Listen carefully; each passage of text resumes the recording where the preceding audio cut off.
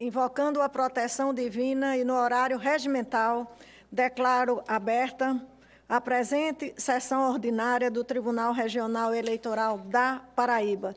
Trata-se da 97ª sessão.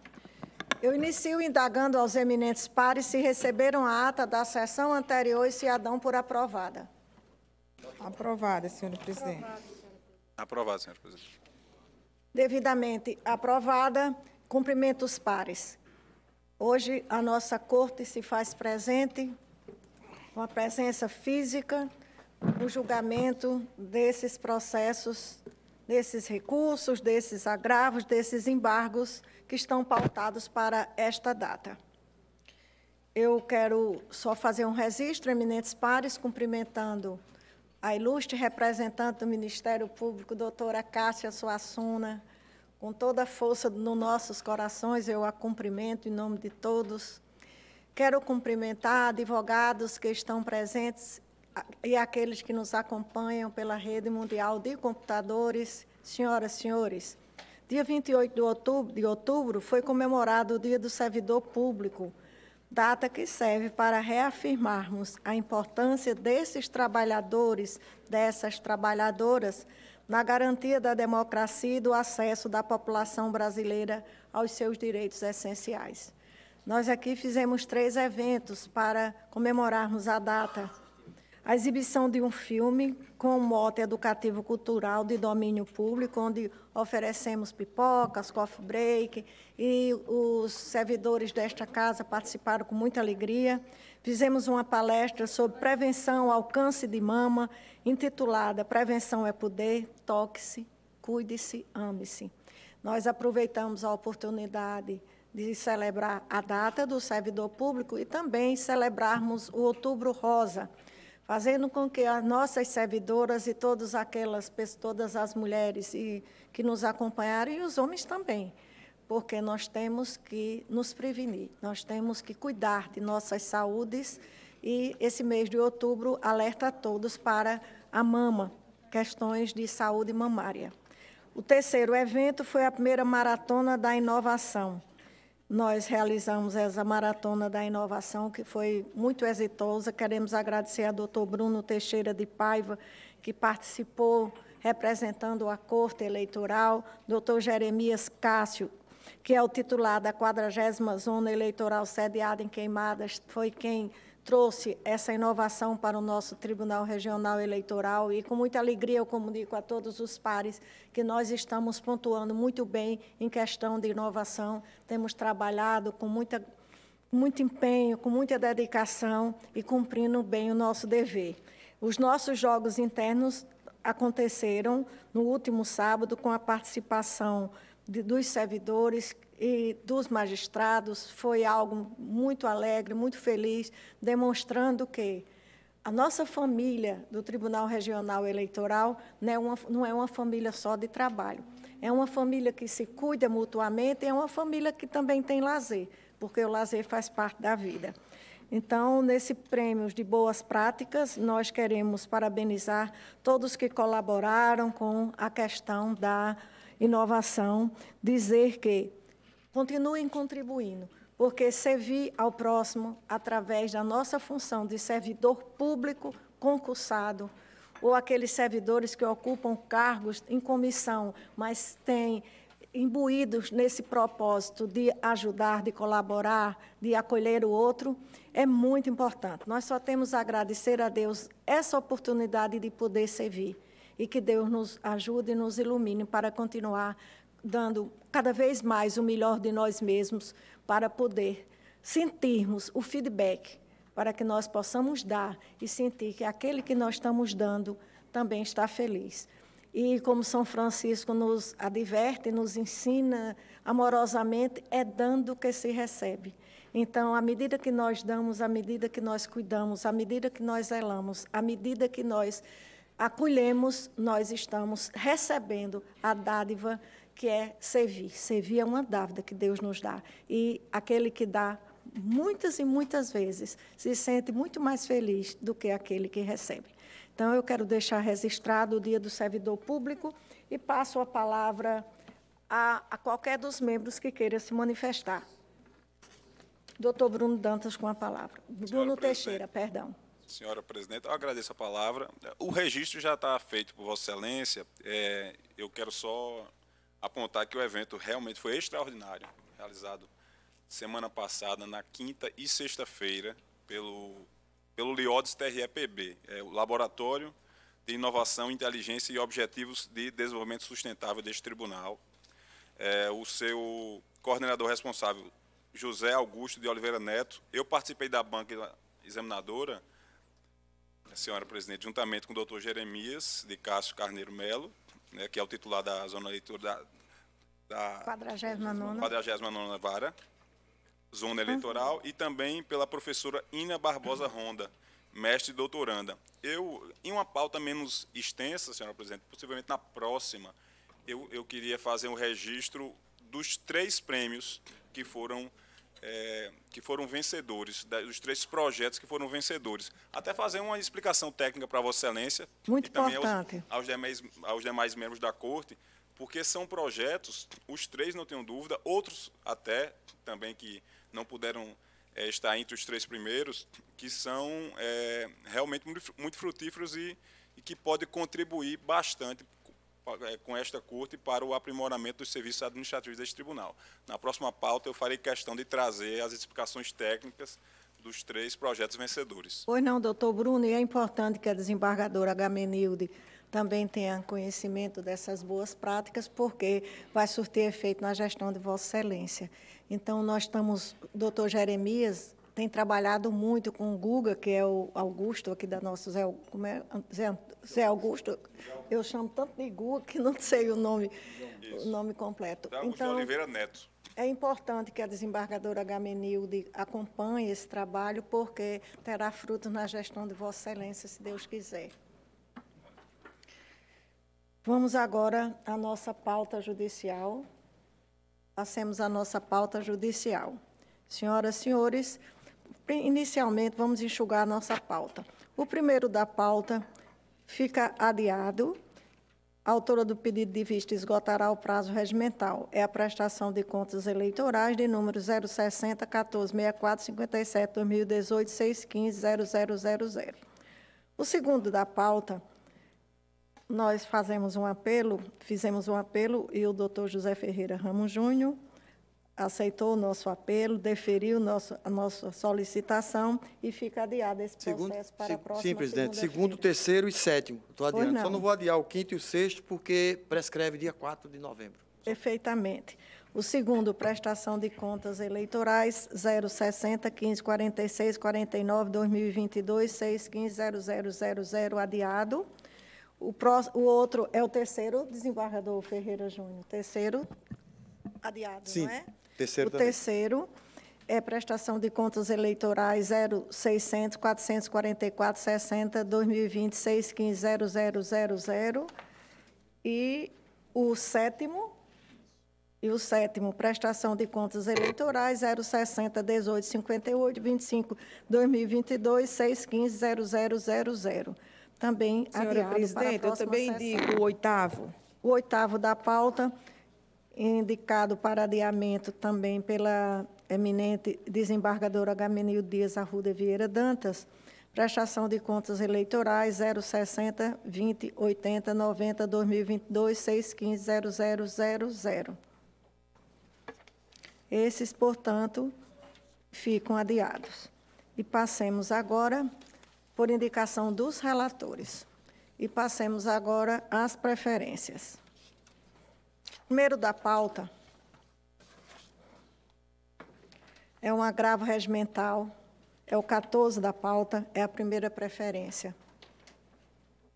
Esse agravo regimental é de um recurso eleitoral 060 12 13 20 2020 615 0016, origem Campina Grande.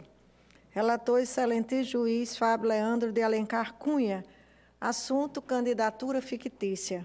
Agravante Cleidson Rodrigues da Silva, Vão- Valdeni Mendes Santana. Advogados Francisco Assis Fidelis de Oliveira Filho e Marcelo Vaike Pogliese. Agravada Carla Clislaine Moura Fernandes. Advogado José Lafayette Pires Benevides Gadeila, Hugo César Soares Lima, Wellington Marques Lima Filho e Márcio Maranhão Brasilino da Silva. Esse agravo regimental, Vossa Excelência tem a palavra para julgamento. Senhora Presidente, Igreja Corte, uma saudação já com áreas de saudades de nossa PRE, doutora Cássia, doutor André, nosso DG, é, advogados aqui presentes e demais pessoas que nos ouvem. Presidente, antes de iniciar o julgamento do 14º e o 15º, que eu pedi até a Vossa Excelência que antecipasse, por conta da lógica da, no, no, julgamento das AIS, eu quero trazer para a Corte, o conhecimento da Corte, uma questão de ordem que é bem simples, mas eu queria ouvir a opinião da Corte sobre essa conclusão que eu cheguei. É, num, um dos recorrentes, no caso Cledson Rodrigues da Silva, ele comunicou, através de seus, os seus advogados, que até estão habilitados, doutor Marcelo, doutor Francisco de Assis, é, comunicou no dia 26 de outubro que as procurações tinham sido revogadas dele. E, pois bem, até o momento, o recorrente Cledson Rodrigues da Silva não apresentou um novo advogado. E aí, pelo meu entendimento desse relator, incide o artigo 111 do, do CPC, que o processo deve, não deve ser suspenso, já que era obrigação da parte quando, é, quando destitui os advogados, como no caso, indicar de imediato um novo advogado para é, continuar, sob pena de depois ser, é, ser observadas as sanções definidas no artigo 76 do CPC. Eu rapidamente trago uma. Nós passamos o, o final de semana pesquisando. É, perdão, senhor relator, eu ia só, antes de Vossa Excelência se pronunciar, é, requerer a Vossa Excelência, na qualidade de custos leves, visando colaborar também com os trabalhos da Corte, porque eu vi essa, essa ah, petição sim. e eu gostaria, se Vossa Excelência permitir, após concluir, antes de, antes de votar e levar essa questão de ordem, eu gostaria de trazer a posição do Ministério Público. À vontade, senhora procuradora. Então, eu, eu dou a palavra à então, procuradora. Vossa, Vossa Excelência trouxe o caso, o Ministério Público vai se manifestar. Isso, com relação a se vai prosseguir ou não o, o julgamento. Perfeitamente. É, senhora Presidente, Igreja Corte, doutor André, diretor-geral, em nome de quem cumprimento todos os servidores, nobres advogados que se encontram aqui presentes, bem como todos aqueles que nos assistem pela Rede Mundial de Computadores, a PRE pediu a palavra para que, na qualidade de custos leves e visando colaborar com os trabalhos da Corte, trouxesse uma jurisprudência que eu, nós pesquisamos no gabinete da PRE e ela se enquadra perfeitamente ao caso. Ela é uma jurisprudência do TRF da Quinta Região, em uma ação de improbidade, em que diz o seguinte: revogação do mandato de advogado. O Constituinte revogou o mandato a partir de 4 de outubro de 2020. Importante realçar que, coincidentemente, essa petição foi anexada aos autos quando já houvera sido expedida a intimação da pauta de julgamento para a sessão telepresencial da primeira turma de 20 de agosto de 2020. O fato é que a petição em questão não constitui empecilho ao julgamento regularmente aprazado. Veja-se que não se deve confundir a revogação do mandato pelo constituinte com a renúncia ao mandato pelo advogado. Tratam-se de situações distintas. Nos termos do artigo 111, a parte que revogar o mandato otorgado ao seu advogado constituirá no mesmo ato outro que assuma o patrocínio da causa. Na hipótese, apenas o advogado veio aos autos, em nome próprio, para informar que recebeu do seu antigo constituinte uma notificação de revogação do mandato requerendo, em consequência, a exclusão de seu nome de atuação do feito. Ou seja, o réu não constituiu um novo patrono para representá-lo nos autos, descumprindo assim uma obrigação processual que é sua. A consequência dessa inércia é o prosseguimento do feito ao pelo menos 15 dias úteis seguintes à comunicação, uma vez que, fim desse prazo, persistindo o silêncio, aplicará no que couber as sanções definidas no artigo 76. Em outros termos, deixando o réu de constituir novo advogado, tendo revogado o mandato do patrono que o representava, assume as consequências do prosseguimento do processo. Essa jurisprudência, ela se encaixa exatamente ao caso, porque o que houve aqui foi uma petição, duas petições trazidas pelos dois advogados, que ela só diz o seguinte: informa a revogação dos poderes que foram otorgados conforme e-mail.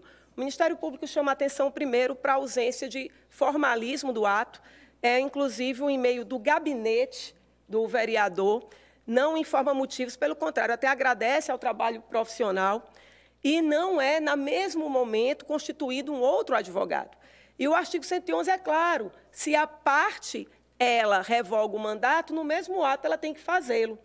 E se ela não fizer isso, principalmente porque há vários precedentes das cortes do TSE dizendo que a sustentação oral é um fato facultativo, é um ato facultativo, ela vai arcar com as consequências do seu ato. É importante também ressaltar que o parágrafo único do 111 quando diz que, não sendo constituído novo procurador no prazo de 15 dias, observa-se o 76, ele não quer dizer que o processo vai ficar parado 15 dias. Pelo contrário, ele quer dizer que se em 15 dias ela não vier, ela vai ter decretado a revelia, que no caso aqui da AIS não se tem os efeitos da revelia.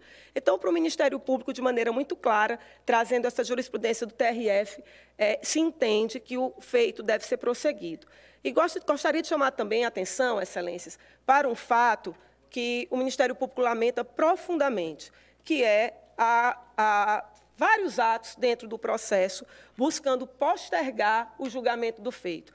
Eu fiz aqui um breve resumo, só para que Vossas Excelências atentem no momento de incidir sobre, decidir sobre essa questão de ordem, que desde agosto de 2021, quando foi pedido suspensão da audiência por um erro de intimação, um erro meramente formal, ao impetrar um mandado de segurança nesse tribunal, houve a suspensão, as audiências só aconteceram em abril de 2022, o processo chega no TRE em agosto de 2022, passa esse tempo todinho e apenas quando incluído na pauta, e ambos os advogados estão com o senhor Valdenir e o senhor Cledson desde a contestação, ou seja, desde 2021, apenas nesse momento eles pedem a juntada de um material sonoro, que inclusive está à disposição conforme certidão da zona, informando que está lá e não há nenhuma alegação de que foi negado esse material.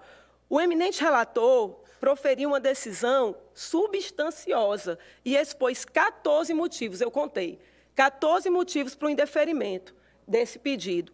E ainda assim foi impetrado agravo redimental, embargos, de forma tal que o Ministério Público vê nesses atos uma falta de boa-fé processual, postergando-se o feito, razão pela qual se manifesta pelo imediato julgamento do processo.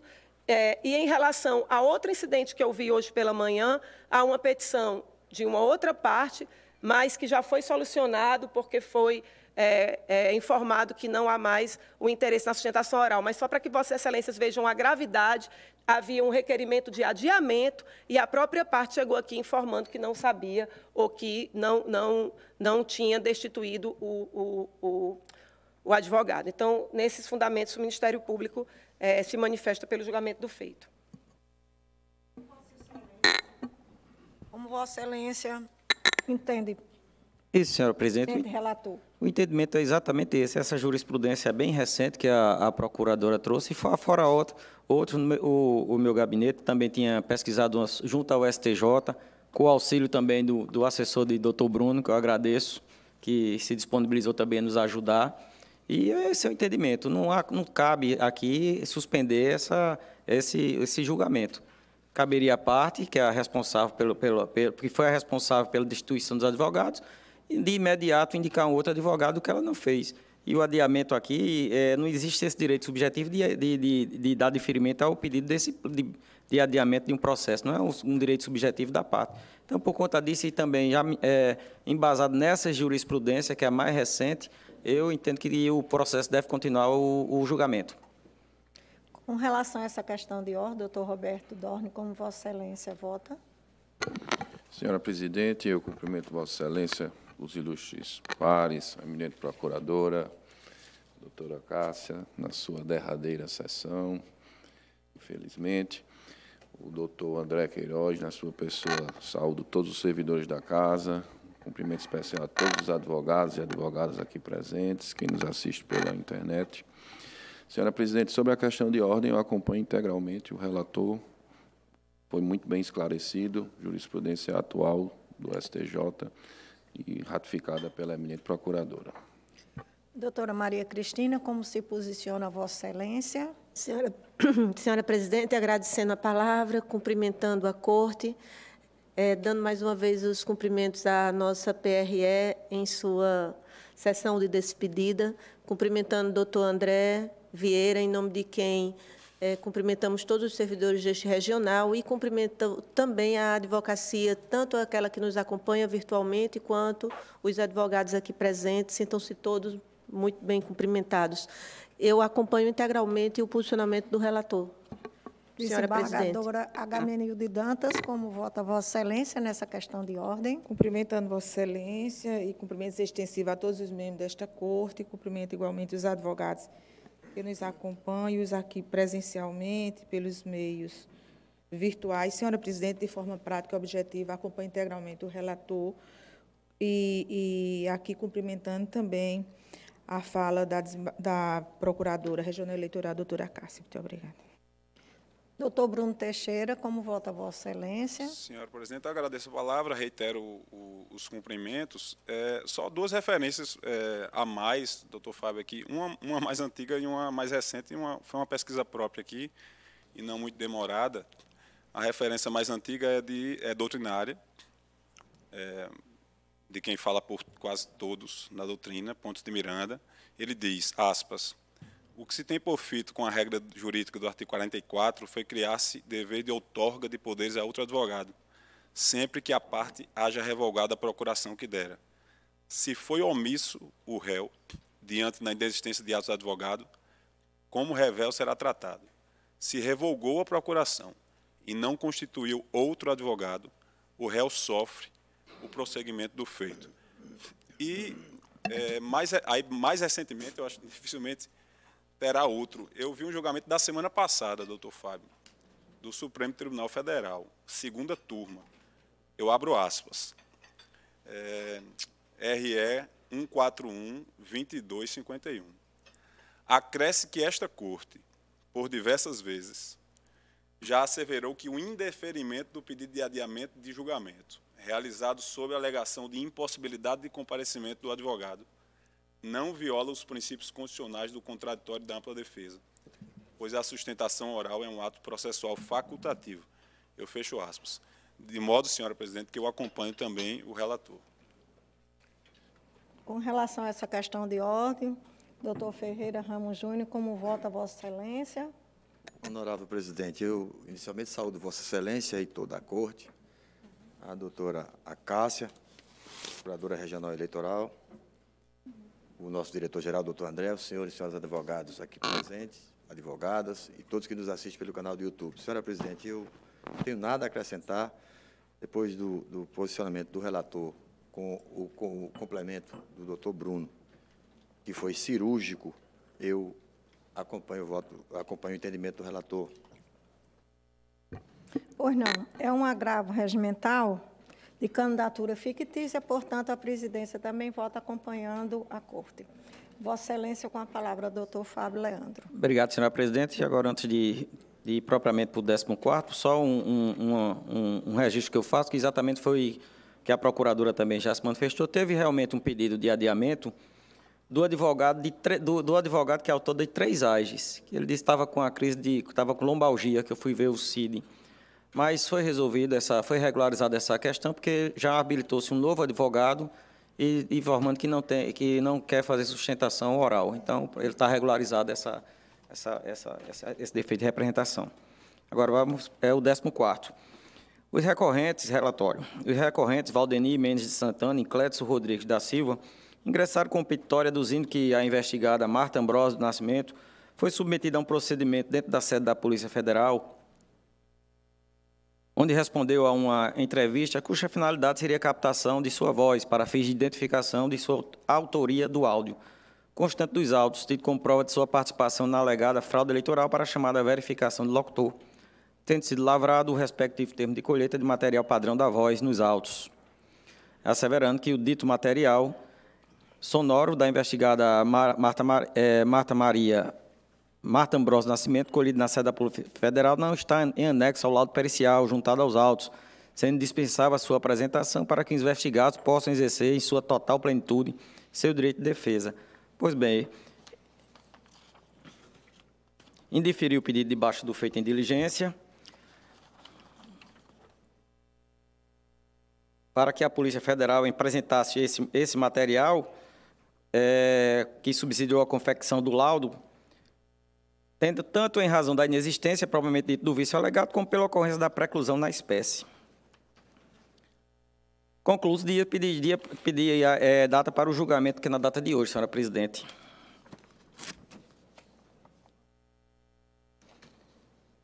Primeiro, eu, eu registro no voto a tempestividade do agravo regimental e, indireto ao ponto, senhor presidente, digo eu. É vez, portanto, que o presente agravo regimental se insurge contra a decisão interlocutória proferida por esta relatoria. E, a esse respeito, dispõe o artigo 19 da Resolução TSE 23478-2016, que eu peço, é, é, eu peço permissão à Corte para ler. Diz o artigo 19, que é bem claro e resolve a questão. As decisões interlocutórias ou sem caráter definitivo proferidas nos feitos eleitorais são irrecorríveis de imediato, por não estarem sujeitas à preclusão, ficando os eventuais inconformismos para posterior manifestação e recurso contra a decisão definitiva de mérito. E nesse mesmo sentido, eu, trago ao voto a jurisprudência do TSE, do ministro Raul Araújo, e também do TRE de Goiás, do ministro Eládio Augusto. Então, senhora presidente, já na conclusão, digo eu, ante o exposto com fulcro no artigo 19, parágrafo 1 da resolução é, do TSE que eu citei anteriormente, em, em consonância com a jurisprudência, julgo prejudicado o agravo regimental manejado pelos investigados, conhecendo da matéria versada na decisão atacada como questão antecedente ao exame do mérito dos recursos interpostos nas áreas que eu analisarei quando julgar todas as cinco áreas. É assim como eu voto, senhora presidente. Vossa Excelência vota pela prejudicialidade do agravo regimental. Isso, senhora presidente. Todos de acordo? De acordo, senhora presidente. Todos de acordo, passo a ler a certidão de julgamento. Rejeitada a questão de ordem para adiamento do presente julgamento com foco no artigo 111 do CPC, nos termos do voto do relator, em harmonia com a manifestação oral da Procuradoria Regional Eleitoral unânime. Agravo regimental julgado prejudicado, nos termos do voto do relator unânime. Participou do julgamento para compor o quórum completo nos termos do artigo 28, parágrafo 4 do Código Eleitoral, a desembargadora Maria de Fátima. Sustentação oral da doutora Cássia Soares Peixoto Suassuna, pelo Ministério Público Eleitoral. É o resultado. Certo. Posso prosseguir agora com o 15º, senhora presidente? 15º. Vou chamar o 15º a julgamento. Embargo regimental, eu falei só na questão de ordem. É verdade. Muito obrigada. Já está colocado no início com a manifestação só pela questão de ordem. Muito bem, doutora Cássia. Nós agradecemos a Vossa Excelência atenta como sempre. 15 são embargos de declaração. Recurso eleitoral 060 12 13 20 2020 615 0016. Origem Campina Grande. Relator, excelentíssimo juiz Fábio Leandro de Alencar Cunha. Assunto: candidatura fictícia. Embargante União Brasil, órgão diretivo estadual na Paraíba. Advogado André Mota de Almeida. Embargada Carla Cirlaine Moura Fernandes. Advogado José Lafayette Pires Benevites Gadelha, Hugo César Soares Lima, Wellington Marques Lima Filho e Márcio Maranhão, Brasilino da Silva. Vossa Excelência, com a palavra. Obrigado, senhora presidente. Renovando os cumprimentos. Traço de embargo de declaração oposta pelo órgão estadual do Partido União Brasil, na Paraíba, assistente do investigado Valdemir Mendes é, Dantas, a decisão do ID que eu cito, por meio da qual esta relatoria indeferiu o requerimento de baixa dos autos em diligência formulado por Valdemir Mendes Santana e Cledson Rodrigues da Silva, a fim de que a Polícia Federal apresentasse um material sonoro que subsidiou a elaboração do laudo pericial 207-2022, tanto em razão da inexistência do vício alegado como pela ocorrência da preclusão. Sustenta a parte embargante a existência de omissão na decisão embargada, argumentando, aspas, não há nem houve justificativa técnica ou jurídica para que a alegada mídia, anexo obrigatória do laudo aprecial, fosse apresentada de forma física, contrariando toda a lógica estabelecida pelo TSE para o PJE, resultando na ruptura da ordem natural do atual sistema de peticionamento estabelecido na Justiça Eleitoral, pugna finalmente pelo acolhimento dos presentes embargos de declaração para sanar o vício, apontando, é, apontado e emprestando o efeito modificativo a fim de reformar a decisão embargada e, como consequência, determinar que o cartório eleitoral da 16ª Zona Eleitoral adote as medidas necessárias a fim de incluir o anexo do laudo pericial na plataforma do PJE ou encaminhá-lo para a Secretaria Judiciária deste TSE. É, concluo pedir para julgamento, senhora presidente. Vossa Excelência pode continuar. Pronto.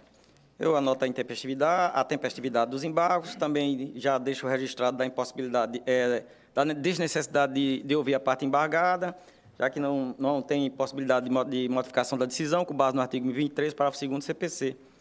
E vou direto ao ponto, senhora presidente, digo eu no voto.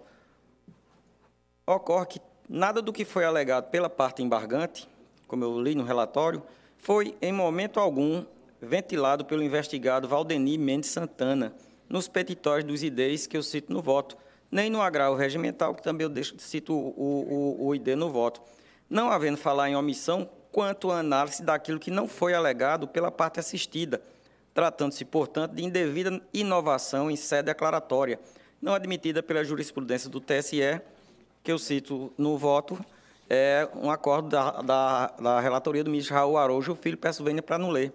Então, sem maior, se não, senão esse presidente, senhora presidente, digo, desse modo, não havendo omissão a ser sanado, os embargos da declaração merecem ser rejeitados. É assim como eu voto, senhora presidente. Todos estão de acordo? De acordo, senhora de acordo, senhora presidente. Passo a proclamar o resultado. Embargos rejeitados nos termos do voto do relator unânime, participou do julgamento para compor o coro completo a desembargadora Maria de Fátima Maranhão. Está proclamado o resultado. Eu passo a palavra a Vossa Excelência, desembargador Fábio Leandro de Alencar Cunha, indago, indagando se Vossa Excelência vai julgar nono, décimo, décimo primeiro, décimo segundo, décimo terceiro em bloco. Isso, senhor presidente. Eu não voto, eu explico a conexão que foi verificada e vou julgar os cinco em bloco. O, o, nono é o recurso eleitoral 060 12 29 71 2020 615 0016. O décimo, recurso eleitoral 060 12 18 42 2020 615 0016. O décimo primeiro de, é o recurso eleitoral 060 12 49 62 20 20 615 0016. O 12 é o recurso eleitoral 060 1230 56 2020 615 0016 e o 13º 060 12 13 20 2020 015 0016. Eu solicito aos senhores advogados que farão uso da palavra que façam a inscrição. Estabelece, Eric, a ordem de fala, inicialmente pelos recorrentes, de cada processo, em seguida pelos recorridos. Eu peço ao, ao nosso diretor-geral, doutor André Queiroz, que faça o pregão lendo todas as partes que compõem os presentes processos já anunciados pelos seus números, pelas sua, suas numerações.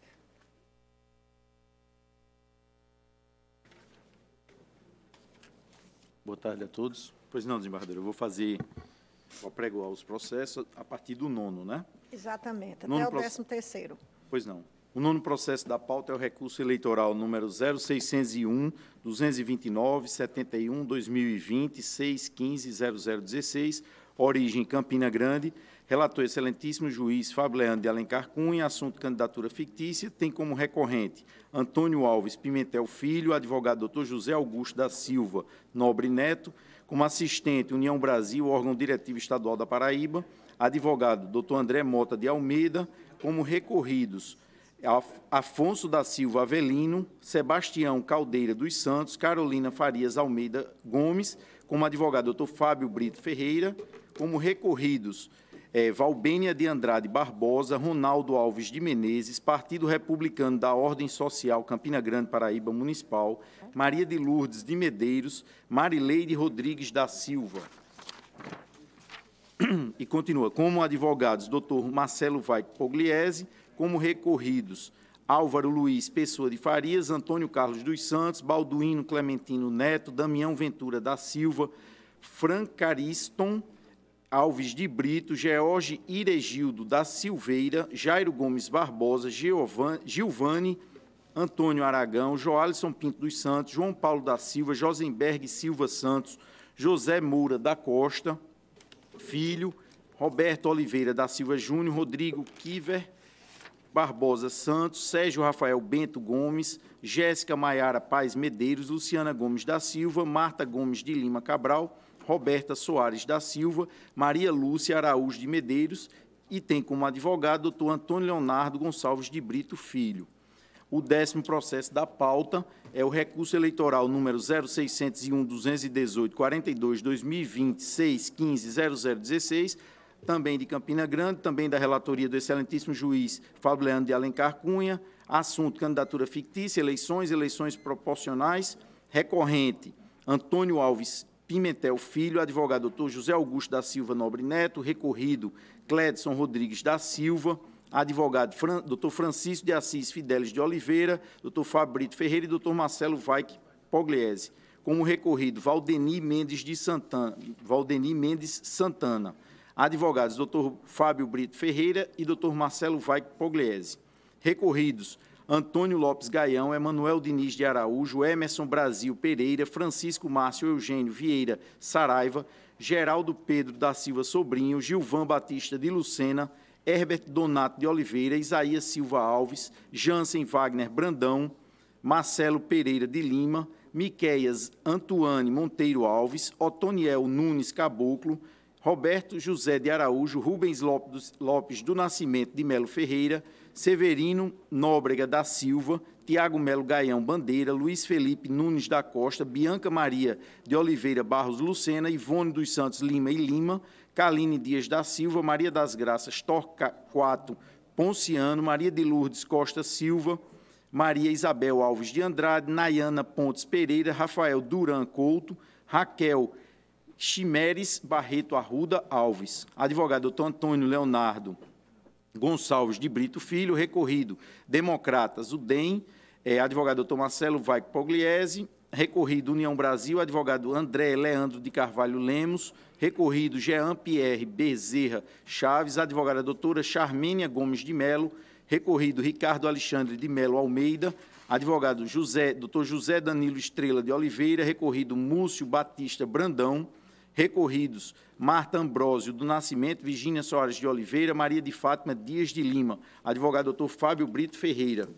O 11 da pauta é o recurso eleitoral número 0601-249-62-2020-615-0016, origem também de Campina Grande, relatoria do excelentíssimo juiz Fábio Leandro de Alencar Cunha, assunto também candidatura fictícia, cargo vereador, eleições, eleições proporcionais.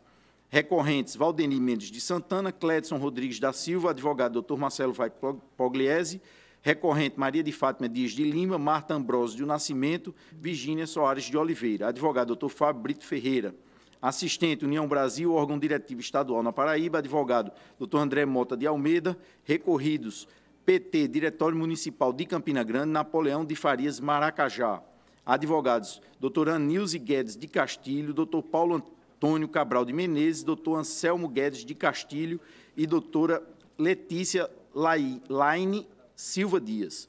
O 12º processo da pauta, também de origem de Campina Grande e também da relatoria do excelente juiz Fábio Leandro de Alencar Cunha, o assunto candidatura fictícia, eleições eleição proporcional. Recorrente, Antônio Alves Pimentel Filho, advogado doutor José Augusto da Silva Nobre Neto, recorridos Saulo Gonçalves Noronha, Solidariedade, Comissão Provisória Municipal, Advogados, doutor Leonardo Souza Lima, registrado civilmente como José Leonardo de Souza Lima Júnior. Recorridos, Gilson Lima Pereira, José Cláudio Aureliano de Medeiros, Marcelo Rodrigues da Costa, Francisco Palmeira Neto, Geraldo Alves da Silva, João Antônio Firmino dos Santos, Odenilson José de Medeiros Azevedo, Josivaldo Pereira da Silva, Valdemir Inácio Alves, Alves Costa, Adriano Evangelista dos Santos, Márcio da Silva, Calson Eduardo Faria Souza, Daniel Sátiro de Brito, Genilson Lucena de Moraes, Francisco Pinto Sobrinho, José Adriano Soares de Oliveira, José Lima Guedes,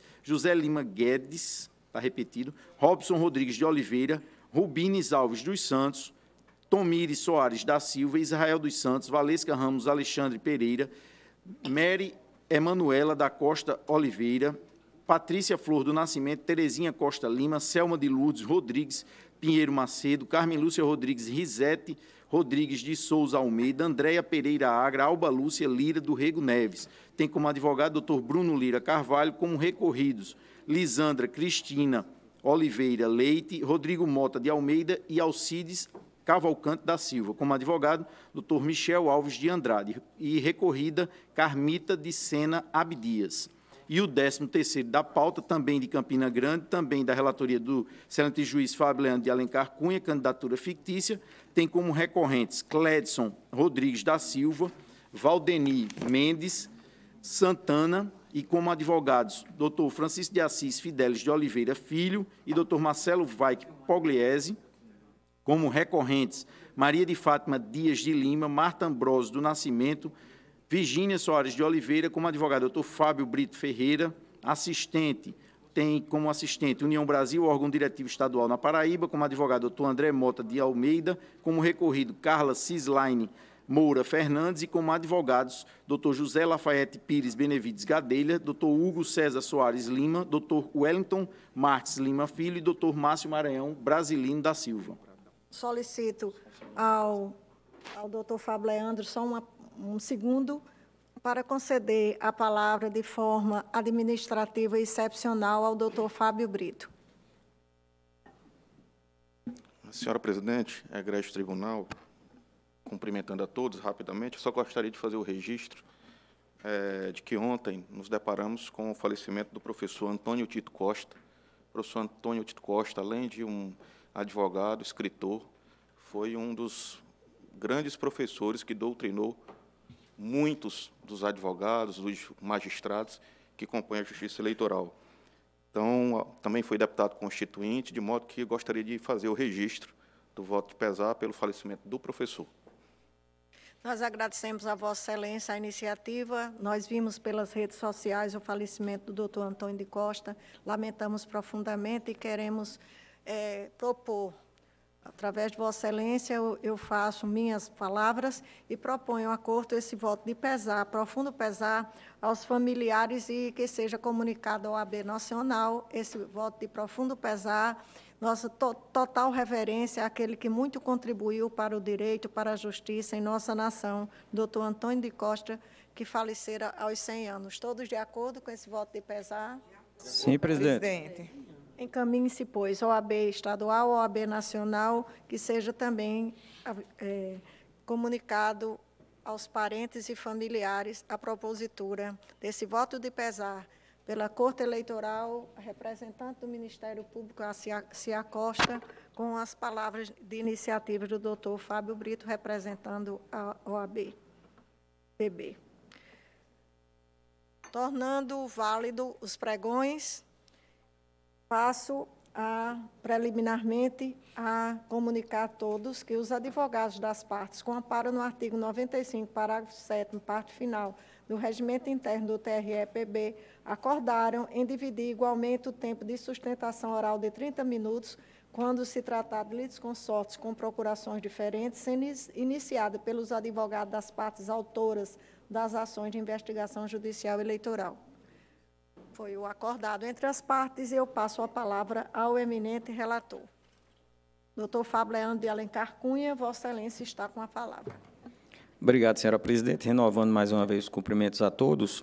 Antes de iniciar o relatório, senhora presidente, eu quero adiantar à corte que eu entendi por bem julgar é, todas as cinco AGES nesta data, em virtude da conexão que eu vislumbrei. Eu já vou pedir um, um pouco de paciência à corte, porque o voto é relativamente longo, exatamente porque eu vou ter que relatar todo, tudo que aconteceu em cada AGE e vou ter que apreciar todos os fatos que foram e argumentos que foram esposados nessas AGES. Mas, para facilitar, eu achei por bem também, mas de uma forma didática, eu dividi o, o voto em tópicos, porque existem muitas, algumas preliminares, algumas arguições e depois o método propriamente dita. Então, para facilitar o, o, a compreensão... Vai, vai, apresentar o relatório inicialmente. Agora o relatório, é. Estou pedindo paciência porque vai ser um pouco longo não, o Vossa voto. Vossa Excelência tem todo o tempo. Obrigado, senhora presidente. Cuide-se de recursos eleitorais interpostos contra as sentenças do juízo da 16ª Zona Eleitoral, proferido nos, nos autos do, das AGES que eu cito no voto, das cinco AGES, doravante relatados e julgados conjuntamente. No processo de número que eu cito na AGE, eu sinto o número no voto, eu, Carla Crislaine Moura Fernandes ingressou com ação de investigação judicial contra Valdeni Mendes Santana, e mais outros nove candidatos que eu cito no voto e peço a permissão para não declarar os nomes. Aduzindo que três partidos incluíram candidatas fictícias, o DEM, por meio de Marta Ambrosio do Nascimento, Virginia Soares de Oliveira e Maria de Fátima Dias de Lima, que é conhecida Fátima Artesã, o Solidariedade, por meio de Lisandra Cristina Oliveira Leite, e o PROS, por meio de Jéssica Maiara Paz Medeiros. No processo, que eu também indico o número, o PT e Napoleão Farias Maracajá manejaram ação de, de investigação judicial contra as mesmas partes, além das agremiações partidárias, pelas quais se lançaram como candidatos e candidatos ao cargo de vereador do município de Campina Grande na eleição de 2020, quais sejam o Democrata, o Partido de Solidariedade, o PROS, sustentando, no mesmo sentido, que nos drafts desses partidos constaram candidaturas femininas, de Marta Ambrosio, Virginia Soares, Maria de Fátima, Elisandra e Jéssica, que não obtiveram um único voto e sem movimentação de campanha, havendo verossimilhança na prática de fraude a quatro de gênero. Instruindo e se pronunciando conjuntamente sobre as duas ações eleitorais, o juiz da 16ª Zona Eleitoral julgou parcialmente procedente o pedido para determinar anulação dos votos recebidos pelo DEM diante do reconhecimento da prática de fraude a cota de gênero, consubstanciada na candidatura fictícia de Marta Ambrosio Nascimento, declarando a cassação dos diplomas dos eleitos e suplentes, impondo ainda a sanção de inelegibilidade por oito anos, contados a partir do término do mandato, ao qual concorreram para os requeridos, para os requeridos Valdeni Mendes Santana, Clécio Rodrigues, Marta Ambrosio, Virgínia Soares e Maria de Fátima de Lima. Em suas razões, suscitam os recorrentes Marta Ambrosio, Virgínia Soares, Maria de Fátima, Valdeni e Clédson, preliminarmente. Primeiro, a ilicitude dos autos, dado flagrante ilicitude com que os referidos autos foram obtidos, já que desprovidos do conhecimento do consentimento e da autorização da investigada Marta Ambrosio do Nascimento, bem como que a utilização dos autos questionados como prova só seria factível e admissível se somente se a, a recorrida tivesse explicado de forma duvidosa como obteve acesso a eles. Segundo, a imprestabilidade das atas notariais, pois a sentença recorrida ouvidou de apreciar a alegação formulada pela recorrente relativa à imprestabilidade como prova judiciária. Ainda em sede de preliminar, Valdemir Mendes e Cléton Rodrigues arguíram também a inépcia da petição inicial. No mérito, alegam, alegam em síntese que as provas indicadas na sentença recorrida como elementos de burla corte de gênero foram tão somente a ausência de votação expressiva e prestação de contas quase que inexistente. Porém, a instrução processual foi eficiente em reunir uma série de elementos, é, que analisados pela decisão recorrida, o que rechaçam qualquer possibilidade de caracterização de fraude, postulando pelo provimento do recurso. Sucessivamente, aduziram os recorrentes Valdeni, Cledson, Virginia Soares e Maria de Fátima, que, caso seja mantido o entendimento de fraude na candidatura de Marta Ambrosio do Nascimento, o que se cogita em razão do princípio da eventualidade, merece reforma a sentença recorrida na parte de aplicou a grave sanção de inelegibilidade aos ora recorrentes. Contra razões apresentadas pela recorrida Carla Cislane, com já, às razões já exaustivamente expostas durante o processo, pelo que requer o desprovimento do recurso. Contra as razões ofertadas pelo PT, e Napoleão de Farias, Maracajá, refutando as preliminares arco-ídas pela parte recorrente e postulando no método, em razão das provas produzidas nos autos, a extensão do julgamento para o fato da total ausência de voto das candidatas Lisandra, do Solidariedade, e Jéssica, do PROS, julgando-se totalmente procedentes as ações eleitorais. Com vista dos autos, a PRS manifestou pelo a, julgamento das AGES, que eu cito, as três AGES que eu cito no voto, B, exclusão é, do, do DEM, da, da, atual União Brasil, do Solidariedade, e do Partido Republicano, do PROS, do Polo Passivo da AGE, que eu indico o número no voto. C, no mérito pelo desprovimento de recursos de Marta Ambrosio, Virginia Soares e Maria de Fátima, bem como pelo provimento parcial do recurso interposto por Valdeni e Cledson, apenas para afastar a sanção de inelegibilidade combinada ao último recorrente. Já no processo, na AGE, que eu cito o voto, é, Antônio Alves Pimentel Filho é, propôs contra Valdeni Mendes Santana e outros 32, 33 candidatos ao cargo de vereador pelo Democratas, que eu, eu cito o nome de todos no voto. É, candidatos e candidatos ao cargo de vereador no município de Cantina, pelo DEM, daquela UB, bem como contra a referida agremiação partidária, aduzindo a existência de burla à cota de gênero, na desistência da candidata Maria de Fátima Dias de Lima, conhecida como Fátima Artesã, uma vez que no período em que concorreu não realizou qualquer ato de campanha, externando apoio ao candidato Antônio Lopes Gaião, conhecido como Tony Ambientalista. apontando ainda a prática de burla à cota de gênero pelas candidatas fraudulentas de Marta Ambrosio, pelas candidaturas fraudulentas de Marta Ambrosio e Virginia Soares, que obtiveram eh, votação zerada, e não realizaram despesas com propaganda eleitoral, havendo áudios da primeira testando conhecimento quando a fraude perpetrada, além da demonstração do apoio externado pela segunda ao recorrido Valdeni Santana, em perfil da rede social. Diante da inexistência de elementos probatórios suficientes para comprovar de forma inequívoca é, a caracterização da fraude à cota de gênero, o juiz da 16ª Zona Eleitoral julgou improcedente a pretensão de, deduzida na petição inicial.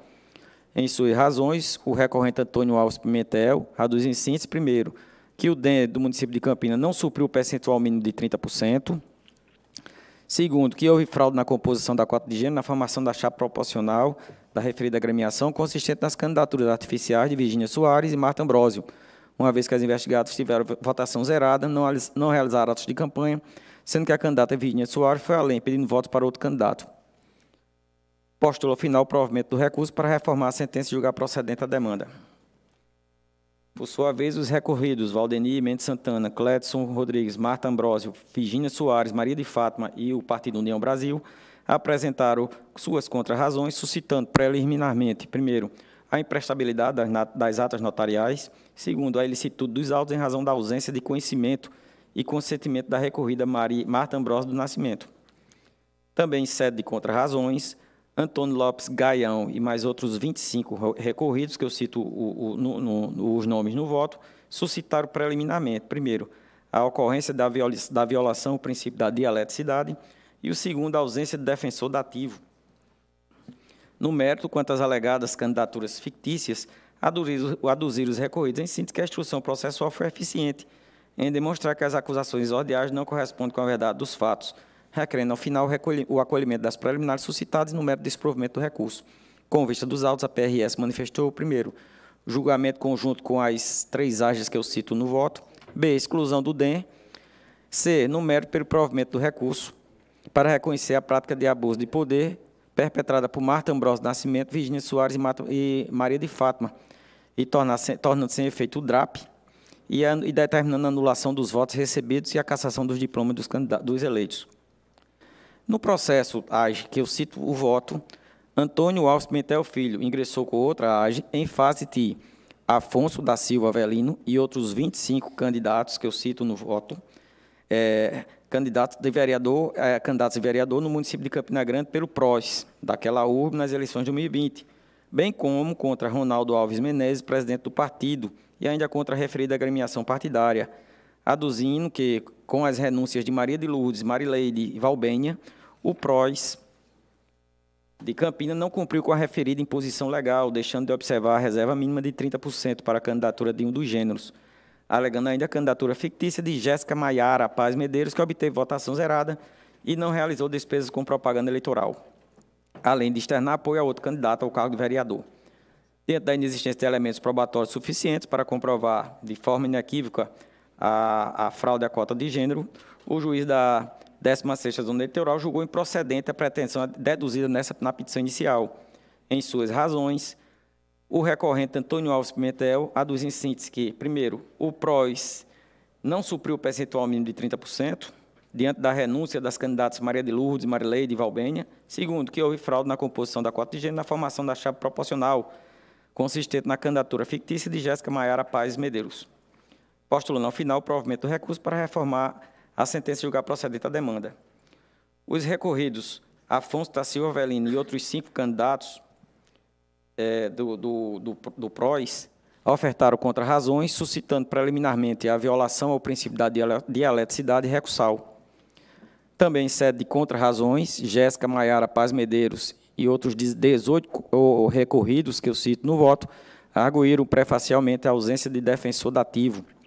No mérito, quanto à alegação de candidatura fictícia, aduziram os recorridos em síntese que a instrução processual foi eficiente em demonstrar que as, as acusações ordiais não corresponde com as verdades dos fatos, postulando ao final o acolhimento das questões antecedentes deduzidas no mérito e no mérito do desprovimento do recurso. Com vista dos autos, a PRS manifestou, primeiro, pela exclusão do PROS, do polo passivo da demanda, B, no mérito pelo provimento do recurso, para reconhecer a prática de abuso de poder consubstanciada na fraude à norma constante no artigo 10, para o terceiro da Lei 9.504, perpetrada por Maria de Lourdes, Marileide Rodrigues Valbenha e Jéssica Maia.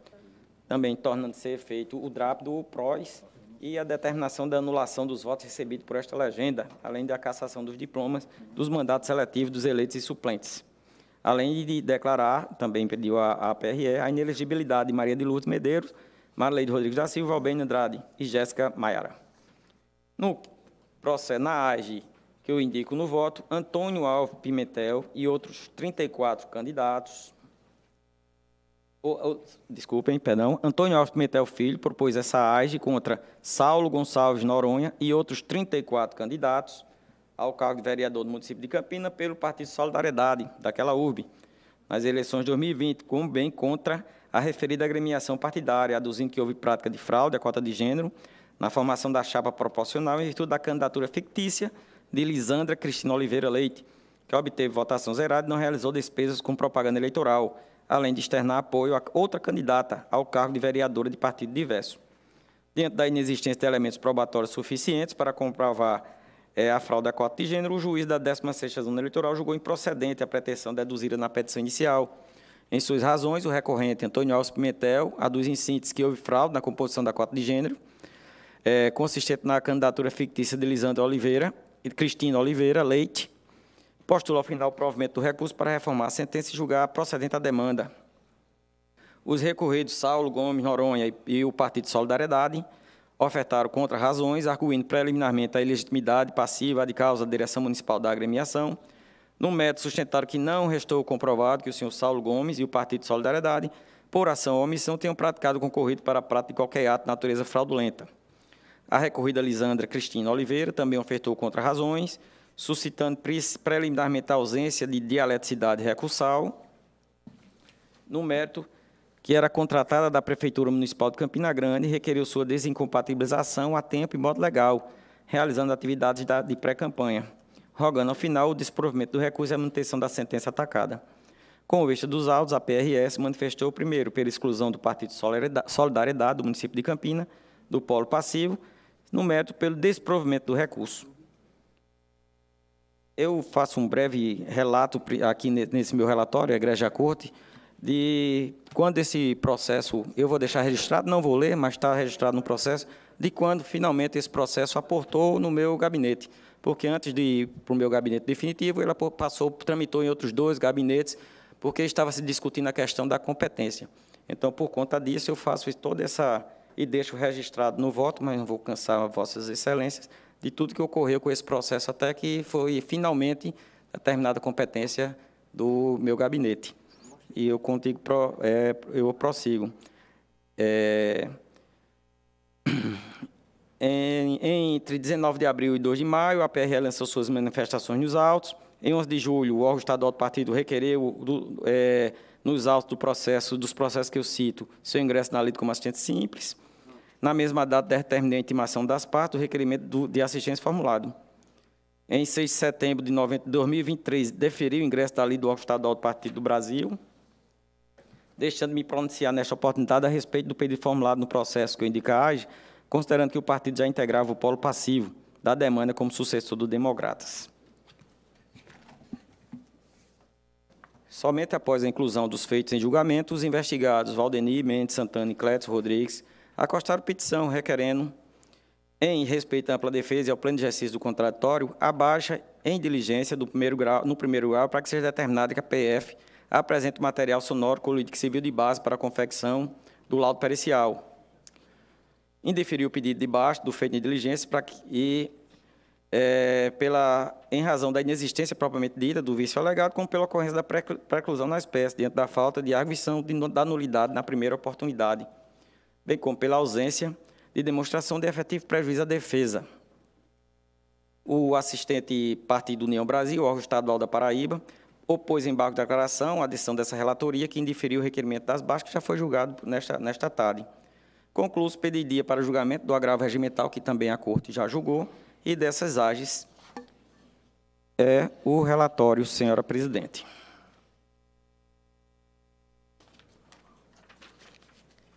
Feito o relatório, Nós passamos a palavra ao advogado Vossa Excelência, o nome completo, por favor. José Lafayette Pires Benevides Gadelha. Doutor Lafayette, Vossa Excelência está representando a parte autora da AGE, não é isso? Isso, uma das autoras, Uma das que é autoras. parte recorrida nesta, neste processo, em um dos processos que estão sendo julgados em blocos, senhora presidente. Senhora Carla Cislaine Moura Fernandes. Eu vou dividir meu tempo honrosamente com o doutor Márcio Maranhão.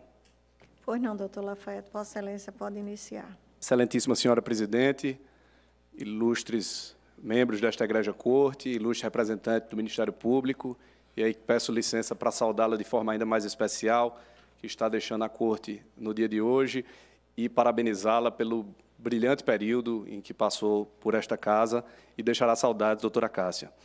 É, cumprimentar a doutor André Vieira, em nome de todos os servidores desta casa, advogados e advogadas aqui presentes. Trata-se de uma, de uma matéria já bastante conhecida por esta corte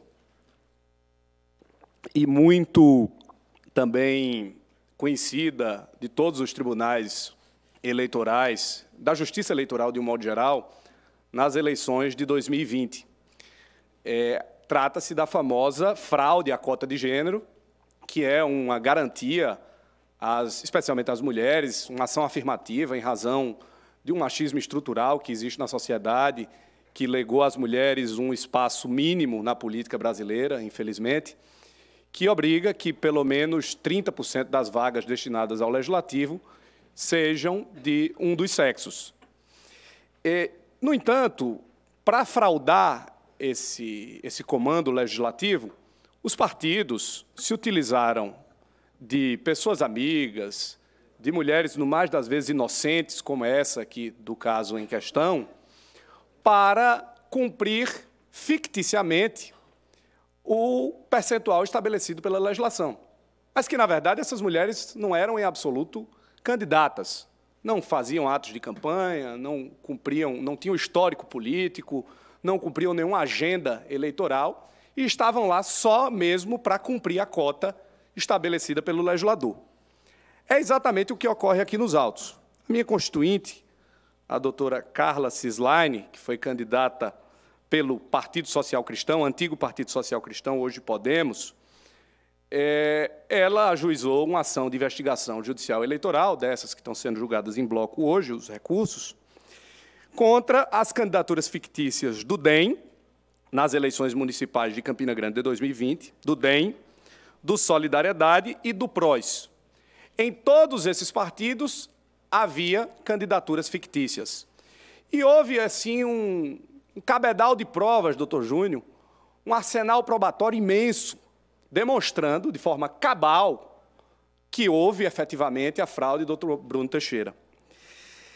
É, a sentença proveniente deste processo julgou procedente o pedido é, da parte investigante, a doutora Carla, e declarou, determinou a cassação dos mandatos dos candidatos eleitos pelo DEM, o senhor Valdeni Santana e o senhor Cledson Rodrigues da Silva.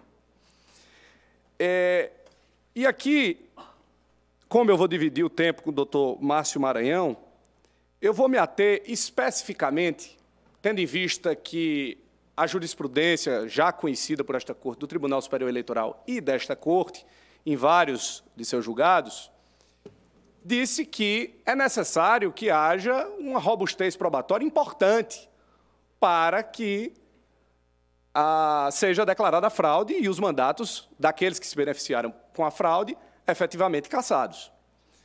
Não, não bastam apenas indícios, provas salteadas, comprovações aqui e acolá, é, mas é necessário um conjunto, doutora Maria Cristina, probatório forte, robusto, suficiente a comprovar, uma junção de elementos que sejam bastantes à comprovação da fraude. Pois bem, eu vou me concentrar aqui na enumeração de todos esses componentes probatórios que são, como já disse, necessários, fundamentais à constituição da fraude. Se não vejamos, todas as candidatas que são consideradas laranjas e foram consideradas laranjas pelo juízo de primeiro grau, se não tiveram nenhuma movimentação financeira nas suas contas de campanha, tiveram apenas aquelas movimentações financeiras com contador, com advogado, enfim. Então, esse é o primeiro elemento: a baixa ou a inexistente movimentação financeira nas suas contas de campanha. O segundo, o Democratas, e os outros partidos também, mas especialmente o Democratas, tiveram, teve uma dificuldade imensa de recrutar mulheres. As candidatas que foram consideradas laranjas, senhora presidente, não foram as únicas que o DEM tentou recrutar de forma maliciosa, de forma capciosa, utilizando-se da ingenuidade de uma mulher praticamente analfabeta, para fraudar a cota de gênero. É, antes mesmo das, do registro das candidaturas laranjas da senhora Marta Ambrósio, da senhora Virgínia Soares, da senhora Maria de Fátima Dias de Lima, houve pelo menos duas renúncias do DEM, o que, se, o que inclusive não permitia que houvesse o registro do DRAP. Então houve uma dificuldade latente, patente, clara do Democratas de registrar candidaturas femininas. Não havia um compromisso verdadeiro da agremiação de ter mulheres nas suas campanhas, doutora Cássia. Não havia uma determinação de seus dirigentes partidários, sobretudo do senhor Valdeni, que é o presidente do partido, de buscar mulheres, de trazer mulheres para dentro do partido. É, e o que comprova isso são as renúncias reiteradas durante o pleito eleitoral. É, terceiro, a ausência completa de histórico político dessas mulheres que foram consideradas laranjas pelo juiz de primeiro grau e que foram consideradas laranjas também no ajuizamento da, das AGES. As próprias testemunhas arroladas pelas partes investigadas comprovam, excelências, que não havia nenhum, nenhum histórico político anterior das candidatas laranjas. É, como já disse, as próprias testemunhas demonstraram isso, falaram claramente que não havia que nunca tinham sido candidatas. Só para ilustrar, o senhor Bruno Arlindo, que foi uma testemunha rolada pelas partes investigadas, disse claramente que nunca ouviu a senhora Virgínia Soares, de quem era amigo, manifestando qualquer interesse em ingressar na política. Da mesma forma, a testemunha arrolada pela senhora Marta Ambrosio disse que nunca viu a senhora Marta Ambrosio dando uma entrevista no rádio ou algo do gênero. Então, essas candidatas foram colocadas efetivamente apenas para constar da lista. E aqui eu falo dos elementos mais principiantes, dos elementos menos fortes, menos gravosos. Em quarto lugar, houve uma manifestação direta, clara, objetiva de uma das candidatas, e aí coloco muitas aspas no termo candidatas, a senhora Virgínia Soares, em uma de suas redes sociais em favor do presidente do partido, do Democratas, em favor do senhor Valdeni Santana. Durante o pleito eleitoral, antes que houvesse qualquer tipo de manifestação dela em, favor próprio, que efetivamente isso não aconteceu, houve uma manifestação dela, senhor relator, em favor do presidente, do presidente do seu partido, que também era candidato, o senhor Valdeni Santana, que inclusive teve a sua inelegibilidade declarada. É, e essas manifestações todas no Facebook constam expressamente de ata notarial assinada por tabelião com fé pública. Não são apenas prints de redes sociais, não são apenas capturas de telas do Facebook. Tudo isso está declarado pelo tabelião competente do cartório de Campina Grande. Houve também outra manifestação da senhora Fátima Artesã do DEM em favor de outro candidato, o senhor Túlio Ambientalista. E nessa manifestação ela também faz um pedido de voto expresso em favor do candidato do Democratas. Também, novamente, tudo registrado por ata notarial do tabelião. É... Quinto, não houve nenhum ato de campanha registrado das senhoras candidatas laranjas. Nenhuma delas, nem a senhora Marta Ambrósio, nem a senhora Virgínia Soares, nem as demais candidatas, registraram qualquer tipo de ato de campanha em favor delas próprias. Pelo contrário, como já disse, algumas delas manifestaram apoio em favor de outros candidatos.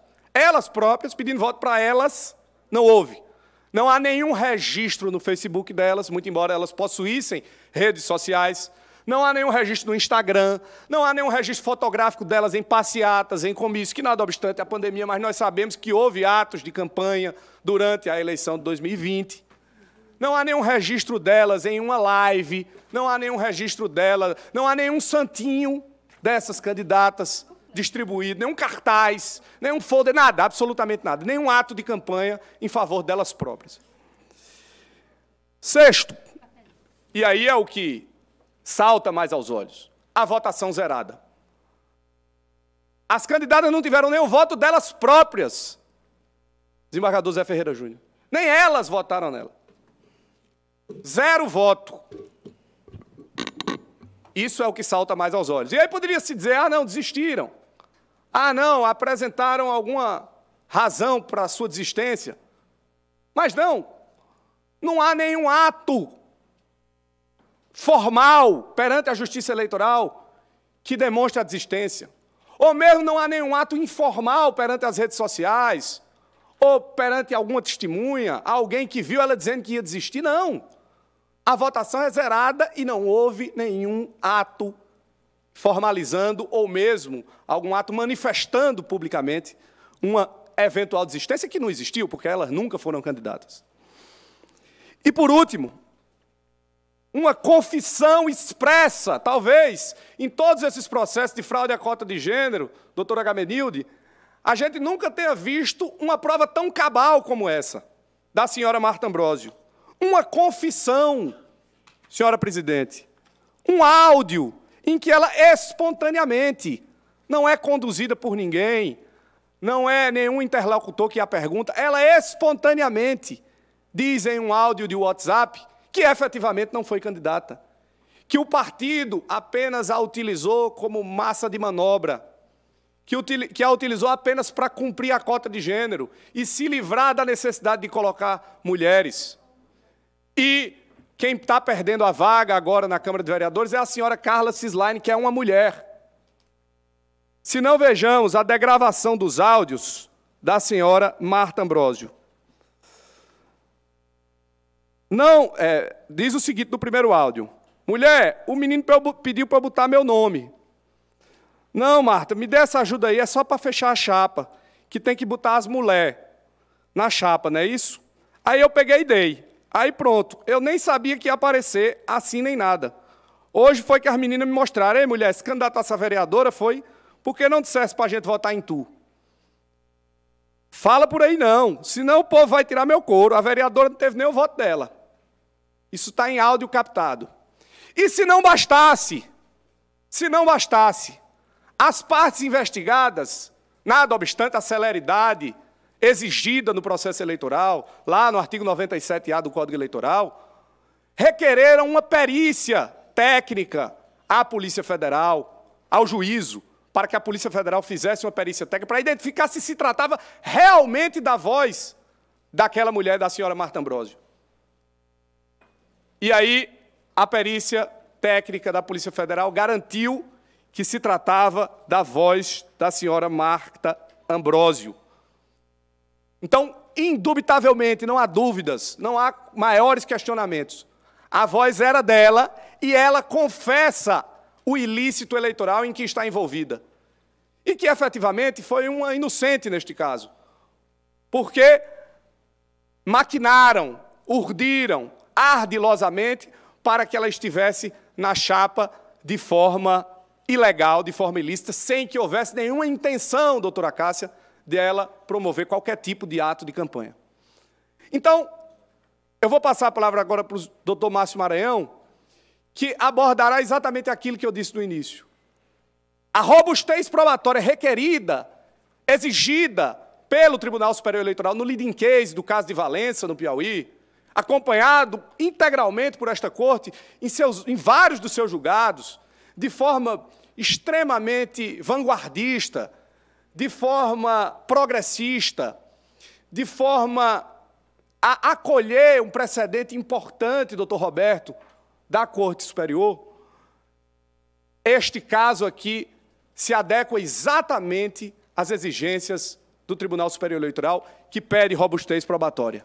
Repito, houve baixa ou nenhuma movimentação financeira das contas de campanha, dificuldade de recrutar mulheres pelos partidos políticos, ausência de histórico político dessas supostas candidatas, manifestação clara em favor de outros candidatos da mesma agremiação, inexistência de pedido de voto ou mesmo de manifestação política em favor delas próprias, votação zerada e, o pior de tudo, uma confissão expressa e chancelada por perícia técnica feita pela Polícia Federal.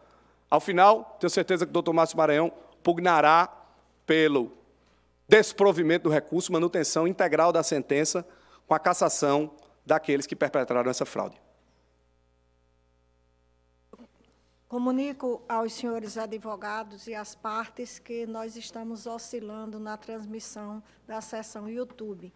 Entretanto, a sessão está sendo gravada, os advogados todos já se habilitaram, já solicitaram sustentação oral, e nós também temos o setor de taquigrafia que está registrando toda a sessão. Portanto, nenhum prejuízo trará às partes. Eu passo a palavra agora ao doutor Márcio Maranhão Brasilino da Silva.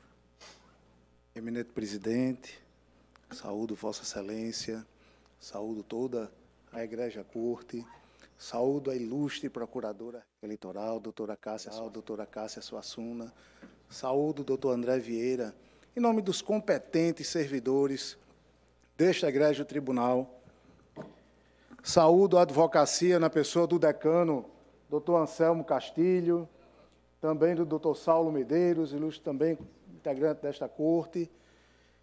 Nós sabemos, eminente presidente, do trabalho efetivo que esta casa tem realizado em prol da defesa da lisura das candidaturas, e em especial das candidaturas femininas. Temos acompanhado, doutora Maria Cristina, os inúmeros votos que esta casa tem ofertado, sempre com muita propriedade, com muita firmeza, sempre muito bem fundamentado, dentro de uma linha de jurisprudência que vem sido traçada pelo TSE e aqui os ilustres magistrados com muita, muita, muita proficiência têm, têm, têm nos seus votos colocado de forma muito clara que já chegou a hora de se dar um basta a essas candidaturas laranjas. Já chegou a hora, doutor Bruno Teixeira, de se dar um basta a tudo isso que está acontecendo nessa nossa política. O que temos aqui é de doer o coração de chegar à tribuna para trazer um fato de uma pessoa que, de tão inocente que era, de tão inocente que era, lançou áudios no WhatsApp se dizendo receosa, porque lançaram o nome dela, porque usaram ela. E aí, doutora presidente, doutora Fátima, como dói ver uma pessoa dizer assim numa mensagem, eu tenho medo de perder o meu, o meu benefício, o meu Bolsa Família. Será que eu vou perder porque eu estou sendo lançada candidata? Olha, olha o tamanho da dimensão, ilustre decano, doutor José Ferreira Ramos Júnior, olha o tamanho da dimensão do medo dessa pessoa em ser lançada candidata, empurrada, doutor Roberto Dorne, a uma condição de candidata sem querer ser, sem nem sonhar em ser, sem nem imaginar que aquilo pudesse acontecer com ela. E aí, doutor Gamenilde, eu vou fazer questão de ler aqui o áudio ID, só para se ter uma ideia, de forma bem, bem resumida, mas eu vou chegar aqui porque eu acho importantíssimo que essa situação chegue. Foram juntados quatro áudios. Os IDs estão aqui descritos, que é o ID 482-03104, o 105, o 106 e o 109, que estão nos autos. Foram objeto, esses áudios, de perícia por parte da Polícia Federal, que atestou que aquelas vozes eram efetivamente da senhora Marta Ambrósio do, do Nascimento. Perdão, Marta Ambrósio do Nascimento. Há um ponto que merece, merece ser chamado a atenção. Aqui não foi uma interceptação telefônica, aqui não foi uma gravação, ela lançou e alguém gravou uma ligação, não é este o caso. Ela lançou num grupo de WhatsApp e mandou para uma pessoa de própria voz. Foi lá e lançou aquela informação. Não foi uma interceptação telefônica. E a Polícia Federal, ao destacar, ao fazer a perícia, reconheceu que aquela voz era efetivamente da senhora Marta Ambrosio do Nascimento. São quatro arquivos por mensagem de WhatsApp em aparelho, em bate-papo, que contém as características é, efetivas de áudio lançado em WhatsApp, inclusive que foi lançado em grupo, reitero. Tanto que ele foi, ele foi buscado de um aparelho que estava num computador, era no WhatsApp web. A pessoa lançou no grupo, foi lá no WhatsApp web, alguém captou aquilo ali. E diz o seguinte: vamos à da gravação. O arquivo 4820304 diz o seguinte: Mulher, o menino pediu para botar meu nome. Ele disse: Não, Marta, me dê essa ajuda. É só para fechar a chapa. Quem tem que botar as mulheres na chapa, não é isso? Não é a gente? Eu peguei e dei e pronto. Eu nem sabia que eu ia aparecer. Assim, sem nada. Hoje foi que as meninas mostraram. Mãe, se candidatasse a vereadora, foi. Por que tu não dissesse para a gente votar em tu? Fecho aspas para o áudio. Segundo áudio. O 482-03109, conforme os ideias que eu descrevi acima, an anteriormente. Né? O interlocutor concorda. Assinei, assinei, viu? Tirei as fotos, pronto. E o interlocutor concorda. Foi só isso mesmo que eu fiz, mais nada. Eu destaco esse trecho. Mas, de assim, abri conta, não abri conta em canto nenhum, em banco. Não fiz isso, não. Não é? Não é? Não me falaram realmente nada. E segue. Não, a gente está precisando porque está faltando as mulheres para preencher. E o interlocutor concorda. Não é isso? O interlocutor concorda. E o menino diz: Você pode, me ajuda. E ela diz: Eu posso, posso. Aí eu fui e assinei e me deram até o número. Eu estou lendo a transcrição efetiva dos diálogos. Mas depois eu perguntei à pessoa e disse: é, é, é válido os meus votos? Não, não, não é válido, diz a outra pessoa. Eu nem meu número de cabeça eu sabia, porque eu pensei que era simplesmente só. Aí tem um trechinho. Está entendendo como é? Só, só para. Que tinha dito foram as mulheres. Aí estava faltando. Pronto. Entendeu? Fecho aspas. Após o requerimento, vale ressaltar que a perícia foi pedida, inclusive, pelos investigados. Perícia realizada, voz atestada. No primeiro laudo, como eu disse, identificado que o WhatsApp era do WhatsApp Web. É, além disso, além das as vozes efetivamente ser ela, vale ressaltar que ela nunca, as partes nunca negaram que o áudio efetivamente não fosse verdadeiro ou não fosse da senhora Marta Ambrosio. A recorrente nunca negou a autoria dos áudios, chegando a, a, dizer, em primeira oportunidade em juízo, que, preocupada com a possibilidade de perder o auxílio emergencial em vista da candidatura. Logo, ressalto aqui uma jurisprudência do, do próprio Tribunal Superior Eleitoral, não é o caso de gravação ambiental, mas sim áudios de WhatsApp produzidos e enviados pela própria recorrente, inexistindo ilicitude. Isso é o, é o agravo no embargo declaratório, no RESP é 0000-634, dígito 06, e num agravo no, também no, em um agravo regimental, o 0000-29364 do TSE, reconhecendo que a gravação lançada pelo WhatsApp, dessa forma, né, a pessoa oferecendo aquela prova, efetivamente há de ser reconhecida como legal, legítima. Portanto, o que nós temos a observar é que efetivamente essa pessoa foi induzida a uma candidatura. Foi levada, arrastada para uma situação que ela não queria, apenas e tão somente para completar, a, a, a, completar essa chapa, criando aí, gerando a fraude. E aí vamos a mais um trecho que é do ID 15795542 e 1579474. Diz o seguinte, abro aspas, fala por aí não, vice, senão o povo vai tirar meu couro. A vereadora não teve nem o voto dela, vice. ID 15794305. Eu acredito que este tribunal nunca julgou um com tanta prova, com tanta facilidade documental, com a, com a máxima vênia do que esse.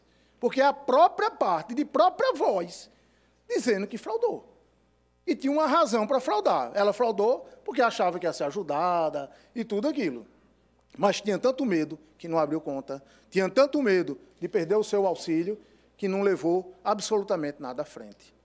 E eu queria aqui, é, requerendo de forma muito firme o desprovimento do recurso para manter a respeitável sentença, muito bem fundamentada de primeiro grau, e constituir de, a um mandato, tirando um homem que lá está, para que esta para que a minha cliente, a doutora Carla, possa efetivamente exercer o seu mandato, ter pelo menos a possibilidade de exercer ainda aqui pelo menos um ano, já que lhe foram tirados todos os outros. Não bastassem de tirar tantos direitos das mulheres como observamos ao longo de toda essa fala e todos esses anos, e que este tribunal com muita firmeza vem combatendo, que este tribunal, com muita firmeza, vem fazendo justiça. E aqui a minha homenagem também a.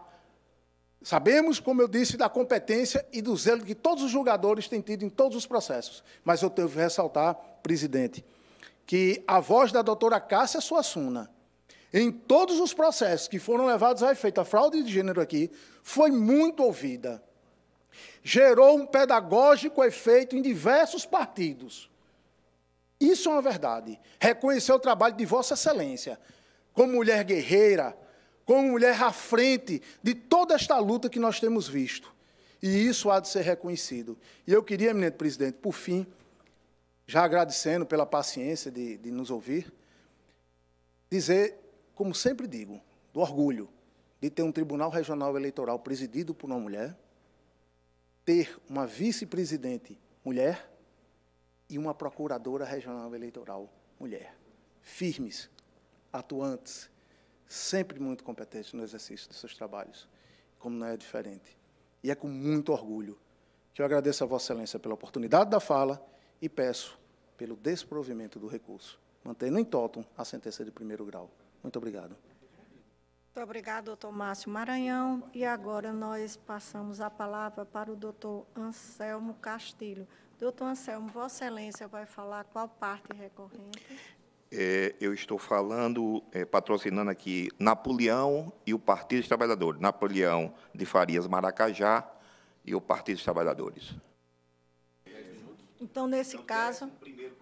Então, nesse caso, Vossa Excelência, Vossa Excelência terá 11, é 10 minutos. Tá porque é um recurso só, não é? Vossa Excelência está a defender. Com a palavra, Vossa Excelência. Em primeiro lugar, saudar a Igreja Corte, e aqui eu faço minhas as palavras de todos. Parabenizando Obrigado, e saudando a doutora Acácia pelo belo trabalho aqui desempenhado e sucesso nas novas missões. Tá? Presidenta, doutora Maria de Fátima, é uma honra estar aqui, demais membros do Egrégio Tribunal. Quero pedir licença aqui ao doutor André para, doutor André, saudar os servidores no nome de Nilo, tá? que é meu amigo de longas datas. Sei que o senhor não ficará com raiva. Aqui estou para defender uma história, inclusive, de militância política. Né? Acho eu que muitos sabem que sou militante de partidos políticos e nessa militância sempre defendi e continuo defendendo a paridade de gênero. Acho que essa importância adveio de um processo de resolução, inclusive eleitoral, mas começou lá atrás, na militância das mulheres no dia a dia, para tentar ter espaço na política. Esse espaço, ele deve ser respeitado e o desrespeito por quem faz os partidos cartorialmente é absurdo. Esta corte tem demonstrado de forma cabal que a nossa perspectiva é estarmos sempre no timoneiro da história.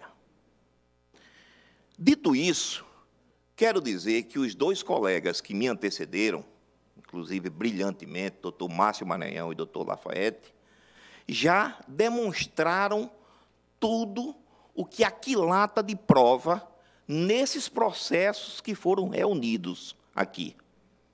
Ele advém esse processo, esse processo de uma reunião da própria decisão do juízo de piso.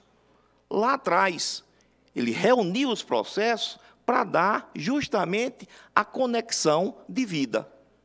Então, neles já estava entrelaçadas as provas. Ressalvo aqui que algumas dessas ou, ou noutro como provas emprestadas.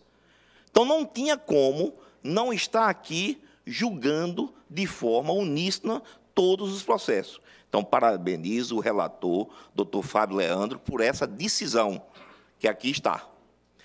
Dito isso, quero dizer que quando aconteceu a prova relacionada ao DEM especificamente, ela se estende a todos os outros partidos que estão nas respectivas AIS, tanto ao Solidariedade quanto ao PROS. Porque, de forma cabal, as candidatas que lá estiveram como é, é, preenchendo uma vaga não fizeram as respectivas campanhas. Chegando ao ponto tanto no Partido Solidariedade como no Partido PROS, a apoiar outros candidatos. Candidatos que eram homens, especificamente. Isso através das redes sociais. Inclusive com núcleo familiar envolvido em respectivas candidaturas. Tudo demonstrado comprovadamente aí. Então, a nossa intenção aqui, a intenção do Partido dos Trabalhadores de Campina Grande, a intenção de Napoleão, que concorreu, que pediu voto, que foi atrás, tá certo? Para tentar se eleger. E se essas candidaturas não tivessem sido fraudadas, tá certo? Para o processo, para participar do processo, a recontagem desses votos e a consequência a partir do coeficiente eleitoral seria outro. Então, Napoleão estaria eleito o Partido dos Trabalhadores teria feito um vereador. Então, foi pensando nisso que nós, a partir do recurso do senhor é, Pimentel, né, o vereador Pimentel, nos acostamos a esse recurso de forma a dar amplitude à sentença. Porque, pela sentença que aqui veio, o juiz de piso, só e somente só, levou em consideração a prova pericial propriamente dita. Aquela voz da é, artesã, tá certo? Ambrósia, que eu, inclusive, acompanhei lá a perícia na Polícia Federal. Então, essa, isso é algo que salta aos nossos olhos. A nossa prova, ela tem é, é, substância porque tem entrelace em todo o processo. Ela foi disseminada em todo o processo. E ressalve-se aqui que essa, essas provas ela tem que estar consignadas nos autos e todas elas estão patenteadas e de bom, de firme grado lá. Então quero aqui é, concluir dizendo e fazendo minhas palavras do doutor Lafayette, do doutor Márcio Maranhão, que, é, que essa corte julgue é, é, improcedente o recurso e dê amplitude para é, é, consignar justamente a fraude cometida pelos outros partidos, prós e é, DEM, como é, requerido no, no, no, no é, petitório recursal do senhor Pimentel. Muito obrigado.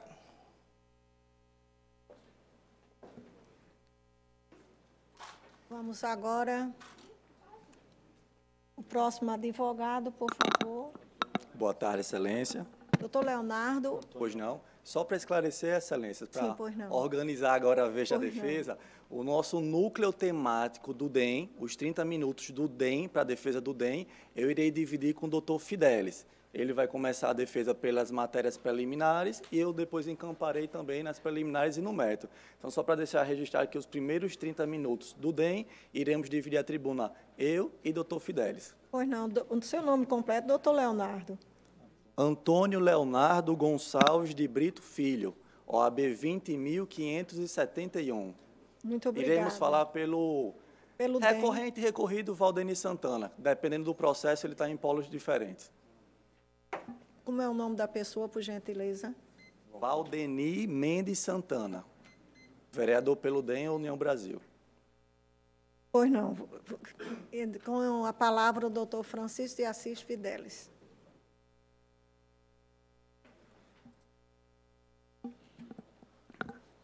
Senhora Presidente, muito boa tarde. Uh, douta Corregedora Regional Eleitoral, desembargadora Gamenido, boa tarde.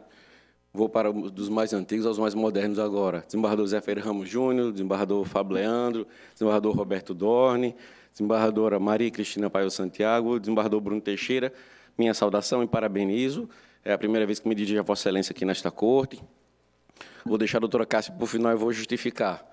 Doutor André Vieira, na pessoa de quem saúdo todos os servidores e prestadores de serviços e aos advogados que nos acompanham aqui e pela Rede Mundial de Computadores, muito boa tarde. Doutora Cássia, muito boa tarde.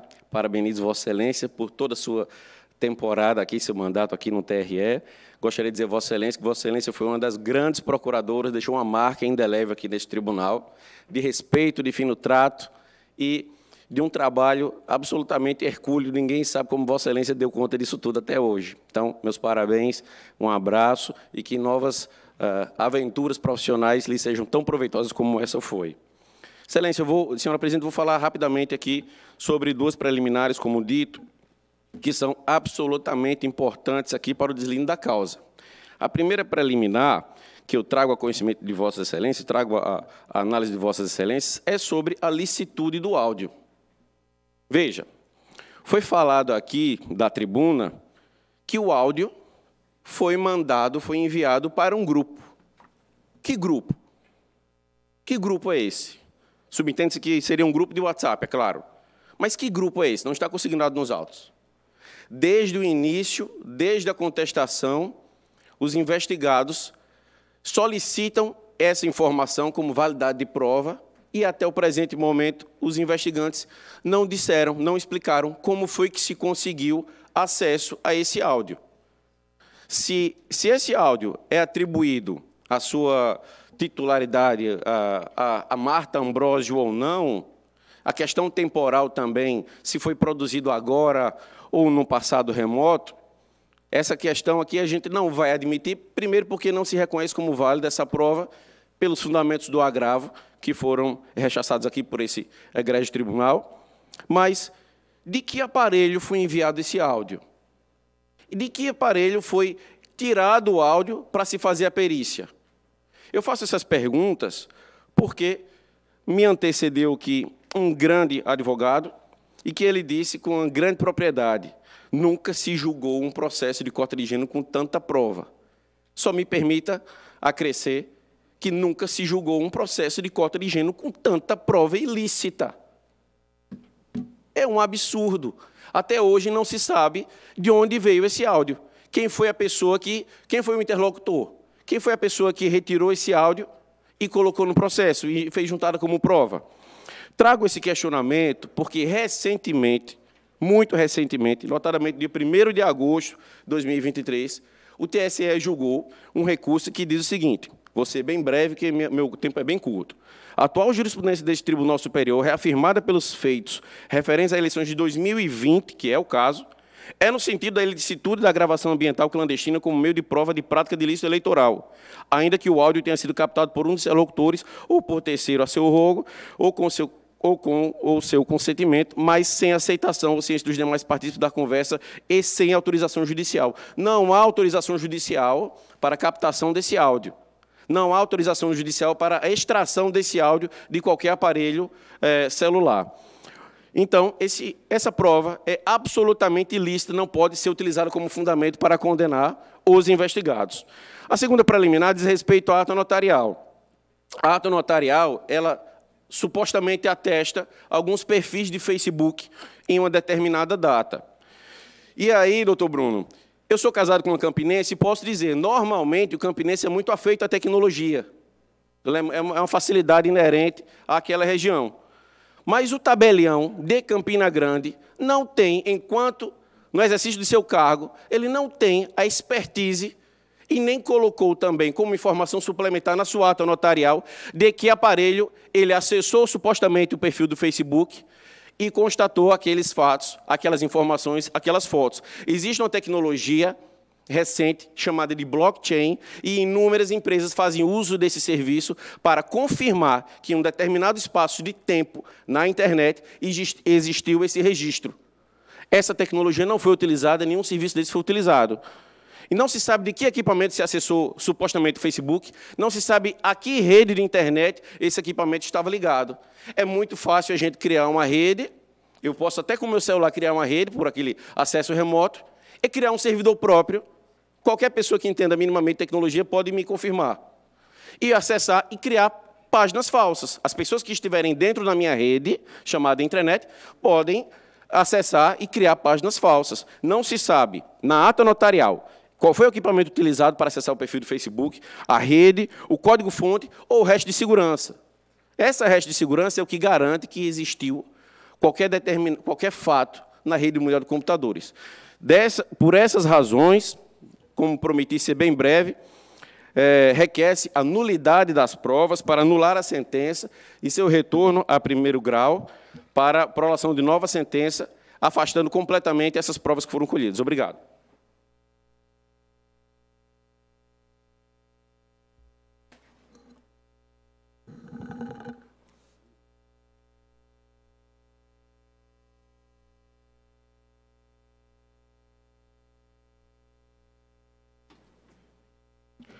Boa tarde, excelentíssima senhora desembargadora presidente, doutora Cássia, representante do Ministério Público, doutor André, representante dos servidores públicos, senhores e senhoras advogados e demais que nos assistem pela, pelo YouTube.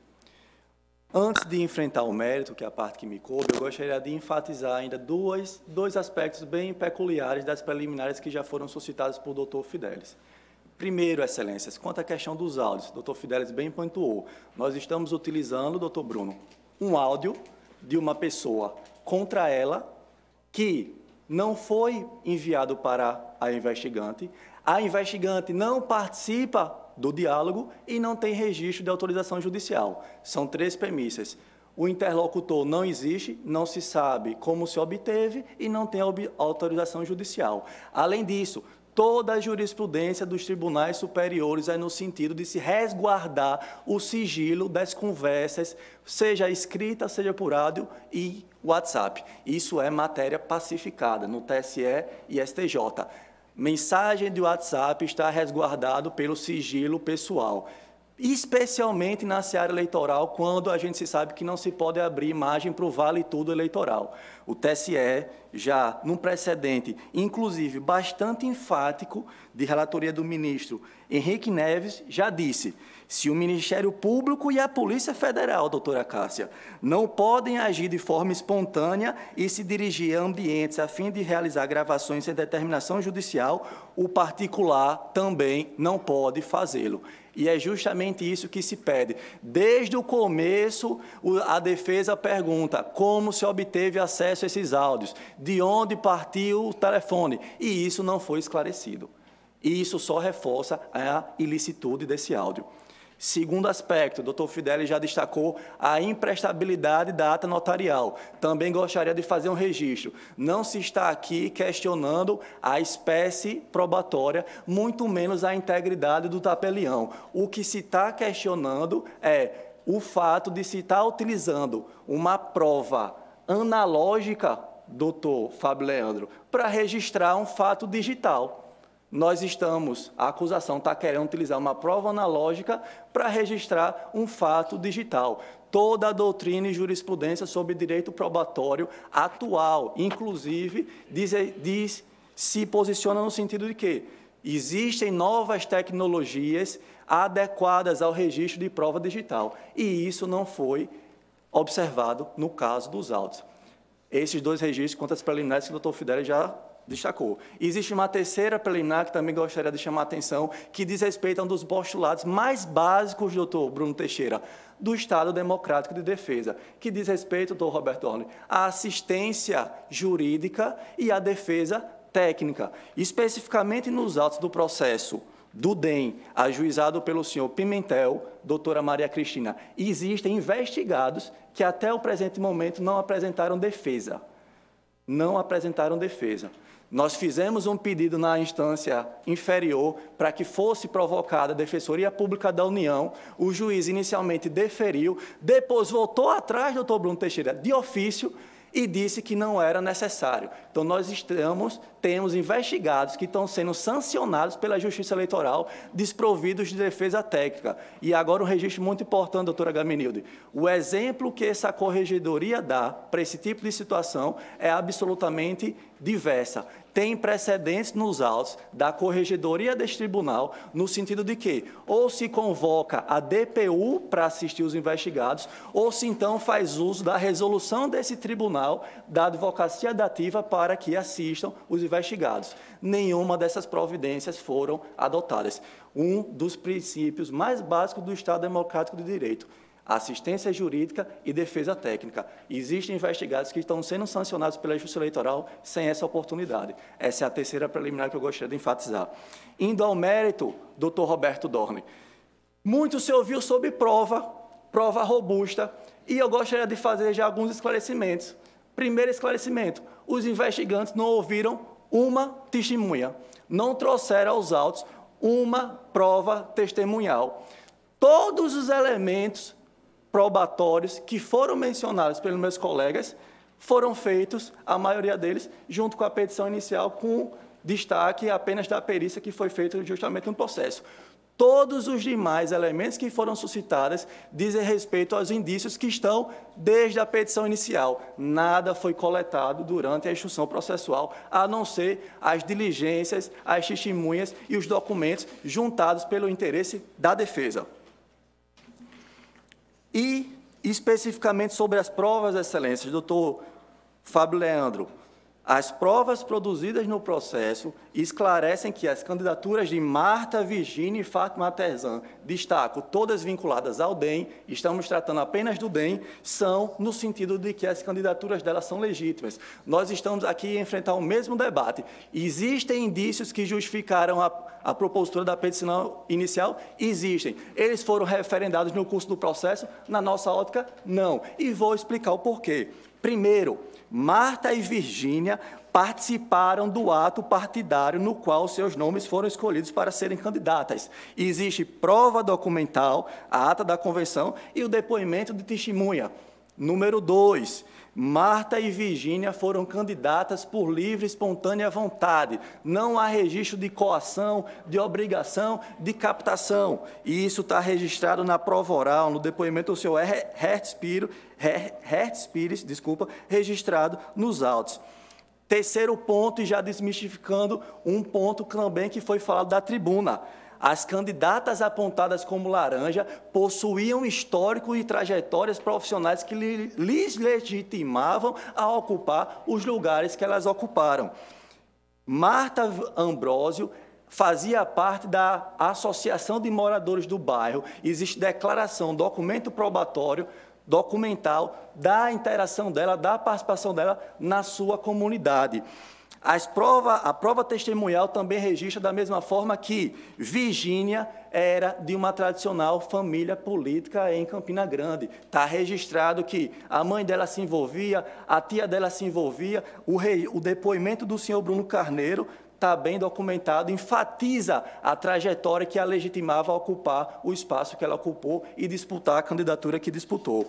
Avanço, a prova documental oral, desculpe, perdoe, de que Marta e Virgínia pediram votos aos eleitores. Depoimento de Elevaristo, depoimento de Maria Liduína e depoimento de Bruno Carneiro. Qual a prova que a acusação fez para desmistificar esse ponto? Nenhuma.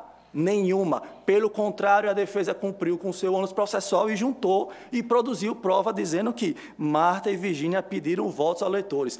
Cada uma das, suas, das dessas testemunhas, ao seu modo de ver, com as suas próprias histórias, narraram em situações diferentes as candidatas apontadas como laranja, abordando, pedindo compromisso e pedindo apoio. Está documentado nos autos, uma prova judicial. Avanço. Marta e Virgínia possuíram movimentações de suas prestações de também está registrado, documental e através da prova testemunhal.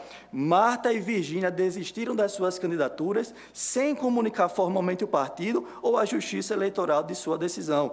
Todas as testemunhas relataram terem sido abordadas depois por essas candidatas ou saberem do contexto em que inseriu essa desistência informal. E o mais importante, excelências, Marta e Virgínia possuíram relevantes motivos pessoais para desistirem das suas candidaturas. E aqui eu chamo, é, destaco, peço a atenção de Vossas Excelências para dizer: esse é um ponto crucial que essa corte sempre se debruça para analisar a rigidez das candidaturas. Qual é a história de Marta? Existem documentos médicos no processo atestando que a senhora Marta Ambrósio tanto tinha uma obrigação para fazer cuidados com a saúde da sua mãe, como também foi alvo de boatos e de, digamos assim, uma, um receio de perder o seu benefício do auxílio emergencial. Está a prova documental nos autos. Por sua vez, a senhora Virgínia também se tinha problemas, foi acometida de problemas de saúde, documentalmente registrados nos autos, igualmente no período da campanha. Avanço, outro aspecto importante, doutor Roberto Torne. Marta e Virgínia não fizeram campanha ou pediram voto para nenhuma outra candidatura após a desistência das suas candidaturas. A acusação insiste em utilizar provas ilícitas para registrar isso. Mais uma vez eu enfatizo, eles querem uma prova analógica para se registrar um fato digital. Veja, doutor Bruno Teixeira, seria o mesmo que nós utilizássemos uma máquina de datilografar para peticionar no PJE. Seria o mesmo que nós utilizássemos uma máquina fotográfica lambi-lambi para postar a foto no Instagram. É possível? É. Seriam necessárias adaptações? Com certeza. Porém, nesse processo de adaptação, uma série de requisitos e procedimentos vão se perdendo, que é justamente o caso dos autos. Nós não podemos conferir autenticidade e legitimidade a uma prova analógica que registra um fato digital, facilmente adulterável. Avanço para enfatizar que, além de todos esses elementos objetivos, positivos, atestando a existência, a validade e a autenticidade das candidaturas de Marta e Virgínia, existem outras circunstâncias negativas que também são relevantes para o caso dos autos. Quais são? Marta e Virgínia não foram candidatas visando usufruir licença remunerada de serviço público, aspecto que a Justiça Eleitoral também analisa. Marta e Virgínia não possuem histórico de candidaturas passadas com votação zerada. Elas foram, pela primeira vez, candidatas em 2020. Terceiro aspecto, Marta e Virgínia não possuem qualquer grau de parentesco com representantes partidários ou com os demais candidatos do DEM. Essa esses são os pontos referentes a Marta e a Virgínia. Existe uma terceira candidata também apontada como laranja, só que aqui não se trata de desistência, mas sim de renúncia formal, documentalmente registrada e informada à Justiça Eleitoral, conforme determina o script. Por motivo pessoal, ela renunciou da candidatura e comunicou à Justiça Eleitoral sem que houvesse, inclusive, tempo, tempo hábil para fazer a necessária substituição. E a instrução processual, doutor Roberto Olli, mais uma vez, demonstrou, revelou objetivo e motivo útil real, pelo motivo que a Fátima Terzan foi, desistiu da sua candidatura. E está registrado, inclusive, na prova documental, que é uma declaração, e uma prova oral. De quê? Fátima Artesã, ela ocupa um espaço, ela é permissionária de um espaço público na Vila do Artesão, lá em Campina Grande. Quando souberam que ela tinha lançado o seu nome à disputa naquele município, começou uma boataria de que ela iria perder a permissão pública de onde ela tira o seu sustento. Em razão desse, dessa maldade, doutor Bruno, inclusive ela desistiu, renunciou formalmente à justiça eleitoral. Então veja que não se trata de nenhuma desistência tácita, mas formal e objetivamente documentada. Já encaminhando para o fim do tema do DEM, Excelências, eu tenho que enfatizar que o respeito às regras, os ritos e os procedimentos é medida de legitimidade das decisões judiciais. Por isso que nós enfatizamos que os fins não justificam os meios. A, a necessidade de que as preliminares sejam acolhidas, inclusive para evitar a caracterização de nulidades processuais, é um pressuposto da eficácia das decisões desse tribunal. Por isso que eu enfatizo a necessidade do acolhimento dessas matérias preliminares, que já foram faladas pelo doutor Fidelis e enfatizadas por mim. Quanto ao mérito, inclusive, já concluo para dizer que nós precisamos, doutora Gaminildo, desprezar a fragilidade dos indícios.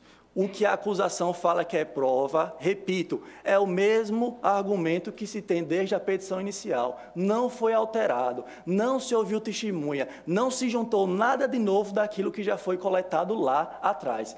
A defesa, ao contrário, durante todos os atos de instrução processual, foi diligente, eficiente, ouviu várias testemunhas, pediu várias diligências, juntou inúmeros documentos para, um a um, contrapor os argumentos da acusação. Por esse motivo, a necessidade de se prestigiar a prova robusta feita pela defesa é imperiosa. Por fim, a gente reconhece que as acusações, doutora Maria Cristina, não se confirmaram. Enfatizo, não se confirmaram. Chegamos no julgamento de segundo grau com os mesmos elementos indiciários do primeira instância. E se nós refutarmos as provas ilícitas que nós estamos aqui refutados, não sobra absolutamente nada a não ser a retórica vazia, com todo o respeito, dos investigantes. O pedido que eu faço em respeito ao núcleo do DEM, aqui nos competiu, é para que seja afastada a acusação de fraude no registro da chapa dos vereadores do DEI, atual União Brasil, nas eleições de 2020 em Campina Grande, para manter a sentença que os absolveu Veja, em algum, na sentença da do Pimentel, eles foram absolvidos, não foi reconhecida a fraude, e reformar a decisão que os cassou, na AS da Carla Cislari. E em todas as circunstâncias, em razão do caráter personalíssimo da sanção de inelegibilidade, se pugna pelo afastamento da sanção que foi aplicada ao senhor Valdemir Santana, porque, tirando o fato dele ser presidente do partido no município, a acusação não revela nenhuma prova de participação direta dele nos fatos, a não ser o fato dele ser presidente do partido. E responsabilidade objetiva, com todo respeito, não é admissível, admissível para esse tipo de processo, muito menos para essa espécie de sanção. Então, com essas considerações, reforçando o que o doutor Fidelis já falou, enfatizando todos esses argumentos, é que nós encaminhamos esse pedido especificamente quanto ao DEM. Quanto à questão do PROS, o doutor Fábio irá falar no tempo oportuno. Obrigado, excelências. Pois não. Vossa Excelência dividiu o tempo com o doutor Fidelis, Francisco de Assis Fidelis. Doutor Fábio Brito, Vossa Excelência fala por que parte recorrente? Eu falo pelo núcleo do PROS, Excelência. Pois não. Vossa Excelência está com a palavra. São dez minutos. Ok. É, cumprimento novamente a Corte, na pessoa da senhora presidente, do eminente relator, cumprimento a eminente corregedora, embargadora Agamenildes, doutora Kil, doutor Zé Ferreira Ramos Júnior, doutor Roberto, que se ausenta momentaneamente, doutor Bruno Teixeira, desejando uma profícua passagem por este tribunal. É, cumprimento a doutora Cássia, talvez pela última vez aqui nesta tribuna, né? Digo que, por mais aguerrida que Vossa Excelência seja e tenha demonstrado isso ao longo da passagem por este tribunal, creio que Vossa Excelência merecia uma sessão mais suave no dia de hoje. É, falo pelo núcleo do, núcleo do PROS. No PROS, nós tivemos apenas sentença de improcedência. No PROS não houve é, cassação de DRAP e, por consequência, cassação de mandatos. Uma particularidade importante, doutor Anselmo Castilho, a quem cumprimento, e estendo o cumprimento a todos os advogados, na questão do PROS, nós temos o dado de que o partido ele elegeu uma mulher e um homem, então cumprindo fielmente a perfeição da paridade de gênero para a Câmara Municipal de Campina Grande. A mulher eleita é a vereadora Carol Gomes, que exerce lá um brilhante e entusiasmado mandato. E, dito isso, excelências, nós estamos aqui confiantes que esse tribunal negará provimento aos recursos interpostos contra o PROS, por algumas razões. Primeiro, porque os mandatos conquistados por Carol Gomes e Afonso, eles foram legitimamente conquistados. Segundo, porque a decisão deste tribunal certamente preservará o mandato de uma mulher, da Carol Gomes, que é, por último, a, a destinatária natural da política afirmativa que está sendo objeto de debate neste caso concreto. Digo que nos casos em que temos a cassação de mulheres, e isso é perfeitamente possível, o arcabouço probatório, o quadro probatório, ele tem que ser rigorosamente analisado, com muita densidade, e a prova tem que ser, além de robusta, inequívoca, para que tal situação possa se concretizar. E isto foi o que o magistrado de primeira instância não viu no presente caso. Daí ter sufragado uma, um veredicto de improcedência em todas as AIS. Qual é o contexto, qual é o contexto da acusação? Contexto acusatório. Em relação ao PROS, se aponta uma candidata laranja. Seria a senhora Jéssica Maiara. E o que, é que a acusação faz? Ela lança essa imputação genérica de que a, a Jéssica Maiara ela seria a, uma candidata laranja, lança isso na inicial e nada mais. Nada mais. Tal como acontece com o DEM, muito embora coubesse a acusação o ônus, o encargo probatório, nenhuma prova nesse sentido foi produzido no curso da instrução processual. E, não obstante esse fato, de uma maneira proativa, a defesa, excelências, ela cuidou de repor a verdade ao longo da instrução e colocar os fatos precisamente nos seus devidos lugares, como eles se deram. E com isso, penso, foi dilacerada a ponto de ruptura a tese da alegada fraude. Percebi isso. Quem lê o processo e estuda minuciosamente se depara com isso, e o magistrado de primeiro grau também analisou sob essa perspectiva. Então, indiscutivelmente, vou falar aqui de Jéssica, indiscutivelmente, Jéssica foi candidata e fez campanha. Digo isso com base em quê? Com base na prova produzida e que está encartada dentro dos autos. Jéssica participou ativamente, ativamente do lançamento da sua candidatura na convenção. Há fotos do entusiasmo de Jéssica naquele momento, lá do registro da sua candidatura. Mais ainda, Jéssica fez campanha. Digo isso com base em quê, desembargadora Maria Cristina? A prova testemunhal confirmou isso. A prova testemunhal disse que Jéssica compareceu a eventos de campanha e pediu voto a eleitores. A prova documental acostada aos autos demonstra a produção de material de propaganda para Jéssica, para a campanha de Jéssica. Cópia de santinhos, nota fiscal, termo de doação, registro na prestação de contas, e ainda a prova documental evidencia que o PROS, o partido, deu apoio e incentivo à candidatura de Jéssica. De que maneira, desembargador Bruno Teixeira? Com a confecção de arte digital e a divulgação dessa arte digital em redes sociais, no WhatsApp, desembargador Roberto Dorne. Enfim, todos os elementos apresentados nos autos, produzidos pela defesa, a acusação se conformou com a mera acusação inicial. Então, esses documentos trazidos aos autos pela defesa, na defesa em si, no curso da instrução, eles demonstram em conjuntos, de maneira suficiente, que não há dúvidas de que Jéssica participou do pleito de 2020 em Campina Grande. Ativamente na convenção partidária, volto a repetir, com material de campanha produzido, volto a repetir, e participando de eventos, pedindo votos e interagindo com eleitores, a prova testemunhal foi muito clara nesse sentido.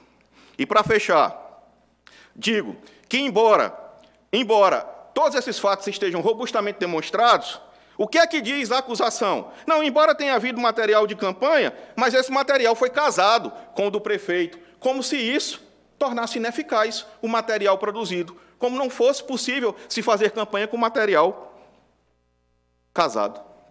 Diz que, não, o partido confeccionou a, a arte digital da Jéssica, mas ela não, não opinou, ela não disse, por exemplo, qual é a cor que ela queria, qual o slogan que, ela iria usar, como se o candidato fosse obrigado a estar opinando sobre isso, muitas vezes já recebendo gratuitamente do partido.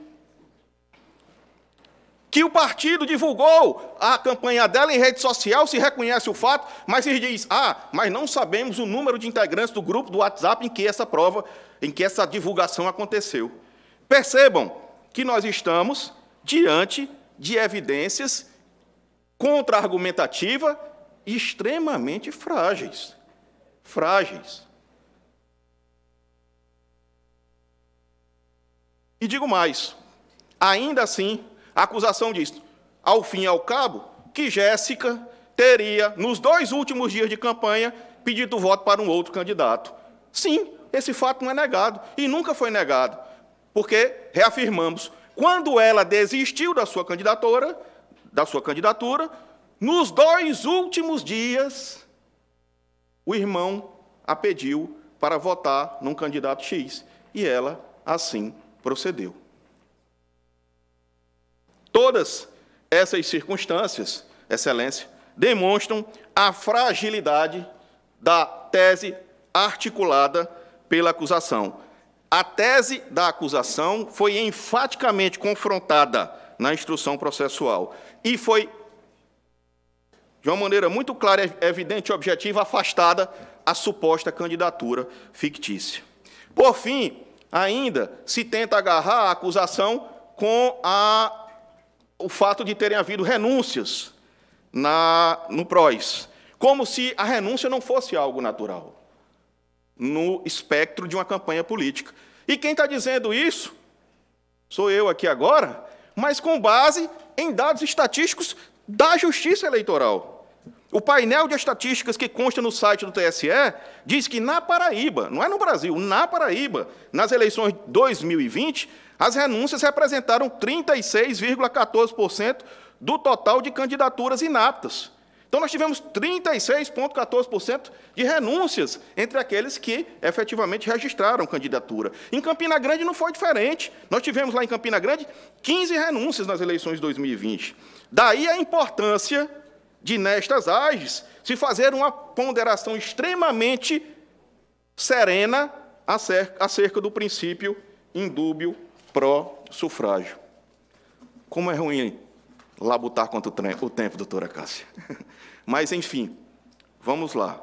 As considerações finais nos dizem que não podemos ter nesse tipo de processo inversão da lógica acusatória. A acusação cabe o ônus da prova. Não podemos, nesses processos, condenar pessoas à perda do mandato por meros indícios, querendo fazer com que indícios virem provas robustas. E é por todo esse relato que vos peço o desprovimento dos recursos eleitorais contra o DEM. Muito obrigado. Muito obrigado, doutor Leonardo Souza Lima. Nós entendemos, doutor Fábio. Entendemos bem. É, doutor Leonardo, Vossa Excelência, com a palavra, pelo prazo de dez minutos. Excelentíssimos senhores desembargadores, excelentíssimas senhoras desembargadoras, doutora procuradora eleitoral, eh, demais servidores desta casa, parabenizar os nobres advogados pela excelente sustentação oral que me antecedeu e apenas iniciar, doutor relator, que a única conexão, com todo respeito, do caso do meu processo com os demais é o direito e a cidade, que fala sobre que a gente vai versar sobre cota de gêneros. No entanto, é, nenhuma das provas que foram enfrentadas nessa corte até o momento, nenhum dos fatos relatados por, por quem me antecedeu até o momento é, relata qualquer fato ou conduta praticada é, no processo e pelo meu Saulo Noronha, Saulo Gonçalves Noronha e o Partido Solidariedade. É, o fato é totalmente distinto, é, embora com o fato é semelhante, mas as partes são totalmente distintas. Então, é, eu pediria, eu pediria um máximo de atenção a esta corte para que pudesse avaliar a distinção deste caso, é, tendo em vista que se trata, de fato, de uma alegação de fraude na, na composição é, da cota de gêneros, na, na composição do partido, é, em face da suposta é, é, candidatura fictícia da candidata Lisandra Leite. É, a distinção é clara, é tão clara, que é o único processo em que a Procuradoria, a Procuradoria Eleitoral ela emite um parecer pelo desprovimento do recurso e pela manutenção da sentença que julgou improcedente é, a apresentação. O fato é que Lisandra ela é uma líder comunitária na cidade de Campina Grande e participou ativamente de toda a pré-campanha é, nessas eleições, com aquele entusiasmo que ficou comprovado nos autos, é, com fotos, com imagens, e ela se propôs a ser candidata pelo Partido Solidariedade e foi aberto ao partido, participando é, ativamente da convenção eleitoral, tem fotos nos autos, é, tem o seu depoimento é, falando e relatando todo o, o, o trajeto é, desse período eleitoral em que ela participou. No entanto, é, ao, ao, ao progresso da campanha, no, no, ao longo da campanha, ela resolveu desistir da, da, da sua candidatura. E isso foi relatado, isso foi justificado pela mesma é, ao longo da instrução, que, embora ela não tenha formalizado junto ao partido, é, ela ativamente ainda chegou a fazer campanha. Ainda existem materiais de campanha depois do registro de candidatura, é, onde ela ativamente lançou o seu nome é, e com muitos apoiadores. Posteriormente, com se aproximar da data das eleições, ela resolveu desistir da sua candidatura, no entanto, não informou ao partido, muito menos aos demais candidatos. O, o vereador eleito, Saulo Noronha, que se encontra presente, é, estava em sua, em, no seu ritmo de campanha e também não tomou conhecimento dessa, desse fato. E esse fato em si, da alegada fraude, chegou é, como surpresa para o partido, juntamente com, a, com as demais ações que estão é, sendo apreciadas por esta Corte. Então, Excelência, é, como bem já relatado pelos advogados que antecederam, o, esta Corte, assim como o Tribunal Superior Eleitoral, exige que a prova seja efetivamente robusta, a prova da fraude. O que se aprecia em todos esses processos é a fraude à composição da cota de gêneros. E isso tem que ficar devidamente comprovado, o que não foi efetivamente realizado pelos autores da presente ação. Tanto é que é tão frágil a acusação, é tão frágil a alegação da, da parte promovida, que eles dispensaram, inclusive, é, a presença é, nesta corte para tentar demonstrar a sua, o seu alegado direito. Então, Excelência, eu não vou me, me estender mais é, e solicito a, a, esta corte que possam seguir o parecer da doutora Procuradora Eleitoral para é, visualizar igualmente a distinção do presente caso para julgar pelo desprovimento do recurso e pela manutenção da sentença que julgou improcedente a presente ação. Muito obrigado. Muito obrigado, doutor Leonardo. Passo a palavra à eminente Procuradora Regional Eleitoral, doutora Acácia Suassuna. Senhora Presidente, Egreja Corte, doutor André, em nome de quem eu saúdo todos os servidores, doutor Lafayette, doutor Márcio Maranhão, doutor Anselmo, doutor Fidelis, doutor Fábio Brito, doutor Leonardo, doutor Leonardo também. É, cumprimento todos os advogados em nome de Vossas Excelências, já parabenizando pelas sustentações orais. Gostaria também, é, presidente, de pedir licença para fazer algumas saudações, porque é impossível não olhar para esse auditório e não se emocionar com tantos colegas familiares e amigos queridos. Então, gostaria de saudar todos os procuradores que se encontram aqui presentes, na pessoa do Procurador Regional da República, o doutor Fábio George, procurador a quem eu me inspiro. É, eu já disse certa vez que eu tenho um livrinho a cinco pessoas que eu mais me inspiro na vida, e você, Fábio, é um deles. Você é um grande exemplo e uma inspiração para todos nós. Gostaria também de saudar minha cunhada, Fernanda, e o seu filho, doutor Giulio, grande advogado aqui presentes, bem como Patrícia, nossa servidora da Procuradoria Regional Eleitoral. E sintam-se todos abraçados e muito obrigada pela atenção dispensada de estar aqui na última sessão. Bom, vou tentar fazer de uma forma bem didática, porque, como Vossas Excelências já viram, são muitos fatos. E aqui o que é que nós temos? Nós temos cinco ações, são cinco AIGES.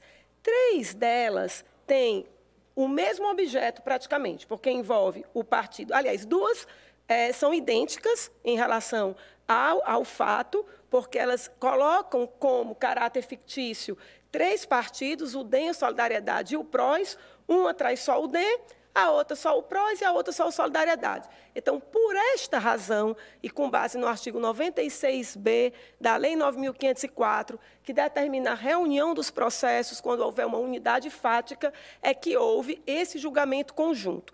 E eu vou iniciar falando das três que tratam do bem. Eu vou falar dos outros dois partidos nas ações próprias e vou falar aqui, é, primeiro, em relação a ação 012, 060 12 13, a 060 12 18 e a 060 12 49, que são as três que incluem o partido DEM. Bom, quando se na origem se ajuizou essa AIGE, se colocou que o partido DEM ele apresentou 33 candidatos no seu DRAP, sendo 23 homens e 10 mulheres. E aí nós teríamos, sim, atendido a cota de gênero, porque 10% de 33 dá 9,9, teria 10. Mas que depois se verificou que existiam candidatas fictícias. Antes de entrar no mérito propriamente dito, ainda que o Ministério Público entenda que se trata de mérito, eu vou falar das duas alegações principais que foram trazidas, inclusive, aqui na tribuna, que é a alegação da ilicitude dos áudios e da imprestabilidade da ata notarial. Em relação à alegação da ilicitude dos áudios, o que acontece? Nós temos aqui quatro áudios, três de forma unilateral em que a senhora Marta ela traz uma fala de que foi candidata apenas para compor, inclusive dizendo: mulher, não comenta com ninguém, não, senão vão tirar meu couro. São essas as expressões que ela usa no áudio. E nós temos um quarto, que é uma conversa com um interlocutor. E aí a defesa diz: ora, mas não se foi dito como se conseguiu esses áudios, que grupo que esses áudios está. E foram trazidas várias jurisprudências tanto na, nos autos como aqui na tribuna, em relação à imprestabilidade à ilicitude dessa prova. Chamo a atenção, excelências, que as jurisprudências citadas, tanto em tribuna como nos autos, elas se referem à gravação ambiental. e não se trata o presente caso de gravação ambiental. O que nós temos aqui é um áudio que o meio utilizado trafegado é o WhatsApp e que pelo laudo foi baixado, inclusive pelo WhatsApp Web. Então, a jurisprudência que trata de gravação ambiental, ela não se presta a este caso concreto. Inclusive, eu chamo a atenção que a precedente dessa corte, eu busquei aqui, encontrei o precedente de Isabelê, 0600 639 55 2020 615 0029, inclusive também da relatoria do eminente relator Fábio Leandro, em que se reconheceu a validade justamente por não se tratar de gravação ambiental, e sim de áudio de WhatsApp. Outro ponto que chama a atenção é que esses áudios foram requeridos foi requerida a perícia pela própria parte investigada. E aí existem dois laudos da Polícia Federal no caso. Um laudo confirmando ser a voz da senhora Marta, então não há dúvida de que a voz do áudio é dela, inclusive ela não nega isso em nenhum momento da defesa. E o segundo laudo, que trata de aspectos, aspectos técnicos da gravação. Nesse segundo laudo, que trata de aspectos técnicos, é dito claramente, vou ler aqui, não foram identificados indícios de adição em nenhum dos quatro áudios, sendo fornecida indicação que trafegaram através de WhatsApp, isso foi estudado através da extensão dos arquivos e de que foi baixado pelo WhatsApp Web. Não foram identificados eventos que possam comprometer a integridade ou continuidade do áudio. E ainda é dito mais, excelências, é dito que o áudio é de boa qualidade, inteligível, íntegro, de forma tal que o áudio é plenamente válido. Gostaria também de chamar a atenção que, ao contrário do que trouxe a parte investigada, não há respaldo para sustentar a proteção do sigilo. Nós estamos tratando aqui de direitos relacionados à normalidade e legitimidade do pleito, tem que haver uma ponderação nas ações eleitorais dos bens jurídicos tutelados. Isso, inclusive, é o pensamento do ministro Luiz Roberto Barroso, quando ele diz que nas ações eleitorais são tutelados bens jurídicos diversos, devendo a defesa desses valores ser considerado na ponderação da preservação do direito à intimidade. Outra jurisprudência que é trazida, ela é de dano moral, então também não se presta ao caso. Em resumo, aqui não se trata de uma gravação às escondidas. Inclusive, tem no laudo que não há nenhum indicativo de gravador. Não, isso aqui é um áudio que foi feito por alguém e foi enviado. Essa questão de como foi, que grupo foi, ela é irrelevante para o deslinde da causa, porque o que importa aqui é a licitude e integridade dos áudios. O juiz zonal reconheceu essa validade e essa licitude na sentença e utilizou a prova. E o Ministério Público, no parecer ratificado aqui na sessão, faz justamente esse, essa, essa é, chama atenção para isso, para esse fato. Não se trata de gravação ambiental. A gravação ambiental, sim, teve a sua jurisprudência pelo TSE, um pouco modificada, inclusive nem é unânime, mas o caso aqui é completamente distinto e a prova deve ser utilizada. O outro ponto trazido pela defesa é a imprestabilidade da ata notarial. E aí o que é que aconteceu? A parte investigante, ela vendo que determinados candidatas fazia propaganda para outro candidato ou que não fazia propaganda nenhuma, foi ao tabelião para dar fé pública a esse fato e se registrou em relação às candidatas a situação da rede social delas. Esse é o fato. E aí a defesa diz: não, mas espera aí, não se disse qual era o equipamento que o tabelião usou para acessar. Só que isso não é exigido, excelências. A, a ata notarial ela goza de fé pública, a ata notarial ela descreve o fato que presencia, o artigo 384 do Código de Processo Civil ele é muito claro quando ele diz a existência e o modo de existir de algum fato podem ser atestados ou documentados a requerimento do interessado mediante ata lavrada por tabelião. Dados registrados por imagem ou são gravados em arquivos eletrônicos poderão constar da ata notarial. Então, vejam que a norma do artigo 384 do CPC, ela não exige nenhum elemento do tabelião dizer qual foi o aparelho que ele usou para acessar aquilo ali. Pelo contrário, ele goza de fé pública. E, olhando as atas notariais, o que é que a gente vê? Que foram registrados o URL dos perfis acessados, foi dito que os perfis acessados são, inclusive, públicos, está lá o horário e a data em que foi acessado, e não há nenhuma indicação da ausência de veracidade. E a jurisprudência é clara, que só pode ser desconstituída uma ata notarial mediante demonstração inequívoca da falsidade, o que não é o caso. Pelo contrário. Então, o Ministério Público rechaça as alegações de ilicitude das provas do áudio e das atas notariais, pelos argumentos colocados no parecer e nessa sustentação oral. Entrando agora no mérito propriamente dito, nós temos aqui que, no caso do DEM, são três candidatas: a senhora Marta, a senhora Virgínia e a senhora Maria de Fátima. Vou iniciar pela senhora Marta, que é justamente a candidata que fez o áudio que nós estávamos acabando de falar. Primeiro ponto que chama a atenção, independentemente do áudio, é que a senhora Marta não utilizou sua rede social Facebook, que está inclusive divulgada no Divulga Cande, para fazer campanha.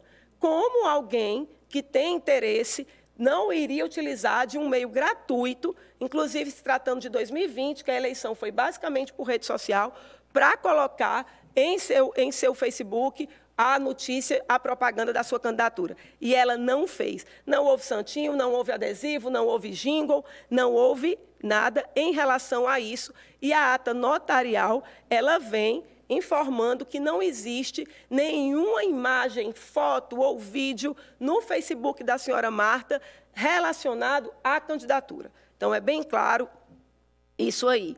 Outro ponto que chama a atenção é que a prestação de contas da senhora Marta ela é idêntica das outras duas, só com recurso estimável em dinheiro para, contador, para as despesas de contador e advogado, demonstrando assim que não houve a realização de nenhuma despesa para a sua campanha.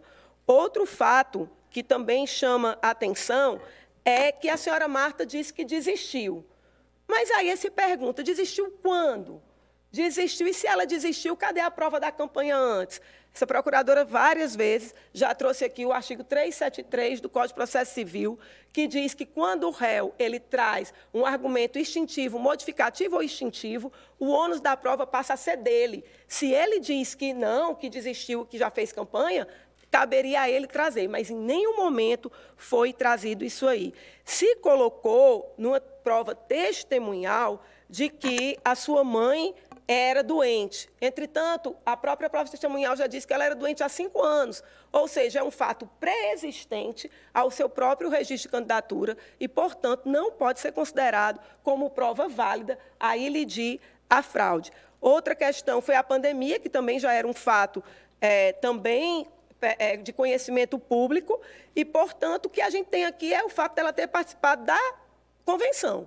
O que o TSE já disse de forma clara que a simples participação em convenção não configura atos de campanha. Então, com base na jurisprudência atual do TSE, que reconhece que a ausência de campanha em rede social nas eleições de 2020, que foram basicamente utilizado esse meio, a ausência de despesa e votação zerada, não tendo sido comprovado a, a, a, desistência real é sim fraude à cota de gênero. Então, por isso, o Ministério Público entende que está aprovado a fraude em relação à senhora Marta, agravado ainda do áudio, que eu não vou fazer aqui a leitura, porque já foi trazido por vários dos advogados. Mas é muito claro, ela diz. Sim, outra, outra questão que eu esqueci de pontuar, ainda falando da questão do áudio ser de WhatsApp, é que no áudio é claro que ela está falando com outra pessoa. Ela diz, mulher, me botaram nisso. Então, a todo momento, quando se escuta os áudios, se verifica sim que é uma fala dela que foi enviada para alguém. Não há dúvida disso. Então, em relação à senhora Marta, seriam essas as considerações. Em relação à senhora Virgínia, o que nós temos é o, seu, é o seguinte: que no seu Facebook, desde antes da campanha, ela já fazia propaganda em prol do presidente do partido. Então, ela fez propaganda em prol do presidente do partido antes da, da candidatura, depois da candidatura, Contei aqui pelo menos umas oito vezes em que ela, inclusive, diz: esse é diferente, meu, meu vereador Valdeni 25025, esse é diferente, vamos acreditar e dar o voto de confiança a ele, Valdeni. Então, a todo momento, a sua rede social é utilizada para fazer campanha para outra pessoa. Então, isso também tem ata notarial, está muito claro que ela não teve interesse em fazer campanha para ela mesma. Inclusive, o seu marido, o senhor Gustavo Aires, também no seu Facebook colocou a foto do perfil do outro candidato. Então, como ser crível, simplesmente o marido da candidata está apoiando também outro. Então, tanto ela como seu marido fizeram isso. E, por fim, a senhora Maria de Fátima, ela também apoiou outro candidato, tem publicações diversas é, apoiando o senhor Tony, ambientalista, e aí a defesa diz: mas espera aí, no caso da Maria de Fátima, ela não desistiu. O caso da Maria de Fátima foi renúncia, então é diferente. Só, excelências, que vejam só. A senhora Maria de Fátima, ela foi. É, primeiro, ela substituiu é, uma, já uma outra candidata. Só um minutinho aqui para eu pegar. O fato específico dela. Pronto. Ela substituiu uma outra candidata, apresentando a sua renúncia apenas em 3 de novembro de 2020. E não há nenhum ato de campanha antes dessa renúncia. Ou seja, ela deixou para esperar o final do pleito e não prova campanha nenhuma e faz essa renúncia aí já no mês da, da eleição. Pior, quando ela é chamada para participar, era o que eu estava procurando, excelências. No dia, no dia da eleição, dois dias antes, ela estava postando para outro candidato. Ou seja, como é que eu posto uma publicação apoiando um candidato e dois dias seguintes eu me lanço candidata sem usar a rede social? Porque é o natural, se eu estou usando a rede social para falar de um candidato, é que se agora eu vou ser candidata, eu vou lá e me apresento como candidata. Mas ela não fez isso. Ela permaneceu silente na sua rede social e lá na frente fez foi renunciar. Então, se se abrir, de acordo com a ata notarial, o Facebook de Maria de Fátima, só vai se ter publicações para o candidato Tony Ambientalista. E aí ela diz: o abençoado que fará a diferença, pede voto para ele. Ou seja, as três candidatas do DEM claramente não tiveram interesse em participar da campanha. Duas delas fizeram campanha para outros candidatos, a outra tem o áudio afirmando ser é, candidata laranja, ela mesma reconhecendo isso, e ainda que não fosse o áudio, as outras provas, não utilização da rede social, quando se prova que ela tinha e usava prestação de contas idêntica das três, associado à votação zerada das três, deixa claro que houve a fraude à cota de gênero. E é importante ressaltar que, neste caso, como o senhor Valdeni, presidente do partido, ele está no polo passivo, o Ministério Público também requer a inelegibilidade para ele, porque não há como ele não ter ciência e participar do conluio. A inelegibilidade, portanto, ela é afeta às três candidatas laranjas e ao presidente do partido. O Ministério Público entende que só deve ter, ser excluída da inelegibilidade o senhor Cledson, porque em relação a ele não há uma prova pessoal de que teria anuência com a fraude. Ou seja, ele não pode ter a sanção da inelegibilidade. Ele responde à consequência da AIGE, mas para a sanção de inelegibilidade, que é pessoal, se exige essa prova dessa participação direta e efetiva. E em relação a ele, não houve. Então, por isso, o Ministério Público deixa de se pronunciar, deixa de requerer a inelegibilidade em relação a ele. Os outros dois casos são em relação ao solidariedade e em relação ao PROS. No caso do PROS, é, que foi a defesa feita aqui por doutor Fábio Brito, como dito por ele, três candidatas pediram renúncia e uma candidata é apontada como fictícia. E o que é que nós temos aqui, Excelência, no caso do, do PROS? Foi levado a registro 26 candidatos, sendo 17 homens e 9 mulheres, só que o que, é que aconteceu? Das nove, três saíram, ficou seis. Uma laranja, já cara, já provavelmente, é, cabalmente demonstrado, ficaram cinco. Ou seja, das nove candidatas que constam no DRAP, apenas cinco, de fato, elas foram, é, é, tiveram provado o interesse na campanha. No caso da senhora Jéssica, ela teve votação zerada, sem campanha, sem despesa e apoiou o candidato Renan Maracajá. A defesa traz aqui a informação, não, mas ela só apoiou no final. De fato, as publicações que constam no Facebook em relação ao senhor Renan Maracajá são do dia 13 e 14 de novembro. Só que outros elementos nos demonstram que ela nunca fez campanha. Primeiro, existiu uma arte, foi até trazido aqui nos autos e trazido em sustentação oral pela, pela defesa. Só que ela nunca usou essa arte para publicar no Facebook dela. Então, muito mais parece um ato enganoso, um ato justamente para ocultar a fraude, a elaboração dessa arte, do que, propriamente dito, um ato de campanha. Para que serviria uma arte se ela não é publicada? E ela tendo rede social, inclusive usando, tanto que usou depois para pedir voto. Outro ponto, tem um material casado de fato, mas já existem diversos precedentes dessa casa que o simples material casado, sem prova da distribuição e sem outros elementos que comprovem campanha, ele não pode ser utilizado como prova de interesse de efetiva campanha da candidata. Outro ponto, a testemunha Watson, ele sustentou a realização de campanha, mas além de sabermos da fragilidade da prova testemunhal, ele disse, olha, ela ela fez, mas ela apoiou outro candidato, não ficou nem claro ali o período.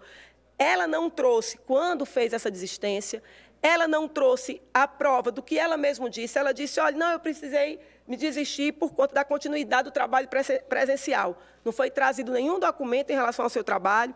Disse que é mãe de filho pequeno. Fato preexistente, fato preexistente não é considerado, porque a pessoa já sabia disso quando requereu a candidatura. Prestação de contas, sem despesa também, só as obrigatórias, é, com contador, advogado, e aqui era já cruzado, apoiado pelo partido, que foram 260 reais, que foi o gasto estimado dos santinhos. A defesa falou que compareceu ao evento, mas só tem prova nos autos da convenção partidária, que, como já dito aqui, não é considerado pelo TSE como prova de campanha. É apenas um início de prova, mas a a, participação em convenção sem estar aliado com outros elementos é considerado baixa campanha pelo TSE. Então, por isso, o Ministério Público entende que também a senhora Jéssica não provou que a, a sua desistência é real. Portanto, considerando também a ausência de campanha e todos os elementos que eu já coloquei, entende-se que a fraude deve ser reconhecida. Em relação às três candidatas é, que renunciaram, o Ministério Público chama atenção para um ponto. Já é entendimento doutrinário claro. Renúncia coletiva é indicativo de fraude. Se várias pessoas, ao mesmo tempo, abandonam a candidatura, isso é um fortíssimo elemento de que se trata de uma fraude.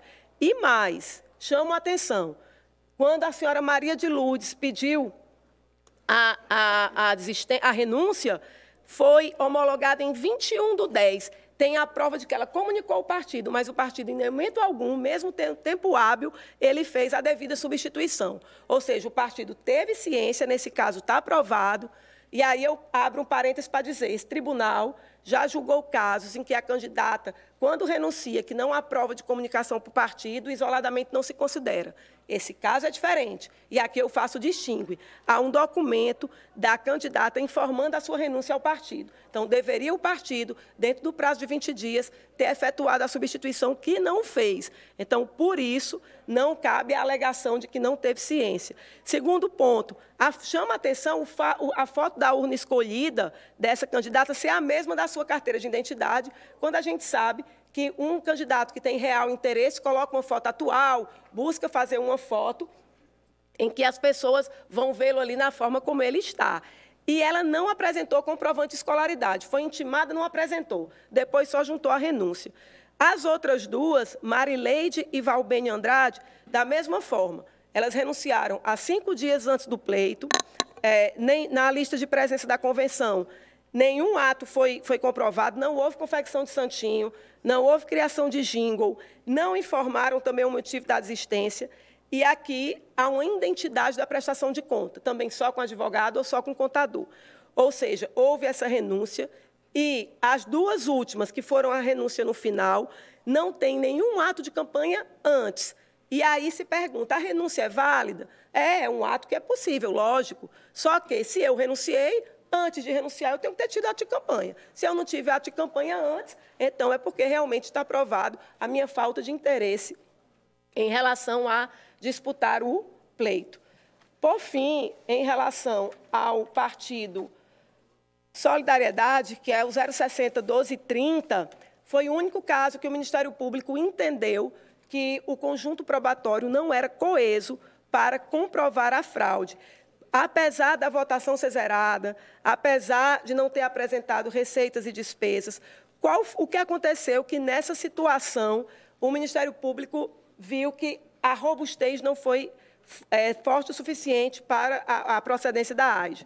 É porque, nesse caso aqui, a candidata ela juntou um, uma declaração de desistência de um contrato de prestação de serviço com Campina Grande. Ela disse, olha, eu tinha tanto interesse em participar que eu, inclusive, desisti da prestação de serviço, me desincompatibilizei para que eu pudesse ser candidata.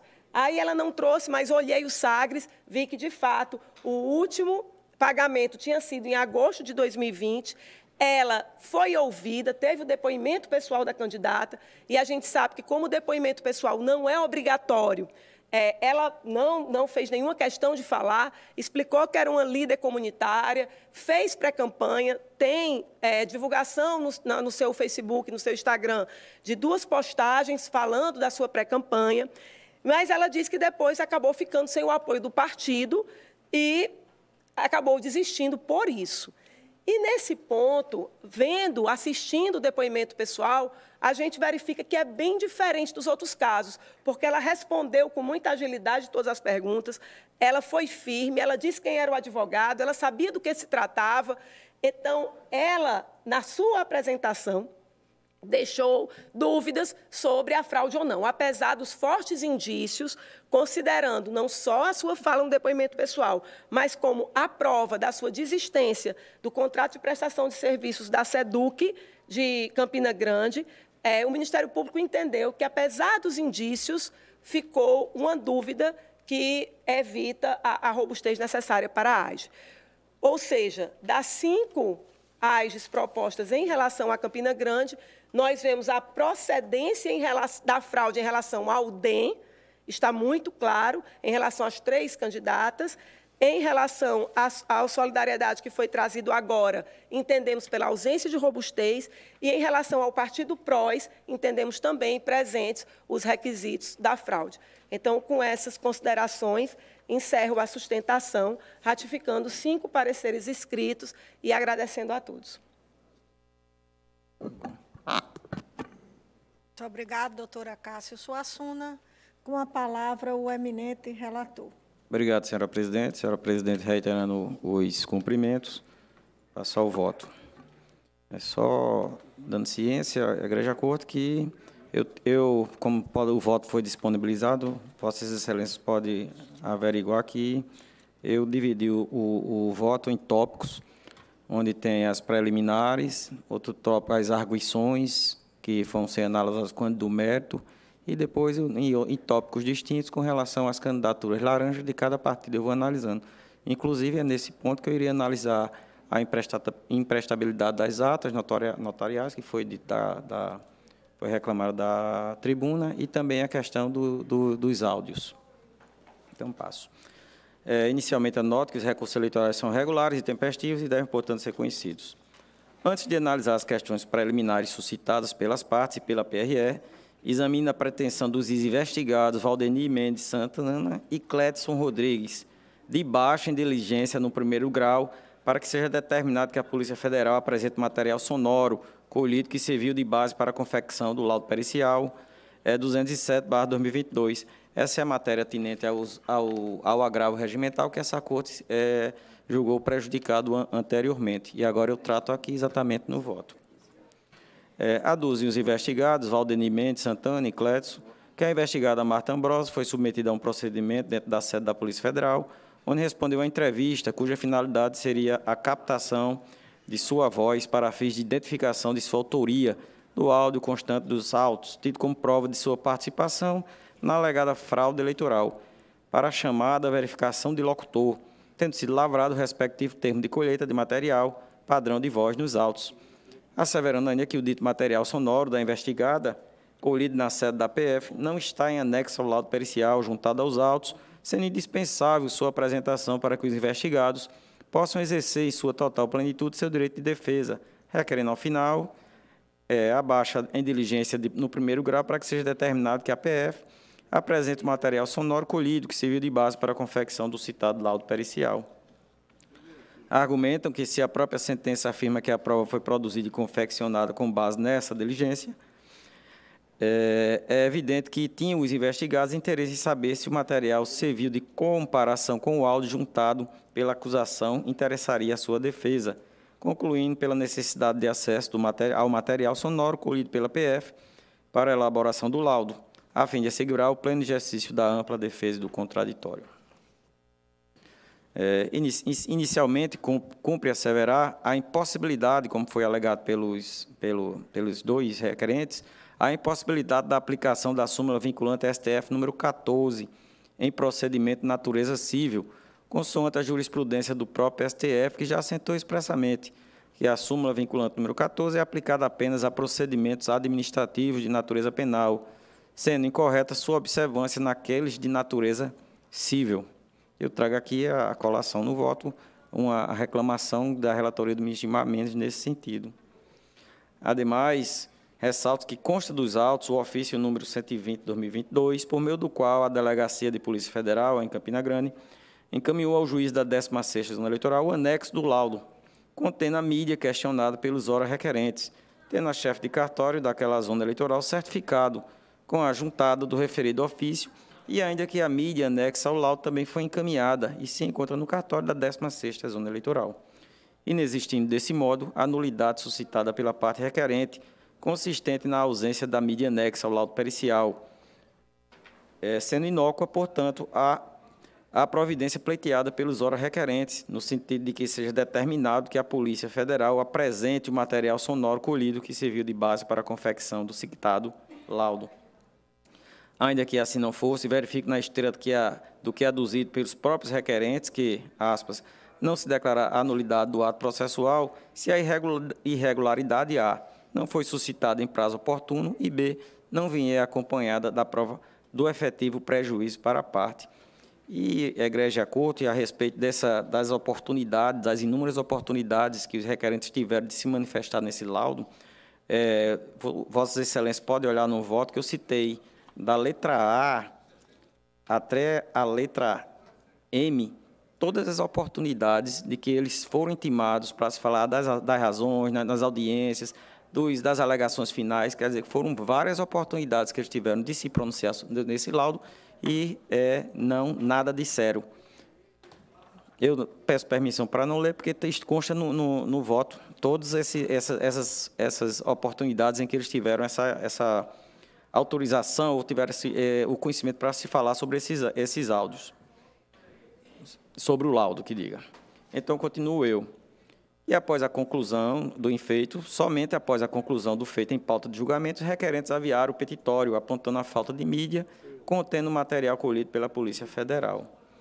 Como se observa, além da inexistência propriamente dita do vício alegado, que no caso seria a falta de entrega da, da mídia anexa ao laudo pericial, não há falar também nulidade no caso concreto, considerando as inúmeras oportunidades exercidas pelos órgãos requerentes ao longo da tramitação processual, tanto após a juntada do laudo, como após a juntada do ofício da, é, e certidão lançada pelo cartório da 16ª Zona Eleitoral, informando a entrega da referida mídia, e ainda que esta se encontrava naquele cartório eleitoral. Ressalta que os requerentes não trouxeram aos autos prova de qualquer decisão ou ato ordinatório praticado pelo juiz da 16ª Zona Eleitoral, negando ou mesmo obstaculizando o acesso das partes à mídia encaminhada pela Polícia Federal.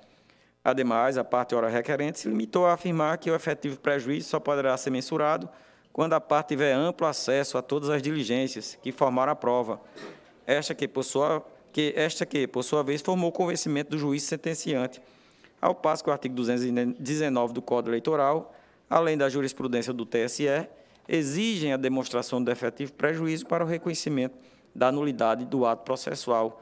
Eu cito o artigo, cito também a jurisprudência do TSE, da relatoria do ministro Sérgio Banhos, que eu peço permissão à Corte para não ler, que consta no voto. Com fundamentos nos, nas razões acima expendidas, indiferi o pedido de baixa do feito em diligência, para que a Polícia Federal apresentasse o material sonoro, é, o, no caso, o registro da voz da investigada Marta Ambrosio, que subsidiou a elaboração do laudo pericial 207-2022. Quanto à decisão desta relatoria, os investigados, Valdemir e Clédson, interpuseram o agravo regimental, reiterando os argumentos declarados do petitório. Quais foram? É, que o, o, primeiro, que o anexo do laudo pericial é obrigatório e indispensável para o uso da prova como fundamento, matéria de ordem pública, devendo ser conhecido e decidido a qualquer momento, inclusive de ofício. É, o que afasta a teoria de que o pedido de diligência estaria precluso. Segundo, que as provas colhidas nos autos, bem como sua composição na íntegra, são objeto dos autos e não devem ser mantidas, guardadas na serventia do juízo que instruiu o feito. E terceiro, que se assim o for, os recorrentes alteram o pedido para que essa ínclita relatoria determine que o juiz de primeiro grau anexe o documento nos autos, sem que haja diligência de intimação da Polícia Federal, requerendo, ao final, é, a atribuição do efeito suspensivo à decisão do ID que eu cito, até que a Corte julgue o presente processo. Como se observa, continuo eu, os investigados Valdeni e Clédson Rodrigues alteraram a linha de argumentação e o requerimento formulado entre a petição do ID que eu cito e o agravo regimental do ID que eu cito também. Contudo, embora não se possa alegar a existência de erro judicial em relação a determinada tese que não foi suscitada anteriormente, passo a examinar os argumentos dos investigados Valdeni e Clédson. Inicialmente, cumpre observar que, ainda que se reconhecesse eventual falha no procedimento adotado pela 16ª zona eleitoral, a suposta falha, guarda em cartório em vez de ajuntada aos autos no PJE, não ensejaria o reconhecimento de nulidade absoluta, não se tratando, portanto, de matéria de ordem pública. É que, à luz da doutrina de jurisprudência pátria, a nulidade absoluta é aquela que decorre de vícios relacionados às condições de ação e aos pressupostos processuais, enquanto a nulidade relativa é aquela que não decorre desses vícios ou não está prevista na legislação como causadora de prejuízo às partes.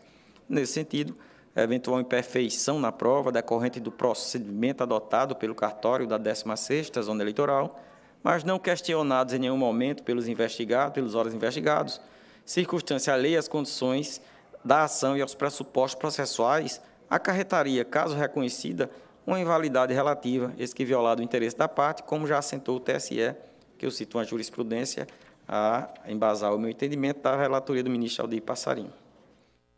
Com efeito, tratando-se de nulidade relativa, a parte interessada deve pedir a invalidação na primeira oportunidade que tenha para se manifestar no processo, na forma do artigo 278 do CPC, independentemente da natureza do ato qual, do qual participará ou ainda das finalidades específicas da intimação.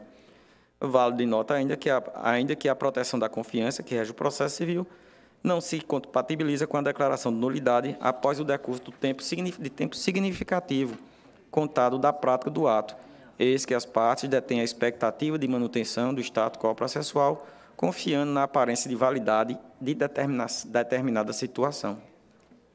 Ocorre que apenas após sucessivas oportunidades de manifestação no feito, como já assentado na presente decisão, após inclusive a inclusão dos processos em pauta de julgamento, é que os investigados suscitaram o vício relacionado à suposta ausência do material sonoro, é, sonoro colhido, momento em que os demais sujeitos processuais detinham a justa expectativa da validade e da possibilidade de utilização das provas. Ressalto que o nome do advogado que subscreveu o petitório e o agravo regimental também consta da manifestação sobre o laudo pericial, apresentado pelos investigados Valdeni e Cleiton, do requerimento de diligência, dos embargos de declaração opostos perante o juiz da 16ª eleitoral e do recurso eleitoral é, manejado pelos investigados. Nesse diapasão, entendo que a alegada ausência de juntada aos autos do PJE do material sonoro colhido pela Polícia Federal, que serviu de base para a elaboração do laudo pericial, é matéria que está a essa altura preclusa, não se tratando de matéria de ordem pública, pois acarretaria tão somente, caso reconhecida, invalidade relativa que deixou de ser suscitada a tempo e modo oportunos, impedindo seu conhecimento nesta fase processual, conforme orienta a doutrina sobre, a, a, a doutrina sobre o tema e a jurisprudência do TSE analisada essa questão do, do, com relação aos laudos, eu passo agora à Igreja Corte a analisar também no capítulo próprio as preliminares que foram arguídas pelas partes e também pelo PRE. Doutor Fábio. Pois não. Embora essa matéria de preclusão é uma matéria que todos nós sabemos que é, quando é absoluta, é até de questão de ordem pública relativa, não pode ser considerada para se anular prova, eu gostaria de ouvir a Corte. Sem problema, senhora presidente. Com relação a essa preclusão, senhoras desembargadoras, senhoras julgadoras, senhores desembargadores, senhores julgadores, o nosso relator entende que o laudo pericial que está sendo contestado por, pelo, por dois senhores, que é o senhor Valdeni Mendes Santana e Cleidson Rodrigues da Silva, é matéria preclusa. O relator explanou muito bem dizendo que não se trata de matéria de ordem pública, porque não é uma nulidade absoluta, seria relativa, e deixou de ser suscitada a tempo e modo oportunos, impedindo seu conhecimento agora, nessa fase processual, conforme orientam a doutrina e o tema da jurisprudência do Tribunal Superior Eleitoral. Todos estão de acordo? De acordo. Vossa Excelência pode continuar com o voto com as preliminares. Ok, senhora presidente, já adiantando que coloca, é, colocarei essa, essa pré, como preliminar também nesse próprio tópico que eu estou fazendo, de acordo pois com não. o entendimento da Corte, sem nenhum problema. Preliminar, primeira, é 1.1, incidência do artigo 96b da Lei 9.504, 97, se trata da reunião, da reunião da, dos processos. Em sua manifestação, diante da existência de identidade entre os processos que eu indico, as três AGES, no voto, adota PRS, pugnou pela aplicação, é, neste grau de jurisdição, da norma contida no artigo 96b da Lei 9.504-97, que orienta a reunião para julgamento conjunto das ações eleitorais propostas por partes diversas acerca do mesmo fato, do mesmo fato, alertando que o trâmite separado enseja o risco de prolação de decisões conflitantes. No entanto, verifique que, além do processo que eu indico, os processos, que eu também indico, os outros dois processos, também trazem que sua causa de pedir remota, fatos amplamente debatidos e examinados nos processos, que eu cito o nome, os dois processos anteriormente que eu citei quando comecei essa preliminar, a análise dessa preliminar. Mais especificamente, as supostas candidaturas fictícias ao cargo de vereador no município de Campina Grande, lançadas pelo PROS, pelo PROS. Com efeito, anoto que o julgamento separado desses feitos, além de ensejar o risco de prolação de decisões conflitantes, pode acarretar indevida insegurança, na fase de cumprimento do deciso, com devidas com sucessivas retotalizações ou fracionamento de decisões. Nesse sentido, com fundamento no artigo 96b da Lei 9.504, 97, acolhe a preliminar suscitada pela PRE e determina a reunião dos processos dos cinco, das cinco áreas que eu, eu cito no, no, no, meu voto para julgamento conjunto. É assim como eu voto, senhora presidente, preliminar. É uma matéria que nós já tivemos é, oportunidade de analisar, mas eu volto a acolher os votos desta Corte. Todos de acordo com essa preliminar? Preliminar acolhida conforme o voto do relator, atendendo a manifestação da PRE. Vossa Excelência pode continuar. Obrigado, presidente. Agora, 1.2 é a legitimidade das agremiações partidárias investigadas. Suscitou ainda a PRE a falta de legitimidade do DEM atual União Brasil, do PROS e do Partido de Solidariedade do município de Campina para figurar no polo passivo da ação de investigação judicial eleitoral. E eu já vou adiantando que realmente assiste razão ao órgão ministerial e essa Corte tem sempre se pronunciado e no sentido de que as sanções previstas no artigo 22, inciso 14 da Lei 6490, não se aplicam aos partidos políticos. Então, com base nisso, no voto eu, eu me estendo mais, cito a súmula TSE, número 40, mas com base com essas considerações, digo eu, acolho a prefacial de legitimidade passiva arguída pelo, pela PRE, determinando a exclusão do Partido Democrático, DEM, do polo passivo dos processos que eu cito, as, as duas A's no voto. B, a exclusão do Partido União Brasil do polo passivo do processo, que eu também indico o número. C, a exclusão do PROS de Campina do polo passivo dos processos, que também eu indico o número no voto. D, a exclusão do Partido de Solidariedade do município de Campina do polo do passivo do, dos processos, que eu também indico no voto, com a extinção dos feitos sem resolução do mérito em relação a essas partes. Por fim, considerando a exclusão do Partido União Brasil do polo passivo, acolho o pleito deduzido no petitório do ID, que eu cito, e defiro, um, uma vez que é evidente o interesse do partido, o seu ingresso no feito na condição de assistente simples de seus filiados. É assim como eu voto essa preliminar, senhora presidente. O eminente relator apresenta uma preliminar de ilegitimidade das agremiações partidárias investigadas, acompanhando também parecer da Procuradoria Regional Eleitoral. Todos de acordo? De acordo, senhora presidente. Vossa Excelência pode prosseguir. Obrigado, senhora presidente. Agora, preliminar, 1.3, a alegação de violação ao princípio da dialeticidade recursal. Nos processos dos números que eu cito, os três, as três A's, houve arguição em contra-razões da violação ao princípio da dialeticidade recursal, recursal pelo recorrente Antônio Alves, ao argumento de que o recorrente se ateve a reproduzir a mesma argumentação apresentada em sua petição inicial, sem apontar quais as razões pelas quais a sentença recorrida estaria possivelmente é, equivocada. No entanto, digo eu, cotejando as peças recursais encartadas aos processos citados, é possível verificar a efetiva impugnação da sentença recorrida. Aliás, esse é também o entendimento da douta PRE. Então, sem maiores senões, senhora presidente, eu estou rejeitando essa preliminar de ofensa ao princípio da dialeticidade recursal. Todos também rejeitam essa preliminar? Rejeitada a preliminar de alegação de violação ao princípio da dialeticidade recursal. Vossa Excelência pode prosseguir. Obrigado, senhora presidente. 1.4, alegação de ilicitude dos autos, imprestabilidade das atas notariais, inépcia da petição inicial e ausência de defensor dativo. Pois bem, nos processos que eu indico o, os números, houve arguição tanto em sede de razões recursais, como em reto contra razões de ilicitude dos autos, imprestabilidade das atas, inépcia da inicial e ausência de defensor dativo. No entanto, digo eu, as matérias suscitadas pelas partes recorrentes e recorrida não constituem questões preliminares que demandam necessária, é, né, é, necessária incursão do método recursal para análise do seu conteúdo e da forma de, de obtenção do acervo impugnado, em conjunto com os demais elementos de prova produzidos nos autos. Digo Vossa eu ainda. Pois não. Pois não. Por exemplo, é, em relação à alegada inépcia da petição inicial, aduzida pelos recorrentes, Valdemir e Cledson, nos autos do, dos processos que eu cito, anote que o eventual reconhecimento da inépcia da inicial acarreta, como bem alertou o órgão ministerial, o julgamento do processo sem resolução do mérito, cuja alegação só poderá ser analisada após o conhecimento dos recursos. De igual modo, ainda na esteira da manifestação ministerial, a ausência de nomeação defensor dativo deve ser analisada sob a perspectiva de eventual ofensa ao princípio do devido processo legal, não constituindo um óbice ao conhecimento do recurso. Então, Só nesse um instante, doutor Fábio Leandro. Vossa Excelência já está no mérito. Não, não, não só tá vou, só estou falando que vou, essas questões vão ser todas analisadas logo em seguida no método, desembargadora. Eu concluo exatamente assim. Nesse diapasão, reservo-me a apreciar as alegações de licitude dos autos, imprestabilidade das atas notariais, inépcia da petição inicial e ausência de defensor dativo, em conjunto com o médico que agora eu vou avançando para o método e já vou apreciando essas arguições, senhora presidente. Pois não. Vossa Excelência pode continuar, porque Vossa Excelência entendeu, entendeu que essas preliminares confundem-se com o mérito. Exatamente. Então, é o próprio mérito. E necessita do conhecimento ser, do recurso. Que vai ser analisado. Então, Vossa Excelência pode continuar sem necessidade de ouvir a Corte. Exato. Obrigado, senhora presidente.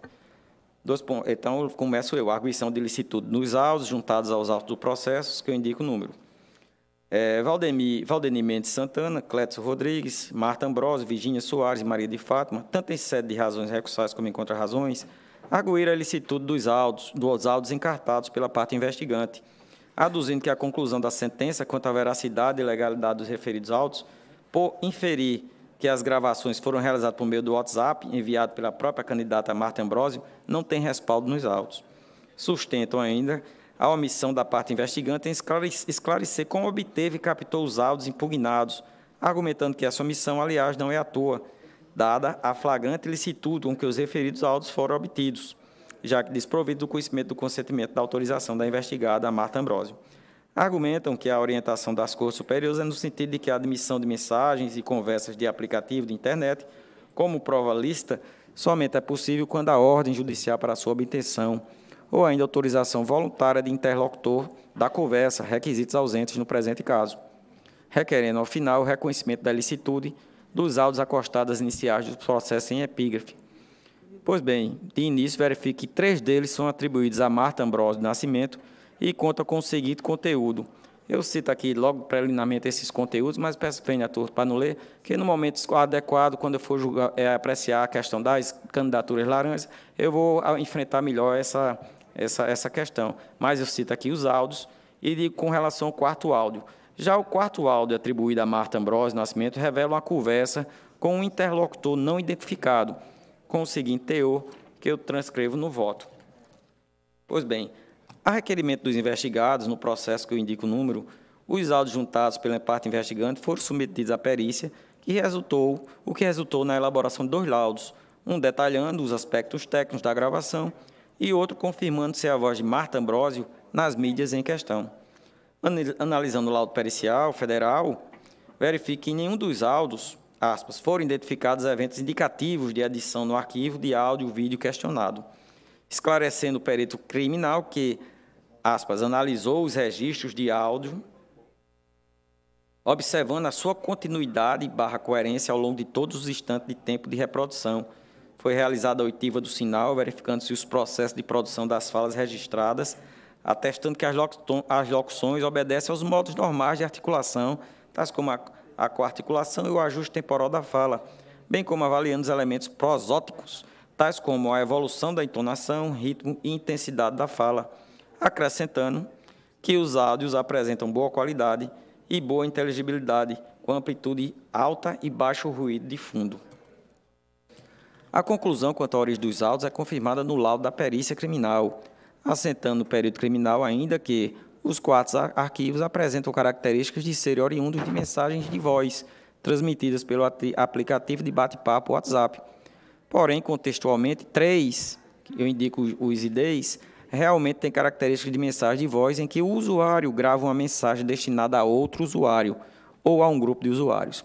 No caso, são áudios gravados por uma pessoa do sexo feminino.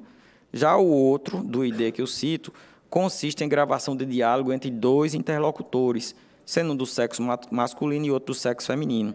Em todos os quatro arquivos, a interlocutora aborda sua candidatura à vereança analisando-se o contexto e a qualidade vocal das vozes femininas, depreende que foram emitidas por uma mesma pessoa. Restou ainda assentado no referido laudo que as convergências encontradas quanto do contexto, das características linguísticas e não linguísticas perceptivas foram, foram significativas e em grande quantidade, corroborando a hipótese de que as amostras de falas analisadas, padrão e questionada, foram proferidas por Marta Ambrosio do Nascimento. Acerca da autoria dos autos, ressalte que a própria investigada, Marta Ambrosio, aduziu em sua contestação que, no período de campanha, houve comentários no sentido de que quem fosse candidato não poderia receber e, se já estivesse recebendo, poderia perder o auxílio emergencial, razão pela qual teria ficado preocupada, aspas, que são palavras delas, com a possibilidade de perder uma fonte indispensável de sustento da família. A bem da verdade, destacou a PRE, a partir da oitiva dos três primeiros áudios, aspas, não se extrai outra conclusão senão a de sua produção e envio por intermédio de aplicativo de conversação, tal como o WhatsApp, assim como, assim como observado na perícia. Não se tratando desse modo de gravação ambiental em ambiente privado, objeto de mudança jurisprudencial pelo TSE, mas sim de autos de WhatsApp produzidos e enviados pela própria recorrente, inexistindo ilicitude, de acordo com a PRE. Eu cito uma jurisprudência dessa corte, que foi exatamente a jurisprudência que a, a douta PRE já se, é, citou da tribuna. Já em relação ao quarto áudio, que revela a conversa entre Marta Ambrosio e interlocutor não identificado, embora seu, seu conteúdo, como bem pontuou o órgão ministerial, apenas corrobore o teor registrado nos autos e IDs que eu cito, que ela cita no, nesse parecer, isto é, o lançamento de sua candidatura apenas para completar a chapa feminina do DEM, inexistindo qualquer interesse efetivo na campanha, da campanha, fecha aspas. Digo eu, continuo, o laudo pericial revelou que se trata de grava, da gravação de um diálogo entre dois interlocutores, sendo um do sexo masculino e outro do sexo feminino, com características de mensagem de voz transmitida pelo aplicativo de troca de mensagens WhatsApp, não havendo, contudo, informação nos autos no sentido de que Marta Ambrosio tenha, tinha conhecimento de que estava sendo gravada, sendo positivo o reconhecimento da ilicitude da prova nos termos da jurisprudência do TSE que eu cito, com relação a esse quarto áudio. No entanto, como destacado pela PRE, na hipótese vertente, pelo menos três mídias, que eu cito os IDs, não foram obtidas mediante gravação, tratando-se, como já assentado, de áudios produzidos e enviados pela própria Marta Ambrosio, restando esclarecida que a autoria, eh, restando esclarecida a autoria e como foram produzidos os referidos áudios, bem como que não se trata de gravação ambiental sem autorização da investigada, mas de áudio de sua autoria enviado pelo aplicativo WhatsApp a terceira pessoa não identificada na defesa, sem notícias ou indícios de coação nos autos, não havendo óbice, portanto, a utilização do acervo no processo eleitoral nos termos da jurisprudência dessa Corte.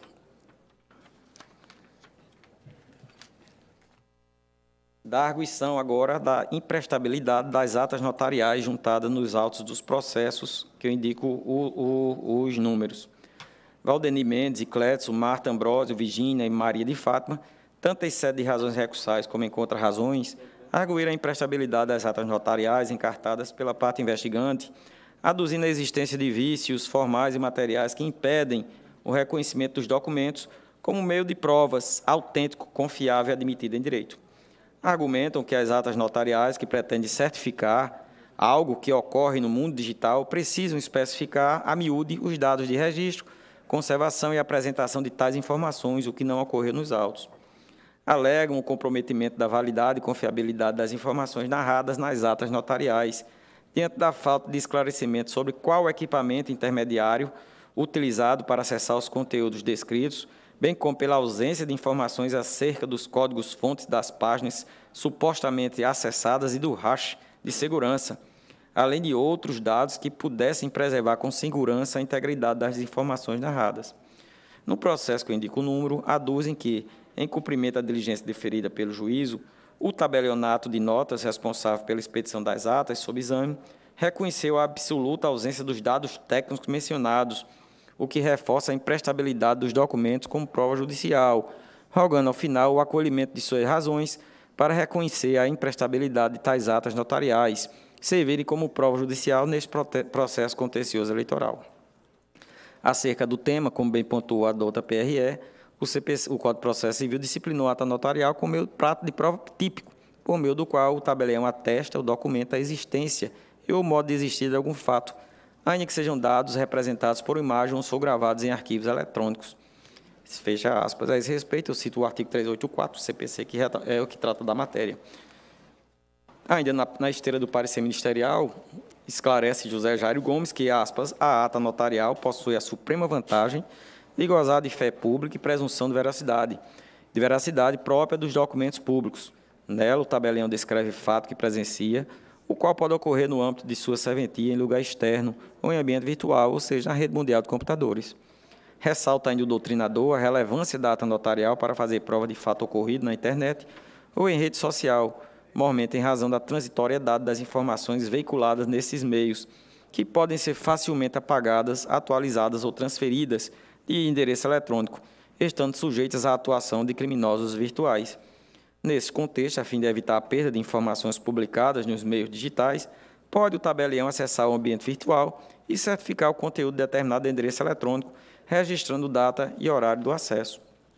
Na espécie, consta duas atas notariais lavradas pela senhora Pauline Viana dos Santos, substituta do Serviço Notarial, e registral Franci, eh, Regina Franci, Francisidro, nos dias 23 de outubro de 2020, descrevendo conteúdo eletrônico visuado no perfil do Facebook de Virgínia Soares de Oliveira e de Marta Ambrosio do Nascimento. Na linha do entendimento doutrinário citado, a subscritora das atas notariais registrou as URLs e dos perfis acessados, informando se ambos abertos ao público, bem como fez constar horário, a data em que acessou a rede social das investigadas, passando a descrever o conteúdo disponível por ocasião dos acessos, relatando ainda ter arquivado e imprimido em cores a pedido da solicitante das atas. As imagens feitas pela substituta do Serviço Notarial e Registral Regina França, dos perfis das redes sociais de Virgínia Soares e de Marta Ambrosio. Nesse sentido, como bem pontuou a PRE, não se vislumbra, aspas, não se vislumbra qualquer vício formal na produção das atas, sendo documentadas todas as informações sobre os dados representados nos arquivos eletrônicos acessados assim como determina o artigo 384 CPC, o qual não exige a descrição do equipamento intermediário utilizado para acessar o conteúdo, a indicação dos códigos-fonte das páginas acessadas ou o rastro de segurança. Fecha aspas.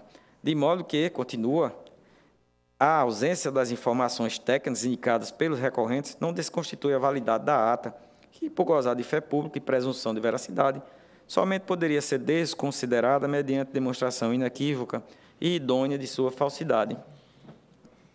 Eu trago aqui é, jurisprudência é, do, do, TSE do ministro é, Carlos Robac, Robac. E continuo.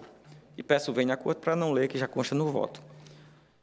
Em relação à alegação dos recorrentes nos autos do processo que eu cito, no sentido de que o tabelionato de notas responsável pela expedição das atas sob exame reconheceu a absoluta ausência dos, dos técnicos mencionados, verifique que, na verdade, ao informar que no conteúdo das atas não consta informação especificando a relação dos códigos-fonte das páginas acessadas e os respectivos rastros de segurança, o oficial de registro, então responsável pelo tabelionato, informou expressamente que o processo de coleta de informações para a lavratura de um ato notarial não são registradas nos livros oficiais e que somente a teor da ata é o teor da ata é arquivado, acrescentando ainda o oficial que as atas notariais, nos termos da legislação e do Código de Normas Extrajudicial do Estado da Paraíba, é o instrumento em que o tabelião, seu substituto ou escrevente, a pedido de pessoa interessada, constata fielmente os fatos, as coisas, pessoas ou situações para comprovar a sua existência ou seu estado.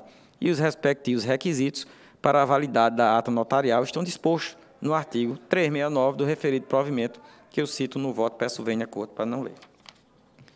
Continuo eu, como se verifica, na norma que disciplina as atividades relativas aos serviços notarial e registral prestados no Estado da Paraíba, não consta exigência de qualquer dos dados exigentes exigidos pelos recorrentes, no caso, equipamento intermediário utilizado para acessar o conteúdo, indicação dos códigos-fontes das páginas acessadas e o rastro de segurança, como apontou o parquet. Nesse diapasão, inexistindo previsão legal, legal para o registro das, nas atas notariais dos dados técnicos indicados por Valdeni, Cletson, Marta Ambrosio, Virginia Soares e Maria de Fátima, e ainda diante da falta de demonstração da falsidade dos citados documentos que gozam de fé pública, rejeita a arguição de imprestabilidade das atas notariais juntadas aos processos que eu indico os números, considerando-as como meio idôneo de prova, que serão analisadas quando da análise da, da enfrentar a questão da, da, da fraude à cota de gênero. A arguição de inépcia da petição inicial, Valdeni, suscitadas nos processos que eu também indico o número. Valdeni Mendes e Cledson Rodrigues arguíram em sede preliminar inépcia da petição inicial, porquanto, de acordo com eles, especificamente no que diz respeito à AIS, que indica o número, fato este, de acordo com eles, fato estarrecedor é que os investigantes não anexaram nenhum, nenhum repita-se, nenhum documento comprobatório de suas alegações, resumindo-se a apresentação de dois instrumentos de procuração e uma certidão de composição partidária, aduzindo que causa estranheza o fato de que os investigantes formularam a petição inicial afirmando que as respectivas provas estariam em outro processo e, sem qualquer motivo plausível, deixaram de apresentá-las e pretendem transferir essa obrigação legal para este douto juiz eleitoral, devendo ser indeferida a petição inicial. Contudo, como bem pontuou, como bem pontuou a douta PRE, aspas, os investigados demonstraram razões de fato de direito para o ajuizamento da demanda, bem como requerer a título de prova emprestada, no caso, artigo 372 do CPC, ajuntada nesse feito e documento, os documentos anexados. Nesse contexto, ainda na esteira da manifestação do órgão ministerial, não, aspas, não sendo imposta pela norma do artigo 22 da Lei Complementar 6490 a apresentação de documento específico para o ajuizamento da AIGE acerca da fraude à cota de gênero, como é o caso dos autos, é certo que a eventual insuficiência probatória é matéria de mérito capaz de ensejar a improcedência dos pedidos e não a extinção do processo sem resolução do mérito. Entendimento esse a qual me filio. Anote, por fim, que o juiz eleitoral determinou a reunião dos processos que eu indico para é, julgamento conjunto. Logo, na sentença foram apreciadas as provas integrantes dos dois feitos, entendendo o juiz Acó pela presença de elementos suficientes para o reconhecimento da prova de fraude ao cota de gênero, consubstanciada na candidatura fictícia de Marta Ambrósio, candidata ao cargo de vereadora pelo Democratas. Com essas considerações, rejeito a arguição de inépcia da petição inicial do processo, que eu cito, suscitada por Valdemir e Cledson. A arguição de ausência de defensor dativo, suscitada nos processos que eu indico os números. Os investigados Antônio Lopes Gaião e outros 25, que eu cito no voto, nos autos do processo que eu indico, bem como os 18 investigados, o Álvaro Luiz Pessoa e outros 18 investigados nos autos do processo que eu também indico, arguírem contra razões a ausência de defensor dativo, asseverando que alguns dos investigados, embora citados até o presente momento, não constituíram advogado nos autos, tampouco apresentaram defesa, atraindo com isso a necessidade de nomeação de defensor para o patrocínio dos seus interesses. Ocorre que, como bem pontuou a PRE, o rito da AIS é aquele disciplinado no artigo 22 da Lei Complementar 64-90, e sendo a ação de natureza civil eleitoral, aplica-se subsidiariamente o CPC e não o Código de Processo Penal, como pretende os recorridos, inexistindo no diploma processual civil previsão para a nomeação de defensor dativo, no cenário delineado, não se tratando também das hipóteses previstas no artigo 72, incisos 1 e 2 do CPC. Ante o exposto, considerando a regular citação dos investigados, que, embora devidamente notificados, não constituíram advogados, bem como diante da ausência de previsão legal, legal para a nomeação do defensor dativo, na hipótese, rejeita a referida arguição, inexistindo ofensa aos princípios do devido processo legal, contraditório e ampla defesa. E agora, a Igreja Corte, senhora presidente da Igreja Corte, eu passo finalmente a, a analisar a fraude das, cotas, da, da, da, da cota, das cotas de gênero de, de acordo com as as arguições dos, dos vários partidos. Também será, será em tópicos que eu fiz essa divisão, para facilitar o entendimento. Eu ainda, como sempre faço, quando vou, é, quando relato é, processo dessa natureza de age, eu cito a doutrina de José Jário Gomes, que eu peço permissão para não, não ler, e, claro, logicamente, o caso paradigmático do, de Valência, que tem aqueles, exatamente aquelas, aqueles quesitos que é, demonstram a configuração da fraude à cota de gênero que está citado aqui do, no voto. Então, bem, digo eu, partindo do norte, traçado pelo Código Superior, examina a suposta fraude à cota de gênero narrada nas peças vestibulares das cinco AGES. E assim, passo a analisar no, no tópico 2.51 das candidaturas formuladas pelo Partido Solidariedade de Campina Grande, apontadas como artificiais. Diga eu, a alegação de que, em virtude da candidatura artificial de Lisandra Cristina Oliveira Leite, houve descumprimento do percentual do gênero, de gênero previsto no artigo, no artigo 10, parágrafo 3 da Lei 9.504, nas candidaturas proporcionais formalizadas pelo Partido Solidariedade, consta nas petições iniciais dos processos que eu indico os números no voto. Nas sentenças proferidas nesses feitos, o juízo da 16ª Zona Eleitoral, diante da inexistência de prova inequívoca da prática, da prática de fraude à cota de gênero em relação às candidaturas formalizadas pelo Partido Solidariedade, Solidariedade julgou improcedente a pretensão nesse particular, insurgindo-se a parte investigante tão somente no processo que eu indico, ao qual ficará restrita a análise desta relatoria, dentro da inexistência de recurso nos autos dos outros dois processos que eu indico no voto, sob pena de incorrer em afronta ao princípio do renor reformagem impégios. Pois bem, sustenta o recorrente Antônio Alves Pimentel Filho, em síntese, que houve fraude na composição da cota de gênero na formação da chapa proporcional do Partido Solidariedade, consistente na candidatura fictícia de Lissandra Cristina Oliveira, destacando que o arcabouço probatório não é indiciário, e sim robusto, porquanto comprovar que a recorrida teve votação zerada, não realizou atos de campanha, pediu votos para outra candidata. Em razões, aduziu a recorrida Lisandra Cristina de Oliveira, que era contratada da Prefeitura Municipal de Campina Grande requereu sua descompatibilização a tempo e modo legal, realizou as atividades regulares de pré-campanha, participou de convenções e, inclusive, tirou foto de urna, concluindo que seus atos denotam e denotam inequivocamente é que esta desejava, de fato, concorrer ao cargo eletivo. Entretanto, o desapontamento da recorrida com a política real levou a tacitamente abandonar a campanha. Na espécie, como acentuou a PRE, é incontrovérsia a não realização de atos de campanha por Lisandra, em prol de sua candidatura entre o início do período de propaganda e a data do pleito, como afirmado pela própria investigada em seu depoimento pessoal e não refutado nas defesas apresentadas dos IDs que eu cito, salientando ainda o parquê que também não resta dúvida que Lisandra Cristina manifestou apoio explícito em seu Instagram à candidata Soraya Brasileiro, a qual disputava pelo PSD cargo idêntico.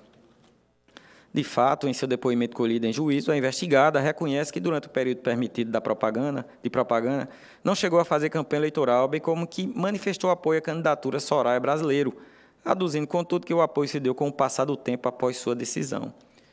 No entanto, no entanto em sentido contrário ao, relatado ao relato da investigada, consta dos autos, ata notarial, que eu cito, lavrada pela senhora Pauline Viana dos Santos, que, constando que no dia 23 de novembro, descrevendo o conteúdo eletrônico visualizado, no perfil de Estragando Lisandra, relatando a existência de três publicações em favor da, candidata, da candidatura de Soraya Brasileiro, sendo a primeira delas no dia 3 de outubro de 2020, poucos dias após o início do período permitido de propaganda eleitoral, e outras duas em 27 de outubro. Além disso, como bem pontuou a PRL, Lisandra Cristina obteve votação zerada, verificando o órgão ministerial, em consulta ao divulgante, que a candidata referida apresentou prestação de contas apenas com aporte de recurso estimável em dinheiro, no valor 350 destinado ao contador e 200 ao, e, e, não 350 reais, sendo 200 é, destinado ao custeio do contador e 150 ao advogado, sem registro de, de gasto decorrente do impulsionamento da campanha. No entanto, malgrado os fortes indícios de burla à cota de gênero, consistente na candidatura fictícia da investigada Lisandra Cristina, no caso concreto, o conjunto probatório não demonstra cabalmente a fraude como asseverou a PRE, pelas razões declinadas pelo órgão ministerial, a quase me filio, pois amparadas no acervo probatório nos autos. Em princípio, digo arrefece a tese da fraude o documento trazido nas defesas alusivo à declaração de desistência de contrato de prestação de serviços apresentado por Lisandra Cristina à Secretaria, à Secretaria Municipal da Educação de Campina Grande no dia 14 de agosto, o que, ao menos, in, in, indicia a finalidade da investigada de buscar o deferimento do seu registro de candidatura pela desincompatibilização pretendida no prazo legal três meses antes do pleito. Some-se a isso o fato de Lisandra Cristina ter divulgado em suas redes sociais, em mais de uma oportunidade, sua pré-candidatura, o que ocorreu no dia 13 de julho, conforme apontado na própria inicial e o ID que eu cito, e no dia 14 de agosto, de acordo com a ata notarial que eu indico, e capturas de tela acostadas por ocasião das defesas, cuja autenticidade não foi pugnada pela parte investigante, chegando a, investi a investigada a escrever a seguinte legenda. Aspas, primeiro pontapé de uma candidatura, avante, fecha aspas. Acrescentando o órgão ministerial que, inquirida sobre os motivos da não realização da campanha no período de propaganda, a investigada reafirmou que fez material de pré-campanha e ainda que todo o trâmite de, da, da relacionado à sua candidatura, inclusive a foto. E, particularmente, diz ela, ficou sem o apoio do partido e não tinha como fazer uma campanha sem o apoio do partido. Nesse diapasão, em consonância com o entendimento ministerial, a despeito dos indícios da prática de fraude, no caso concreto, mas considerando a prova em contexto da desistência da investigada Lisandra Cristina Oliveira de um contrato de prestação de serviço mantido com a Secretaria Municipal de Educação de Campina Grande para fins de desincompatibilização e a divulgação de sua pré-candidatura nas redes sociais em mais de uma oportunidade, além dos motivos declarados em juízo para a sua desistência, entendo que deve ser mantida a sentença que julgou improcedente a pretensão deduzida nos autos dos, do, do, processo que eu indico no, número, no, no meu voto. Agora, para o, o item 25.2, que é das candidaturas formalizadas pelo PROS, apontadas como artificiais.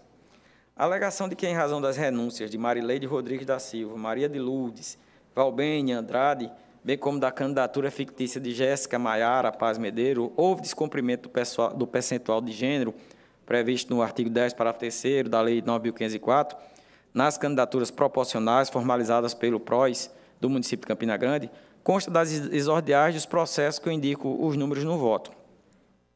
Nas sentenças proferidas nesses feitos, o juiz da 16ª Zona Eleitoral, dentro da inexistência de prova inequívoca, da prática de fraude a cota de gênero em relação às candidaturas formalizadas pelos PROS, julgou improcedente a pretensão nesse particular, insurgindo-se a parte investigante tão somente no processo que eu indico o número, ao qual ficará restrita a análise desta relatoria, diante da inexistência de recurso nos autos dos outros dois processos que eu cito no voto, sob pena de também incorrer afronta ao princípio do no reformagem impérios. Pois bem, argumento recorrente Antônio Alves Pimentel, em síntese, primeiro, que o PROS do município de Campina não supriu o percentual mínimo de gênero, 30%.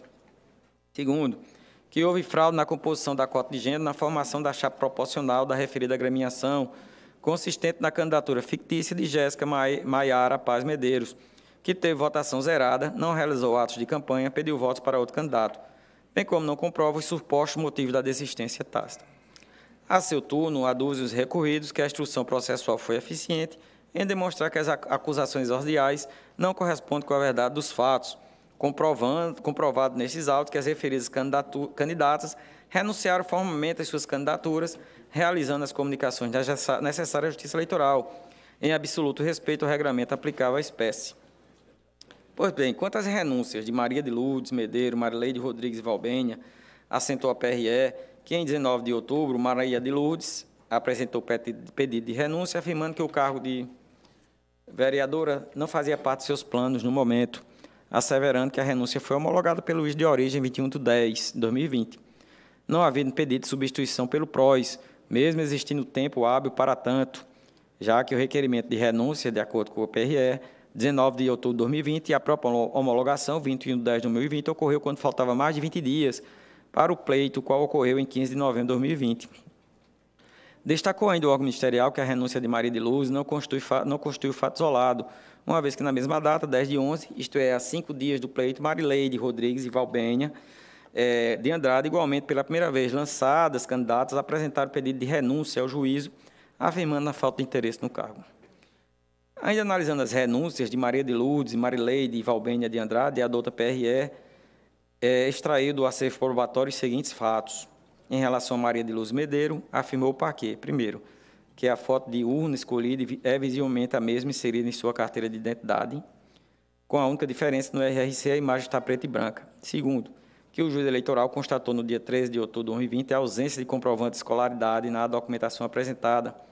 Terceiro, que além de constar na lista de presença da convenção partidária, nenhum outro, outro ato de campanha foi comprovado. E quarto, que não houve a demonstração da confecção de santinho ou mesmo de uma simples arte para divulgação da candidatura nas redes sociais, não se comprovando também a criação e veiculação de jingo ou divulgação de propaganda. Pois bem, a exceção dos fatos relacionados nos itens 1 e 2 que eu acabo de citar, que se referem a Maria de Lourdes Medeiros, os demais fatos, itens 3 e 4, são comuns às investigadas Marileide Rodrigues e Valbênia de Andrade, acrescentando o órgão ministerial em relação às três investigadas, que, em consulta ao Divulga Cane, verifica a identidade na prestação de contas das candidatas apenas com aporte de recurso estimável em dinheiro no valor de R$ mil reais, destinado ao custeio das despesas obrigatórias com contador 500 e advogado 500, sem registro de gasto decorrente do impulsionamento de campanha, concluindo a PRE tratar-se de uma verdadeira desistência coletiva, circunstância que denota a existência de candidaturas efetivas, evidenciando o ajuste, ou seja, a fraude entre elas e o PROS. Ocorre que, digo eu, excetuando-se a alegação de que a renúncia das três investigadas resultou no descumprimento do percentual de gênero previsto no artigo 10 parágrafo 3 da Lei 9.504-97, os demais fatos encetados pelo órgão ministerial não constam do suporte fático apresentado na petição inicial, tratando-se de uma ampliação objetiva da demanda por parte do PRE.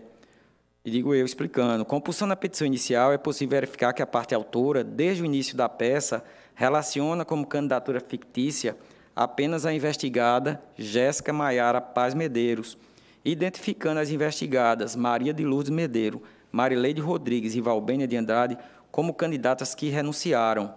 Em seguida, na descrição dos fatos, afirma que a narrativa será dividida em três partes, sendo a primeira alusiva ao DRAP do PROS, a segunda, às renúncias de Maria de Lourdes, Marileide e Valbênia, e a terceira trataria da candidatura fictícia de Jéssica Maiara Paz de Medeiros. Em relação às renúncias das investigadas Maria de Lourdes Medeiro, Marileide Rodrigues e Valbênia de Andrade, a petição inici inicial apresenta o seguinte suporte empírico, que eu cito, é, eu transcrevo no voto, peço venha à, à corte para não ler, da, com relação a essa petição, à petição inicial. E assim, analisando é, é os termos, digo eu, mais adiante, acrescenta a parte investigante de que além de não obedecer ao parágrafo 3 artigo 10 da Lei 9.504/97 e artigo 17 da Resolução 23609, uma das candidatas foi inserida de forma fraudulenta. Interceriu-se candidaturas femininas fictícias, popularmente conhecidas como candidatura laranja, asseverando que a candidata fictícia e hora demandada é tão somente Jéssica Maiara Paz Medeiros, que concorreria com o número 90444.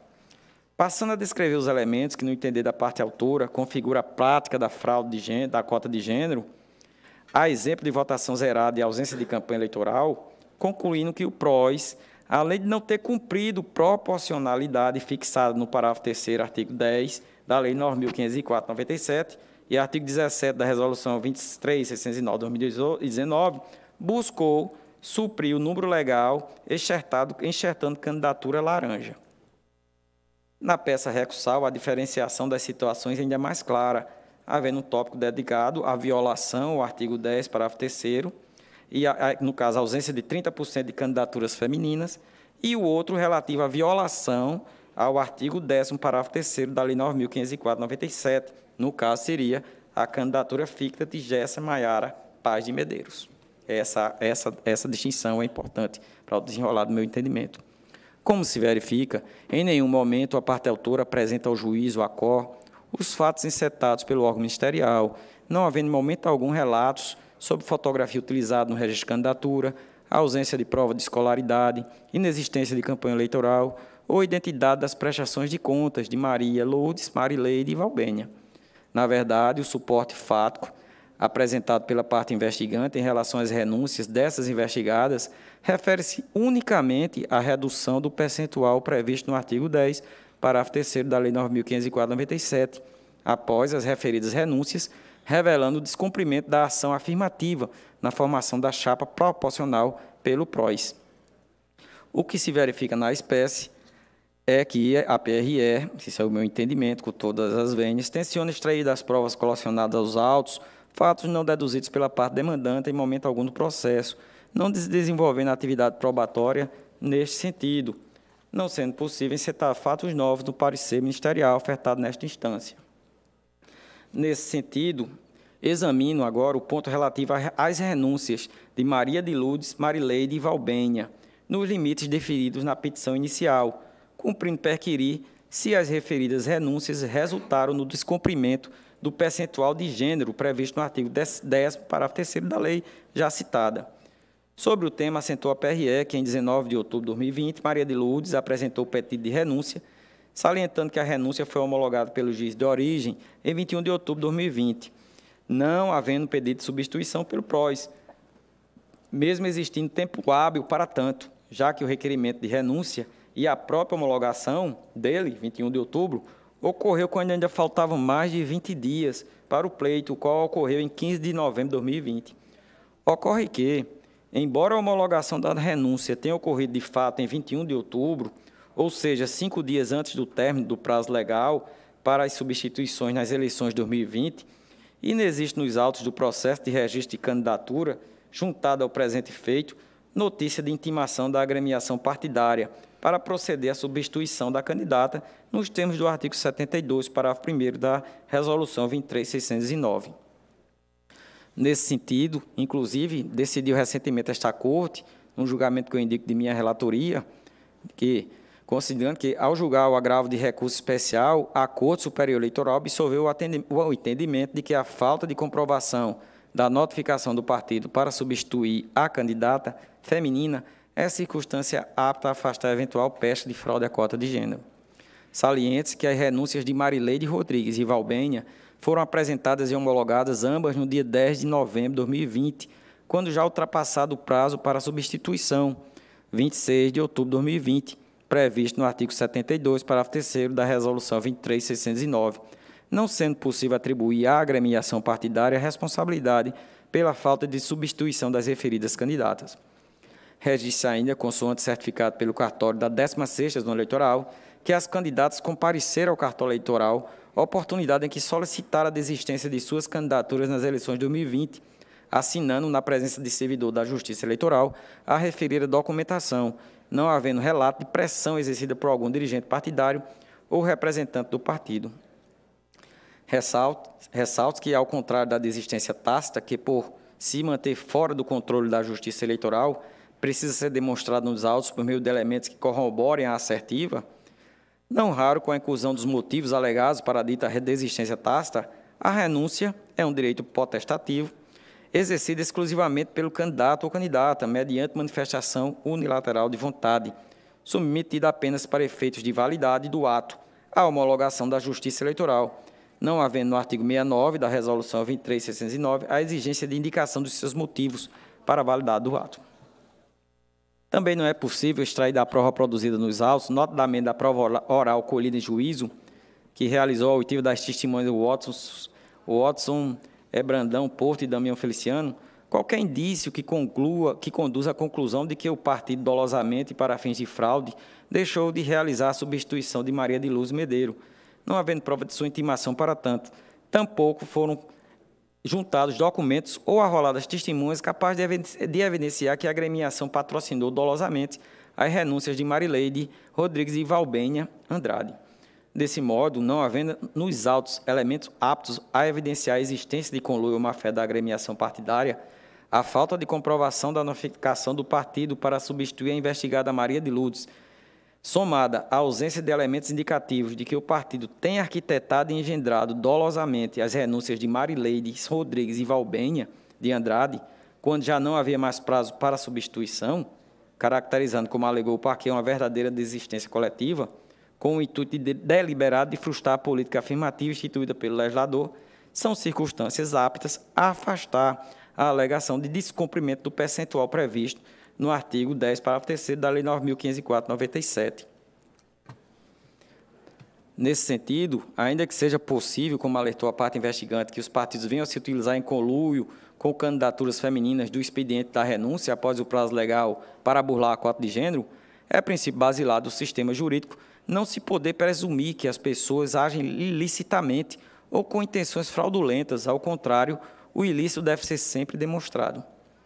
Destarte, a despeito dos indícios de fraude apontados pela parte investigante, entendo que o acervo probatório não se mostra capaz de comprovar com segurança que a ausência de substituição de Maria de Lourdes e as renúncias de Marileide Rodrigues e Valbene Andrade foram urdidas pelo PROS de Campina Grande, em conluio com as investigadas com o objetivo de burlar a política afirmativa prevista na, no artigo que eu citei anteriormente.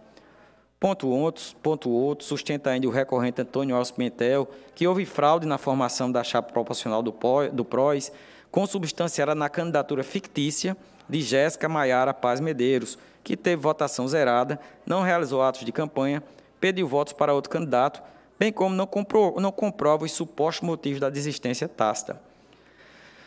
Aduzem os recorridos que a investigada Jéssica Maiara Paz Medeiros participou da convenção partidária, bem como que possuía material de campanha e movimentação em sua prestação de contas.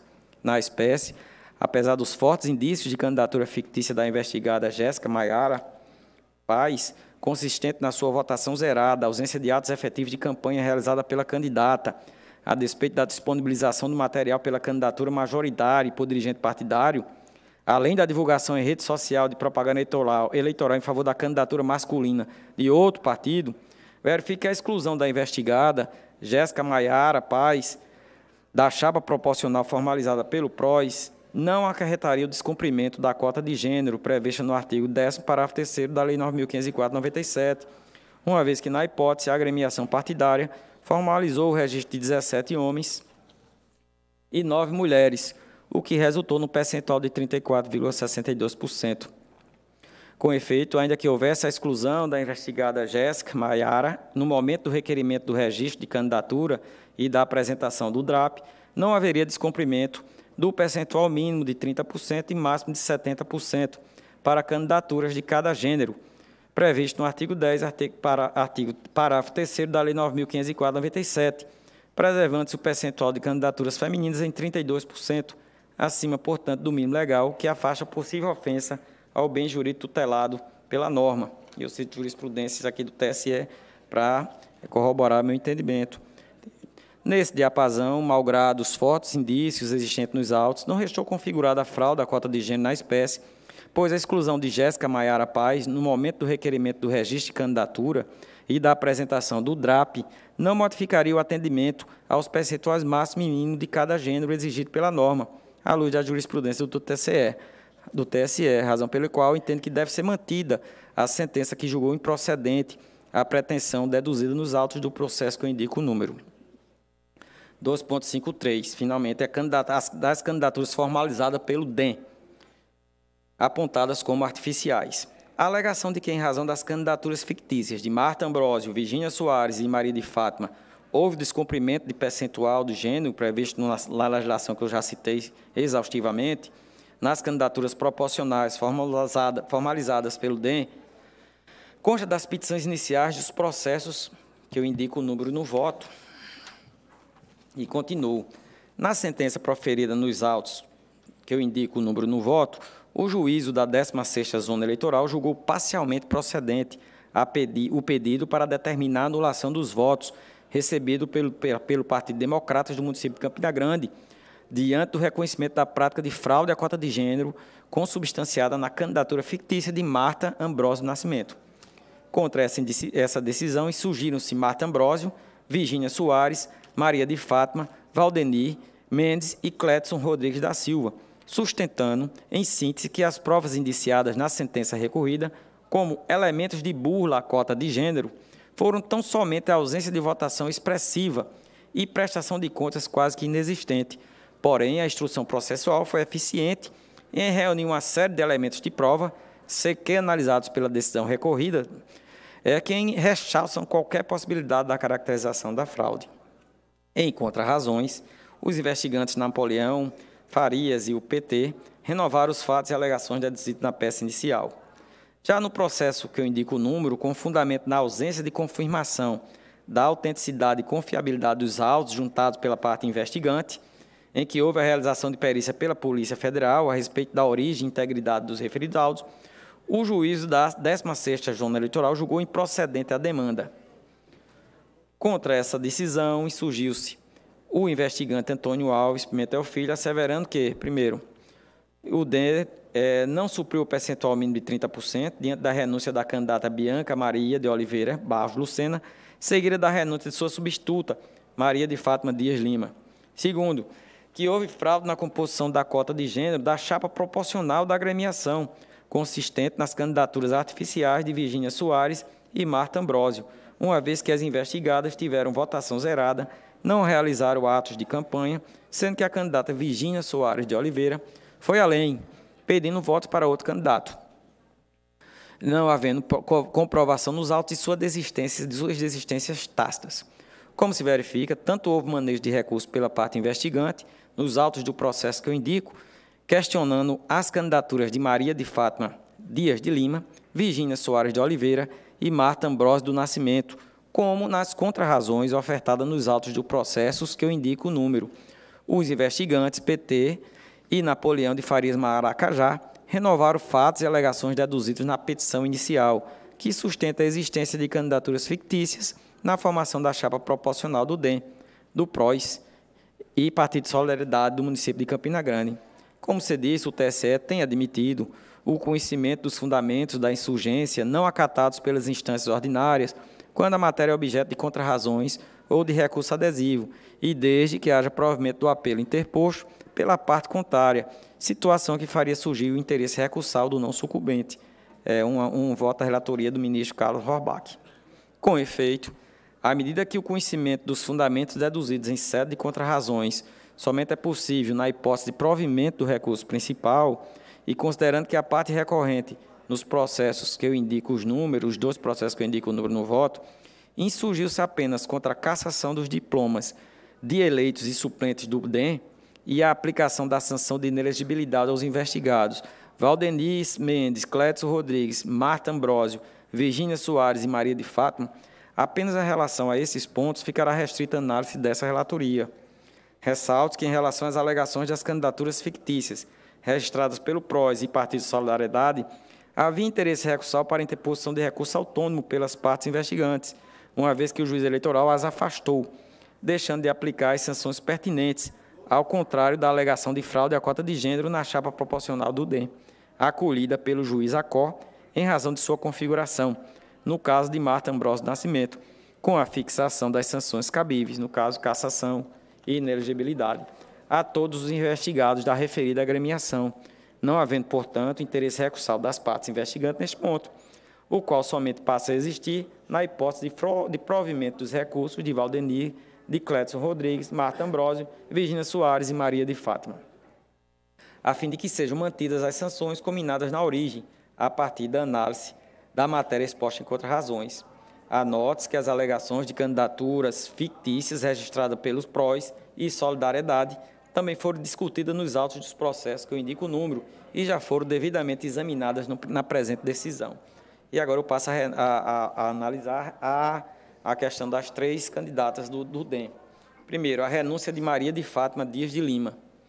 Antecipando, antecipando o entendimento desta relatoria, no sentido da provimento parcial aos recursos, dos recursos que eu cito no voto, em relação a Maria de Fátima Dias de Lima, para afastar a sanção de inelegibilidade imposta à investigada, passo a examinar os fundamentos não acatados pelo juiz eleitoral, expostos nas contrarrazões do, do PT, do município de Campina Grande e Napoleão de Farias Maracajá, bem como as razões recursais deduzidas pelo investigante Antônio Alves Pimentel.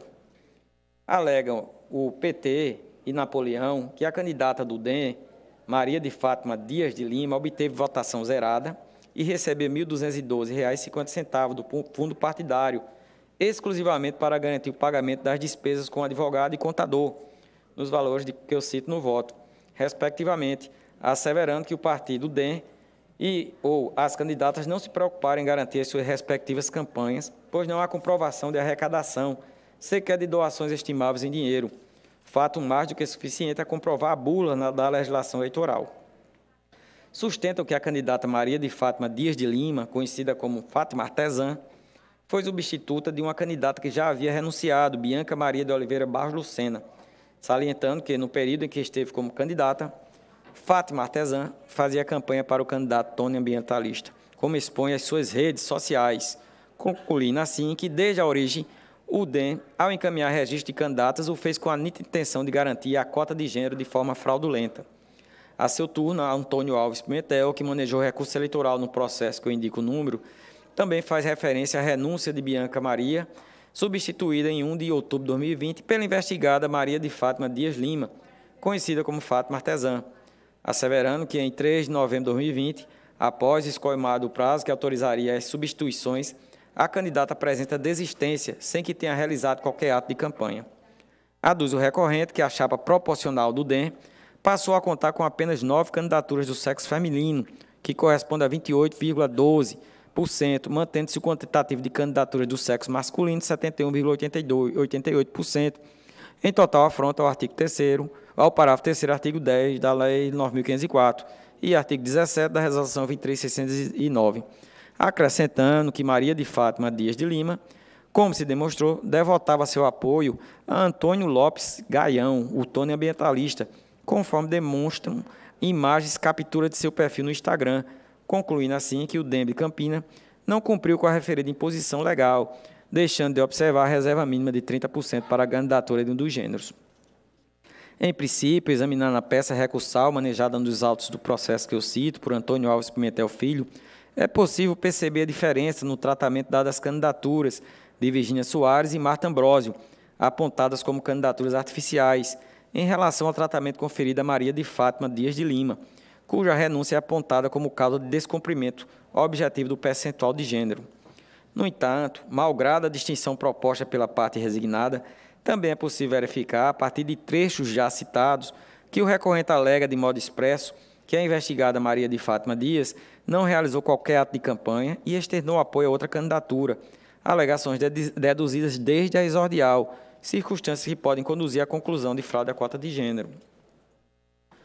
A duas a investigada, Maria de Fátima, conhecida como Fátima Artesã, que figura como recorrente nos processos que eu indico os números e recorrida no processo também que eu indico o número, que nada houve de irregular em sua renúncia, pois comprovado, de acordo com Maria de Fátima, que a referida candidata renunciou formalmente à sua candidatura, realizando as comunicações necessárias à Justiça Eleitoral, em absoluto respeito ao regramento aplicável à espécie, com suas motivações pessoais para tanto.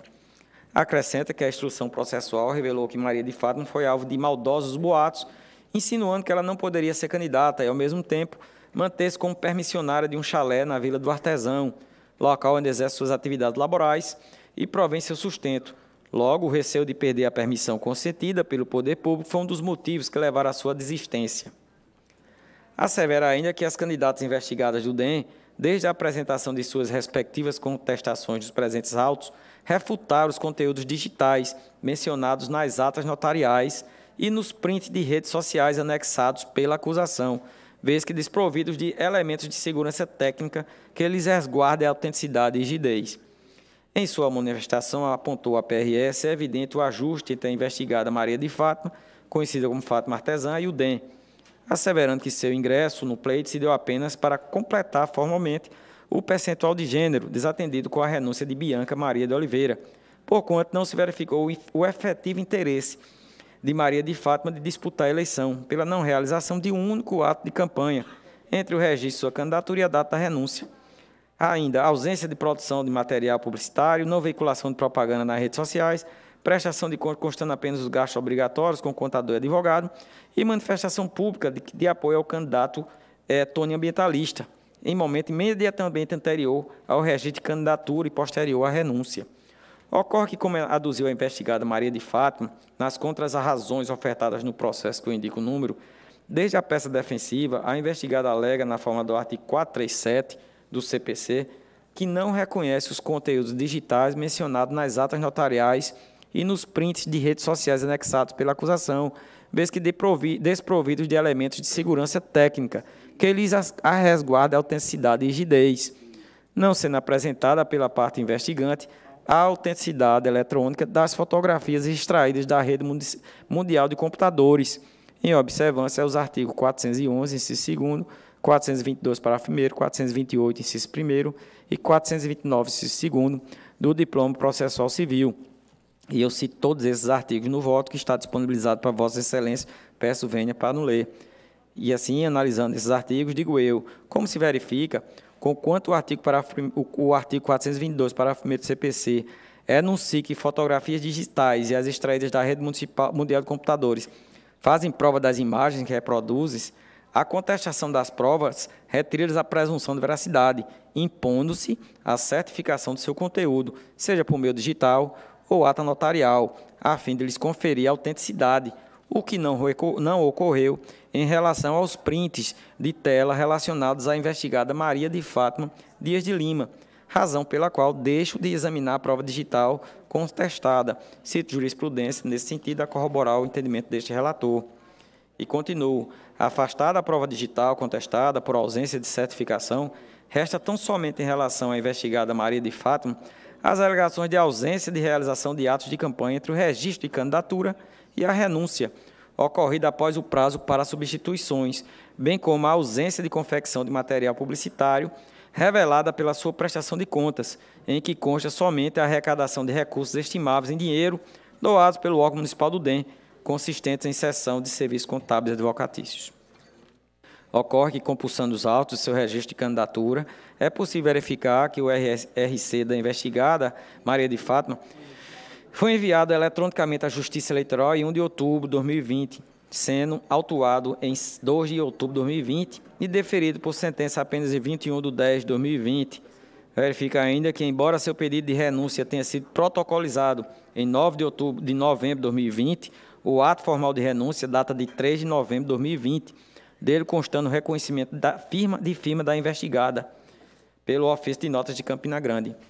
Com efeito, entre o deferimento do registro de candidatura de Fátima Artesã e o reconhecimento da firma no seu pedido de renúncia, exigência do artigo 69 da Resolução 23609, transcorreram apenas 14 dias, o que minimamente explica a falta de atos de campanha de contratação de material de propaganda, considerando ainda a justificativa apresentada pela investigada para sua renúncia, no sentido de que foi alvo de maldosos boatos, insinuando que ela não poderia ser candidata e, ao mesmo tempo, manter-se como permissionária de um chalé na Vila do Artesão, local onde exerce suas atividades laborais e provém seu sustento, conforme declaração anexada. De modo que o receio de perder a permissão concedida pelo poder público foi um dos motivos que levaram à sua desistência. Esse foi o relato de uma das testemunhas, Hertz Pires Pina Júnior. Ressalta que a votação zerada da investigada advém de sua renúncia, não sendo computados para a candidata os eventuais votos a ela destinados. Registre-se ainda, como já assentado, que, por se tratar de direito potestativo, a legislação de regência não existe como requisito de validade para a renúncia a exposição de motivos pelo candidato, tratando-se de manifestação unilateral de vontade, submetida apenas para efeito de validade do ato, à homologação da Justiça Eleitoral. Nesse sentido, ainda que seja possível aos partidos políticos, em conluio com as candidaturas femininas, utilizar do expediente da renúncia após o prazo legal para desvirtuar a cota de gênero, é princípio basilar, como já disse anteriormente, do sistema jurídico, não se poder presumir que as pessoas agem ilicitamente ou com intenções fraudulentas. Ao contrário, o ilícito deve ser demonstrado. E aí é uma lição do, do leitorista José Jairo Gomes. Destarte, a despeito dos indícios de fraude apontados pela parte investigante, entendo que o acervo probatório não se mostra capaz de comprovar com segurança que a renúncia de Maria de Fátima Dias de Lima, conhecida como Fátima Artesã, resulta de ajuste entre a candidata e o Partido Democratas, com o objetivo de burlar a política afirmativa. Tampouco não se pode extrair do conjunto probatório o juiz de certeza a despeito da alegada fraude à cota de gênero, consistente na candidatura fictícia da investigada, que modo deve ser afastada a sanção de inelegibilidade a ela imposta. Agora passo a analisar a candidatura fictícia de Virgínia Soares de Oliveira, também no DEM.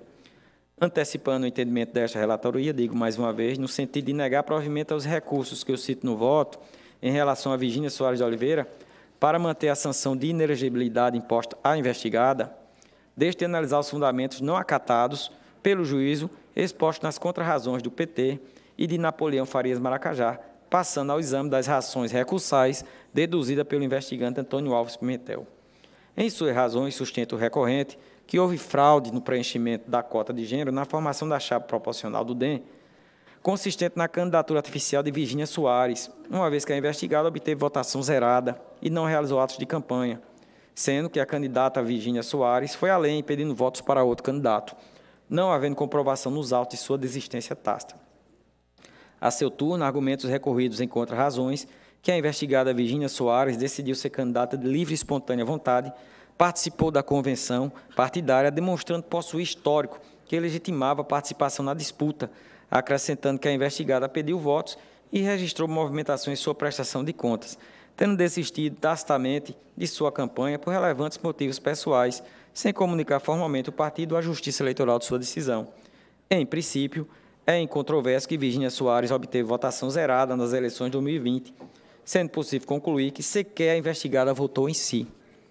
Em relação à alegação de que a investigada fez pedido de votos aos eleitores, apenas a testemunha Bruno Carneiro Medeiros narrou o suposto pedido de voto feito por Virginia em sua loja, em meados de agosto para setembro, mas relatou também que a investigada não chegou a enviar sequer uma imagem de Santinho para seu WhatsApp, não tendo visto e ou recebido igualmente material de campanha da candidata ou visualizado a divulgação da candidatura pelas redes sociais.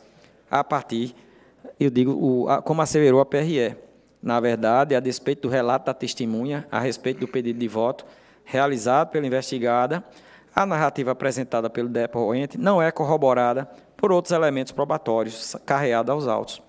No que se refere à participação da investigada Virginia Soares na convenção partidária, verifique seu nome consta da lista de presença registrada na ata de convenção municipal do DEM. No entanto, como bem pontuou o órgão ministerial, afora o comparecimento de Virginia à convenção partidária, não restou comprovada a participação da investigada em nenhum outro ato do partido, tampouco a elaboração de material de campanha. Ou seja, não foi confeccionado um santinho, sequer ou mesmo uma simples arte para divulgação de sua candidatura nas redes sociais, não se demonstrando também a criação e veiculação de jingle ou a divulgação de propaganda por qualquer outro meio, circunstância corroborada pelo relato da testemunha Bruno Carneiro Medeiros. Ainda na esteira do parecer ministerial, não bastasse a falta de divulgação da própria candidatura nas respectivas redes sociais, o conteúdo da, da ata notarial do ID que eu indico revela que Virgínia, desde o dia 27 de abril de 2020, compartilhava em seu Facebook publicações feitas pelo então presidente do DEM e também candidato a vereador Valdeni Santana, sendo registrado compartilhamento num referido período, nos dias 27 de abril de 2020 além de outros 11 dias que eu indico no voto, cito no voto todos os dias, eu peço venha para não ler. Foram mais 13 é, citações. Afastando qualquer dúvida acerca do apoio de Virginia Soares ao candidato Valdeni Santana, já durante o período de propaganda, iniciado após 26 de setembro de 2020.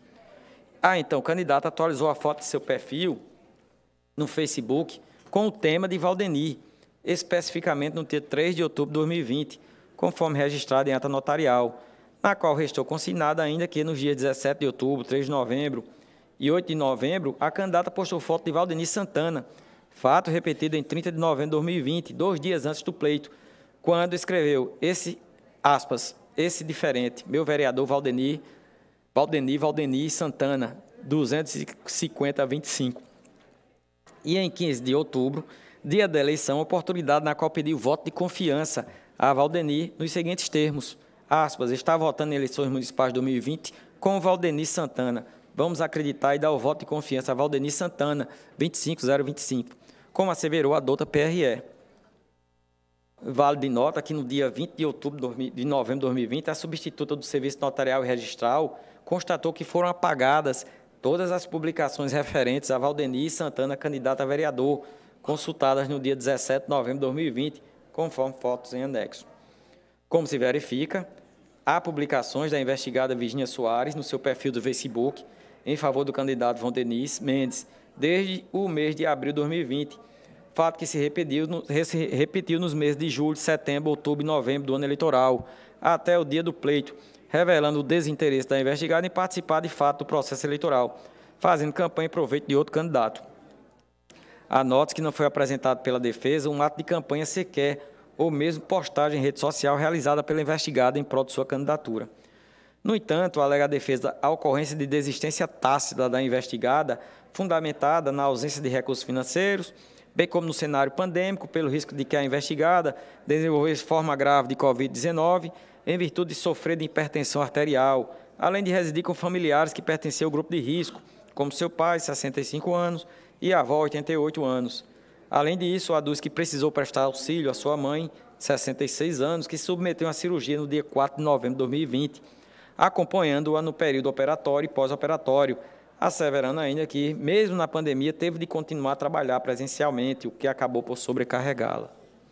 Ocorre que, como bem destacou a PRE, a pandemia era, era fator pré-existente e conhecido pelas candidatas antes do lançamento de suas candidaturas, assim como a necessidade do desenvolvimento de campanha nesse cenário, com todos os riscos advindos e eventual contágio pelos vírus da Covid-19, até mesmo a possível transmissão a familiares integrantes do grupo de risco, sendo um argumento inapto a justificar as desistências.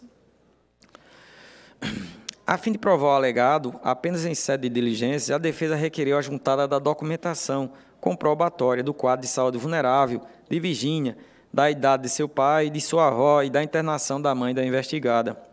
Acerca da documentação carregada aos autos, como asseverou a douta PRE, não se comprova o seu contínuo acompanhamento médico ou mesmo possível agravamento de alguma patologia sua no curso do período eleitoral, pois apenas foram trazidos documentos espaçados de 12 de novembro de 2018 e de 1 de fevereiro de 2021, estes últimos posteriores, portanto, ao pleito e ao juizamento da presente AGE, como asseverou a douta PRE.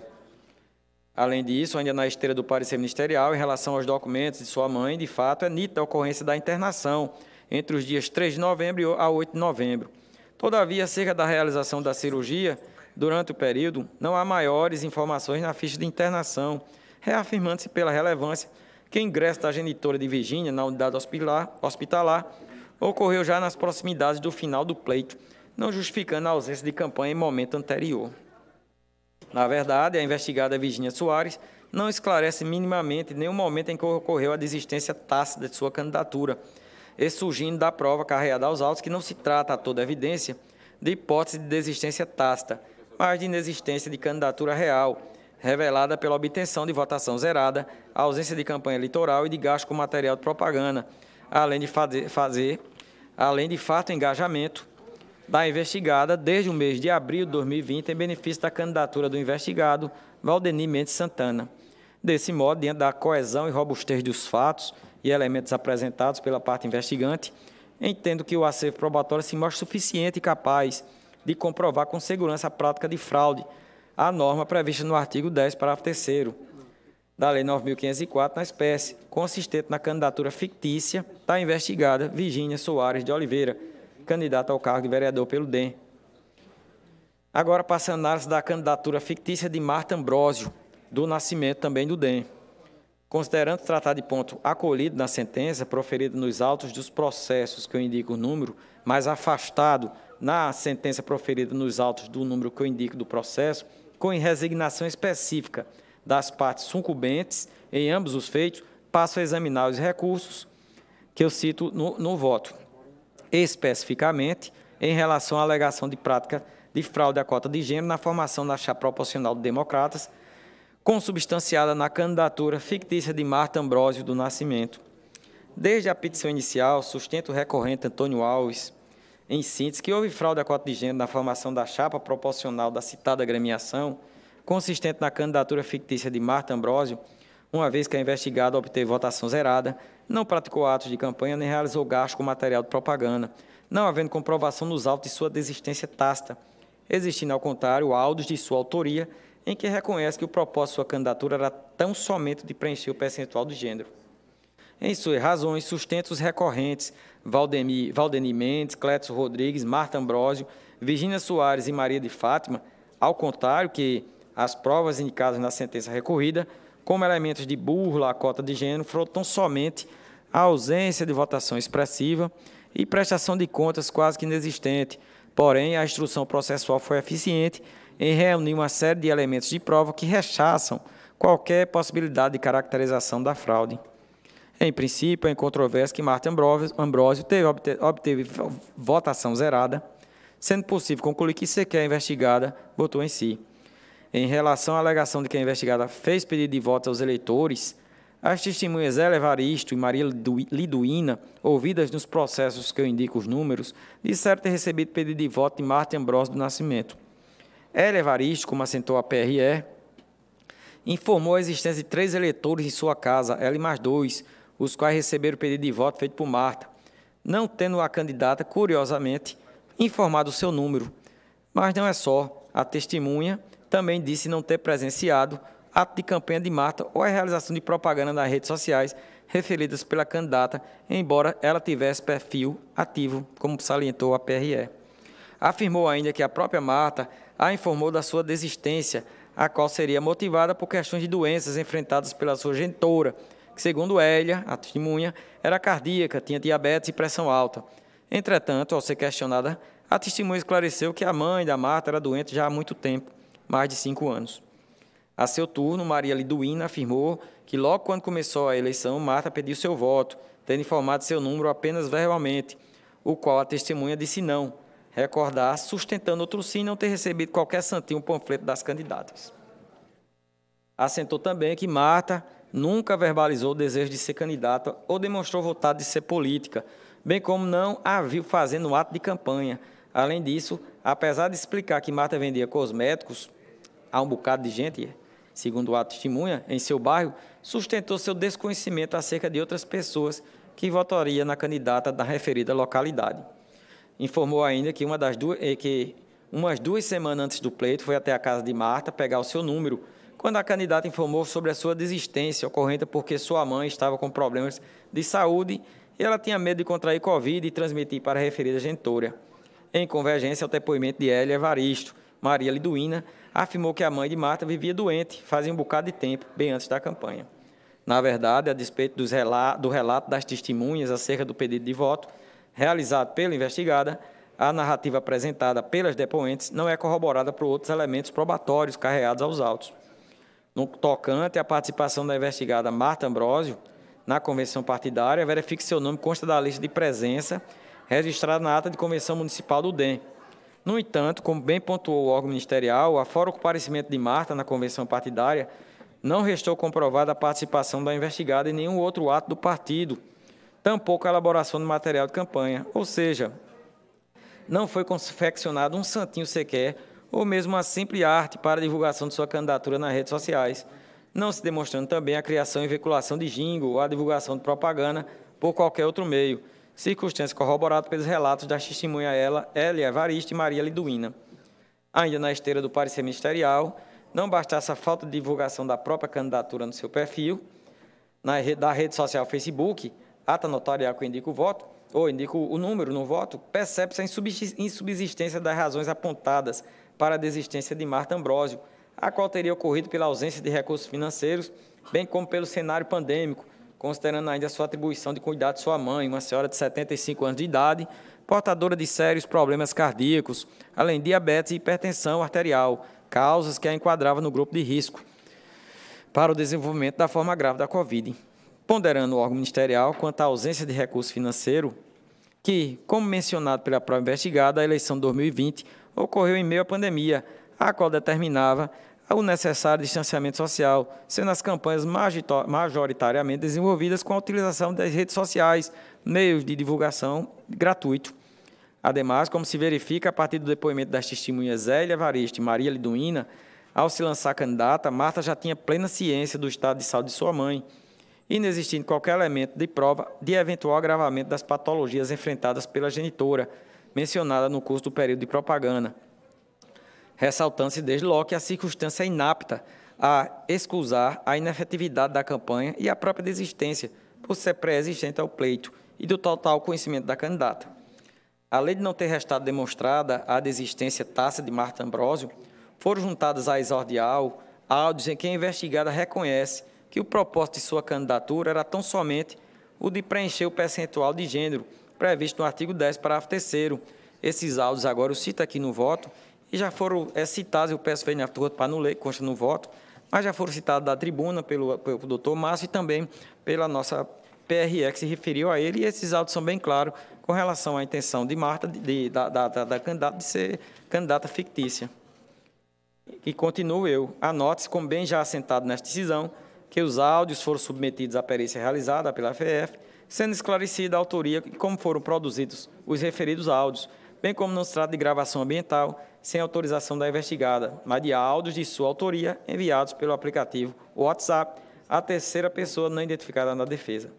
Na verdade, a investigada Marta Ambrosio esclarece minimamente, eh, não esclarece minimamente nem o momento em que ocorreu a desistência tácita de sua candidatura, é surgindo da prova carregada aos autos que não se trata a toda evidência de hipótese de desistência tácita, mas de inexistência de candidatura real, revelada pela obtenção de votação zerada ausência de campanha eleitoral e de gasto com material de propaganda, além do reconhecimento da própria candidata, revelado pelos áudios juntados com a petição inicial, e de que o propósito de sua candidatura era tão somente o de preencher a cota de gênero.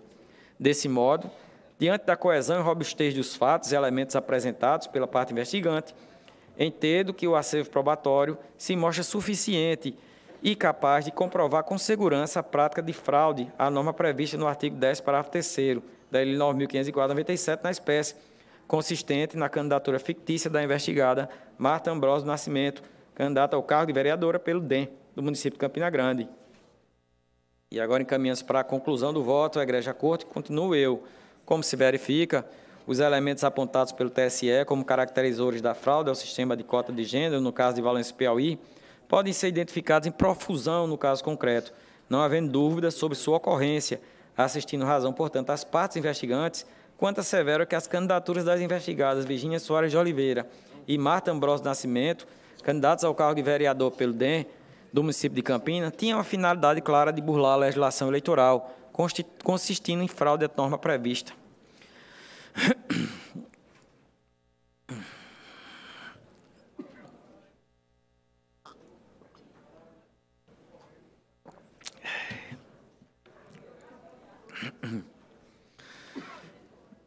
A gravidade dos fatos, portanto, é incontroversa na hipótese dos autos, tanto pelas circunstâncias acima, explorando-se candidaturas femininas, com o objetivo de burlar regras constitucionais e legais que busca estabelecer a plena isonomia de gênero, como também pela repercussão da, da conduta na legitimidade da disputa, restando preenchidos os pressupostos do artigo 22, inciso 16 da Lei Complementar 6490, na esteira do que assentou o TSE no caso de Valência do Piauí.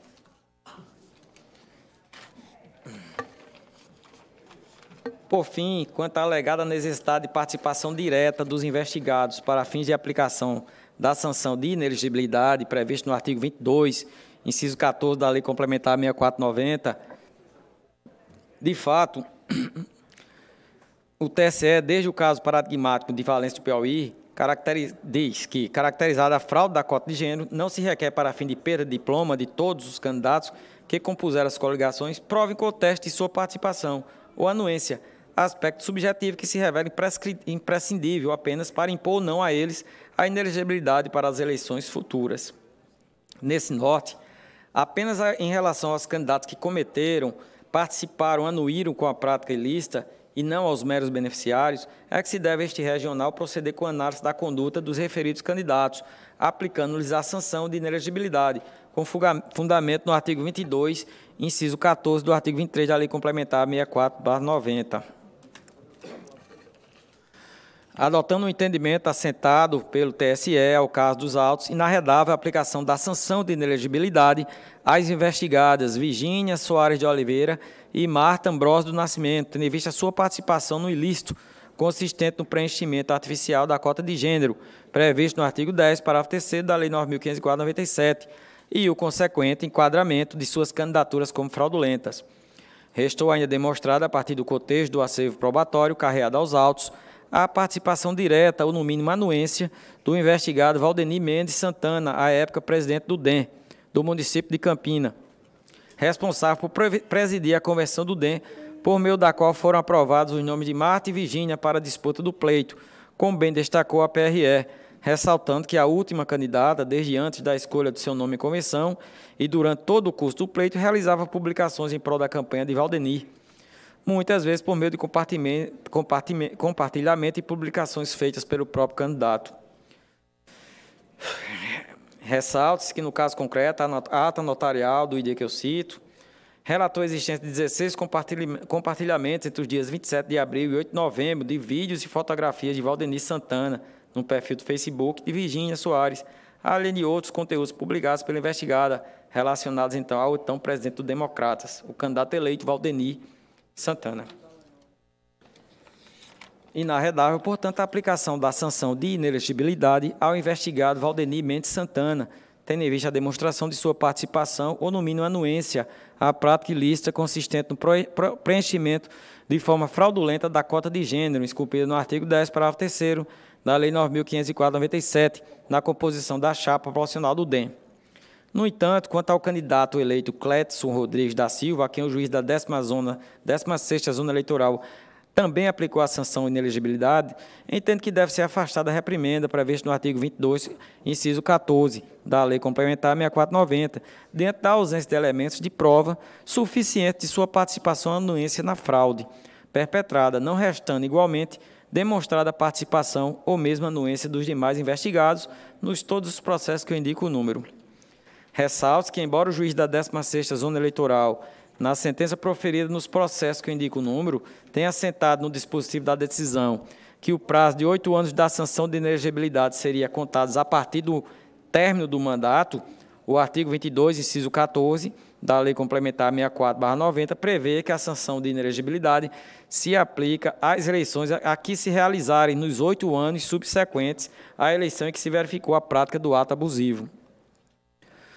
Ante ao exposto, já me encaminhando agora para o final, a Igreja Corte, senhora presidente, em harmonia parcial com a manifestação da PRE, voto A.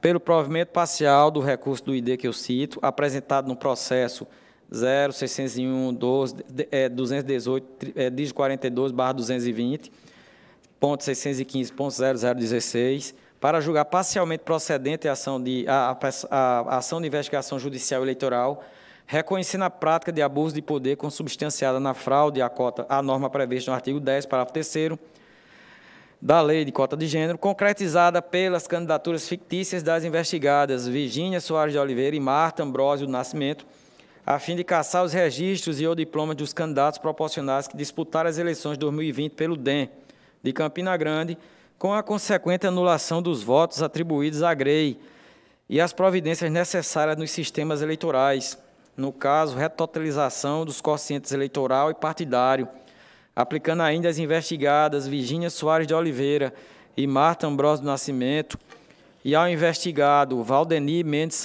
Santana, a sanção de inelegibilidade para as eleições que se realizarem nos oito anos subsequentes à eleição em que se verificou a prática abusiva, nos termos do artigo 22, inciso 14 da Lei Complementar 6490, com a comunicação ao juiz da 16ª Zona Eleitoral para cumprimento imediato da decisão, na forma do artigo 277, parágrafo 1 do Código Eleitoral.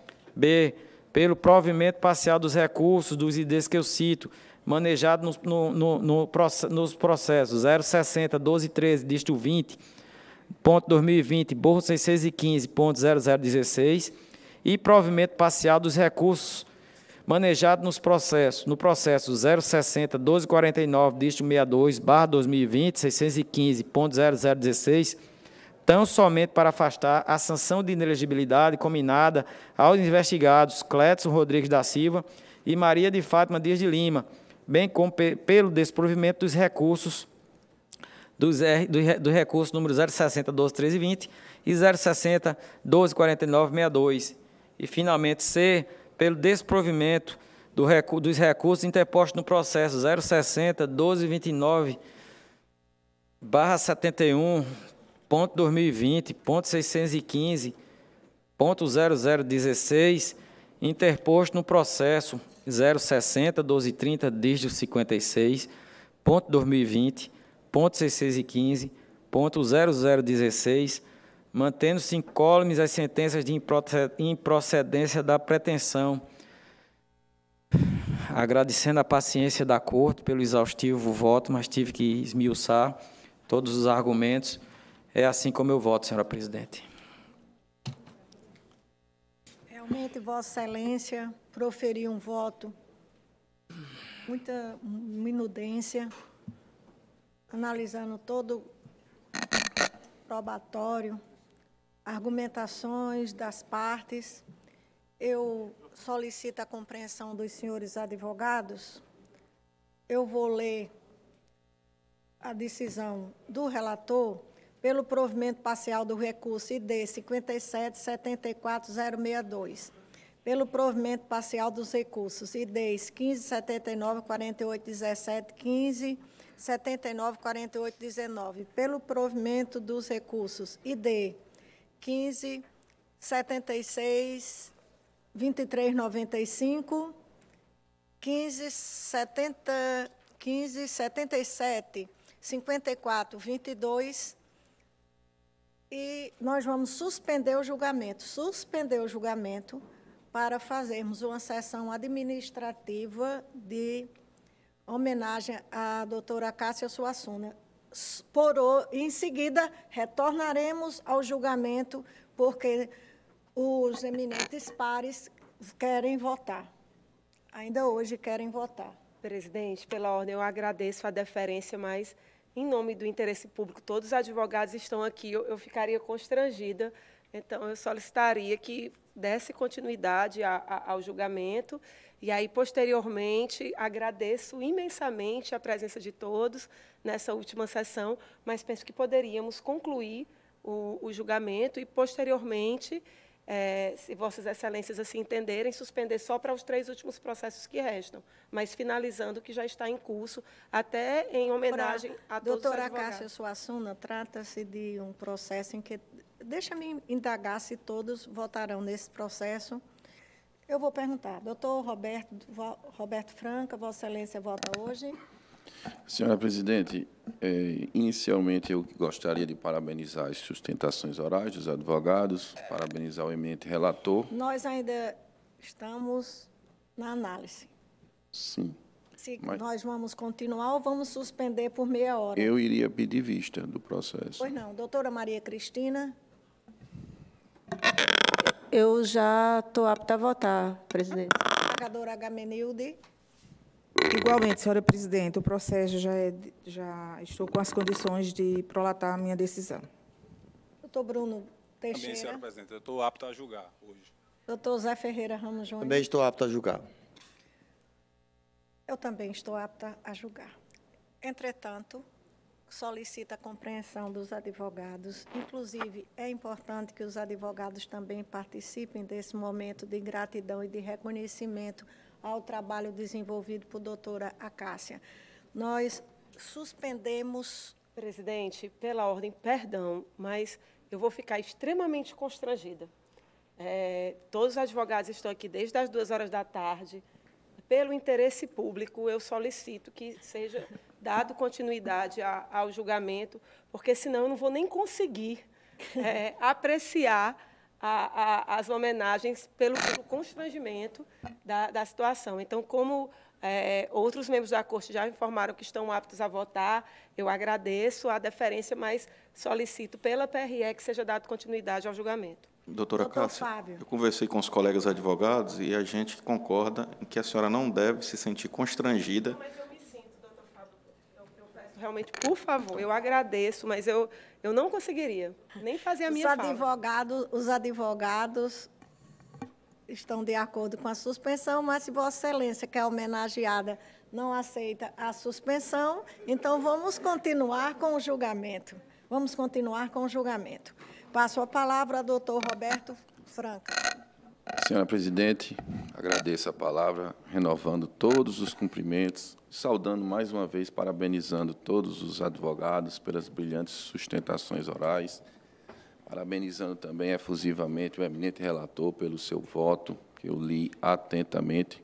Acredito que foi o voto mais substancioso e eu já pude participar desde que aqui cheguei assim como dos deputados estaduais. Também foi um voto muito grande. Mas, presidente, eu, eu vou pedir vista por, por dois pontos, duas dúvidas que eu tive precisamente aqui, vou pontuar. A primeira seria a questão da inelegibilidade, né, que foi imposta para um dos vereadores do DEM e não foi imposta para o outro. Eu sei que o que recebeu a inelegibilidade era o presidente do partido, mas eu gostaria de me aprofundar neste ponto. E o segundo ponto que me chamou a atenção, eu estava aqui lendo as sentenças das cinco AIGES, e na AIGE 060 12 18 42, que tem como no polo passivo os dois vereadores do DEM, Valdeni e Cledson, o juiz eleitoral julgou improcedente. E o mesmo juiz eleitoral, já na AGE 060 12 13 disto 20, que também envolve os mesmos fatos, e os dois vereadores do DEM, reconheceu a fraude à cota de gênero nessa AGE.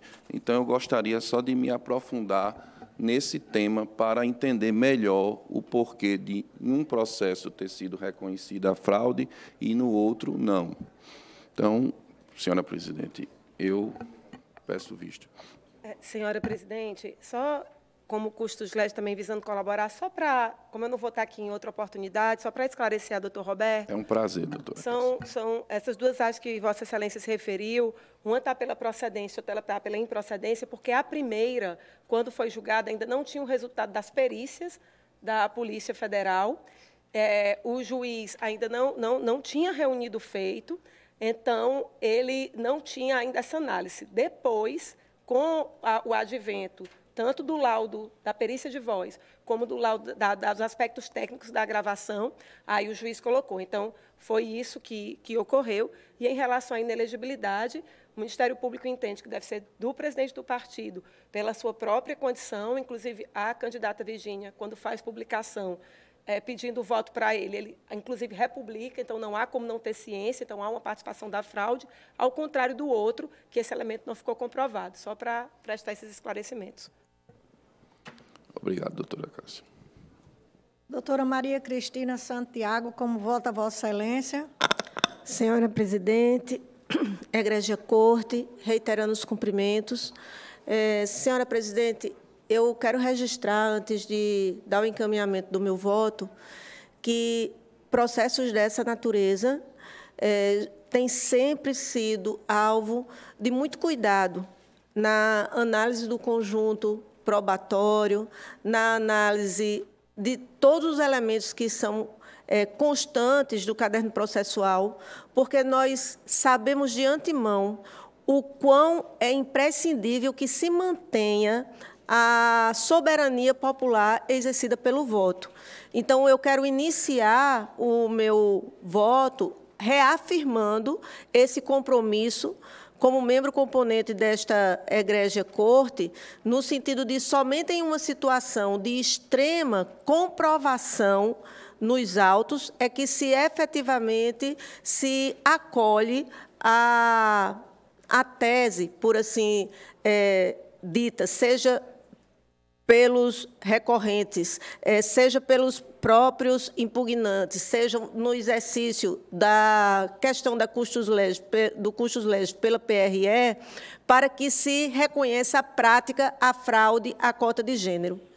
Quero também aqui, até mesmo como uma forma de reconhecimento pelo fato de estarmos em um mês, que é um mês emblemático, a causa feminina, a partir, por exemplo, do que todos nós sabemos da questão do Outubro Rosa, que faz com que haja toda uma atenção em relação ao universo feminino.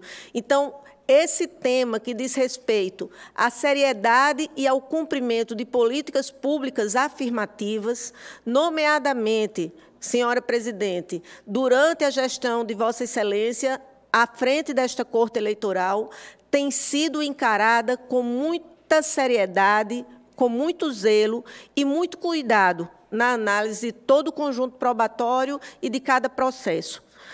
Sei que, efetivamente, quando não se tem um resultado ágil em termos de processo, ainda que venha uma decisão justa, a própria demora própria, muitas vezes, de situações alheias à vontade dos julgadores, e hoje, mais do que nunca, a partir do exercício da magistratura enquanto representante da, desta corte na condição de jurista, membro titular, eu posso dizer que, igualmente como não dá o direito, é o atraso em dizer desse direito. Então, aqui reafirmando o nosso compromisso com a justiça, com a, a efetividade das decisões aqui proferidas, eu estou encaminhando meu voto pelo reconhecimento da prática da fraude à cota de gênero, com uma distinção em relação ao que efetivamente foi posto pelo relator, porque, em nosso entendimento, a partir da análise profunda que foi feita durante todo o final de semana e de prestar atenção a cada sustentação oral que foi feita aqui nessa tribuna e também pela PRE, eu entendo que ficou caracterizado a fraude à cota de gênero por todas as candidatas, tanto do partido DEM quanto do PRO, à exceção de uma única candidata, que é a senhora Lisandra, do Partido Solidariedade. E com relação à aplicação da sanção de inelegibilidade, eu somente entendo que não caiba, em razão do caráter personalíssimo e da fragilidade das provas em relação ao senhor Clédson Rodrigues da Silva. O restante todos os candidatos que efetivamente foram analisados à exaustão dentro desses cinco processos, que ora está subjúdice, eu entendo que ficou caracterizada a fraude e que efetivamente deve ser imposta a sanção que costumeiramente esse tribunal tem é, reconhecido e aplicado em situações como estas. Esse é o meu encaminhamento, senhora presidente e egrégia corte. Vossa Excelência acompanha o relator, entretanto, diverge tão somente com a inelegibilidade do investigado Cleiton Rodrigues da Silva. Sim, e reconheço também a prática da fraude em relação às candidatas Maria de Lourdes Medeiros, Marileide, Valbênia de Andrade e Jéssica, que, pelo que eu inferi, Vossa Excelência pode até perguntar ao, a, ao doutor André, que está aí que, e fez a, a certidão. É, pelo que eu inferi do voto do relator, ele não reconheceu a prática da fraude em termos de caracterização por Maria de Lourdes, Marileide, Valbênia e Jéssica. Exatamente. Nessa parte eu estou divergindo. Diverge do relator, afastando a inelegibilidade de Cleidson Rodrigues da Silva e traz a responsabilidade às senhoras Maria de Lourdes, Jéssica, Maria de Lourdes, Marileide, Valbênia de Andrade e Jéssica, além das outras que efetivamente estão é, sendo apontadas como candidaturas laranjas. Então, Vossa Excelência, nesse caso, acompanha a, o Ministério Público Eleitoral. O Ministério Público Eleitoral, isso. Feito o registro. Desembargadora Agamenilde Dantas, como vota Vossa Excelência?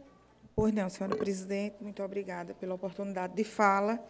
Renovo os cumprimentos a todos os membros desta, desta Corte Eleitoral, cumprimentos extensivos à assessoria e aos jurisdicionados e advogados que nos acompanham presencialmente e pelos meios virtuais. Senhora presidente, é, esse processo, eu gostaria, a princípio, de parabenizar a extensão do estudo do relator, doutor Fábio Leandro, e também, igualmente, cumprimentar, parabenizando pelo dever de ofício que sempre faz a doutora Cássia Suassuna, que é um processo em que reúne cinco processos, cinco processos, que é uma, um parecer e um voto, encaminhamento de voto de fôlego, onde todas as, as minúcias e todas as oportunidades foram dadas às, partes, e aqui enfrentada, enfrentadas, inclusive quando ratificada em tribuna a ilicitude da prova,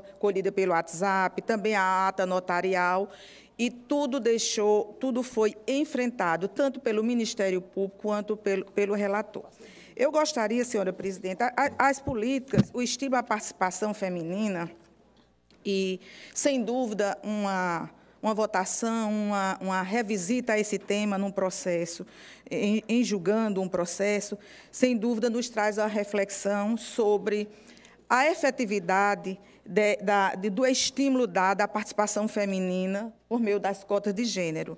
Eu, eu, tenho, nós guardamos essa impressão de que é preciso é fomentar essas ações afirmativas de forma construída de forma transparente e, e de formas diretas, respeitosas às partes que se chegam, mas toda a vida sem nos quedar a interesses pessoais ou particulares. Essa Corte de Justiça Eleitoral, enfrentando este tema, e veja que tem enfrentado costumeiramente, nós aqui em levantamento nós temos 18 processos, 18 processos julgados que implicaram em retotalização de votos. E esses processos, todos esses processos tiveram uma média de tramitação de 176 dias. São processos que, que processo 060, 69, e trago e vou fazer a inclusão no voto. Também, em, enfrentando esta matéria também de fraude à cota de gênero, tivemos processos com média de, de, de, de tramitação em torno de, no, de 295 dias e que implicaram, foram seis processos, implicaram inclusive na realização de novas eleições de novas eleições.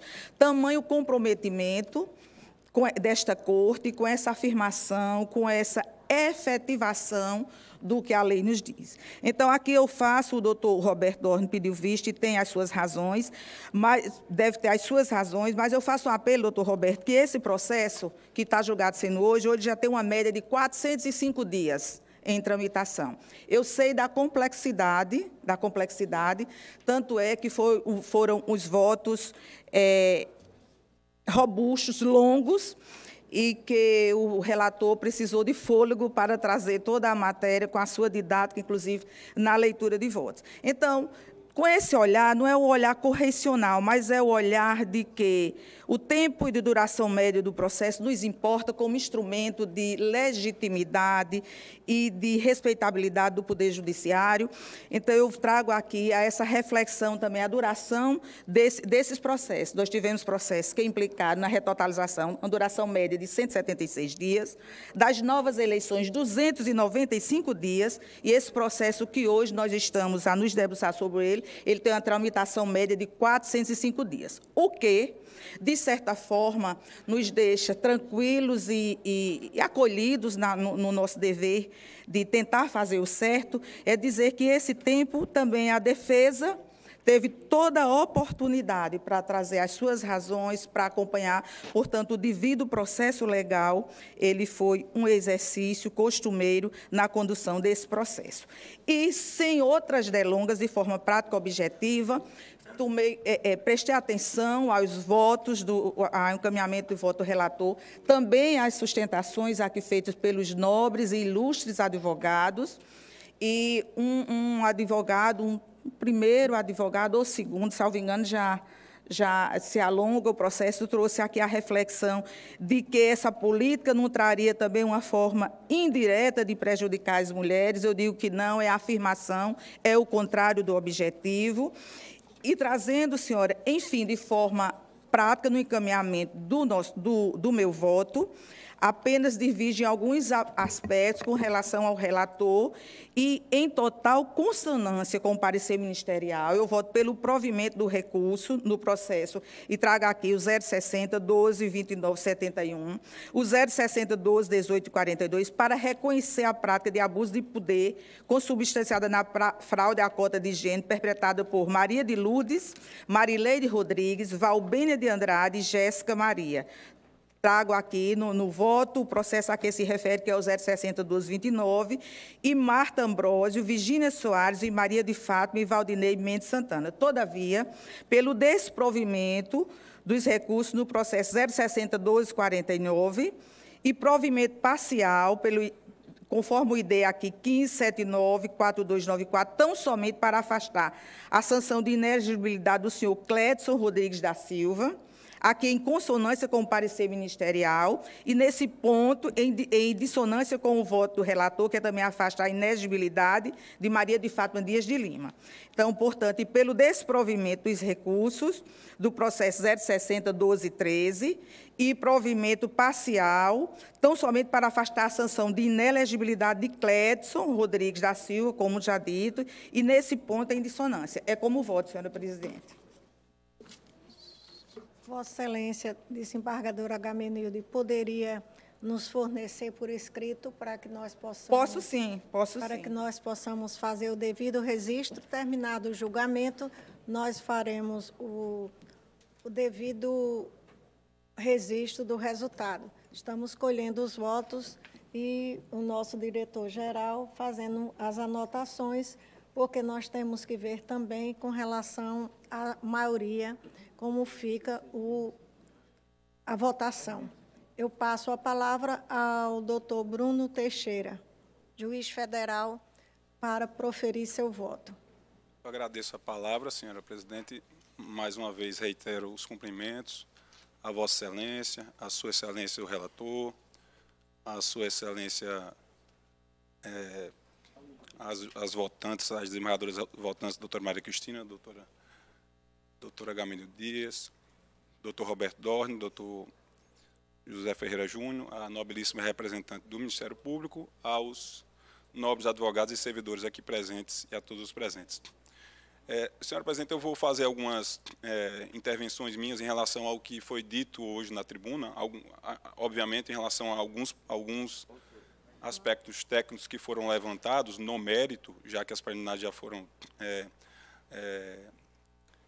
é perpassadas, é, porque entendo relevantes é, em relação a todas as manifestações. Em relação ao ilícito dos áudios, eu entendo que os áudios que foram juntados aos autos não se trata realmente de gravação ambiental clandestina, não se adequando aqui os recentes julgamentos do TSE no sentido da ilicitude, conforme apontado por, salvo engano, doutor Fidelis, não sei, também me perdi quanto aliás, foi o doutor Fidelis que, que levantou, porque entendo que é áudio realizado voluntária e espontaneamente pela própria interlocutora, ao gravar e encaminhar o conteúdo do terceiro, do, do, a terceiro dos seus áudios. Isso está em consonância com a jurisprudência de, é, do, do TSE, porque não é impeditiva, e também muito recente do TRE do Rio Grande do Norte.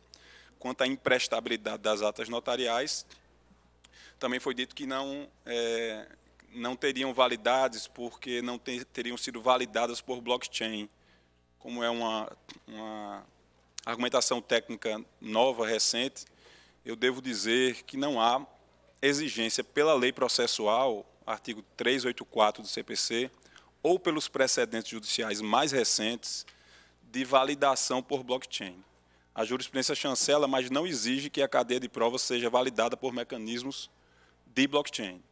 Os julgados falam em alternativa viável de preservação de prova e não em obrigação técnico-pericial.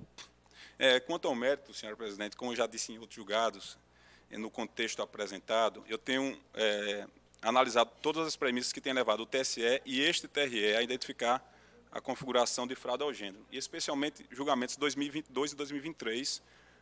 A imensa maioria deles eu não estava presente, mas alguns eu estava presente, estou aqui há cerca de mês e uma semana, os quais incluem características que levam em consideração a soma de circunstâncias fáticas do caso para análise da fraude à cota do gênero. Vários desses processos, inclusive, dizem respeito às eleições de 2020.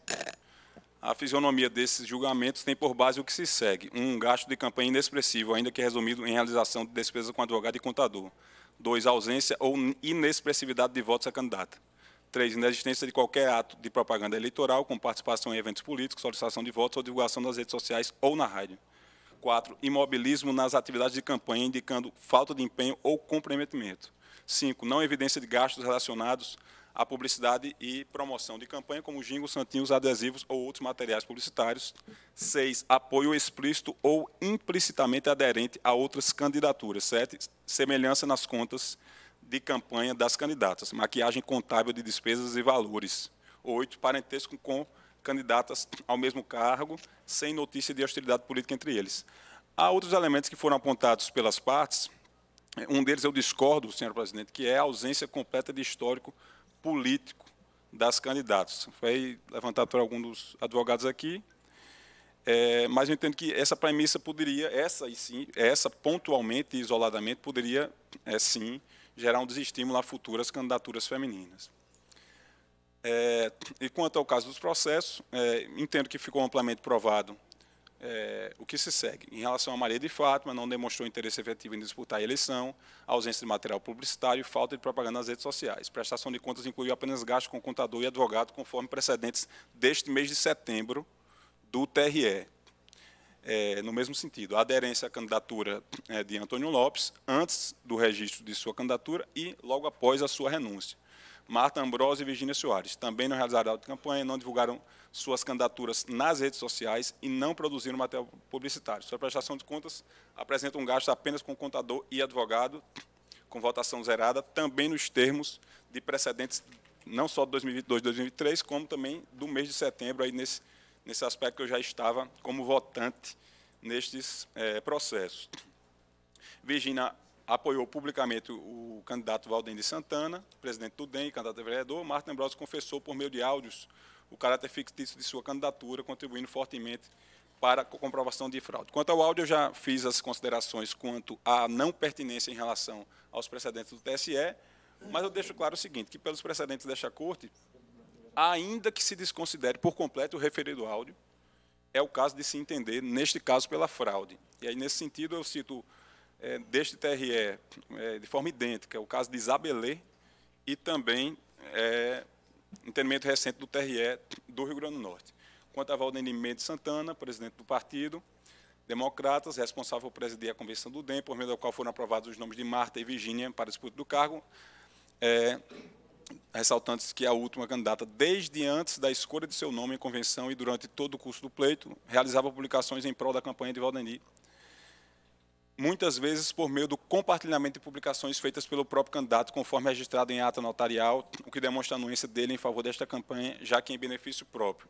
Isso foi é, combatido em uma das intervenções aqui, é, o fato de, muito, muito é, é brilhantemente, na verdade, defendido pelo, pelo advogado, que disse que seria uma sanção objetiva, uma, uma sanção de responsabilidade com características de responsabilidade objetiva, mas indico que este TRE também já declarou sanção de inegibilidade ao presidente do partido quando aderente e anuente com, com, com propaganda em seu favor, no processo TRE 0600-241-85 de 2020, município de São Bento, da relatoria do Dr. Bianô Arruda. Processo esse do final do ano passado. Quanto a, a Jéssica Maiara, a candidata não realizou atividade de campanha, não divulgou sua candidatura nas redes sociais. Se houve desistência, esta deveria ter sido antecedida de atos de campanha, ainda que mínimos, apenas participou de atos necessários ao preenchimento da vaga do partido. Publicamente no Instagram, expressou apoio a um candidato que concorria a um carro semelhante, vereador Renan Maracajá. Fato que não aconteceu na época em que estava em campanha,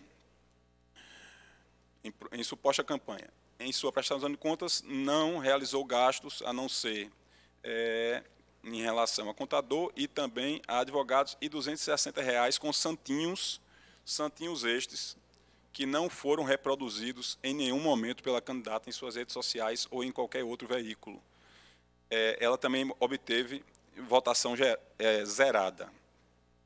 Quanto a Maria de Lourdes, Marilene Rodrigues e Valbena de Andrade, é, elas estão listadas na convenção partidária, mas não houve comprovação de qualquer outra atividade de campanha em seus nomes. Não foram confeccionados materiais de campanha, como santinhos e divulgações em redes sociais, e não há indício de jingles e propaganda as candidatas não deram razões concretas para suas desistências. E durante o período de propaganda, que foi naquele ano, por conta da pandemia, de 27 de nove de 2020, até as datas das renúncias, 19 de 10 de 2020, em relação a Maria de Lourdes, e 10 de 11 de 2020, em relação a Marileide Rodrigues e Valbena de Andrade, não foram apresentadas provas de qualquer atividade de campanha que indicasse interesse em se eleger.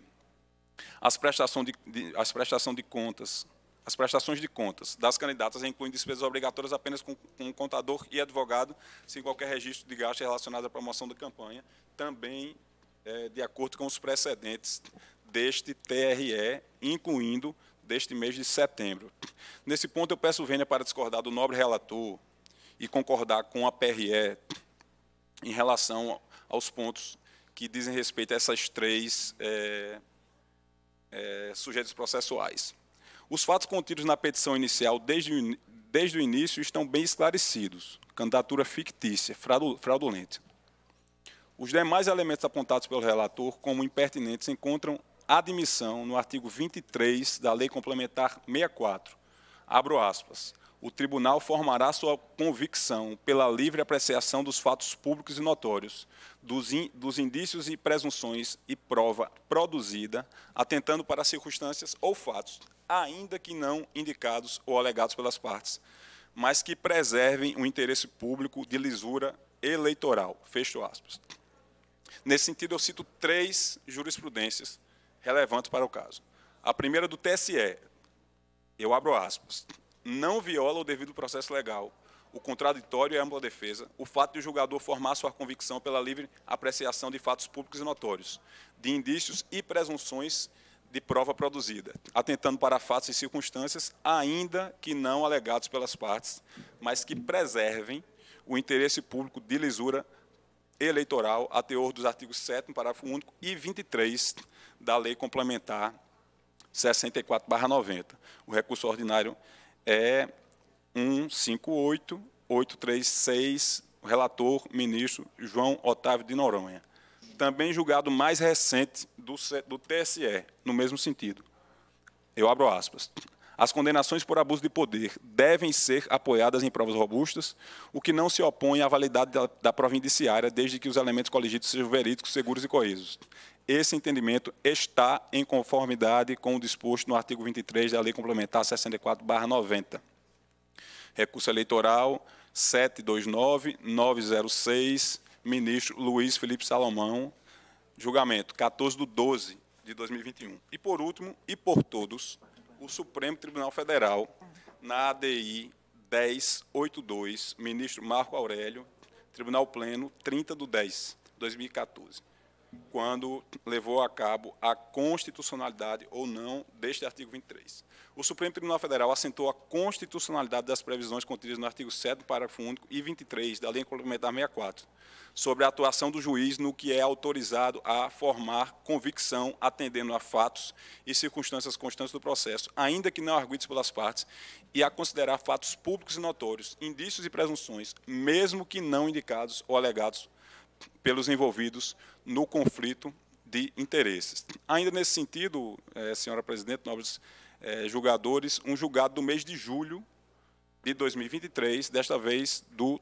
TRE do Rio Grande do Norte. Isto posto, senhora presidente, em total consonância com o parecer ministerial e pedindo vênias nesta parte ao a sua excelência o relator, eu voto pelo provimento do recurso no processo 0601 22971 e também nos processos no processo 0601 12 18 42 para reconhecer a prática de abuso de poder consubstanciada na fraude à cota de gênero perpetrada por Maria de Lourdes, Marileide Rodrigues, Valbênia Andrade e Jéssica Maria, isso no processo 0661 22471 e Marta Ambrósio, Virgínia Soares e Maria de Fátima, Maria, de Fátima e Valdeni Mendes Santana, isto no processo 0601 218 42 pelo desprovimento dos recursos no processo 0661 249 dígito 62. Aí, quanto aos IDs, eu é, peço vênia para indicar apenas os três últimos números do, dos IDs, que é o que difere em todos os processos.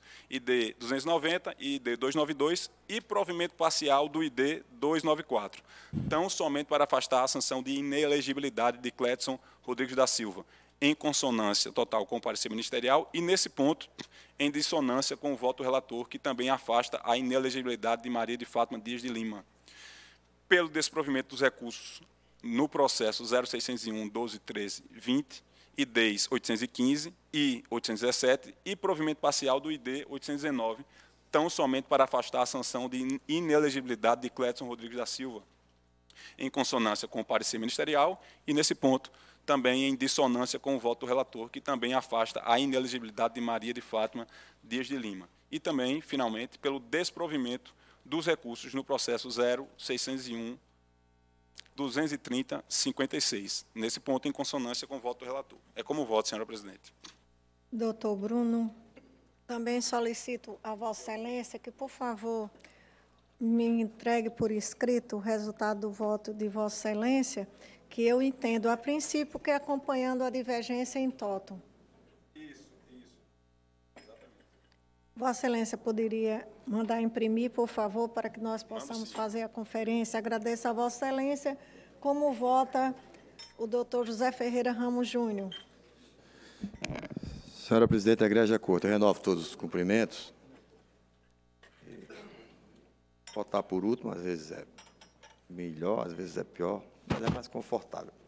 É, com relação à fraude à cota de gênero, do, eu vou analisar, vou resumir, porque eu tinha feito um voto um pouco mais longo, vou procurar resumir, para tentar falar em pouco mais de dois minutos.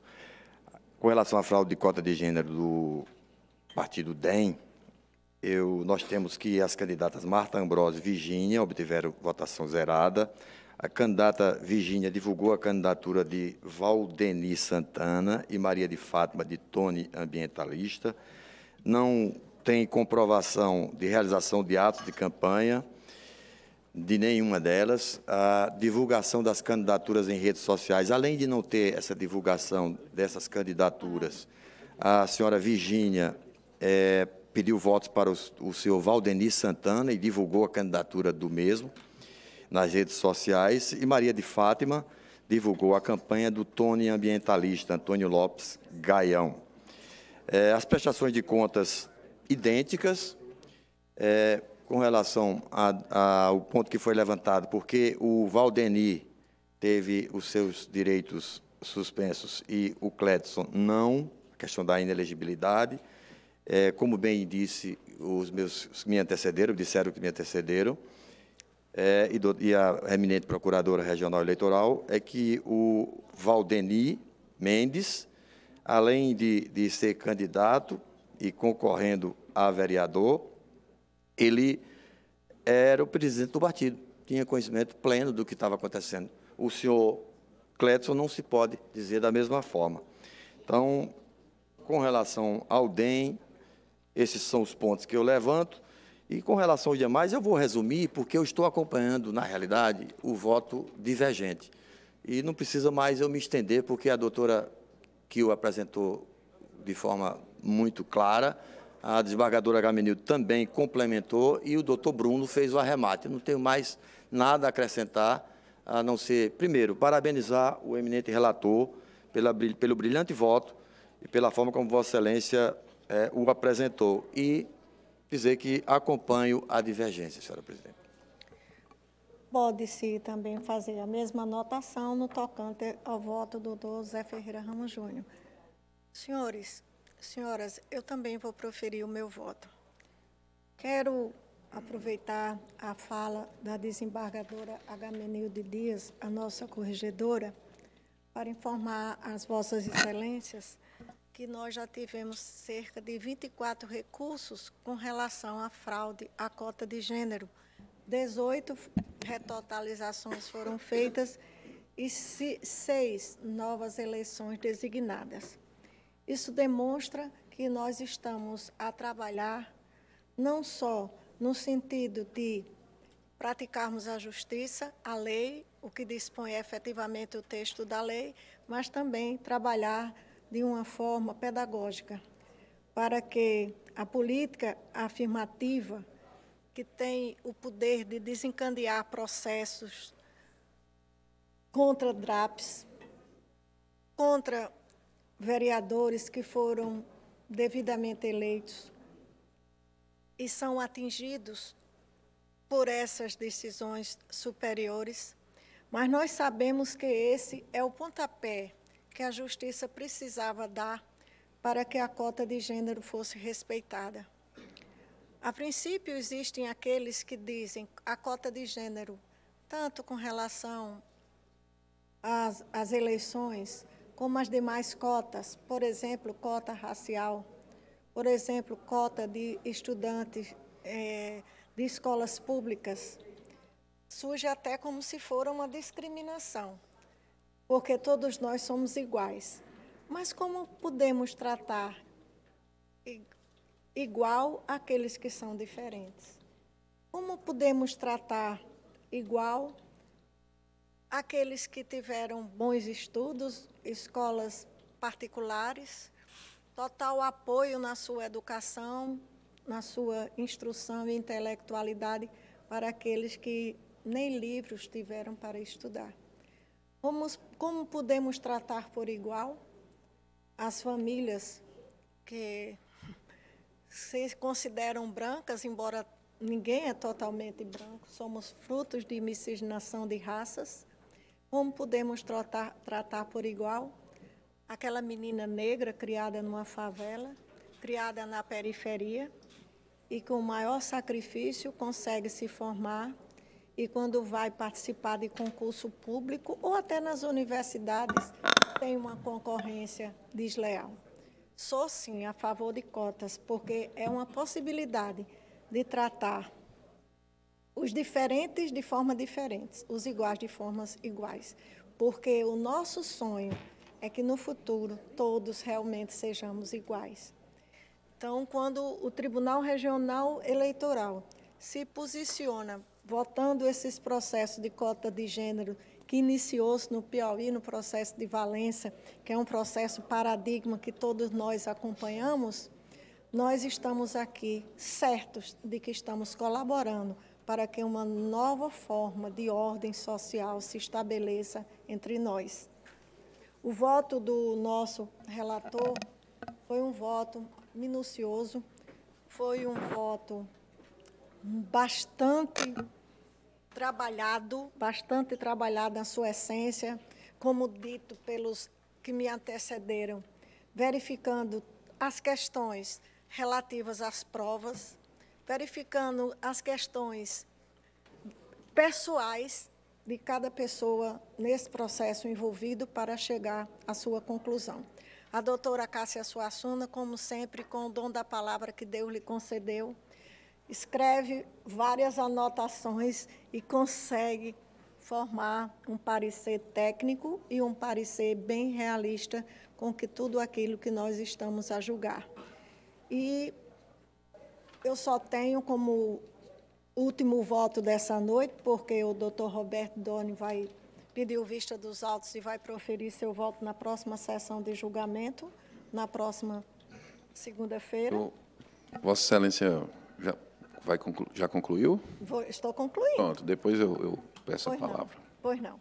Então, eu, eu, ao fazer esse registro, sentindo-me a última a dar o voto, o doutor Roberto Dorno pode, inclusive, também reconsiderar a posição, reconsiderar a posição, mas eu quero dizer que peço venha a divergência, mas eu entendo como relator, provendo parcialmente o recurso apresentado, apresentado no processo 060 12 18 42 2020 615 0016 e aqui eu saio lendo a certidão, lendo a conclusão, perdão, a conclusão de julgamento do eminente relator para reconhecer a prática do abuso de poder consubstanciado na fraude à norma prevista no artigo 10, parágrafo 3 da Lei 9.504/97, que é a cota de gênero, concretizada pelas candidaturas fictícias das investigadas Virgínia Soares de Oliveira e Marta Ambrósio do Nascimento,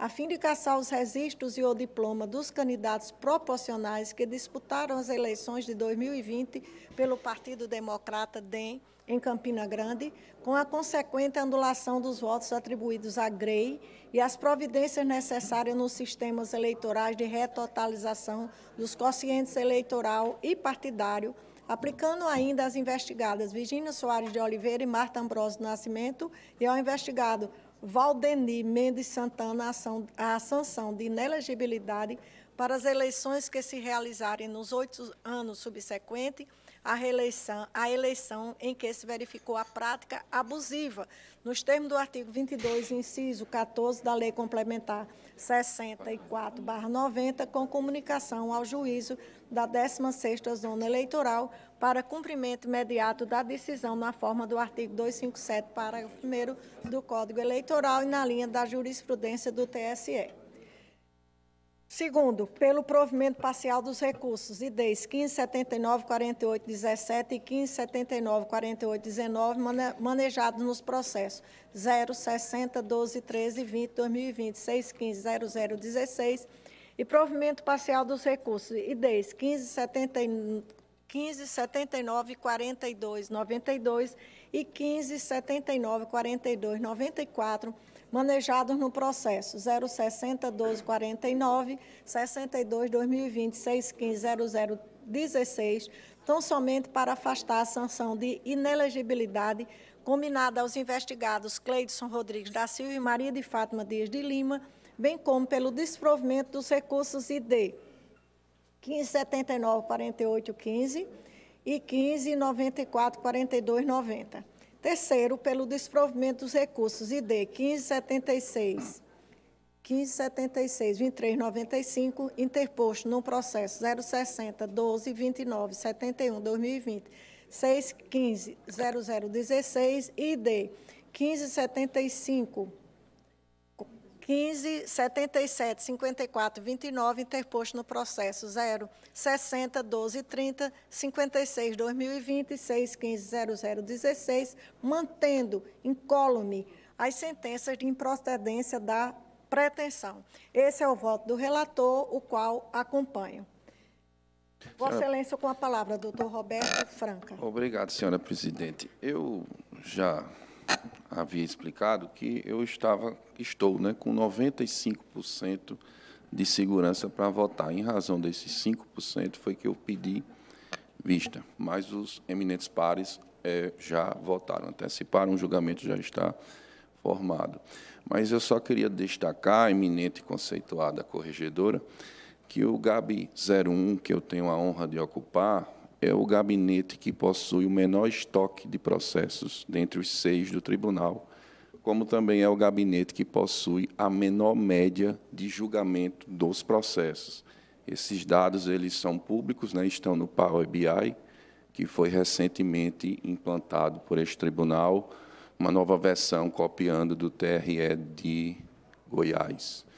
E também dizer que, em um ano e nove meses, que eu estou neste tribunal é o meu terceiro pedido de vista. E na próxima sessão, na segunda-feira, trarei o meu voto visto, senhora presidente. Obrigado. Agradeço. Senhora presidente. É, o nosso objetivo não é trazer uma nem reprimenda, nem o olhar correcional. Pelo contrário, é uma análise de uma matéria que nós já temos como pacificada por esse tribunal e nós trouxemos essa reflexão, doutor Roberto, e para todos, principalmente quando estamos já num período de quase recesso e nós entendemos de que sempre o tribunal enfrentou essa matéria com, com altivez, com com preocupação e com competência. Foi nesse aspecto que nós trouxemos. E ainda, os 405 dias que nós aqui ratificamos em data, é o fato de dizer que, pelo, pelo período de tramitação, foi, foi oportunizada a, cada um e a todos o, o, devido processo legal e a ampla defesa. Foi esse aspecto. E renovo, de qualquer sorte, preocupada em si, em, em si como a preocupação de todos nós com o bom andamento do, dos processos. Então, eu não há como não lhe parabenizar e agradecer pela preocupação de trazer na próxima segunda-feira. Muito obrigada.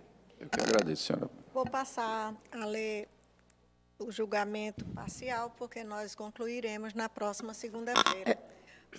As preliminares já foram lidas no início e vamos ao mérito. No mérito, após o voto do relator, no sentido de dar parcial provimento ao recurso do ID 15 77 40 62, apresentado no processo já mencionado para julgar parcialmente procedente a ação de investigação judicial eleitoral, reconhecendo a prática de abuso de poder consubstanciado na fraude à norma prevista no artigo 10, parágrafo 3 da Lei 9.504, 1997 e a Lei de Cota de Gênero, concretizada pelas candidaturas fictícias das investigadas Virgínia Soares de Oliveira e Marta Ambrosio do Nascimento, a fim de cessar, caçar os registros e ou diplomas dos candidatos proporcionais que disputaram as eleições de 2020 pelo Partido Democratas DEM de Campina Grande, com a consequente anulação dos votos atribuídos à GREI e as providências necessárias nos sistemas de retotalização, aplicando ainda as investigadas Virginia Soares de Oliveira e Maria e Marta Ambrosio do Nascimento e ao investigado Valdeni Mendes Santana a sanção de inelegibilidade para as eleições que se realizarem nos oito anos subsequentes à eleição em que se verificou a prática abusiva, nos termos do artigo 22, inciso 14 da Lei Complementar 64/90, com comunicação ao juízo da 16ª Zona Eleitoral para cumprimento imediato da decisão na forma do artigo 257, parágrafo 1 do Código Eleitoral, e ainda dando parcial provimento aos recursos 1579, 48 e 17 e 1579, 48 e 19, e parcial provimento aos recursos IDEs 1579, 1579, 42, 92 e 1579, 42, 94, manejados no processo já mencionado, tão somente para afastar a sanção de inelegibilidade combinada aos investigados Cleidson Rodrigues da Silva e Maria de Fátima Dias de Lima, bem como desprover o recurso ID 1579 48 15 e o ID 1579 42 90 e os recursos ID 1576 2395 e ID 1577 54 29 mantendo-se incólumes as sentenças de improcedência da pretensão. Ato contínuo pediu vista o doutor Roberto Dório Moreira Monteiro da Franca, sobrinho. A doutora Maria Cristina Paiva Santiago, acompanhando em parte o voto do relator, no sentido de reconhecer a prática fraude, a fraude à cota de gênero, divergindo, no entanto, em parte, abrindo a seguinte tese com relação às investigadas, um momentinho, André. Com relação às investigadas, Maria de Lourdes, Marileide Rodrigues, Valbênia de Andrade Jéssica Moraes, processo 060, e Jéssica Maria, corrigindo, processo 060 12 29 71, Marta Ambrosio, Virgínia Soares, Maria de Fátima e Valdinei Mendes Santana, com relação à sanção da ineligibilidade, entende que somente não cabe a sua imposição ao senhor Cleidson Rodrigues da Silva por falta de provas robustas. Eu vou passar a ler o voto da desembargadora Gamenilde e solicito à doutora Maria Cristina, ao doutor Bruno e ao doutor Ferreira Júnior se concordam com o termo do voto da desembargadora Gamenilde, que está bem objetivo. Senhora presidente, o voto pela ordem, quem apresentou no início foi a, juíza Maria Cristina. Então, sem nenhuma. Me acosto à divergência e com, tem só a questão é só a questão. Só que tem os números. Ah, sim. Tá. Da... Pois não. Porque tem os IDs. É, eu vou ler a questão dos IDs, mas a divergência puxada pela doutora Maria Cristina, porque o voto que Vossa Excelência me passou aqui está bem objetivo. A desembargadora Agamenilde Dias Arruda Vieira Dantas, no mesmo sentido da divergência e em total consonância à manifestação ministerial, votou pelo provimento do recurso no processo 060 12 29 71 e 060 12 18 42 para reconhecer a prática de abuso de poder consubstanciada na fraude à cota de gênero perpetrada por Maria de Lourdes, Marileide Rodrigues, Valbênia de Andrade e Jéssica Maria, processo 060 12 29 71 e Marta Ambrósio, Virgínia Soares, Maria de Fátima e Valdeni Mendes Santana, processo 061 21 8 42. Confirmam? Esse é o voto da divergência, apresentado pela doutora Maria Cristina, seguido da desembargadora Agamenilde, de, Vieira Dantas, doutor Bruno Teixeira, pois não, e doutor Zé Ferreira Ramos Júnior. Ainda há uma, uma sequência, ainda há uma complementação do voto, me perdoe. Pelo desprovimento, o voto divergente também diz que é pelo desprovimento dos recursos no processo 061 24 4962 e provimento parcial do ID 1579 4294, tão somente para afastar a sanção de inelegibilidade de Cleidson Rodrigues da Silva, divergindo nessa parte do relator, que também afastou a inelegibilidade de Maria de Fátima Dias de Lima. E pelo desprovimento dos recursos no processo 060 12 13 20 e D 1579 48 15 e 1579 48 17 e provimento parcial do ID 1579 48 19, tão somente para afastar a sanção de inelegibilidade de Cleidson Rodrigues da Silva. Esse Cleidson Rodrigues da Silva. Esse é o voto da divergência, seguido Ainda tem um, senhora presidente, é o desprovimento dos recursos no processo 060 12 13 56. E aí, isso aí em consonância com o relator. Em consonância. É, esse ponto é em consonância com o relator, todo mundo. Agradeço. É, não estamos no do relator a, a e da construir a certidão. Doutor Bruno, Vossa Excelência, por favor, pode editar. É, a unanimidade da Corte pelo desprovimento dos recursos no processo 060 1230 dígito 56. 1230 56 a unanimidade e desprovimento do recurso. 060 12 30 56. Isso. Isso.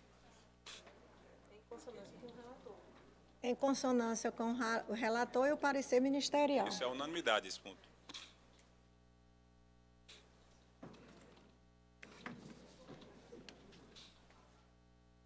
Doutor André, por favor, faça a leitura da, do, do, voto divergente, do voto divergente em totem. Por favor, doutor Bruno, confira a divergência, por gentileza. Pois não, desembargadora. É,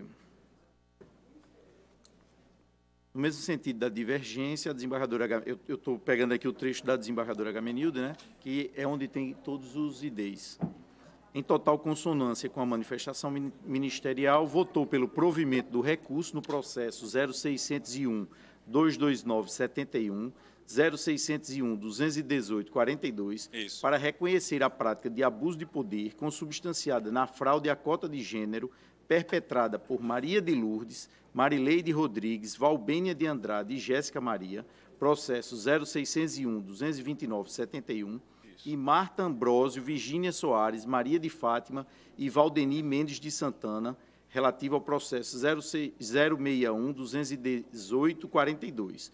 E ainda, pelo desprovimento... 060, André. 061 não, 060...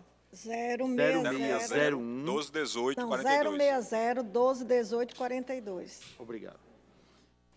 E ainda, pelo desprovimento dos recursos no processo 060 1249 62 e pelo provimento do, do ID 1579 4294, tão somente para afastar a sanção de inelegibilidade de Cledson Rodrigues da Silva, divergindo nesta parte do relator, que também afastou a inelegibilidade de Maria de Fátimas Dias de Lima. E pelo desprovimento dos recursos no processo 060 12 13 20 e 10 1579 4815 e 1579 4817 e provimento parcial do ID 1579 4819, tão somente para afastar a sanção de inelegibilidade de Cledson Rodrigues da Silva. E, por fim, pelo desprovimento dos recursos nos processos 060, 1230, 56, acompanhando nesta parte o voto do relator em harmonia com o parecer ministerial. Certo, só tem, só faltou os IDs dos recursos de desprovimento nos processos, em dois processos acima. Se quiser, eu, eu, eu dito, tá nós bem fácil para mim. Nós temos aqui os números, nós temos o número, Vossa Excelência, Vossa é. Senhoria pode acrescentar. Agradeço às Vossas Excelências o auxílio na construção do voto, os advogados já estão cientes do resultado e eu peço ao doutor André que faça uma leitura final, incluindo as preliminares, que foram unânimes, e nós apresentamos, portanto, um julgamento provisório a depender tão somente da, do voto do doutor Roberto Dorne, que será proferido na próxima segunda-feira, com relação ao mérito, tendo em vista que todas as preliminares foram unânimes. Vossa Excelência, por favor, faça a leitura não, da certidão provisória. Inicialmente, os advogados das partes recorrentes e recorridas, com amparo no artigo 95, parágrafo 7 parte final do regimento interno do TRE-PB, acordaram em dividir igualmente o tempo de sustentação oral de 30 minutos, no caso de lides consortes com procuradores diferentes, bem, sendo iniciada pelos advogados das partes bem. autoras das ações de investigação uhum. judicial eleitoral.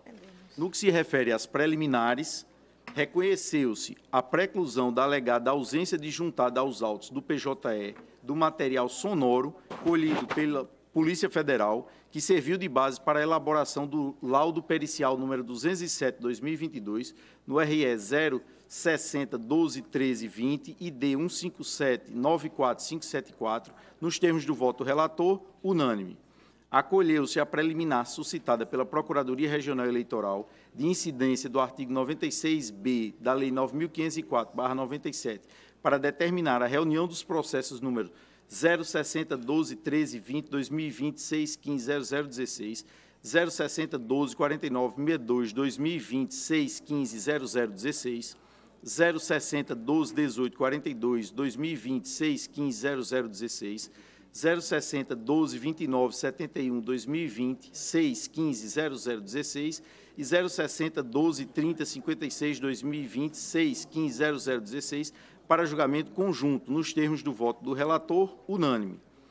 Acolheu-se ainda a preliminar suscitada pela Procuradoria Regional Eleitoral de ilegitimidade das agremiações partidárias investigadas para determinar a a exclusão do Partido Democratas DEM do município de Campina Grande do polo passivo dos processos números 060 12 49 62 2020 6 15 0016 e 060 12 18 42 2020 6 15 0016. B. Exclusão do Partido União Brasil do polo passivo do processo número 0601 do, 060 12 18 42 2020 6 15 0016. C a exclusão do Partido Republicano da Ordem Social, PROS, de Campina Grande, do polo passivo dos processos números 060 12 49 62 2020 6 15 0016 e 060 12 29 71 2020 6 15 0016. D. A exclusão do Partido Solidariedade do município de Campina Grande, Paraíba, do polo passivo dos processos 060 12 49 62 2020 6 15 0016 e 060 12 30 56 2020 6 15 0016, com a extinção dos feitos sem resolução do mérito em relação a essas partes e letra E, o ingresso do Partido União Brasil na condição de assistente simples dos seus filiados, tudo nos termos do voto do relator, unânime.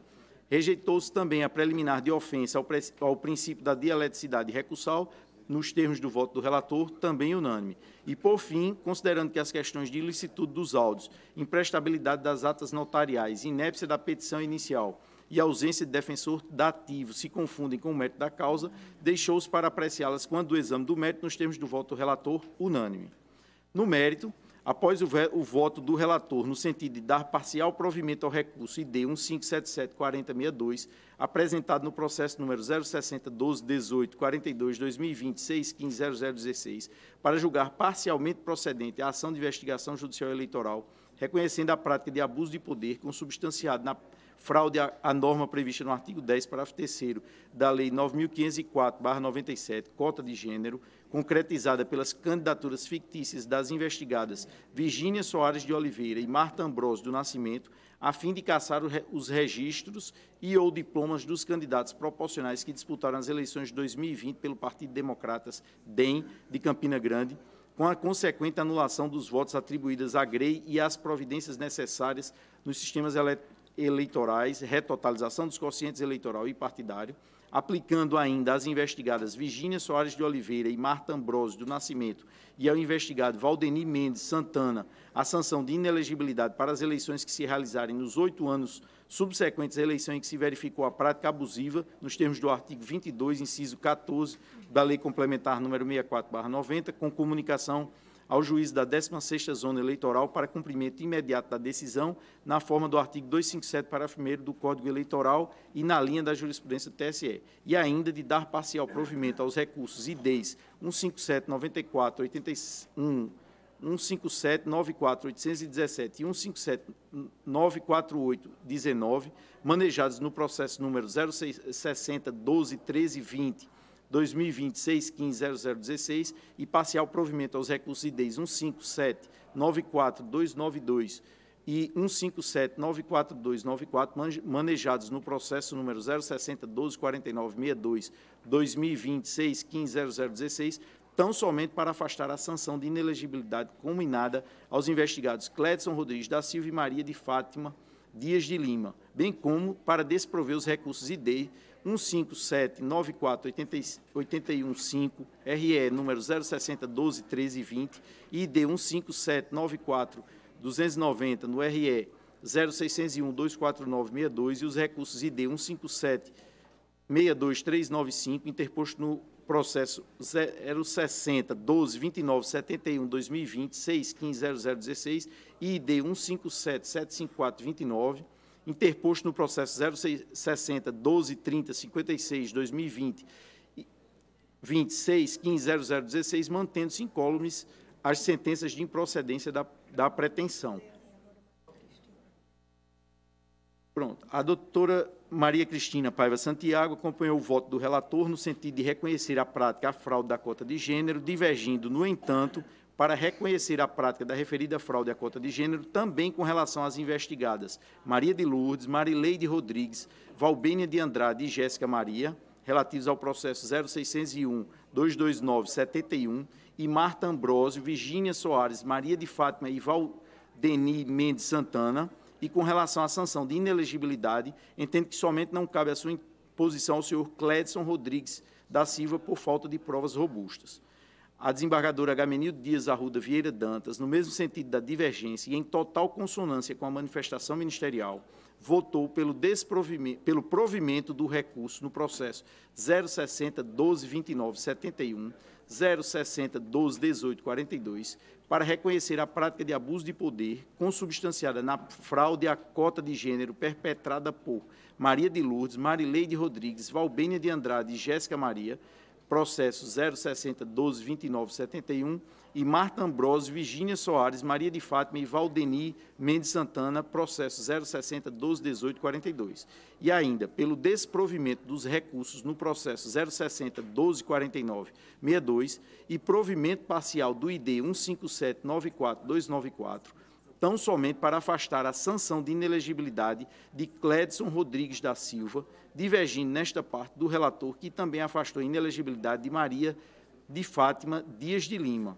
e ainda pelo desprovimento dos recursos no processo 060 12 13 20 ID 157 94 815 e 157 948 17 e pelo provimento parcial do ID 157 948 19 tão somente para afastar a sanção de inelegibilidade de Cledson Rodrigues da Silva e, por fim, pelo desprovimento dos recursos nos processos 060, 12, 30, 56, acompanhando nesta parte o voto do relator, em harmonia com o parecer ministerial. Dr. Bruno Teixeira de Paiva e Dr. José Ferreira Ramos Júnior, com as considerações que fizeram em plenário, também acompanharam a divergência em harmonia com o parecer ministerial. A desembargadora Maria de Fátima Moraes Bezerra Cavalcante Maranhão, presidente, pedindo vênia à divergência, acompanhou em totum o voto do relator o doutor Roberto Dorne Moreira Monteiro da Franca Sobrinho informa que trará o seu autor do pedido de vista, informa que trará o seu voto na próxima sessão de julgamento. Sustentações orais, doutor José Lafayette Pires Benevides Gadelha doutor Márcio Maranhão Brasilino da Silva, por Carla Cislaine Moura Fernandes, doutor Anselmo Guedes de Castilho, pelo PT, Diretório Municipal de Campina Grande, e por Napoleão de Farias Maracajá, doutor Francisco de Assis Fidelis de Oliveira e doutor Antônio Leonardo eh, Gonçalves de Brito Filho, pelo núcleo relativo ao Partido DEM Democratas, doutor Fábio Brito Ferreira, pelo núcleo relativo ao PROS, Partido Republicano da Ordem Social, doutor Leonardo Souza Lima, pelos recorridos e recorrentes Saulo Gonçalves Noronha e Partido Solidariedade, Comissão Provisória Municipal, e doutora Acácia Soares Peixoto Suassuna, pelo Ministério Público Eleitoral. Proclamado o resultado provisório Portanto, agradecendo a presença de todos, nós vamos, a pedido da doutora Cássia Suassuna, suspender a sessão de julgamento. Depois nós vamos continuar hoje mesmo e suspendendo a sessão de julgamento por um, alguns minutos para que nós possamos fazer a homenagem de despedida da doutora Acácia Suassuna como representante da PRE nessa corte. Suspenso o julgamento, nós transformamos ato contínuo a sessão, a, em, em sessão administrativa.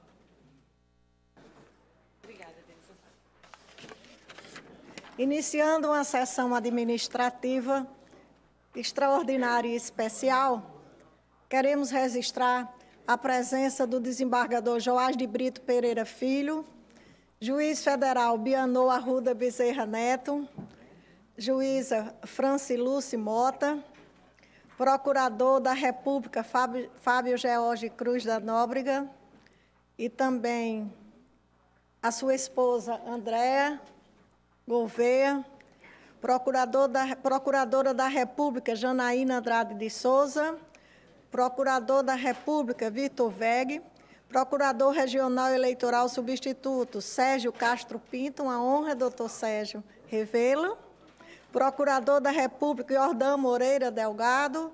Doutor Jordão. Deixou o abraço.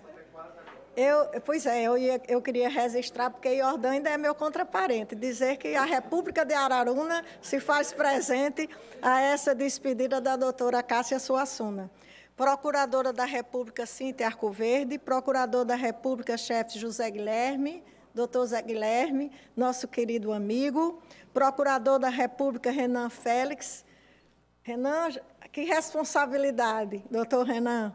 Procurador da República Bruno Paiva, procurador da República Djalma Guzmão, doutor Arthur Moreira Lins Fialho, juiz Saulo Medeiros da Costa Silva, procurador da República Rodrigo Teixeira, procurador da República Douglas Araújo, Procurador da República Felipe Torres, doutora Marta Maria Soares Teixeira, mãe da doutora Cássia Suassuna, juiz estadual, nosso querido companheiro Brâncio Barreto Suassuna, esposo da doutora Cássia, Clarinha Soares Barreto Suassuna, filha da doutora Cássia. Andréa, pode sentar-se ao lado do seu marido?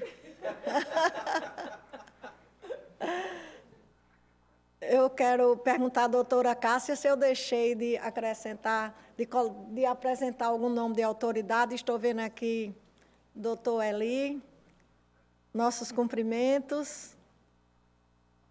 Mais alguém, doutora Cássia? Vossa Excelência pode registrar.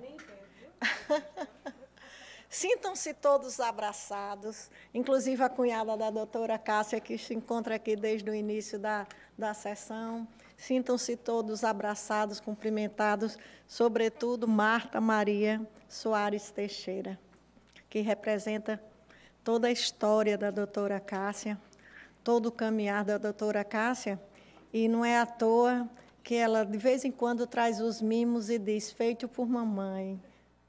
Como vai nos fazer falta esses mimos, mas podemos ainda falar nos biscoitinhos. Cumprimentando a todos e a todas, digo-lhes que eu sou de quebrar protocolo, que eu sou bem espontânea nas minhas homenagens, nos eventos, sobretudo hoje, quando as emoções afloram a flor da pele.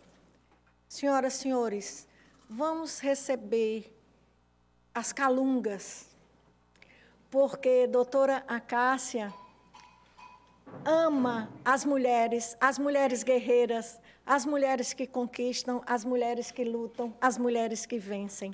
As calungas se apresentem à doutora Cássia. Por favor, entrem as calungas.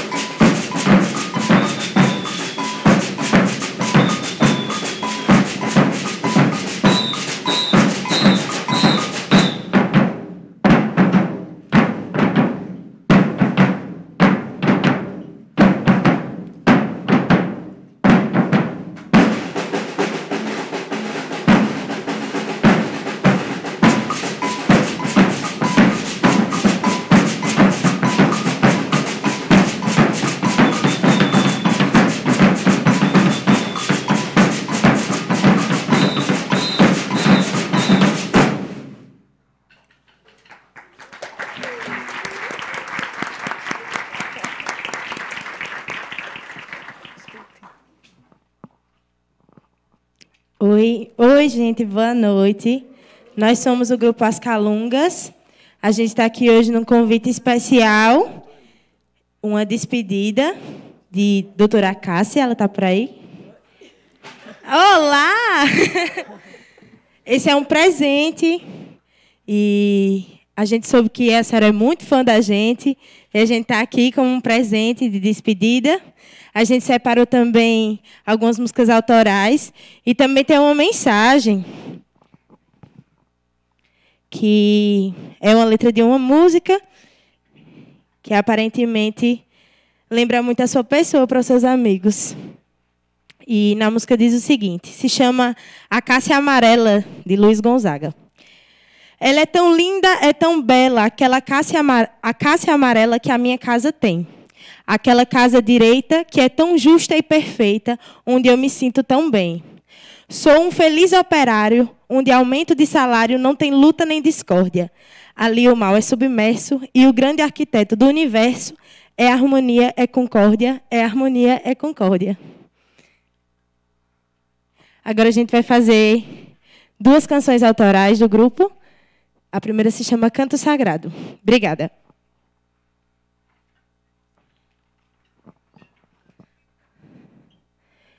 Esse maracatu já tinha intenção de brilhar. Esse maracatu já tinha intenção de brilhar. Quando o dia raiou, o batuque mudou, fez o baque virar.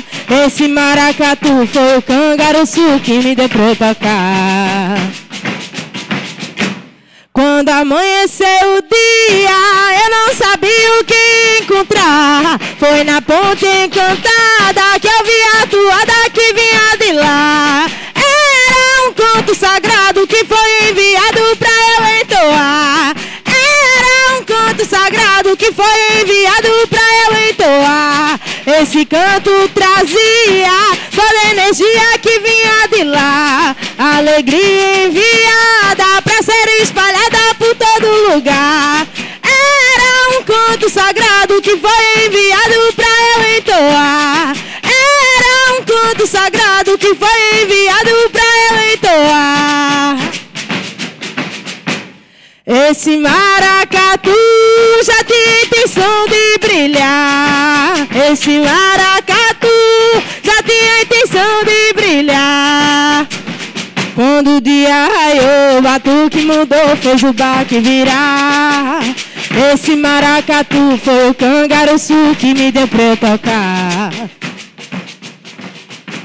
Quando amanheceu o dia, eu não sabia o que encontrar. Foi na ponte encantada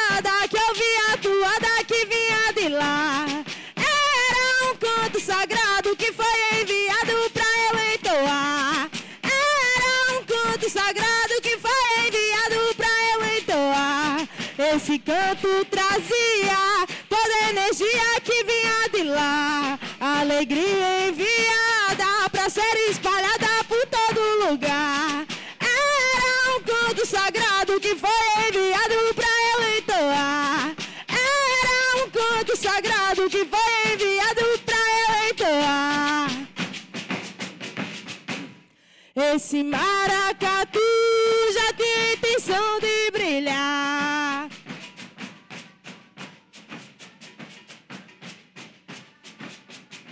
Quando o dia raiou, batuque mudou, fez o baque virar. Esse maracatu foi o cangaruçu que me deu pra tocar. Quando o dia raiou, o batuque mudou, fez o baque virar. Esse maracatu foi o cangaruçu que me deu pra tocar. Quando o dia raiou, o batuque mudou, fez o baque virar. Esse maracatu foi o cangaruçu que me deu pra tocar. Quando o dia raiou, o batuque mudou, fez o baque virar. Esse maracatu foi o cangaruçu que me deu pra tocar.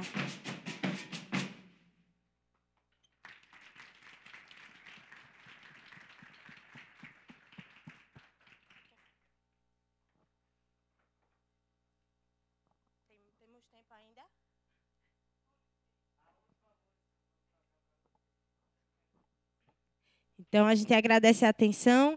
Espero que a senhora tenha gostado do presente. É muito bom estar aqui para uma pessoa que admira tanto nosso trabalho, viu? E obrigada também pelo convite. A gente vai fazer mais uma música que se chama Tesouro. Oi.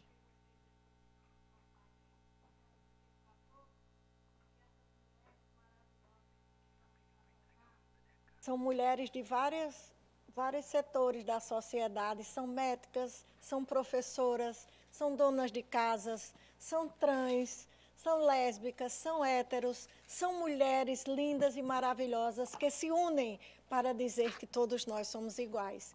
E elas trouxeram para a doutora Cássia uma planta, a acácia amarela. Uma de vocês, por favor, pode entregar, a doutora Cássia vai até lá, ali na frente, para receber a acácia amarela.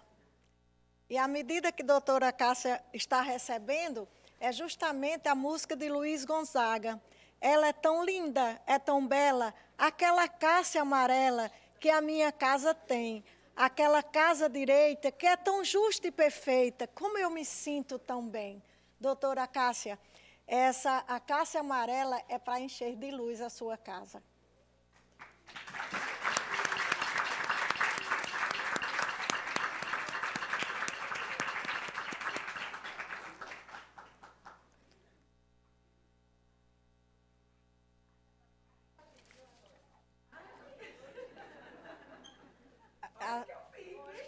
Vamos lá, as calungas vão apresentar mais um número. Mais um número.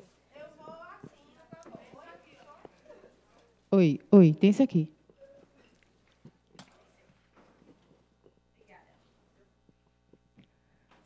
Pronto? Ô, pita mulher que vai começar. Roda esse AB, segura o.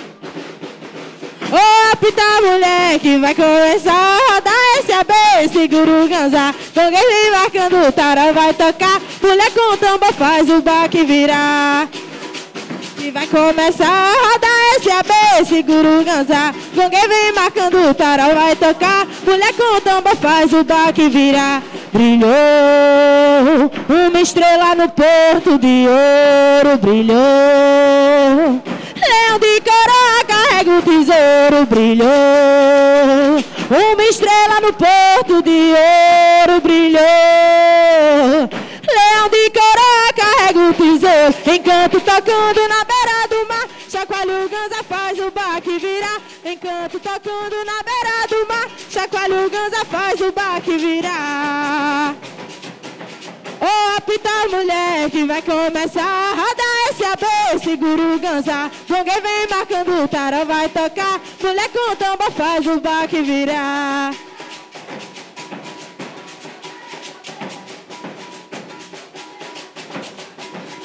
Mulher com tambo faz o baque. Brilhou uma estrela no porto de ouro, brilhou. Leão de coroa carrega o tesouro, brilhou. Uma estrela no porto de ouro, brilhou. Leão de coroa carrega o tesouro, encanto tocando na beira do mar. Chacoalha o ganza, faz o baque virar. Encanto tocando na beira do mar. Chacoalha o ganza, faz o baque virar.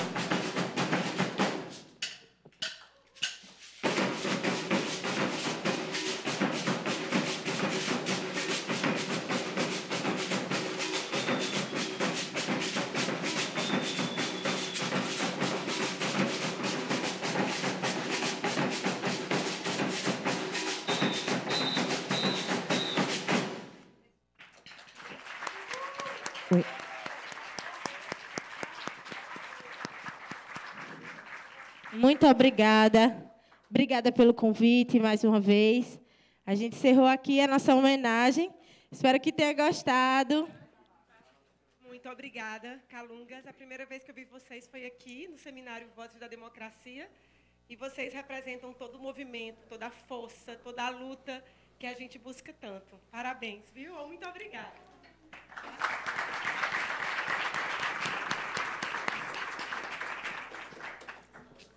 Doutora Acácia, nós agradecemos em nome da doutora Acácia e doutora Janaína, que teve a brilhante a, a ideia de trazer novamente as calungas para, para nos proporcionar momentos tão alegres. Doutora Cássia, Vossa Excelência recebeu uma planta das calungas.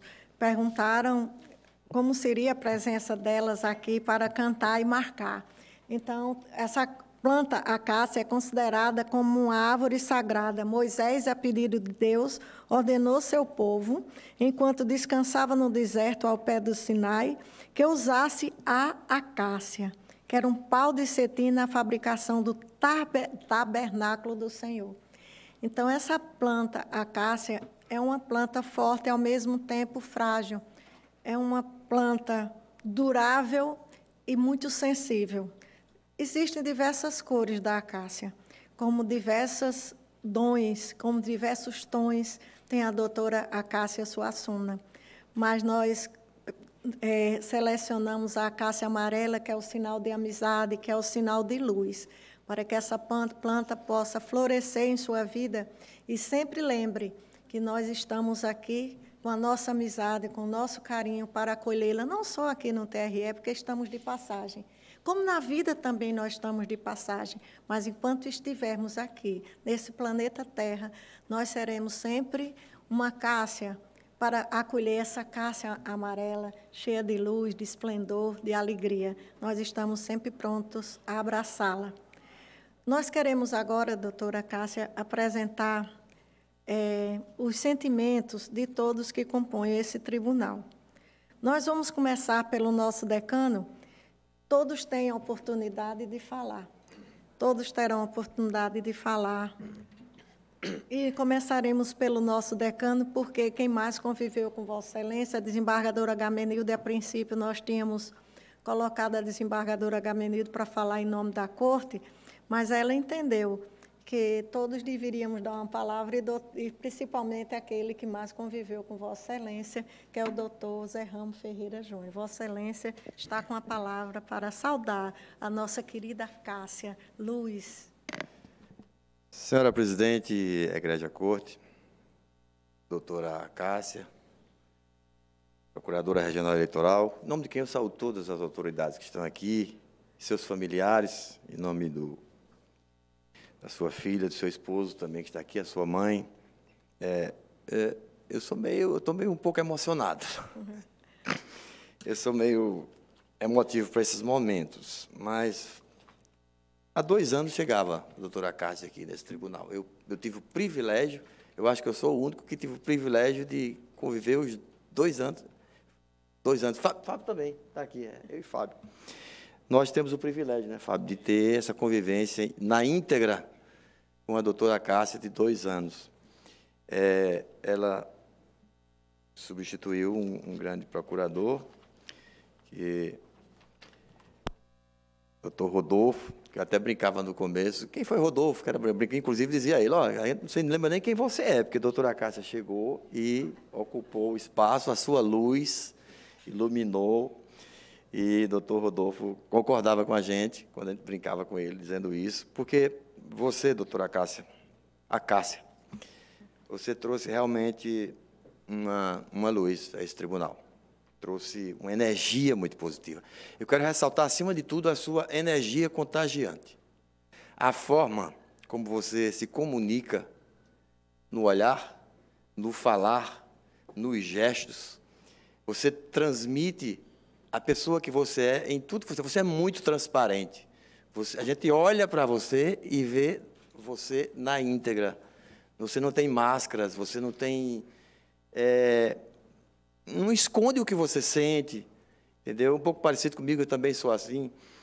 Eu sou também de não esconder meus sentimentos. E você trouxe realmente uma. Um, do lado profissional, é incontestável, porque você realmente, com seus pareceres, com as suas participações nas sessões, Aqui, em cada. Eu até falei, uma, algumas vezes eu falei para você, como é que você vai aguentar, cuidar dessa eleição, você não vai aguentar, está dando parecer verbal, oral, em todos os. E você não tinha jeito, você continuava. Eu acho que tem pena da família que devia ela ficar de madrugada trabalhando, porque realmente não tem como dar conta. Em 24 horas, no horário expediente, mas ela estava aqui e realmente trouxe. Fizemos uma eleição difícil, né? Que a última eleição foi muito difícil. Aí a desembargadora Fátima já estava aqui, já tinha chegado.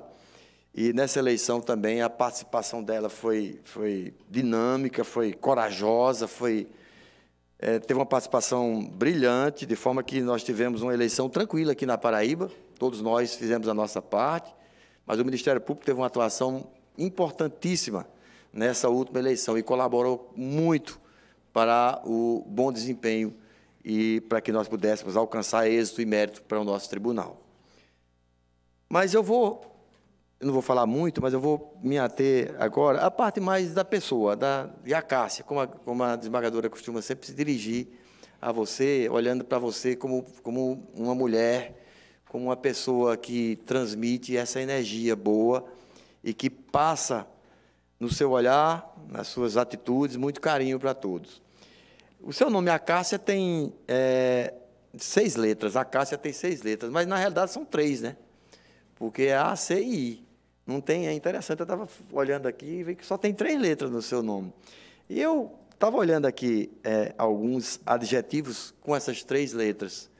E alguns, eu creio que todos vão concordar comigo, se encaixam perfeitamente na pessoa que você é. A Cássia é atenciosa com todos não apenas com a corte, não apenas com as pessoas que convivem com ela, não apenas com os juízes, com, os, com, com a presidente, mas também com todos os servidores desse tribunal, e seja o servidor do mais alto escalão do tribunal, partindo vamos, do exemplo do diretor-geral, as pessoas que nos servem aqui nesse plenário, nesse plenário, servindo um cafezinho e água para a gente. E a Caixa trata todos com a mesmo, o mesmo carinho e com a mesma atenção.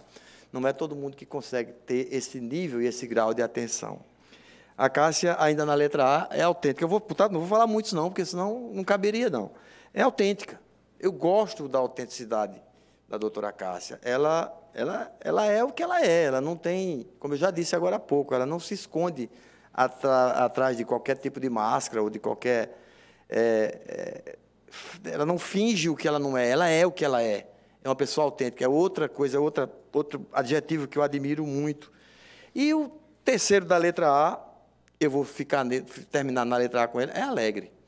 A alegria que ela transmite, a alegria que ela emana, e eu vou, a Cássia, é, marcar para que você grave esse momento, o momento da alegria que eu vou guardar e que eu guardei, que até hoje eu tenho lá, eu e minha esposa, é, no nosso casamento. Tem uma foto de Acácia no casamento, conversando comigo e com Cassandra, minha esposa, em que foi, nós fomos flagrados num momento de descontração e ela está dando uma gargalhada, mas sabe aquela, aquela, aquela coisa que você vê que é natural, a gente não sabia, e essa foto, para mim, é, é, a imagem da alegria. Eu costumo conversar com Cassandra, olha, quando a gente tiver, vamos olhar a foto a, com aquela gargalhada, de, e a gente também está gargalhando, eu e Cassandra. E esse momento para mim foi marcante. Aquele momento, a alegria que você é, demonstrou no nosso casamento, junto com os nossos amigos que estavam lá também.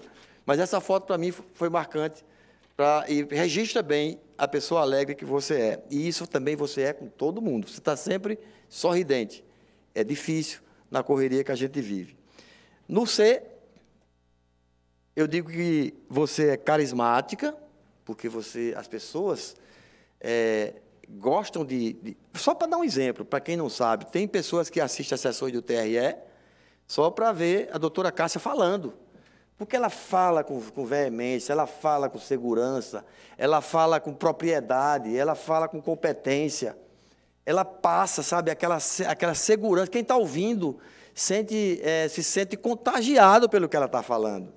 Então, ela é realmente essa pessoa que, que transmite, essa, e as pessoas assistem né, a sessão do TRE para ver a doutora Cássia, a participação da doutora Cássia. Eu acho que foi o pai de, de Roberto que falou isso. Tem um exemplo aqui na corte. A mãe do doutor Arthur. Fiquem à vontade, viu, para inter, interferir, porque, como a desembargadora disse, é sem protocolo aqui, a gente está o pai do doutor Roberto. Ele está chateado, me ligou agora. Ele está chateado? Ah, tá. Não acredito, era para eu ter vindo. Que ela vai pra... sair. Ele queria ter vindo para cá. Pronto. Disse que eu não chamei ele. O pai do doutor Roberto confessou aqui, o doutor Roberto disse também que a doutora Cássia, o pai assiste a sessão para ver a doutora Cássia. A, a mãe de, de nosso ex-membro aqui, doutor Arthur, também. E muita gente. Por quê? Porque é carismática.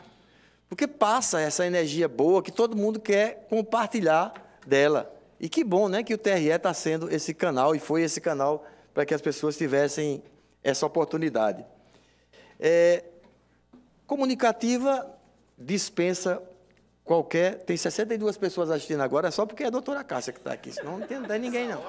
Essa hora 8 e meia da noite e tem 62 pessoas assistindo a sessão. Imaginem o Ibope. É, ela é comunicativa. Eu não preciso falar sobre, sobre a, a, forma como ela se comunica, a forma como ela né, trata a gente, porque ela é cativante. E nos cativa a cada, a cada lanche que tem aqui. É, como é o nome da, da senhora, sua mãe? Me desculpe. Marta. Dona Marta. Ela nos cativa também com os mimos que a senhora manda para cá para a gente. A gente vai sentir muita falta dos seus mimos também. Além dela, dos mimos. Os mimos de Dona Marta, que vem diretamente de Fortaleza para aqui, é uma honra tão grande. Quem faria isso, gente? Quem se preocupa? Tá, é, é, é, realmente é uma pessoa diferente. A Cássia é uma pessoa diferente. E a última do C, dentre outras, mas eu vou encerrar, é corajosa. Eu admiro demais. Ela não tem medo de nada, não tem medo de ninguém, não tem cara feia. Na eleição nós vimos isso, né, doutora Gata? Não tem cara feia, não tem ninguém, não adianta olhar, olhar atravessado para ela, ela não tem medo de ninguém nem de nada. Porque ela é uma pessoa corajosa e que, nos seus princípios, pelos seus princípios, ela faz tudo que acha que deve fazer de acordo com sua consciência. E, para terminar, na letra I, eu diria que você é iluminada por Deus. Iluminada por Deus, por ser a pessoa que é, principalmente. Iluminada por Deus pela família que tem, nosso querido Brâncio, sua filha, que são pessoas queridas por nós também. É privilégio também ter uma família sólida, uma família ao nosso lado. É iluminada por ter uma mãe tão carinhosa e cuidadosa que a gente vê que ela tem tanto zelo por você que fica mandando um lanchinho só para você agradar a gente. É também por ter colegas do, do, Ministério Público que estão aqui, alguns estão aqui conosco. Os advogados, apesar de, às vezes, ficarem muito contrariados. Olha, aliás, apesar de 99% das vezes ficarem muito contrariados, eles lhe admiram também. Isso não é fácil, a pessoa ser contrariado e admirar a pessoa. Então, você agradeça a Deus por ser essa pessoa iluminada. E para concluir, independente, imparcial, intensa e íntegra. Acácia, você vai fazer falta. Você entrou aqui grande, está saindo muito maior e vai deixar um buraco muito grande no coração de todos nós aqui. Deixa eu...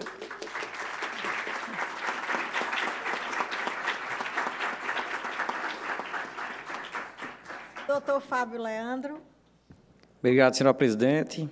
E agora, na informalidade que o, o momento requer, é, o doutor Fábio estava aqui na tribuna e ele disse uma frase que me chamou a atenção, quando ele disse, doutora Cássia não merecia uma sessão pesada como essa hoje.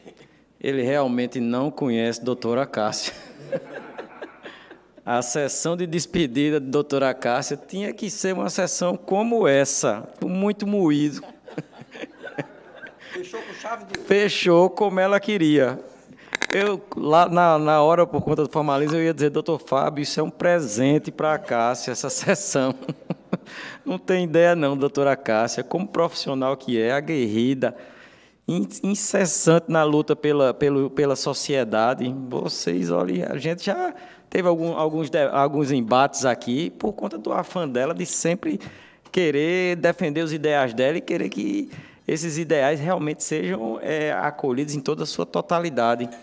Algumas divergências com a doutora Cássia, mas eram divergências doces, de processual, mas não, depois da audiência já estávamos todos tranquilos, conversando. Então, doutora Cássia, como profissional, você vai fazer muita falta aqui. E como pessoa humana nem se fala. Eu aqui eu já vou deixar meu apelo, já que falaram de Dona Marta, que está aqui, das guloseimas. Eu vou até pedir autorização à casa e pedir à Dona Marta, viu, Dona Marta, que se a senhora puder, por SEDEX, mandar aquela torta de frango, que é tão gostosa. Aquela torta de frango é boa. Então a gente ficaria muito agradecido.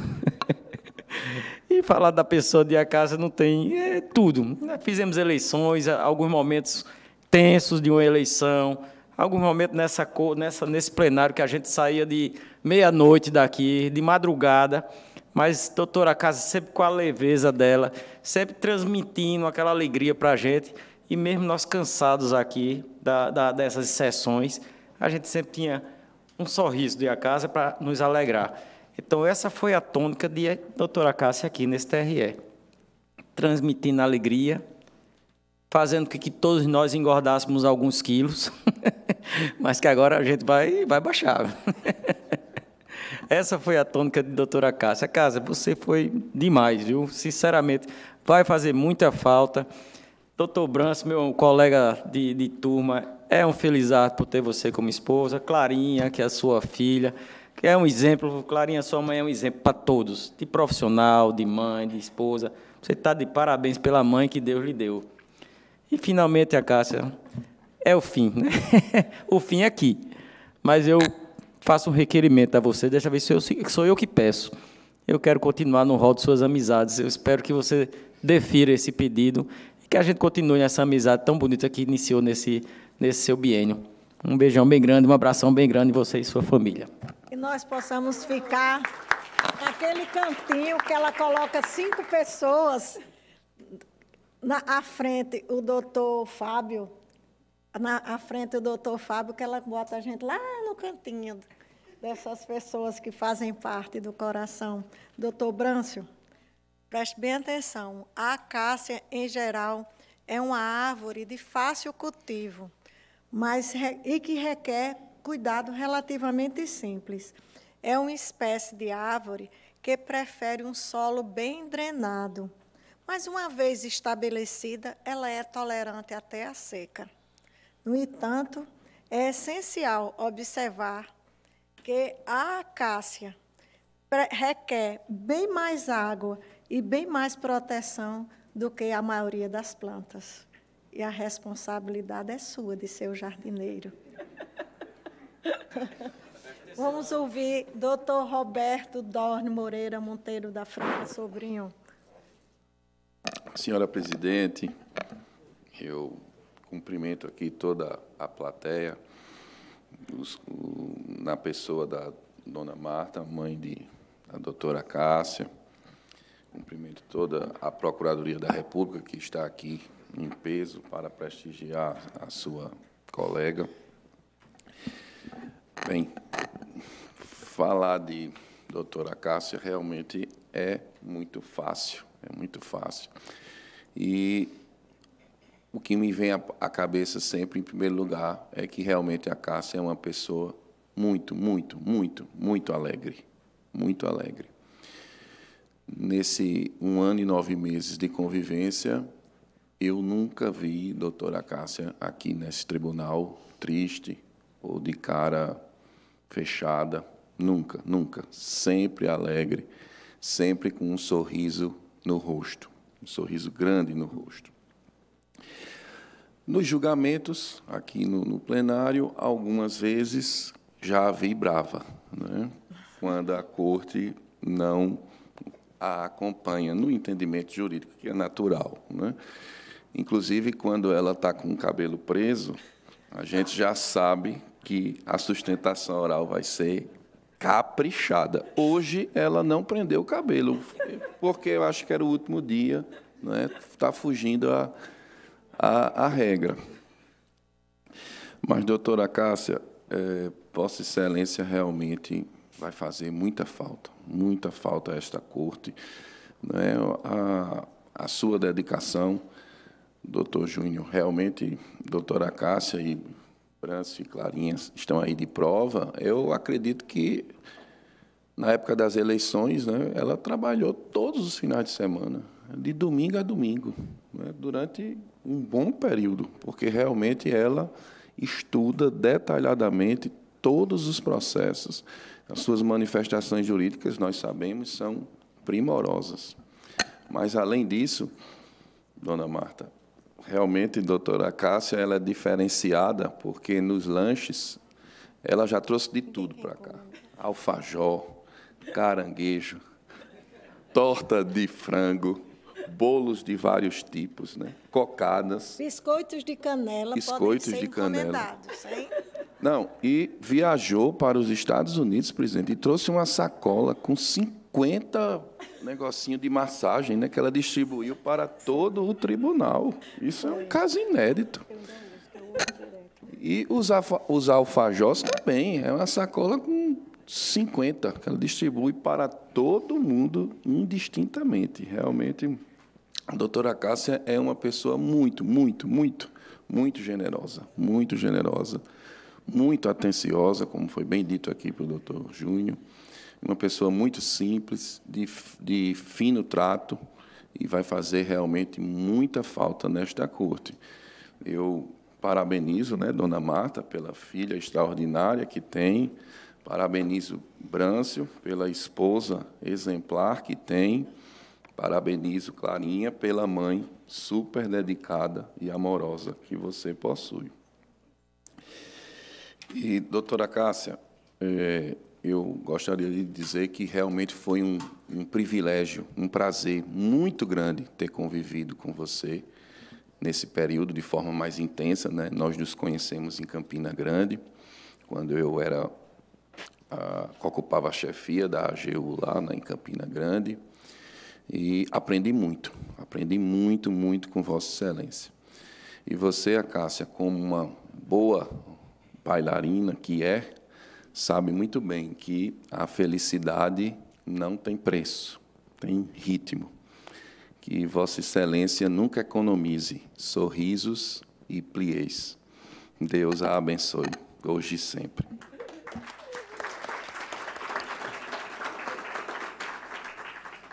Doutora Maria Cristina Santiago, por favor.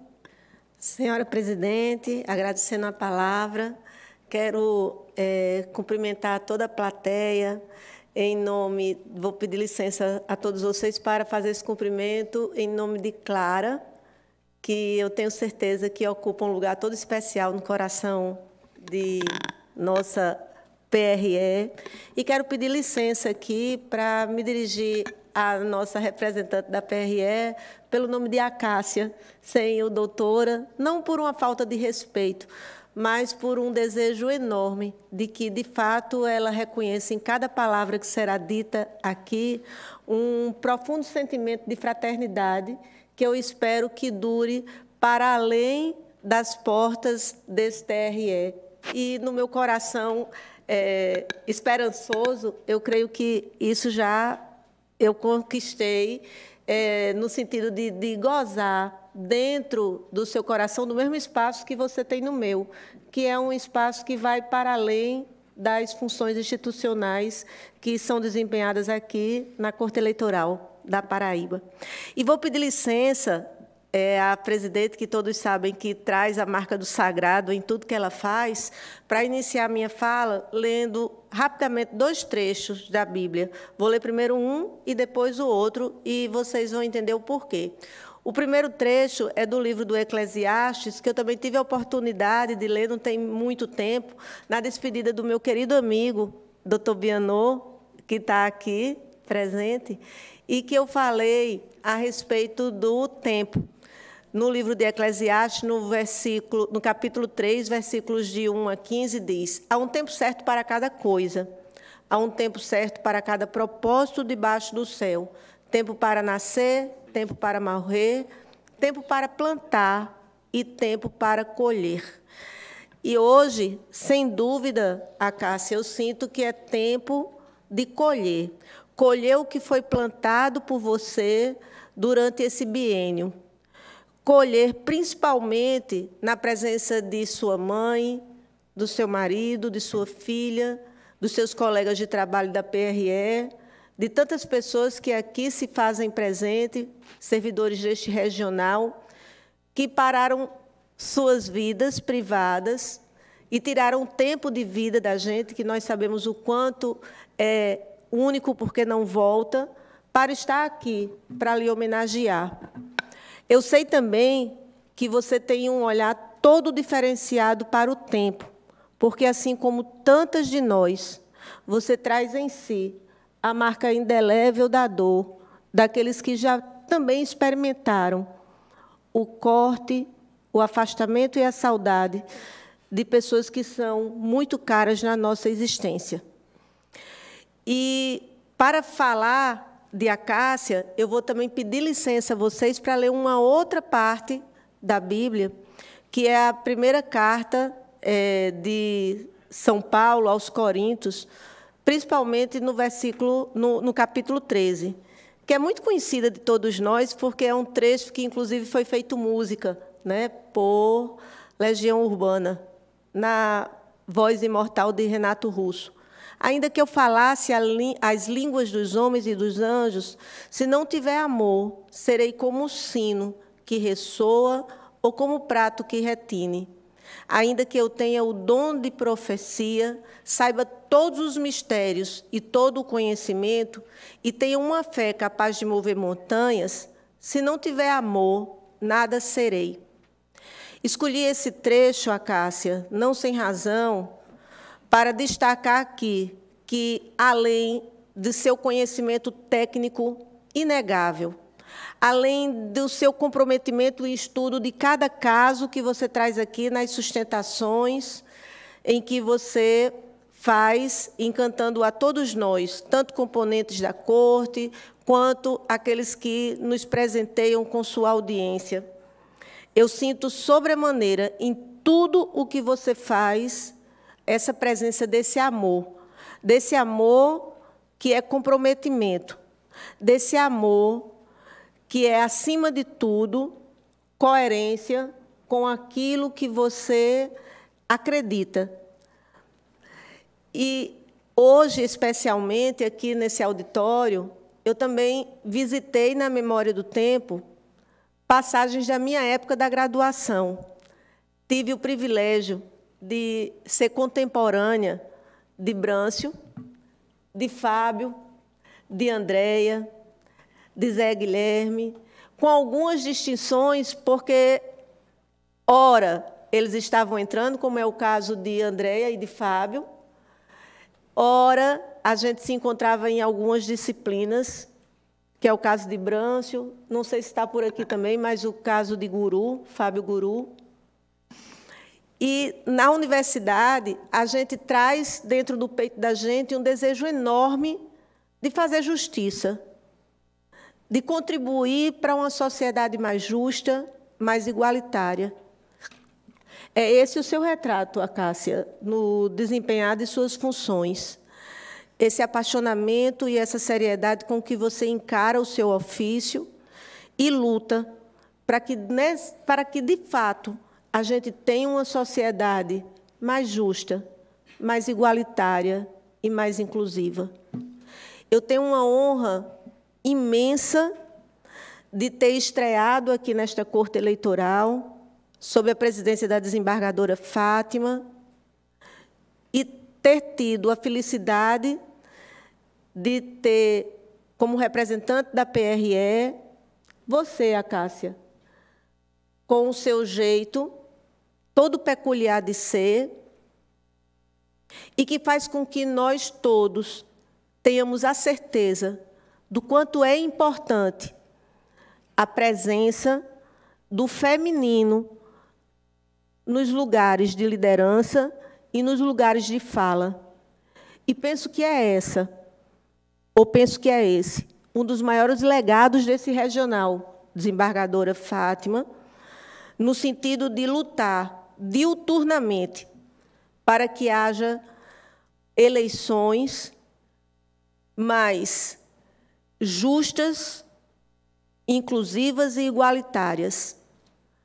Nós sabemos que há ainda um longo caminho a ser percorrido, mas eu tenho a imensa alegria de dizer que componho uma corte que tem se destacado na seriedade e no comprometimento dos processos que atua.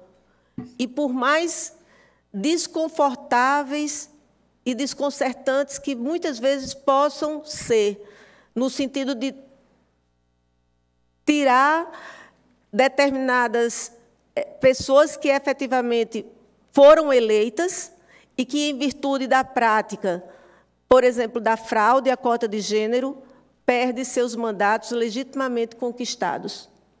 Esse é o preço, infelizmente, quando a gente faz parte de uma sociedade em que há pessoas que não são comprometidas com a verdade e que, apesar de estarem em posição de liderança, não lutam para que haja uma modificação nessa estrutura do poder. E assim faz com que a gente não experiencie, em termos de representatividade, a sociedade tão plural que é a sociedade brasileira. E eu termino essa minha singela homenagem com uma palavra de gratidão. Gratidão a Deus pelo tempo de vida que Ele me concedeu e por uma dessas coincidências dele permitir que eu estivesse, neste exato momento, compondo a Corte Eleitoral do Tribunal Regional Eleitoral com essa composição. E com isso, a Cássia, eu deixo aqui o meu abraço, o meu respeito, o desejo de uma extrema felicidade para você e para os seus. E digo que se é pela, pelos frutos que se conhece a árvore, eu quero terminar aqui essa minha fala agradecendo a dona Marta, porque certamente, dona Marta, a senhora deve ser uma pessoa muito especial por ter é, trazido em seu ventre e dado de presente para cada um de nós uma pessoa tão única, tão alegre e, ao mesmo tempo, tão forte como a Cássia. Deus te abençoe, Nossa Senhora te acompanhe e que você seja muito feliz.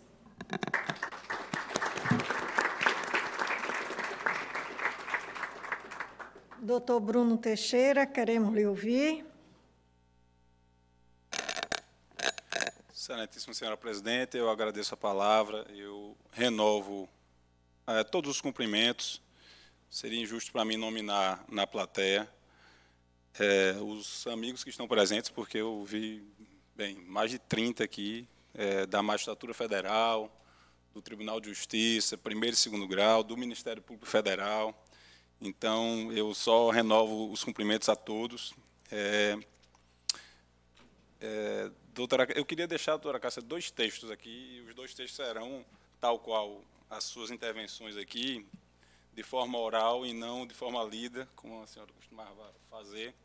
Eu é, acho que umas duas ou três oportunidades que nós é, conversamos ao final do julgamento, eu, eu falava da, de uma preocupação que seria natural, além da nossa, além dos riscos e do trabalho que todos nós da Corte é, temos e tínhamos a preocupação natural da doutora Cássia de ainda voltar a Campina Grande, seja de noite é, ou mesmo cansada no, no outro dia, né? enquanto cada um de nós voltamos aqui para nossas casas, aqui em João Pessoa, né?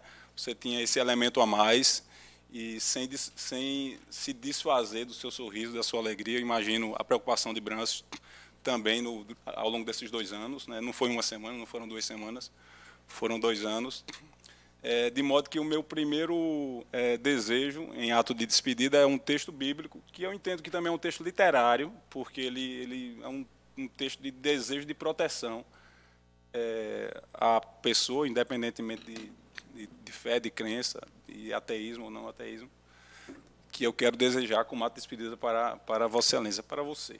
Né? É, tu que habitas sob a proteção do Altíssimo e que moras à sombra do Onipotente, Diz ao Senhor: Sois meu refúgio, minha cidadela, meu Deus em quem confio. É Ele quem te livrará do laço do caçador e da peste perniciosa. Ele te cobrirá com suas plumas, sob suas asas encontrarás refúgio. Sua fidelidade te será um escudo de proteção. Tu não temerás os terrores noturnos, nem a flecha que voa à luz do dia, nem a peste que se propaga nas trevas, nem o mal que graça ao meio-dia. Caiam mil homens à tua esquerda, dez mil à tua direita, tu não serás atingida. Porém, verás com teus próprios olhos, contemplarás o castigo dos pecadores, pois o Senhor é teu refúgio. Escolheste por asilo o Altíssimo, nenhum mal te atingirá, nenhum flagelo chegará à tua tenda. Pois aos seus anjos ele mandou que te guardem em todos os teus caminhos. Eles te sustentarão, para que não tropecem em alguma pedra. Sobre serpente e vil brandarás, calcarás aos pés o leão e o dragão. Pois quem se uniu a mim eu livrarei, eu protegerei, pois conhece o meu nome. Quando me invocar, eu atenderei. Na tribulação estarei com ele. Hei de livrá-la e eu cobrirei de glória. será favorecido longos dias e lhe mostrarei a minha salvação. Um certo dia eu conversava com uma amiga nossa em comum e eu dizia é, da definição que tinha de você, com a qual ela concordou. Eu disse: a Cássia é doce e severa, amável e rigorosa, por mais paradoxal que possa ser. E ela concordou no mesmo ponto. Ela, aliás, conhece você muito mais que eu. É, e aí eu lembrei de um texto que eu, que eu levo comigo há, há muitos anos, e é um texto que aí faço um desafio é, a você que também é pesquisadora, a, depois você procura, a achar também esse texto em Google, em qualquer canto. Eu, eu fiz uma, uma busca e, e tentei achar na internet, não achei, eu acho que esse texto deve ter em algum livro muito antigo, porque sequer essa referência onde eu, tinha, onde eu tive. É, o, o, o, meu amigo não, não, não possui o livro, e é, é um texto de um, apesar do nome, é é, Ivan Moraes Ring. É um, é um escritor, na verdade, carioca, apesar do nome é, é, aparentemente de fora. E ele, eu sei que esse texto só existe, na verdade, na casa de um amigo meu, na placa da pedra fundamental de sua casa, que foi aposta há 30 anos, quando, à época, é, ele fez uma homenagem ao seu irmão, é, responsável, à época, pela é, pela construção de toda a sua casa. E aí você que esse texto está lá e, portanto, leve comigo. E aí esse texto vale muito para o seu jeito de ser, a sua personalidade, e eu deixo ele também aqui como ato de despedida. E ele diz assim, é, há pessoas doces como a pinha madurinha, gente que nos faz rezar uma reza mansinha para Deus, para pedir para Ele nos entregar o céu, para a gente poder entregar a ela o céu de presente pelo amor que a gente sente em saber que elas existem. A você, a Cássia, nossa amiga, pessoa doce como a Pinha Madurinha, receba o céu de presente pelo amor que a gente sente em saber que você existe. Muito obrigado pelo brilhantismo, decência, senso de observação e alegria ao longo desse tempo aqui conosco. Muito obrigado. Parabéns.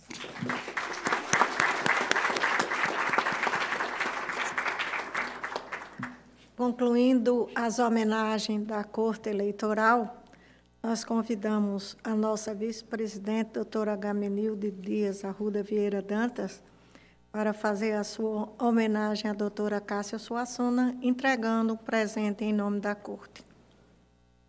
É, senhora presidente, é, ilustres convidados, que aqui visualizo na plateia todos aqueles com o brilho no olho e o bem-querer no coração de cada um.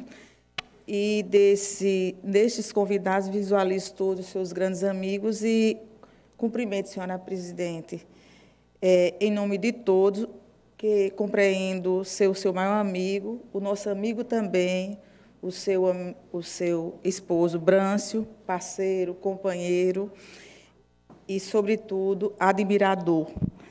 E, em cumprimentando, eu fiquei a, a quantas vezes aqui no, no, plenário se se falava, se referia ao dia da despedida de Acácia, não é? Vai ser dia 30, vai ser isso, a última sessão. E eu fiquei aqui e, e esse momento nos envolveu efetivamente. Então, especialmente quando o grupo Calungas chegou aqui, e a gente sabe bem de sua alma, de seu pensamento. Então, que a energia vibrante de cada som aqui emitido pela, pelas calungas, que encheu este plenário de boas vibrações, lhe conecte ao bem, à paz e à luz superior sempre.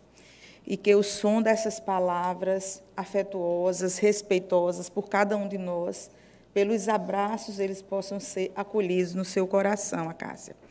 Que o pulsar a vibração de amor dos corações que lhe amam, envolva seus sonhos, suas ações e seus caminhos. Que os sorrisos e abraços recebidos alcance seu generoso coração. Que as preces, que as súplicas feitas hoje por você, aqui neste plenário, e pelos seus muitos admiradores, sejam acolhidas, multiplicando o amor, multiplicando a alegria e a fé nesta sua existência. Você não será ausente nesta corte, porque deixa um exemplo de afeto, de dedicação, de alegria, e, sobretudo, nos motiva a fazer o bem, o certo e ter a vontade de servir e de amar sempre, porque o seu servir é um exercício de amor. Então, que todas essas, essas palavras possam lhe envolver em forma de oração e que seja muito feliz, muito feliz, muito abençoado sejam os seus dias junto à sua família e por todos aqueles que lhe admiram e por muito mais, por tantos outros que precisam muito de sua coragem e da sua força. E aqui, em nome da corte, eu trago aqui o livro que a presidente já, já me lembrou, Avise, que é o santo de cada dia. Ela nessa frequência e nesse pensar sempre com o alto. E neste livro, ela tem as mensagens de cada um. Tá?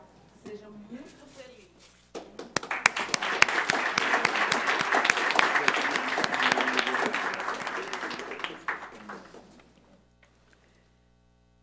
A Corte conclui a homenagem à doutora Cássia, com a doutora Agamenilde, a desembargadora Agamenilde, nossa vice-presidente mencionou bem, é um santo de cada dia, porque, doutor Zé Guilherme, a doutora Cássia tem um costume nas sessões de sempre fazer uma, uma referência ao dia, o dia da amizade, o dia do perdão, o dia de São Francisco, o dia da árvore, o dia da, do amor, o dia da justiça, não é, doutor Biano Arruda?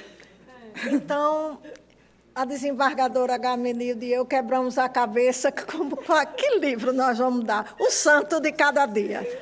Ela terá sempre um santo para ler a sua história de vida e de santidade para cada dia do ano. Encerrados os cumprimentos da Corte, nós passamos a palavra à Procuradoria Regional Eleitoral aos seus companheiros de luta, aos seus companheiros de trabalho, aos seus irmãos do coração. Iniciando com a doutora Janaína.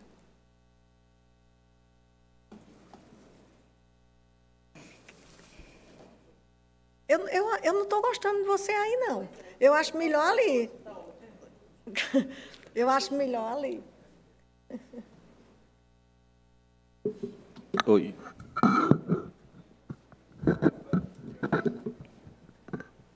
Porque fica mais pertinho da gente, no mesmo plano, não é, Jana? Doutora Janaína.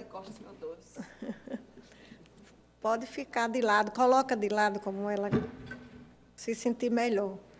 Perfeitamente. Hum. Nada aí para não cair. Nada.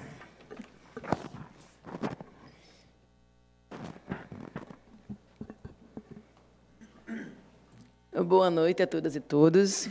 Excelentíssima Senhora Presidente e demais membros dessa Corte, ao tempo, que, ao tempo em que agradeço o espaço concedido para poder homenagear nossa querida doutora Cássia, cumprimento a todos aqui presentes e também àqueles que nos assistem no plenário. É, eu acredito que tem mais de 70 pessoas nesse momento, pelo que eu vi aqui, assistindo à sessão. E, assim como o pai de doutor Roberto, minha mãe, minha irmã, toda a minha família, seu preparador físico, enfim, muita gente agora nesse momento lhe assistindo. O doutor Rodolfo, que por uma questão é, de doença em pessoa da família não pôde estar aqui presente, está registrando cada momento, é, acompanhando aqui esse momento. É, em 4 de 10 de 2021, este tribunal sobre a presidência, sob a presidência de Dr. Joás de Brito Pereira Filho, recepcionou doutora Cássia Soares Peixoto Suassuna para atuar na primeira sessão como procuradora regional eleitoral. E hoje ele está aqui, prestigiando você.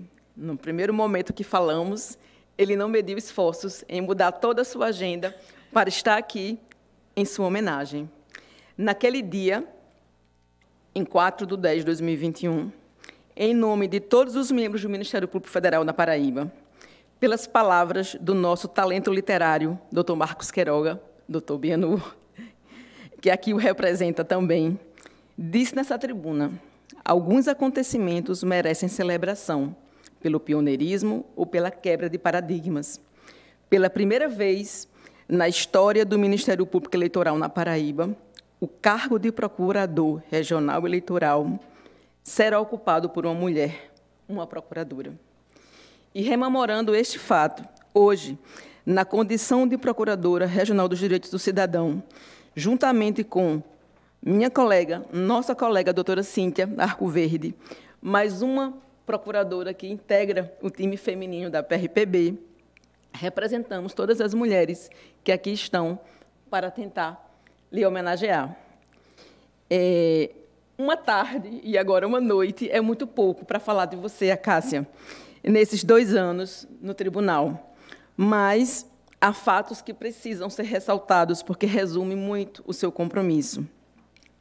Desde dezembro de 2021, esse tribunal já, já reconheceu em 36 ações fraudes eleitoral à cota de gênero.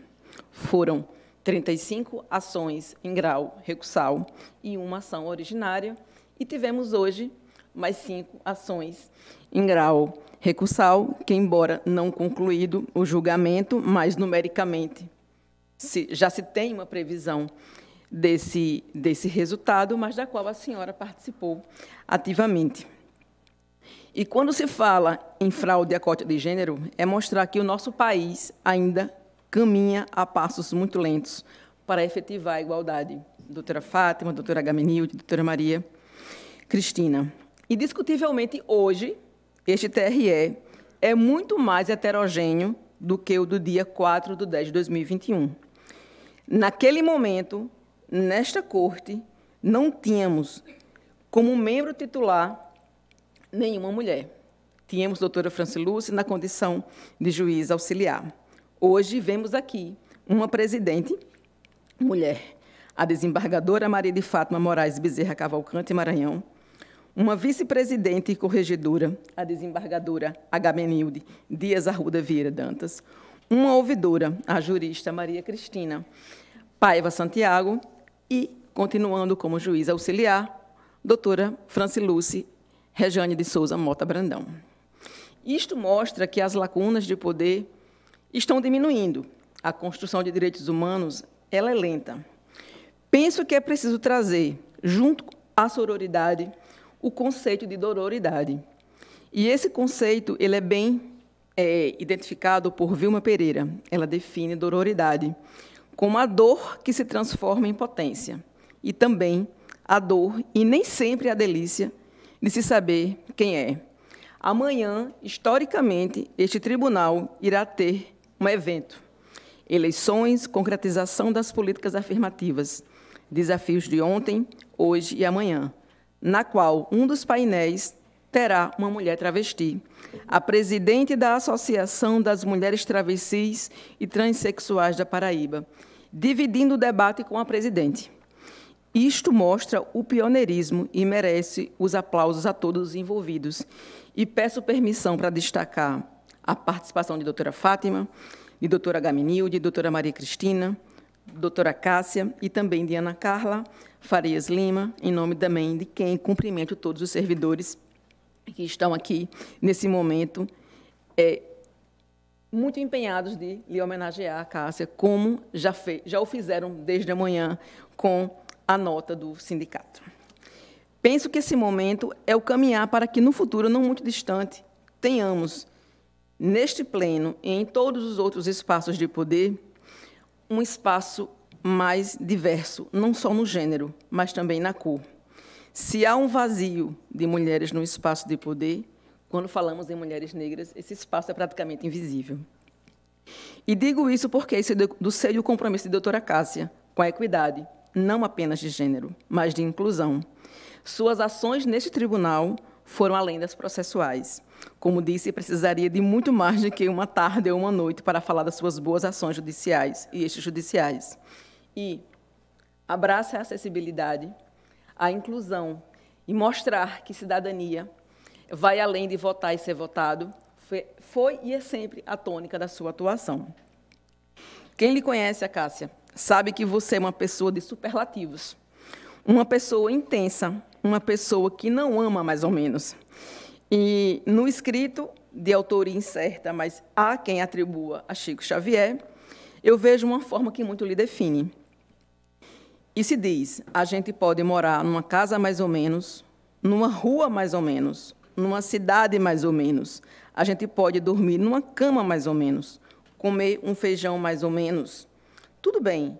O que a gente não pode mesmo, nunca, de jeito nenhum, é amar mais ou menos, sonhar mais ou menos, ser amigo mais ou menos, namorar mais ou menos, ter fé mais ou menos, ou acreditar mais ou menos. Senão, a gente corre o risco de se tornar uma pessoa mais ou menos. E isso não é você, Acácia. Você é uma pessoa muito. É assim, você é na vida muito intensa, e não só, não só na sua vida pessoal, mas na sua vida profissional.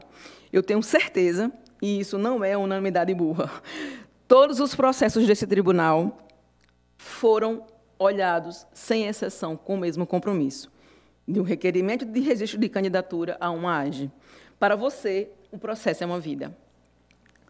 E esse seu jeito, a Cássia, de ser, e me valendo mais uma vez de parafrasear o rito musical, essa sua bela mania de ter fé na vida, reúne hoje aqui e online sua família, né, sua mãe, Dona Marta, sua filha Clara, seu marido Brâncio, ainda que online, seus filhos de coração, Lucas, Mariana e Ciro, a sua cunhada, o seu sobrinho, suas amigas de ontem e de hoje e de sempre, amigas que disseram aqui no início para você, viemos lhe resgatar, lhe receber de volta. Vários colegas do Ministério Público, de todas as é, instâncias de atuação. Nós temos aqui o doutor Fábio George, que, como você bem disse, e eu vou repetir porque eu não canso de dizer isso, é um inspirador e a e, a, e, atrás de cada homem inspirador, a gente tem mulheres maravilhosas como Andréa. Doutora Raquel Branquinho não pôde estar aqui, ela fez de tudo para poder antecipar seu voo, mas amanhã ela estará aqui com você e certamente irá transmitir as palavras por ela, por ela mesma do que você representa. Então, há servidores aqui lhe esperando, independentemente da hora que essa sessão acabe, para poder lhe homenagear. É, e tudo isso porque as pessoas querem lhe dizer obrigada, obrigado por estar aqui. Caminho ao final dessa fala, que certamente não retrata tudo o que eu gostaria, dizendo que hoje eu não encontrei nenhum significado especial na numerologia para o dia 30 de 10 de 2023. Eu fiz contas, tentei relacionar com o dia 4 de 10 de 2023. Olhei o santo dia, mas eu não consegui. Mas digo, sem medo de errar, que esta última sessão que tem como marco né, a sua atuação nesses dois anos de procuradora eleitoral na Paraíba, ficará registrada nos anais desse tribunal. Você é única, mas não quero dizer com isso é, que foi melhor do que outros colegas. Como disse Dr. Marcos Queiroga sabiamente, essa homenagem ela tem uma especificidade é pela quebra de paradigma.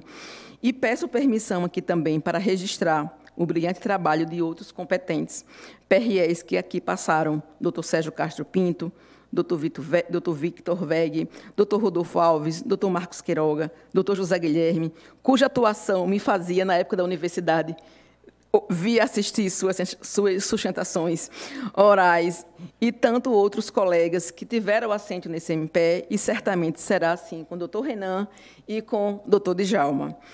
É, e caminhando aqui para minha para finalizar a minha fala e passar a palavra ao doutor Zé Guilherme, procurador-chefe, que irá falar em nome de todos os outros procuradores da República, e também a doutor Fábio George, que vai nos brindar, ele como orador nato, que fala com o coração e que muito nos inspira.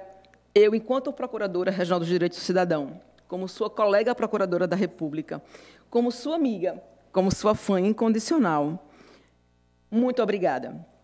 Muito obrigada pelo seu empenho, e pelo trabalho em prol da democracia e da sociedade paraibana.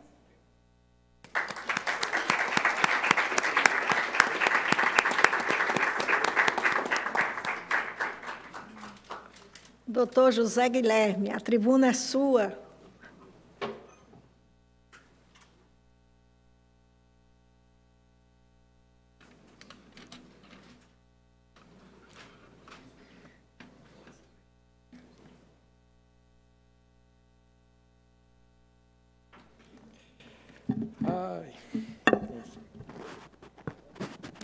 Senhora Presidente, doutora Fátima Bezerra Cavalcante Maranhão. Cumprimento toda a corte em nome de Vossa Excelência. Cumprimento nossa querida colega que se despede hoje aqui desse convívio, doutora Cássia Suassuna. E cumprimento os seus três queridos que estão aqui na plateia, que foram bem lembrados. Mãe, dona Marta, companheiro, meu amigo Brâncio Suassuna, e a filha, a jovem Clarinha, que está aqui, nos presenteando com a sua presença. Doutora Fátima, doutora Maria Cristina, olhem que conjunção das estrelas. Alguns chamam de coincidências, outros chamam de presente do céu, doutor. Não era para eu estar aqui hoje, mas representando os nossos colegas, porque meu mandato já era para ter acabado. Meu mandato acabava lá no começo do mês. Por uma conjunção do destino, tive uma prorrogação e pude estar aqui. Olha que presente, doutor Bruno. Porque, junto com a doutora Janaína, há dois anos, cerca de dois anos, eu estive aqui para marcar exatamente a chegada da nossa colega Cássia aqui nesse tribunal como a primeira procuradora regional eleitoral um marco, como a doutora Janaína disse. E eu estou tendo essa oportunidade aqui hoje de celebrar. Hoje, doutor Joás, que estava presente aqui, doutor Bianô, que estava presente aqui, doutor Fábio, doutor José Ferreira também. Hoje, de modo mais vibrante, doutora Gamenilde, com os tambores que aqui ecoaram. Celebrando a missão cumprida, bem cumprida pela nossa colega. Vejam que presente. Mas tem mais coincidências aqui no ar. Tem. Nós temos hoje uma presidente, uma vice-presidente, também mulheres, uma bancada diretiva toda feminina. Até na Procuradoria-Geral da República, vejam só, por outra coincidência, nós temos uma Procuradora-Geral da República, doutora Eliseta e nós temos uma vice-procuradora-geral da República, doutora Ana Borges, hoje. Olha só. É, é Coincidência. Então, falar da nossa colega é como a doutora Janaína disse. Eu nem sei quantas palavras, que palavras eu poderia utilizar. Mas eu penso que a trajetória dela, vindo de Campina Grande, onde com uma longa folha de serviços prestadas ao Ministério Público, já fala por si. Como todos reconheceram aqui, ela veio reconhecida pela sua firmeza, pela sua coragem no exercício da sua missão no Ministério Público, mas também pelo seu afeto, pelo seu amor às causas do bem. Vejam só, dois lados. Foram bem lembrados aqui, muito bem lembrados. E eu quero, então, mais do que falar, dar o exemplo, que o exemplo acho que vale mais do que mil palavras. Nossa Procuradora Regional Eleitoral aqui, a primeira, justamente se deparou com uma temática nova, debatida na Justiça Eleitoral. A cota de gênero. A cota de gênero. Vejam só, outra coincidência. A primeira procuradora regional eleitoral veio tratar de um tema sensível e novo na justiça eleitoral. Com firmeza. Todos viram aqui, pouco antes aqui dessa nossa singela homenagem, a sua postura aguerrida, a sua postura, doutora Maria Cristina, com esmero técnico, com intensidade. Mas o trabalho dela não é só isso. Ora, estava eu no meu gabinete, numa manhã agradável, e recebo a doutora Janaína, com a doutora Fátima, com a doutora Ana Carla, e as três vinham unidas de mãos dadas. Numa, eu diria, numa missão diferente dessa, de julgar aqui as causas. Elas vinham dizer: olha só, vamos gravar uns vídeos aqui na Procuradoria da República para orientar, para educar, para mudar a forma das pessoas pensarem. Porque o Ministério Público não quer só o embate, não quer só a sanção, a punição tecnicamente aplicada. Ele quer a prevenção do conflito.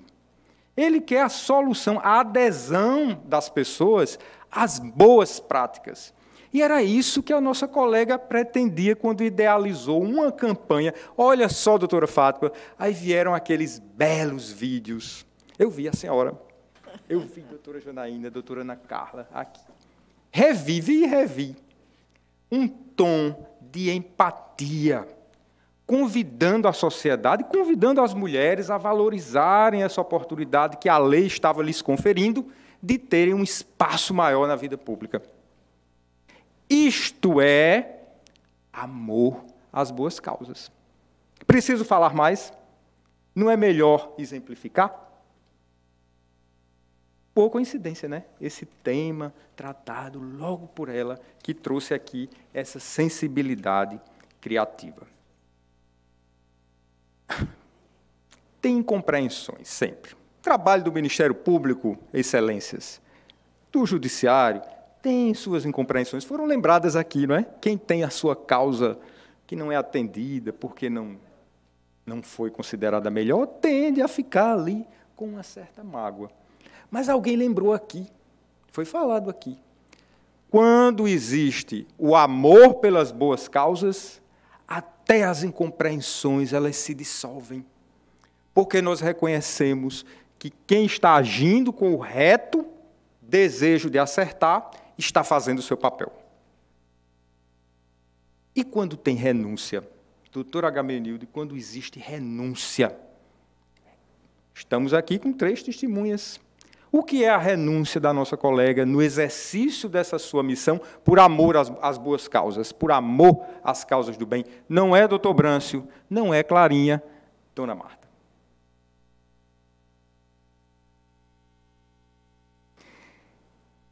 Outra coincidência, né? Houve uma renúncia aqui hoje. Houve uma renúncia. A colega renunciou às suas homenagens mais cedo para que a causa fosse resolvida, doutora Fátima. Isto é renúncia. Isto fala mais do que muitas palavras. Eu quero dizer que esse período que a nossa colega vivenciou aqui está inserido num contexto maior. Um contexto maior. Nós tivemos, senhoras e senhores, um período de acirramento de conflito, conflito dentro da política. E isso resvala ao trabalho da Justiça Eleitoral. Isso não é só no Supremo Tribunal Federal, nem é no Tribunal Superior Eleitoral. É aqui também no dia a dia. Tanto que nós vimos fatos que aconteceram em plena Praça dos Três Poderes, em Brasília, ainda neste ano. Tudo isso é um reflexo de um clima.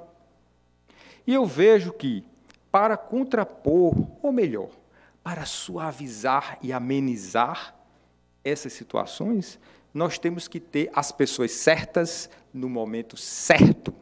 E eu vejo a presença da nossa colega como a contribuição que o Ministério Público Federal trouxe neste momento para trazer o que eu digo, o que eu ouvi aqui, harmonia e concórdia.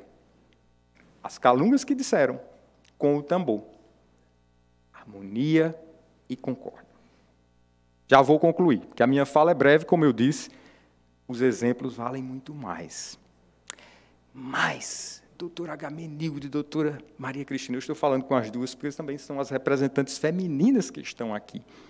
Eu gosto de pensar que o final da fala do advogado, do membro do Ministério Público, numa sustentação oral, aliás, é, é chamado o final como peroração. Não é? Esse é o termo, é a síntese da fala do orador quando vai fazer a sua arguição. Peroração. E eu gosto de pensar, eu gosto dessa palavra, porque me lembra justamente, doutora Maria Cristina, uma prece. Não, uma peroração. E eu gosto de pensar que, quando o advogado, membro do Ministério Público, faz a sua fala para uma corte, no fundo, lá no final, ele está fazendo uma prece. Pelo quê? Pelo quê? Harmonia e concórdia. No fundo, é isso que nós devemos buscar. Então, eu faço aqui, para concluir a minha fala, uma prece para que todos que estão aqui na corte, todos os que estão aqui, que trabalham no sistema de justiça, que lutam por essa busca de solução dos conflitos e, antes de tudo, pacificação, que sigam seu caminho. Sigam, doutora Cássia, e aqui peço especialmente, minha amiga querida, para você, siga levando harmonia, concórdia e doçura por onde andar. Gratidão. Falo em nome de todos os membros do Ministério Público Federal que aqui vieram, outros que não puderam vir, com alegria e satisfação por esse presente que ganhei hoje. Uma coincidência. Dizem que é uma providência divina. Gratidão, doutora Fátima, pela oportunidade de falar. Boa noite.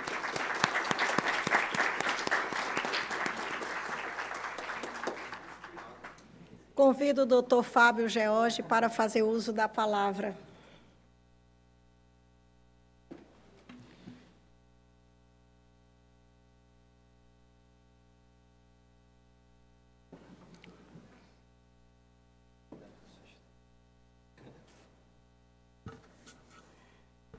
Que noite, que dia. Excelentíssima Senhora Presidente desta Corte Regional Eleitoral, desembargadora Maria de Fátima Bezerra Cavalcante, Maranhão, em nome de quem peço licença para saudar os ilustres membros que compõem o Tribunal Regional Eleitoral da Paraíba. Querida colega Cássia Soares Peixoto Suassuna, em nome de quem saúdo os colegas do Ministério Público, advogados, servidores, magistrados, familiares e amigos de Acácia, especialmente Dona Marta, Clarinha e Brancho. A bondade de meus colegas me trouxe até aqui, concedendo-me o privilégio de dirigir algumas palavras neste dia em que celebramos, homenageamos a excelência da atuação ministerial nessa importante Corte de Justiça. A minha consciência, o dever cívico, me impele inicialmente a externar rápidas palavras de agradecimento à Justiça Eleitoral, pelo êxito na condução do processo eleitoral em tempos tão desafiadores, o meu sincero agradecimento e reconhecimento pela excelência dos serviços aqui prestados em defesa da democracia. Num período em que a intransigência de alguns trouxe para dentro do processo eleitoral palavras absolutamente com ele incompatíveis: ódio, inimizade, intolerância, desrespeito, desprezos pelas diferenças, por quem não pensa como nós, por quem não vota como nós deixando para trás a mensagem sempre sábia do eterno arcebispo de Olinda e Recife, Dom Helder Câmara. Dizia Dom Helder, quando se encontrava diante de alguém que pensava diferente: Quando discordas de mim, me enriqueces. Dom Helder fazia-nos lembrar o quanto é fundamental convivermos com pessoas que são diferentes, que pensam diferente, pois elas nos fazem refletir balançar as nossas certezas, até mesmo mudar de opinião por vezes, nesse livre pensar, nesse clima de boa convivência que é essencial aos regimes democráticos. Feito esse breve registro, volto-me ao privilégio que me foi concedido no dia de hoje para poder, mais uma vez, exercitar a maior de todas as virtudes humanas, a gratidão, mãe de todas as outras. Somos gratos a você, Acácio, por ser a primeira mulher a exercer as funções à frente da Procuradoria Regional Eleitoral nesse Estado e por tê-lo feito com tanta dedicação, empenho, competência, inteligência, maestria, sempre com um brilho intenso no olhar e um largo, largo sorriso no rosto. E eu descobri no dia de hoje onde é que vem esse sorriso. Dona Marta não nos deixa mentir. Mostrando a todos que nossas funções apesar de serem tão difíceis e complexas, podem muito bem ser exercidas sem que jamais tenhamos que perder a ternura. Você nos ensina a cada dia, num país ainda tão injusto e desigual, que essa chama, essa utopia da transformação da nossa sociedade, que move essa instituição chamada Ministério Público em busca da consolidação das sementes de cidadania plantadas na Constituição, jamais pode esmorecer, jamais pode se apagar. Por mais difícil que seja, essa é a nossa missão. Por mais que esteja ela tão distante no horizonte que sintamos que nos aproximamos dois passos e ela se distancia dois passos, como dizia Eduardo Galeano, a utopia nos lembra da nossa missão a cada instante e serve exatamente para isso, para seguirmos caminhando em busca desse ideal. No mesmo sentido, nos lembrou Mário Quintana: se as coisas são difíceis, às vezes parecem inatingíveis, não é motivo para não querê-las, para não lutar por elas. Que tristes seriam os caminhos se não fosse a presença distante das estrelas. E por falar em estrelas, Acácia, você é indiscutivelmente uma delas capaz de exercer uma missão tão importante, tão complexa, desgastante, sem jamais esmorecer, levando sempre brilho e luz para todos os lugares e para tudo aquilo que você faz. Você inspira, você lidera, você arrasta, não apenas pelas palavras, mas especialmente pelo seu exemplo. Faz seguidores, colaboradores, admiradores muito facilmente. Traz engajamento sincero, voluntário e entusiasmado às boas causas. Sua bondade, generosidade, gentileza, outras de suas grandes virtudes, são capazes de elevar a alma, de afagar o coração de tantas pessoas que têm a oportunidade de lhe conhecer e de conviver com você. Você também nos ensina a cada dia que viver não é algo que possa ser feito sem entusiasmo. Essa é você. Afinal, apesar de todos os obstáculos e as dificuldades da vida, ela é uma dádiva, ela é um presente, um milagre que precisa ser assim vivenciado, com intensidade, energia boa, energia positiva. Sua passagem destacada à frente desta casa será lembrada com justiça, tenho certeza, por muitos e muitos anos. Será como uma bússola de excelência para guiar os, guiar os passos dos que vierem depois em busca de bem cumprir essa mesma missão e servirá de estímulo, sem dúvida alguma, para que outras mulheres voltem a ocupar com a mesma competência, com a sensibilidade femininas, inigualáveis essas mesmas funções. Nós que somos homens, podemos admirar, podemos aplaudir, jamais podemos alcançar. Obrigado, querida amiga, por tudo que você fez, faz e é para orgulho incontido de sua família, de seus amigos, colegas, ou mesmo daqueles que simplesmente têm o privilégio de sua atenção momentânea. Conhecendo você, conversava com o Brance sobre isso, né, Brance, hoje? Conhecendo você, sei que novos desafios virão. E sei que todos serão enfrentados como nos lindos versos de Milton Nascimento. Nada a temer senão correr da luta. Nada a fazer senão esquecer o medo abrir o peito à força numa procura, fugir das armadilhas da mata escura. Afinal, é tudo uma questão de manter a mente quieta, a espinha ereta e o coração tranquilo, você gosta muito de citar. Ou como disse Graciliano Ramos, talvez o mais nordestino de todos os mineiros, em sua grande obra Grande Sertão Veredas. O correr da vida embrulha tudo. A vida é assim: esquenta, esfria, aperta, afrouxa, sossega e depois desinquieta. O que ela quer da gente é coragem. E ela, Cássia, a coragem, característica intrínseca daqueles que sempre lutam por justiça, é mais uma das virtudes que nunca lhe faltou. Finalizo renovando o agradecimento a você no dia de hoje. Muito obrigado por elevar de maneira tão destacada também nesta casa o nome do Ministério Público Brasileiro. E desejando-lhe um amanhã iluminado em sua vida, perto de sua família, dos seus amigos, de todos os que lhe querem bem e que tenho certeza são muitos.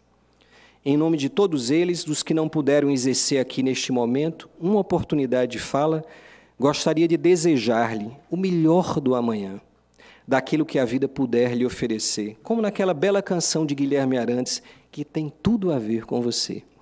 Que seu amanhã seja um lindo dia, da mais louca alegria que se possa imaginar Amanhã, redobrada força, para cima que não cessa, há de vingar. Amanhã, mais nenhum mistério, acima do ilusório, o astro-rei vai brilhar.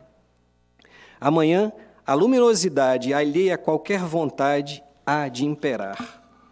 Amanhã, mesmo que uns não queiram, será dos que esperam ver o dia raiar.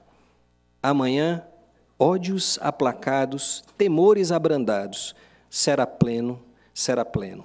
Que seu amanhã seja sempre assim, simplesmente pleno. Muito obrigado, querida amiga.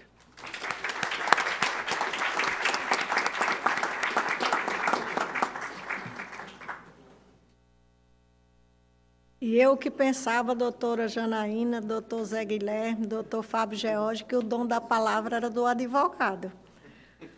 Mas a Procuradoria Geral da República do nosso Estado tem grandes oradores. Convido, representando a briosa Ordem dos Advogados do Brasil, seccional da Paraíba, doutor Arthur Fialho, a fazer uso da palavra.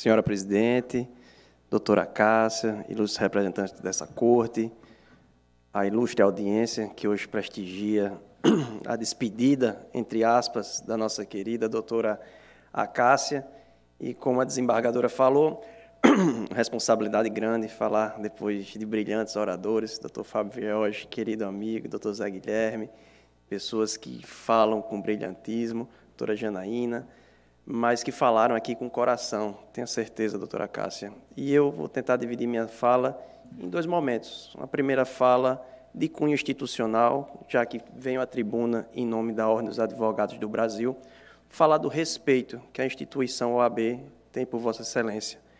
Doutor é, Ferreira Júnior falou que nos julgamentos 99% dos advogados podiam ficar chateados com ela, mas que no extra processo todos gostavam dela. E aí eu digo o seguinte, doutor Júnior, quando chega no processo aqui e que há um litígio, 50% dos advogados ficam felizes em ter a doutora Cássia sustentando, porque tem um parecer dela a seu favor. Alguém vai ter o um parecer dela favorável a uma pretensão. Então, nos julgamentos, metade dos advogados já estão felizes por ter a senhora defendendo um ponto de vista jurídico. E. Perfeito, doutor Júnior. E extra-autos, a senhora é uma unanimidade, como disse a sua colega do Ministério Público, sem ser uma unanimidade burra. O que eu escuto dos colegas advogados, até porque fui membro da corte na qualidade de, de, de jurista, era só agradecimento pela atenção. Alguns novatos que não tinham tanta experiência no eleitoral saía impressionado. Como eu fui bem atendido por aquela procuradora. Que mulher atenciosa, que pessoa elegante. Eu digo, é, isso é tudo, doutora Acácia. Então, doutora Acácia, pautando essa primeira parte da minha fala do ponto de vista institucional, eu aqui venho agradecer por tudo que a senhora fez com o Ministério Público, todo o respeito que a senhora teve com os advogados que aqui frequentam essa casa, que procuraram a senhora de forma presencial, de forma remota, advogados de outros estados, todos a elogiaram e agradeceram a forma como for acolhida pela senhora. Então, com relação a esse ponto de vista institucional, de relacionamento com a Ordem dos Advogados do Brasil, a senhora tem a certeza que também cumpriu o seu papel com louvor. Agora, quebrando a dogmática, partindo para uma segunda parte da fala, eu vou falar aqui da doutora Cássia, que eu ganhei como amiga aqui nesse plenário. Descobri, quando entrei na corte, que ela era colega da minha irmã das aulas de balé, doutor Brâncio, lá em Campina Grande, que minha irmã tanto reclamava, vocês roubaram minha colega de turma. Aqui chegava à noite, todo mundo cansada, e ela, como já dito aqui por todos, iluminava o salão com seus pliés e sorrisos, né, doutor Roberto? Então, doutora Cássia, fiquei muito feliz em ter tido aquele tempo aqui com a senhora, tantos embates, com tanta divergência de pensamento, conseguimos ficar tão unidos. Não outra contradição, mas também sem ser uma coincidência, porque a senhora agrega. Mesmo divergindo, a Cássia agrega. Então, doutora Cássia, eu tenho que dizer aqui para a senhora, seja a Cássia, seja mais a Cássia e continue sendo a Cássia, da forma que a senhora é, da forma que você é, sempre alegre, sorridente, levando os outros para cima, temos algo em comum na personalidade, que é outro ave, doutor Júnior, é o acelerado. eu sou acelerado e eu chegava, doutora, calma, a Cássia, calma, desacelere, pelo amor de Deus. Você vai endoidar e vai endoidar a gente tudo junto. Tenha calma. Ah, então a gente tem que jogar, não sei o que. Aí dizia, meu amigo, você não sabe o que é acordar do lado dela. que ela já começa o dia, tá lá, lá, tá lá, lá, tá lá, lá, tá lá. Desacelera a casa. Vamos pensar o primeiro, depois a gente vai para o segundo. E aí eu consegui também me acalmar. Porque eu comecei a ver a angústia dos outros com relação a mim. Eu digo, eita gota, eu também tenho que me acalmar, porque eu acho que o povo fica falando a mesma coisa de mim. Então, doutora Cássia, até isso a gente conseguiu construir junto. Foi desacelerar um pouco, unindo nossa aceleração. Então, esse ponto um pouco aqui mais brincalhão da personalidade da doutora Cássia é importante trazer, porque é um marco da pessoa dela, alegria, leveza, retratada na pessoa da sua mãe, doutora Marta, que eu fiz questão de me apresentar ali fora e agradecer pelos doces antes que vocês tudinho fizessem. Eu já tinha agradecido lá fora, não, doutora Marta? Isso aqui, ó, quitute de caranguejo, de frango, docinho, eu experimentei tudo. Então, sem maiores delongas, doutora Cássia, muito obrigado por tudo. Você mora no meu coração, a senhora sabe disso. Conte sempre comigo. E semana retrasada eu tive a grata surpresa de saber que vamos ser colegas de docência num curso de especialização que vai ser promovido aqui em João Pessoa, na, na Uniesp, vou até fazer a propaganda. Quem quiser assistir aula com a doutora Acácia, pode se matricular numa pós-graduação em Direito Eleitoral. Teremos o brilho de doutora Acácia lá e vou ter a alegria de tê-la como colega professora. Então, muito obrigado, doutora Fátima, pela oportunidade, pela fala e uma boa noite a todos e a todas.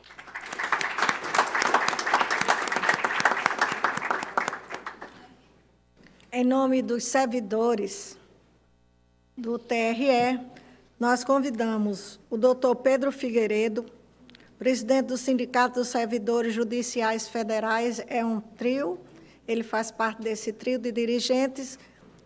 Vossa Excelência, doutor Pedro Figueiredo, com a palavra.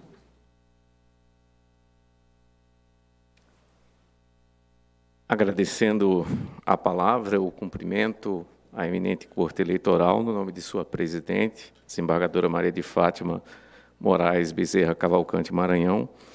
É, senhoras e senhores, é, muito boa noite. Eu garanto que serei bastante breve nas minhas palavras, embora a doutora Acácia merecesse longas considerações acerca de sua brilhante atuação nesta casa.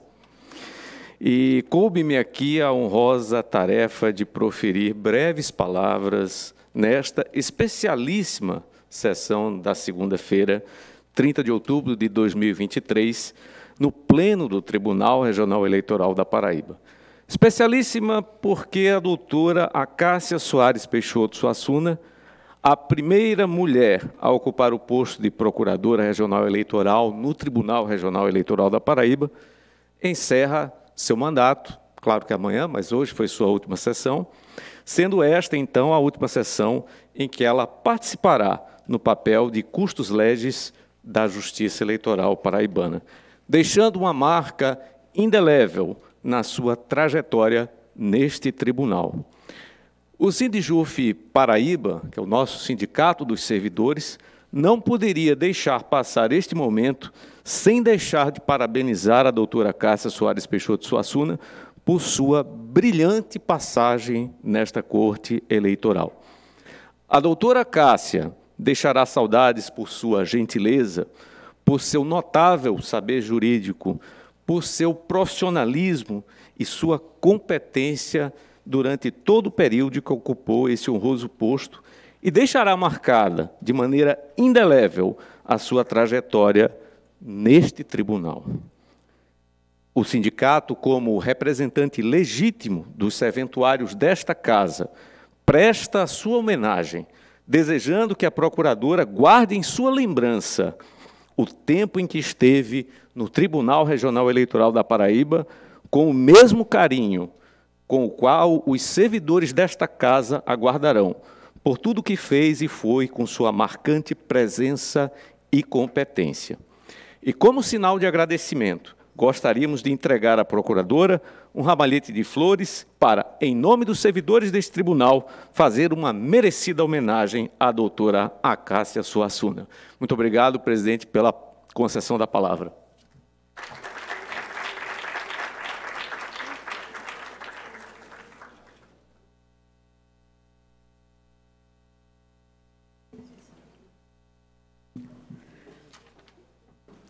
Doutora Cássia Suassuna, tantos gostariam de falar nessa noite. E veja que nós já estamos há quase 22 horas, deixa me ver o horário.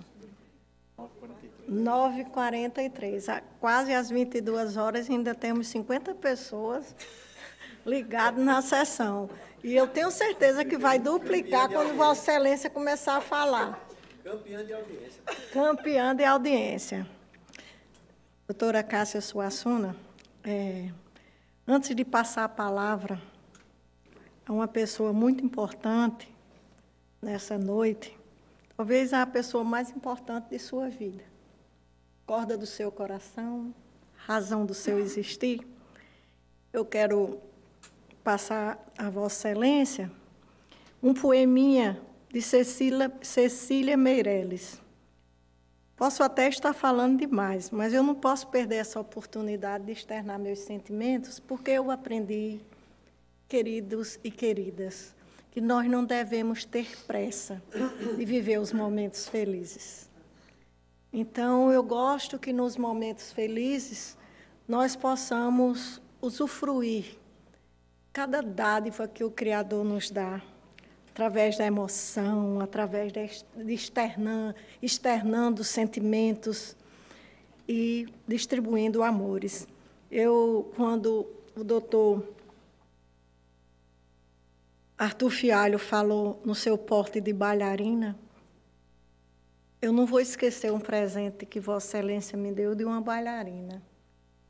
E esse presente dessa bailarina foi tão importante para mim, como haverá de continuar a ser, porque justamente a bailarina é aquela que dança, mas mais do que dançar, é aquela que voa, é aquela que dá asas à sua imaginação e à sua vida.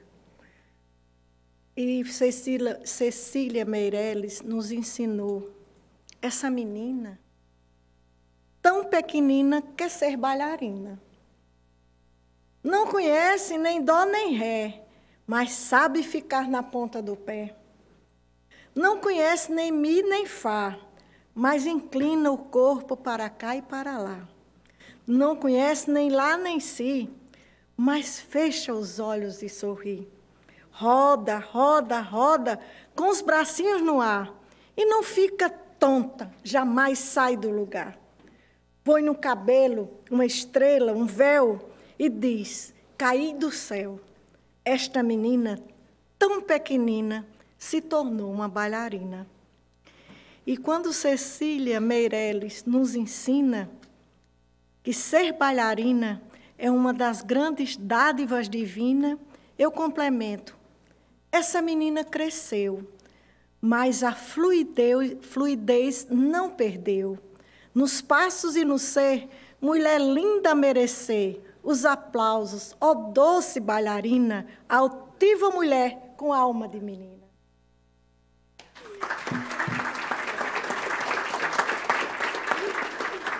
Clarinha, a palavra é sua, querida.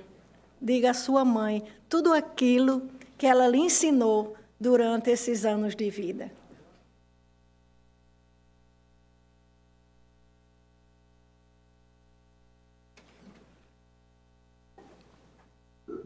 Boa noite. Boa noite. Falar da minha mãe é muito fácil e muito difícil ao mesmo tempo, porque são tantos elogios que não cabem em um texto. Mãe, você é um exemplo de força, determinação e coragem, ao mesmo tempo que transparece alegria, espontaneidade e simplicidade. Quem acompanhou e acompanha sua jornada profissional e pessoal sabe muito bem disso.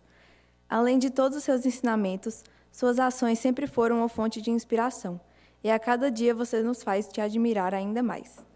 Você transmite energia positiva, carinho, altruísmo e, acima de tudo, autenticidade, uma verdadeira Miss Simpatia. Mãe, eu não poderia estar mais feliz por te ver concluindo mais uma etapa da sua vida, principalmente uma tão desafiadora e executada com tanta precisão, em que, por mais que o medo tenha estado presente, você o superou mais uma vez. Estou aqui representando toda a nossa família e seus amigos, que eu tenho certeza que concordam com tudo que está sendo dito. Eu te agradeço por tudo e gostaria de reforçar que você é muito amada e sempre terá o nosso apoio. Parabéns, mãe, você é um grande exemplo.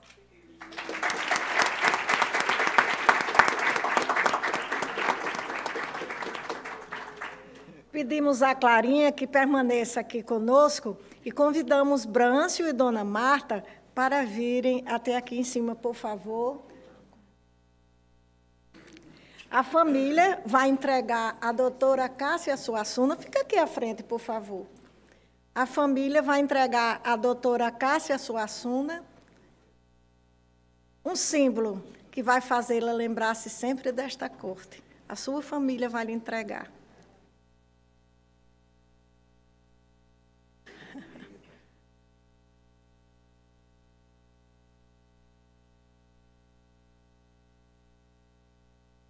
Entrega doutor Brâncio. Pode entregar, doutor Brâncio. Fernanda, entrega, doutor Brâncio. Doutor Brâncio, por favor, presentei sua esposa e coloque num lugar bem especial. Para que essa passagem da doutora Cássia Suassuna pelo Tribunal Regional Eleitoral fique gravada não só no coração, mas também no lugar de destaque da casa.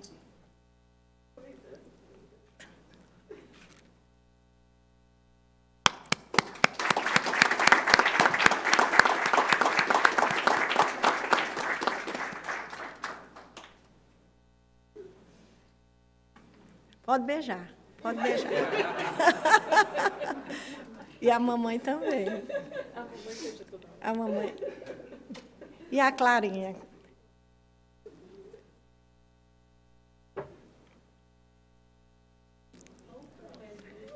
Queridas e queridos, a nossa noite vai ser culminada com a palavra daquela que tanto é honrada, porque a honra quem dá é Deus. E nós temos que reconhecer a honra de quem merece ser honrada. Vossa Excelência está com a palavra, doutora Acácia Suassuna. Senhora Presidente, Egrégia Corte, doutor André, nosso diretor-geral, em nome de quem saúdo todos os servidores, já estou com saudade dessa saudação tão presente todas as segundas e quintas, na época da eleição, segundas, quartas e sextas. E eu pensei muitas vezes é, como seria a minha fala na última sessão. Pensei muitas vezes o que é que eu gostaria de falar. Só que depois de tantas palavras carinhosas, afetuosas, tão cheias de amor, eu não vou conseguir expressar. E aí eu me lembro de uma música que minha mãe gosta muito, Ontem ao Luar, e essa música diz: Como definir o que eu só sei sentir? Então é difícil falar. Eu estou muito emocionada. Não consegui fazer um texto porque é, eu acho que eu nem me percebi que ia chegar a última sessão. Foi tão intensa essa última semana, tanto processo, tanta coisa. E eu, de, trabalhando, trabalhando, eu digo, uma hora eu paro para escrever. Não chegou a hora. Mas eu também não pensei que hoje seria o último dia. Eu vim como se ainda fosse vir na outra semana. Mas eu vou tentar falar. Eu vou tentar falar. Prometo não ser tão longa. Mas eu vou tentar porque tentar, lutar, foi o que a minha mãe sempre me ensinou. Ainda que eu não consiga da forma como eu gostaria. Essa última sessão, minha linda igreja corte, é a minha duzentésima, quadragésima oitava. Eu tinha que ter o um número, né? Sessão 248. Desde a primeira sessão, como bem lembrado por minha amiga Janaína, nossa PRDC, em 4 de outubro de 2021. Eu até trouxe aqui minhas primeiras anotações. Eu faço as anotações da sessão, que eu adoro papel, né? Eu não sou tecnológica. E está lá a anotação da sessão 1. e foram 248 com essa. E é muita emoção. Eu, nesses dois anos que passei aqui, vivi intensamente. Eu vivi intensamente cada momento, cada processo. Acho que a doutora Janaína definiu bem, é coisa que quem trabalha comigo mais escuta, é cada processo é uma vida. Para mim, tanto faz uma prestação de contas de um vereador de uma cidade pequena, sem movimentação financeira, como uma AIGE que eu vou querer olhar e dar o melhor. Óbvio que equívocos acontecem, sempre que eu identifiquei, eu busquei retificá-los. Mas saibam que eu dei o meu melhor. A música que mais me vem à mente é a música Linha do Equador, quando diz: Se eu tivesse mais alma para dar, eu daria. Isso para mim é viver. É isso. É isso que eu gosto de fazer, é isso que eu gosto de ser. E eu aproveito rapidamente, antes que eu me emocione mesmo, só para pegar uns números que eu trouxe, de fazer uma prestação de contas. Eu tinha que fazer uma prestação de contas, né, presidente? Da atuação da Procuradoria Regional Eleitoral, dizendo que de outubro a, de outubro a novembro de 2021 entraram 526 processos, saíram 509. Em 2022 entraram 4.415 processos e saíram 4.345. Em 2023, até a data de sexta-feira, entraram 1.911 processos, saíram 2.008. Isso dá um total de 6.852 entradas e 6.862 saídas. Foram 96 impugnações, tendo 29 sido julgadas procedentes, 59 sido regularizadas ao longo da ação, apenas oito julgadas improcedentes. Fizemos também recurso ordinário para o TSE, que foi julgado procedente, 21 representações de propaganda, 23 recursos especiais, dos quais eu já tive notícia que quatro teve provimento, é, três negado seguimento e a, a outra grande maioria aguarda o recebimento. Fizemos campanha, tanto para a representatividade feminina, como a desembargadora fez a campanha linda Abraça Acessibilidade, que nós aderimos. É, 36 casos de fraude à cota de gênero não é um número que nos deixa feliz, mas é um número que mostra como esse tribunal é combativo na causa e toda essa entrega ela não seria possível se não fosse o comprometimento de uma equipe maravilhosa da PRE. E aí eu queria começar agradecendo a meu amigo Sérgio por ter aceitado participar desse desafio comigo, a palavra que eu mais ouvi do doutor Sérgio, presidente, foi: estou ao dispor. Estou a dispor. Sérgio chegou a estar num momento muito difícil, com a mãe hospitalizada, e passou mais de uma hora comigo debatendo um processo. Eu dizia, Sérgio, tá bom. Ele disse, não, mas deixa, vamos debater. Então, Sérgio, sem palavras para te agradecer por todo o apoio, por todo o companheirismo, por toda a cumplicidade, por sempre estar ao dispor. Muito obrigada, meu amigo vou guardar no coração. Eu queria também guardar no coração a minha grande equipe, que nas eleições deu show, três grandes nomes, três grandes amigos, doutor Barros, Bruno Barros de Assunção, doutor Bruno Galvão Paiva, doutor Vitor Cavalho Vege, que já esteve nessa casa brilhando também. Então, esses quatro me deram a mão, esses quatro estiveram juntos, e eu sento aqui sozinha, presidente, mas eu nunca estou sozinha. Atrás tem eles e tem uma equipe linda, uma equipe comprometida, que eu queria pedir licença para nominar, porque eu não posso sair daqui sem falar deles. Eu cheguei aqui, é, o servidor que era CC4 era Ibson, todos conhecem, porque eu muito falei dele, a quem eu carinhosamente chamo de Teacher Google, porque ele sabe de tudo. Você fazia uma pergunta para ele, ele respondia com uma rapidez impressionante. Ele é, fez parte da PRE há muito tempo, merece todo o nosso reconhecimento. É uma pessoa que eu ainda aperreio, ligo, ei, Ibson, me diga aqui, porque ele é acima realmente da média. Então, eu queria, Ibson, você depois deve assistir em nome de todos os PRS que já passaram, porque foi Vitor que ele trouxe, foi Rodolfo, e quando eu cheguei, a primeira coisa que Rodolfo disse foi: olha, é, Ibson, ele é uma pessoa que você pode contar.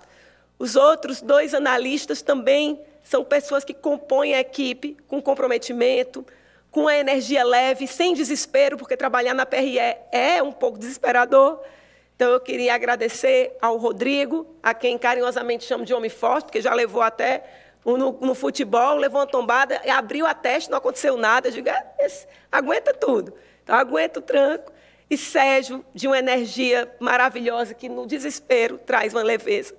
Quero agradecer a Ayrton, secretário, a quem eu recebo muitos elogios dos advogados, tamanha gentileza e a precisão que alguém falou no celular institucional da PRE, ele está ali falando. É, Marcone, que trabalha com a parte administrativa, dando entrada e saída de processos. É, muito, muito bom, muito centrado. É uma equipe linda.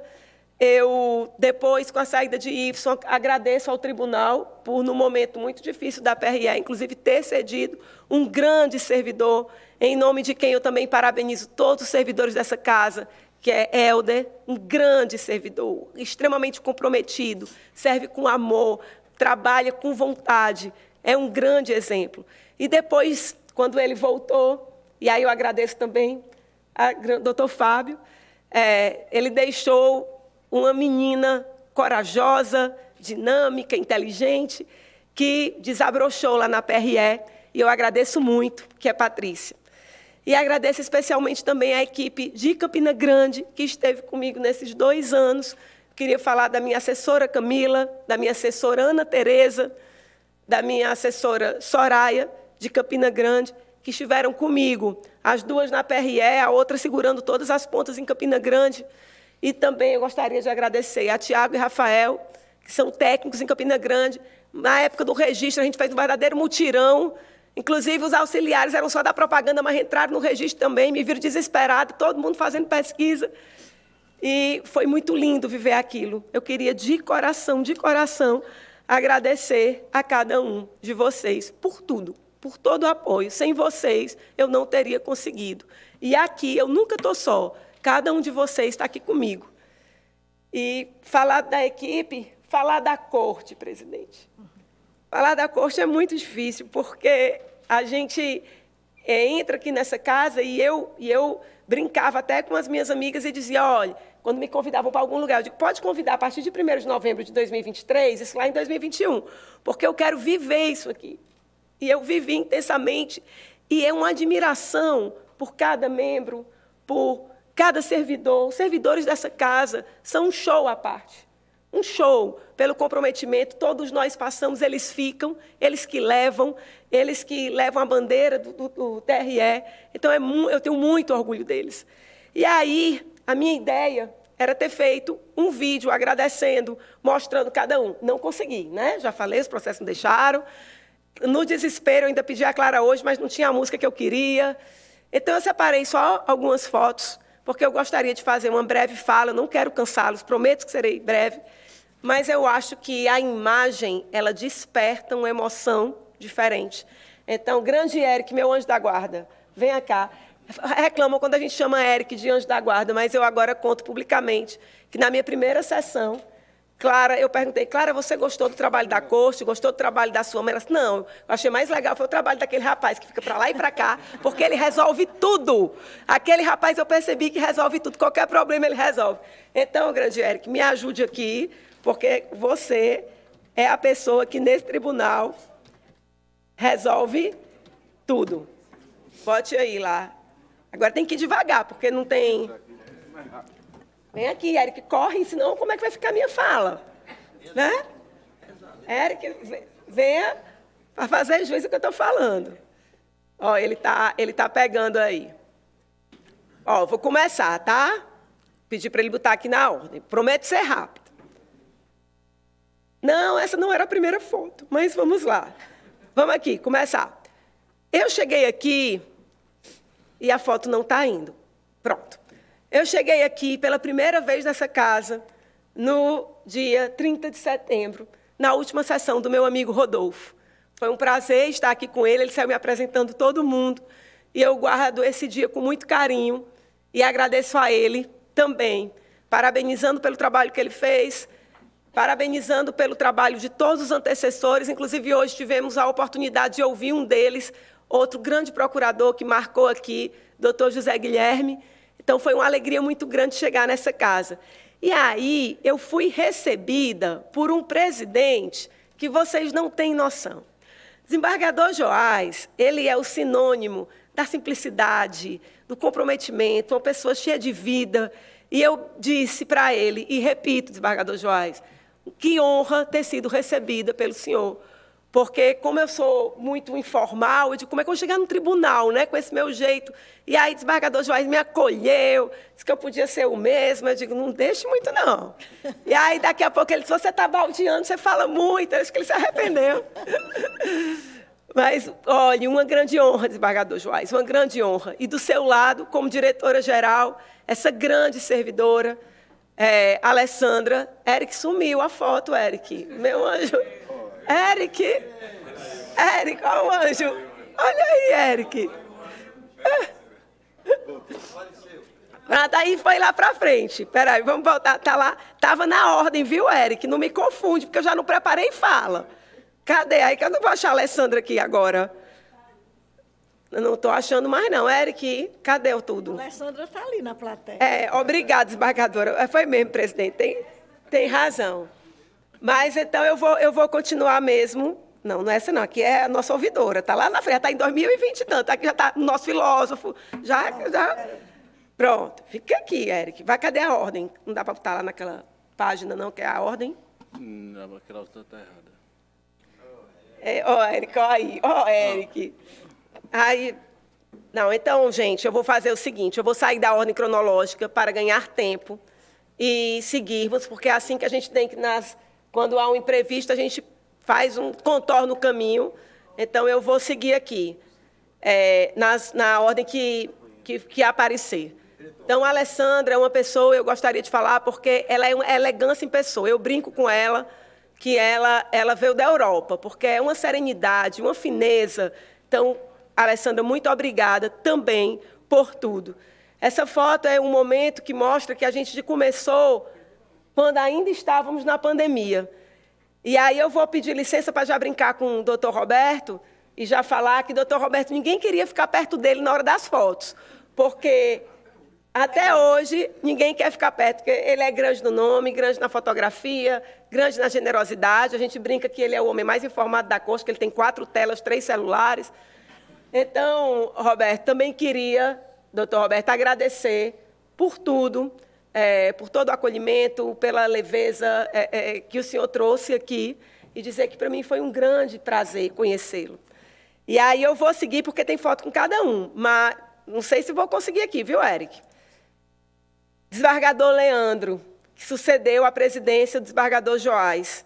Que homem firme, que homem com sede de paz, com sede de justiça, com indignação. É, foi um grande prazer, desembargador Leandro, trabalhar também com o senhor, se ouvir depois essa fala. Admirei muito, pulso muito firme, e esse tribunal, sem dúvida, teve uma eleição muito tranquila, também graças à atuação desse grande presidente. Olha aqui, doutor Fábio Leandro é uma leveza. Doutor Fábio Leandro ele tem a serenidade de um magistrado. Foi o relator dos processos mais difíceis que tiveram nessa corte. Em dezembro de 2021, foi julgado o primeiro processo de fraude à cota de gênero, caiu para o doutor Fábio Leandro. Processo dos deputados estaduais caiu para o relator doutor Fábio Leandro. O de hoje, para o doutor Fábio Leandro. Então, ele tem aí um histórico. E, por mais que exista todo um, um, um, o aperreio que é uma corte, o processo complicado, ele é muito sereno. Nunca vi doutor Fábio sair da serenidade dele. Quando eu vim para cá, Brâncio disse, a Cássia, você vai encontrar um homem bom, um homem leve. E foi isso que eu encontrei, doutor Fábio. Muito obrigada também por tudo. O senhor acertou quando disse que eu terminei fazendo o que eu queria, porque eu gosto de trabalhar, emendar, né, de manhã, tarde, noite, madrugada, então tá do jeito que eu gosto mesmo.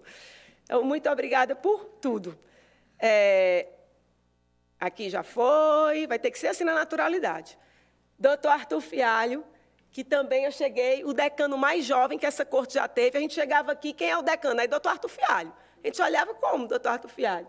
E ele conhece o regimento interno de frente para trás, de trás para frente. Foi uma grande honra trabalhar com ele. Ele disse que eu sou acelerada, eu não acho, não. Mas é, queria também registrar o meu carinho. Tivemos a oportunidade de estar juntos em outros momentos. Então, foi muito bom também ter aqui doutor é, Arthur. Aqui eu coloquei para falar de doutor Eduardo, grande diretor-geral, outra pessoa elegantérrima, competentíssima, serena, nunca sai dessa, dessa calma. O mundo caindo, doutor Eduardo, doutora Cássia, bem calmo, colocando tudo, pesquisando, muito comprometido. Então, um grande prazer também, Eduardo, ter trabalhado com você. É, doutor Márcio Maranhão, que quando eu cheguei estava aqui na corte, também sempre uma pessoa muito gentil, muito cordata. Queria também agradecer. Não vou falar de doutor Ferreira Ramos Júnior ainda não, porque tem outra foto aí para falar dele. Doutor Bianô. Doutor Bianô foi um presente que Deus me deu de reencontrá-lo aqui. Já tinha trabalhado com ele em Campina Grande, irmão do nosso grande amigo, competentíssimo Ironman, doutor Marcos Queiroga, em quem eu também me inspiro muito. E doutor Bianô, eu digo, mas é, essa mãe é muito, muito, né? Porque tem doutor Marcos, doutor Bianô e a, e a irmã deles, a esposa de doutor Marcos, ainda diz que é a mais inteligente. Eu digo, que família! É, doutor Bianô, a gente carinhosamente chama de nosso filósofo. Ele trouxe muito saber para essa corte. A gente também fala que ele tem uma fidalguia, é uma energia de elegância na classe, no saber, no falar, no agir. É, eu agradeço muito, Bianô, por, por, tu, por tudo, por todo o aprendizado, por tudo que você trouxe, porque você compartilha saber. Eu já lhe disse uma vez, muitas pessoas pensam que é, quem tem informação tem poder, e por isso retém. Você não retém poder. Você ensina o que é poder e você compartilha saber por onde você passa. Então, muito obrigada. Foi uma honra estar aqui com você nesses quase dois anos. É, Aqui. Aqui, pera. Doutor Roberto, isso aqui foi, era uma, ela lá na frente, era um momento descontraído para dizer que a gente concorre quem come mais. Falam que come mais sou eu, a doutor Roberto, certo? Aqui é o membro mais elegante da corte. É conhecido por nós como Richard Gui. Tamanha a elegância dele. Ele não tira uma foto sem estar é, uma posição perfeita, ele ensina a gente, faltou o curso, viu, Júnior? Firme, cirúrgico, objetivo, corajoso. Meu amigo, suas palavras me comoveram. Eu só tenho a te agradecer é, e dizer que foi uma alegria imensa também estar aqui com você. Nossa ouvidora, a doutora Maria Cristina, que chegou depois trazendo mais representatividade a essa casa, uma mulher também muito corajosa, que luta pelos seus ideais, luta pelas suas bandeiras, independentemente se é voto vencido, se não é voto vencido, ela vai e fala naquilo que ela acredita. Então, admiro muito por isso, doutora Maria Cristina, um prazer enorme conhecê-la também e ter ficado aqui. E achei maravilhoso quando foi instalada a ouvidoria da mulher, porque sei que desempenha esse papel com toda a competência que existe. Também queria dar esse muito obrigada. É, na sequência aqui, nós tivemos a posse da nossa corregedora, desembargadora Agamenilde, outra mulher arretada. E quando eu, quando eu vim no dia, Brance falou também, pense numa mulher firme, forte. E eu vi isso, desembargadora Agamenilde. A senhora tem uma firmeza, a senhora tem uma preocupação com o interesse público, a senhora tem uma, uma, uma forma objetiva de tratar, e, ao mesmo tempo, é uma pessoa que traz também uma espiritualidade, é, traz uma suavidade, tem toda uma sensibilidade. Lembro agora das fotos compartilhadas de, de flores. Então, agradeço também e uma honra ter trabalhado. Não tenho dúvidas que Vossa Excelência fará um excelente trabalho nas eleições de 2024, juntamente com meu grande amigo, a quem eu já faço referência também, doutor Renan e doutor Djalma, que assumirão a PRE. Doutor Renan é um lorde, Doutor Renan, já lá em 2015 e 2016, escrevia sobre a igualdade de gênero, então a gente vai ter uma continuidade de trabalho aqui. Então, tenho certeza que desempenharão um trabalho maravilhoso, Renan e Djalma, e desejo todo sucesso. É, aqui, também queria era, ver com a doutora desembargadora Agamenilde. Esse momento foi um momento muito especial, das quatro, é, que estávamos aqui no seminário Vozes da Democracia, e é uma foto que eu guardo com muito carinho, porque retrata esse momento da corte. Eric, sumiram as fotos. Eric, o pessoal já está cansando, eu preciso ser rápida. Olha, é, e aí eu, eu abro parênteses para falar da posse da presidente, desembargadora Fátima. Eu não a conhecia pessoalmente, esse dia foi o dia da posse dela, e eu cheguei igual com ela. Quando eu cheguei, chegou aquele carro preto, desceu aquela mulher com essa roupa linda, e ela até brincou, porque eu falei tanto dessa roupa dela, que ela veio com essa roupa hoje. É, e que é linda a manga, como vocês podem ver aí. E eu disse, meu Deus, desceu a Lady Di, porque esse cabelo dela, ela não me disse ainda como é que faz. Eu brinco que é o cabelo mais bonito que eu conheço, assim. É cheio, eu digo, não consigo, o meu está muito ralinho, brincando. E ela é uma mulher carismática, uma mulher que, desde a sua, do seu discurso de posse, adotou a acessibilidade como lema e cumpriu, desembargadora. Parabéns pelo trabalho com acessibilidade, pelo trabalho com a diversidade, pelo reconhecimento dos servidores do tribunal. Em pouco tempo aqui, vi várias homenagens a servidores. A senhora descentraliza a gestão, mostrando esse compartilhamento, isso é muito bonito. Então, muito obrigada também por todo o carinho, por toda a atenção que a senhora devotou. Nem dos meus maiores sonhos eu esperaria uma homenagem tão linda como essa despedida, com calunga, com flores, com acácia, com quadro, com livro, com as falas dos meus amigos que eu admiro tanto. Então, eu jamais imaginaria, nos meus maiores sonhos, que a sessão seria a última sessão tão especial. Então, aproveito para agradecê-la, para agradecer a todos a corte e todos os meus amigos que eu sei que se empenharam. E aí eu falo na pessoa de peço para pedir licença para falar na pessoa de doutora Janaína, que eu sei que movimenta, é dinâmica. E eu queria agradecer muito a presença de cada um. Rodrigo de férias aqui, né? Douglas, Douglas, um colega que acabou de chegar do Rio de Janeiro, que é carioca, foi, é, foi nomeado há pouco tempo sabe? Então, assim, é, muita alegria estar aqui, João Neto, e não vou nem citar para eu não começar a me perder, e tentar ser rápida. E, continuando aqui, eu, fomos para Campina Grande, pode passar, Eric, vem aqui, eu queria, o negócio está passando. Pronto, fomos para Patos, chegou a posse de doutor Bruno Teixeira, é, foi, eu lembro que eu fiquei muito emocionada na posse de doutor Bruno, porque eu lembrei que ia ser a minha última fala de recepção quando chega um novo membro. E eu falei, na época, doutor Bruno trouxe competência, trouxe poesia. Doutor Bruno, em pouco tempo, já mostrou a que veio. Ele, ele estuda não só os processos da sua relatoria, mas todos os processos. Ele sempre traz uma informação, ele sempre agrega e acrescenta. Então, parabéns, doutor Bruno. Um grande prazer reencontrá-lo e estar aqui ao seu lado. Muito obrigada. E aí eu tirei algumas fotos soltas do que eu consegui rapidamente para representar todos os servidores, não vou conseguir de todos. Cassimiro representando a, toda a tecnologia, toda a inovação que é esse tribunal. Vanessa do Egito, que eu já conhecia, eu digo que esse tribunal tem mulheres lindas.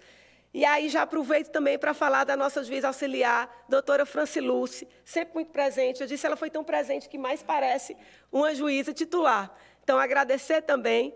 Esse momento foi um momento tirado nas eleições, a gente saiu daqui, era mais de meia-noite. Lembra, ó, doutor Júnior, essa foto? A gente saiu ali no corredor e eu falei, vamos registrar aqui, vamos sair, animação total. E a gente saindo, comemoramos os 90 anos da Justiça Eleitoral. Dona Vivi, em nome de quem eu agradeço todas aquelas pessoas que, desde a portaria, todos que trabalham na Copa, sem eles, meu Deus do céu, não teríamos segurança, não teríamos é, matado a nossa sede, passado o nosso sono, Dona Vivi, Carlinha, Gislane. Então, queria falar o nome de todos. Então, agradeço muito por tudo. Vivi sempre chegava, doutora Cássia não comeu nada. Eu agradeço muito a ela, porque ela me salvou e muitas vezes. É, Marinaldo, conhecido como irmão do doutor Vitor Vege, porque Marinaldo é o seguinte, doutor Vitor Vege, quando eu não conseguia falar com ele, Marinaldo ia avisava e doutor Vitor Vege falava. Então, é um grande servidor também. Queria falar de Ana Cristina, que é outra grande servidora. Descobri há pouco tempo que uma grande dançarina, eu disse que ela está igual a Paula Oliveira, como rainha da bateria, de tanto que ela dança. Então, também queria, com essa dança, com esse movimento, é, parabenizar todos os servidores do tribunal pela dança, pelo dinamismo que tem, é, a integração com todos os órgãos, que aconteceu sempre. É, eu olho para cima, eu olho para a eu lembro do registro. Eu lembro da fase de registro. A Andréa tinha sido roubada da gente para o TSE. A Anália ficou, olhava, só via aquelas planilhas de 752 candidatos, 66 DRAPs e as horas. Então, ficou muito marcado para mim. É, esse momento também, aqui está o nosso grande Eric, que está aqui mostrando que tudo funciona, né, Eric? Nosso anjo, a quem eu já falei, mas todos os servidores que estão aqui. E aí vou falar também, completando o trio do, do, da direção geral de doutor André, elegante, fino, competente, em que agradeço demais. Sintam-se todos que estão aí muito abraçados. E, e, e, ah, tem aqui Suênia, que eu brinco, ela é a mulher do Centro de Comando e Controle. Então, e eu queria finalizar minha homenagem com os servidores com a nossa carinhosa ministra do TSE.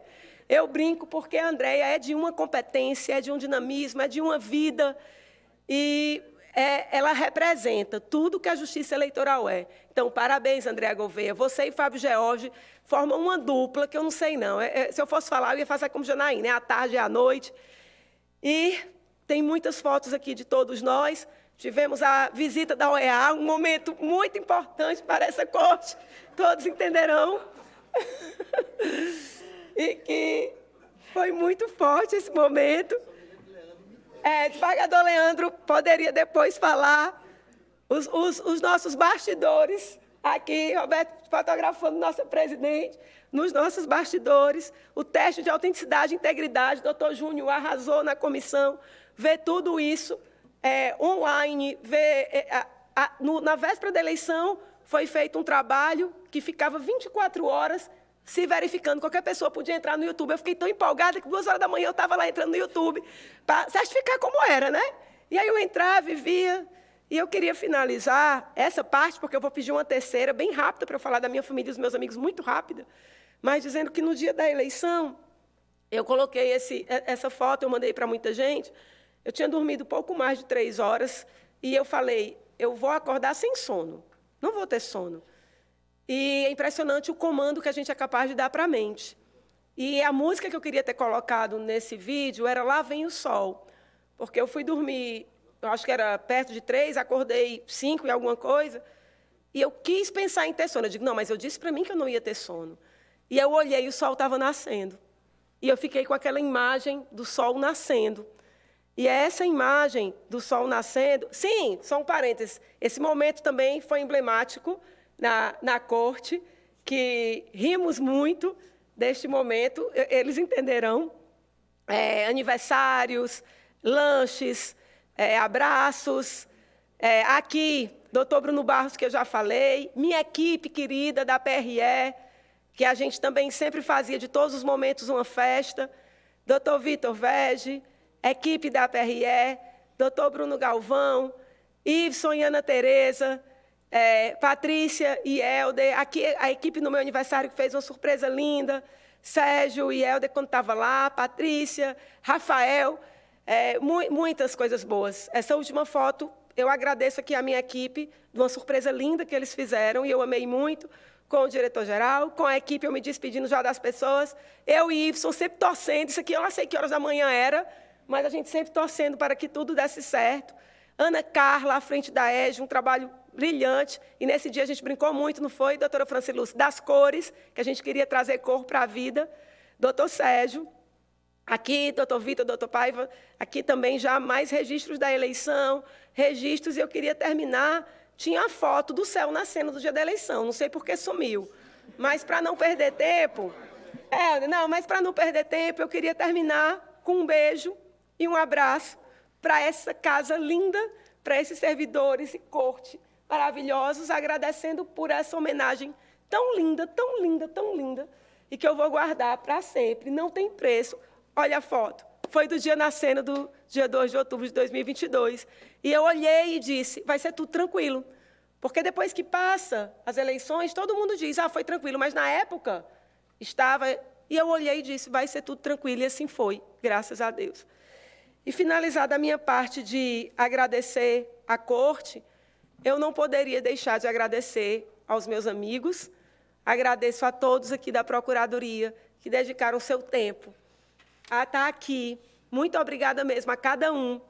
Eu queria agradecer às minhas amigas, é, na pessoa de Janaína, Caterine, uma amiga muito presente, e Andréia. Andréa, ela é uma amiga que ela viveu a corte, porque ela ligava para mim e dizia: esse caso, assim, ela não é da área do direito, mas ela assistia às sessões e ela brincava: já conheço tudo da igreja corte. Então, eu tive um companheirismo muito grande, desde o apoio das minhas amigas de dizerem: você pode, você consegue, até a eu deixo clarinha, eu pego, dorme lá em casa. Então, sem o apoio delas, eu não teria conseguido. Então, muito obrigada, Caterine, Andréa, Janaína, em nome de quem eu falo de mim, outras grandes amigas que eu tenho, como a doutora Niliane Meire, é, que muito me apoiou, doutora Darielle, promotora de justiça, doutora Karina, promotora de justiça, que são muito presentes na minha vida. É, mas as três pessoas mesmo, que sem elas eu não estaria aqui, se chama Brâncio, Clara e Dona Marta. Sem elas eu não estaria aqui. Sim, mas antes eu fazer o registro a minha cunhada Fernanda e a, grande Giulio, porque me deram todos os tentáculos, inclusive Giulio, além de grande advogado, é um ser humano incrível, de o computador quebrar e ele ir lá em casa e consertar. Então, muito obrigada, Giulio, por tudo mesmo. Você é, é um anjo na nossa família, de coração. Brâncio, Brâncio, ah, como eu queria que todos fossem iguais a você. No mundo em que nós buscamos que o casal seja um time, em que a mulher possa sair para trabalhar e que o marido segure ali aquele bastão. Como eu queria que a gente saísse desse machismo estrutural para que visse que todos nós temos dentro de nós uma energia masculina e feminina e que todos podemos desenvolver papéis de afabilidade, doçura, mas também de firmeza e coragem. Eu acho que é isso que eu busco. Sem você, meu amor, eu não teria conseguido. Você, Clara e minha mãe são os maiores responsáveis por eu estar aqui, porque vocês seguraram todas as pontas. Eu te agradeço, Branco Barreto Suassuna, por todo o companheirismo, por toda a dedicação, por todo o amor, e por mais que você pense que eu estava distante, eu estava muito presente, porque todos os dias eu estava agradecendo isso a Deus por ter você me permitindo estar aqui. Clara, você é a luz da minha vida. Esse texto, você quem fez, porque você escreve muito bem e você me encanta com as suas falas desde sempre. Clara, ela veio com mais maturidade do que eu, eu digo. Quando ela tinha sete anos, presidente, eu estou perto. Eu fiz a minha primeira viagem sozinha. E ela, e eu estava, né, sem querer deixar ela, sem querer deixar a e ela olhou para mim com sete anos e disse: Vá, mamãe, você tem que aproveitar. Vai, eu fico aqui bem com meu pai. Sempre, sempre me colocando para voar. Porque, como diz Gilban Calil, o amor te dá asas. E é isso que você e Brâncio fazem comigo, meus amores. Vocês me dão asas para dedicar ao meu sonho, que é lutar por um mundo melhor. Eu sempre tive essa, essa esse, né, esse, esse bichinho do Ministério Público aqui dentro, desde a época do colégio, em que uma pessoa era expulsa e eu ia lá defender, e o professor dizia, o que, é que você tem a ver com isso? Eu digo, não, mas é porque eu estou explicando aqui a situação, sempre fazia isso, mas também mostrando o rigor. Uma vez um colega é, foi expulso, eu fui defender ele, me, aí o professor me expulsou também. E quando eu cheguei na diretoria, ele falou, não precisa carimbar a agenda da Cássia, não. Eu disse, não precisa, porque a regra é, quem foi expulso carimba, então tem que carimbar a minha também. Então, eu, era, eu, eu sempre tive muito isso. E eu queria finalizar falando da minha mãe, porque a minha mãe, ela é alguém que inspira. E eu falei de inspirar aqui há pouco tempo, no nosso evento da democracia, e naquele momento eu disse que inspirar era algo metafísico, era o poder de você criar em alguém uma vontade de se movimentar. Era muito mais do que motivar. Era você genuinamente ter vontade de ser.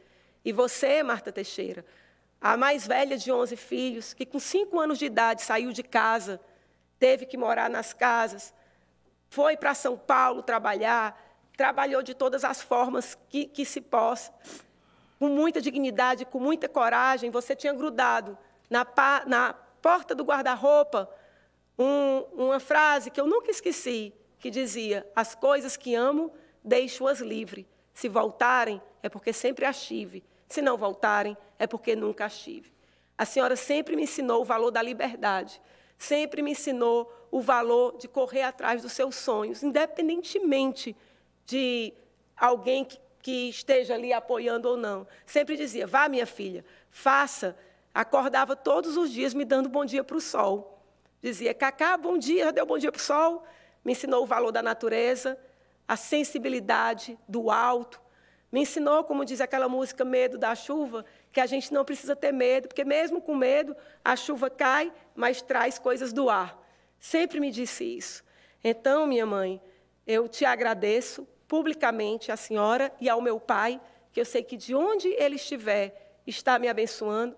Agradeço a Deus, em primeiro lugar e antes de tudo, porque sem ele nada, nenhuma folha cai. E eu queria te homenagear hoje porque homenagear você, e se eu estou aqui como primeira mulher a estar na PRE, que é uma honra muito grande, é uma alegria e honra, é porque a senhora me incentivou. E em seu nome, eu agradeço a todas as mulheres que lutaram e que fizeram com que eu estivesse aqui. E assim como nós, inspiramos outras pessoas. E que a gente se inspire mutuamente na busca de um mundo melhor.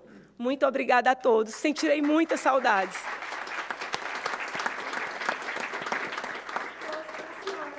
Convido a dona Marta Maria Soares Teixeira a receber flores da mão da sua filha.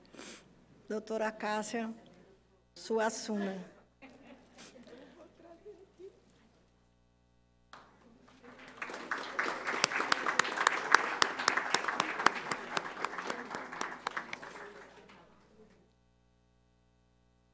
Presidente, ela não é Roberto Carlos, mas só usa branco e azul.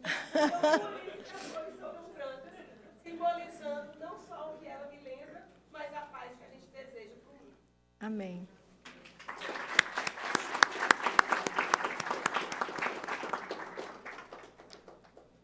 Senhoras, senhores, agradecendo a presença de todos,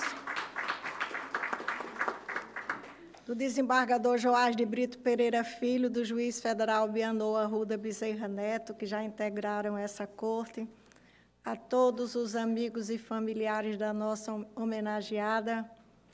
Segue em frente. Você tem o voo das águias. Vai voar muito mais alto. Senhoras e senhores, agradecendo a proteção divina, declaro encerrada essa sessão administrativa. Em 15 minutos voltaremos com a sessão judicial.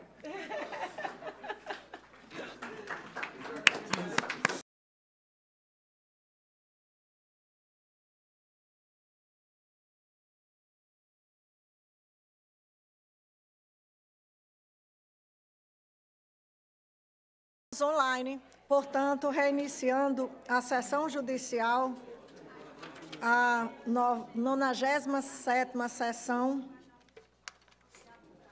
Eu chamo a julgamento o processo de número 4 da pauta prestação de contas eleitorais, número 0601 473 19 2018 615 0000.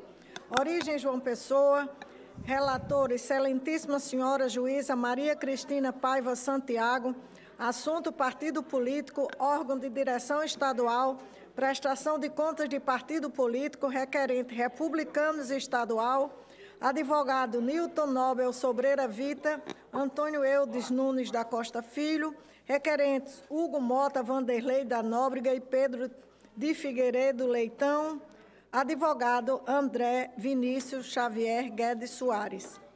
Vossa Excelência, com a palavra, doutora Maria Cristina, a PRE ratifica o relatório escrito. Senhora Presidente, agradecendo a palavra, cumprimentando a Igreja Corte, reiterando os cumprimentos, é, e saudando também a advocacia que nos acompanha virtualmente, os servidores desta casa na pessoa do doutor André Vieira e a PRE em nome de doutora Acácia.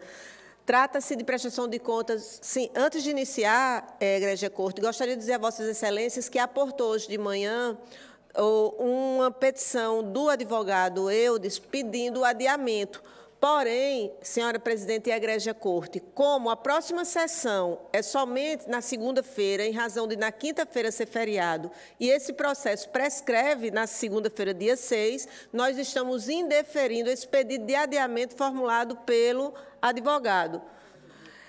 Com relação ao relatório, vou passar a leitura. Trata-se de prestação de contas eleitorais do Diretório Regional do Partido Republicano, referente à arrecadação e aplicação de recursos financeiros das eleições de 2018. Prestação de contas não foi apresentada, porém foi apresentada a prestação de contas retificadora.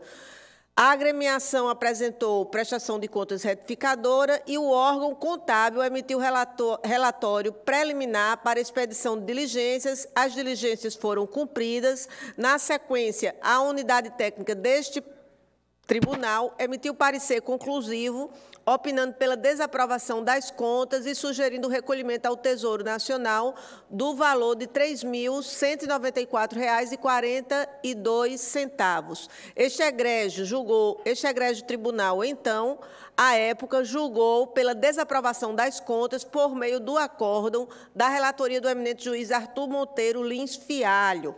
O partido, então, opôs embargos de declaração com efeitos modificativos. A PRE emitiu parecer pelo conhecimento dos embargos e pelo não acolhimento quanto ao mérito, com nova petição juntada pelo partido, o relator abriu vistas à PRE, que arguiu pela manutenção do acordo em todos os seus termos. Intimado, o partido manifestou-se requerendo a rejeição do incidente de inconstitucionalidade e o acolhimento dos pedidos outrora realizados na petição de D.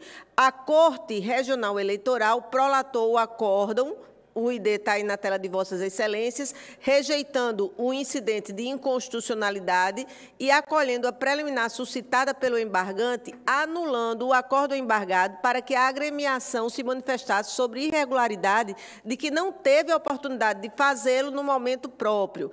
Intimado, o órgão partidário anexou petição requerendo aprovação das contas. Por fim, o órgão de contas emitiu parecer conclusivo complementar, opinando pela desaprovação das contas, todavia aduzindo que, embora sanada a irregularidade da devolução do valor de R$ 3.194,42, sugere a desaprovação pela ausência de relatórios financeiros. É, parecer ministerial, igualmente pela desaprovação das contas. É o relatório. PRE. Ratificando, Vossa Excelência pode continuar.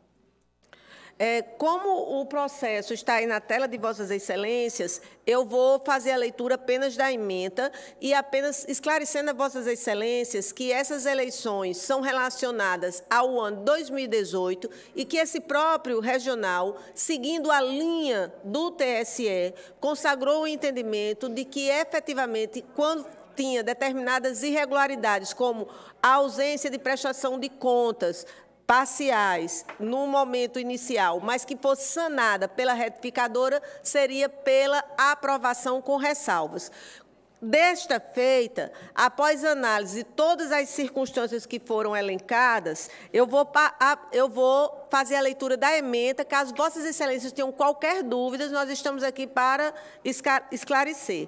Prestação de contas, eleições 2018, ausência de contas parciais e dos relatórios financeiros de campanha, final entregue tempestivamente, juntada de retificadora, impropriedades, repasse conta gênero incompleto, anistia da emenda 117/2022 em seu artigo 3 rejeição e inconstitucionalidade, falhas que não comprometem a regularidade, inteligência do artigo 77, inciso 2 da Resolução TSE 23 553/2017. Por essa razão, estamos encaminhando o voto pela aprovação com ressalvas. A relatora apresenta o voto pela aprovação com ressalvas. Todos de acordo? De acordo. De acordo. Aprovado com ressalvas. Esse é o quinto da, é o quarto da pauta. Passemos agora ao quinto processo da pauta. Origem João Pessoa, relator. Excelentíssimo juiz José Ferreira Ramos Júnior Assunto: partido político, órgão de direção estadual, prestação de contas de partido político requerente PT, Diretório Regional da Paraíba, advogadas Thaís Campos Freire e Laura de Albuquerque César Macena Veras, requerentes Jackson Azevedo de Macedo e Elan, Lígia Valêncio Pedrosa, Advogados Anilze Guedes de Castilho e Anselmo Guedes de Castilho. Com a palavra, o relator. Senhora Presidente, renovo os cumprimentos, os cumprimentos. É uma prestação de contas apresentada pelo partido, pela direção do Partido dos Trabalhadores Estadual e relativa à campanha de 2018, ele- campanha eleitoral de 2018. O parecer técnico é pela aprovação das contas com ressalvas. A PRE arguiu inconstitucionalidade do artigo 3 da emenda constitucional. E esse é o relatório, senhora Presidente. Ratificado o parecer escrito pela Procuradora Regional Eleitoral. No que tange ao incidente de constitucionalidade, essa Corte já se manifestou em diversas oportunidades. Quanto à constitucionalidade, eu passo a análise das contas.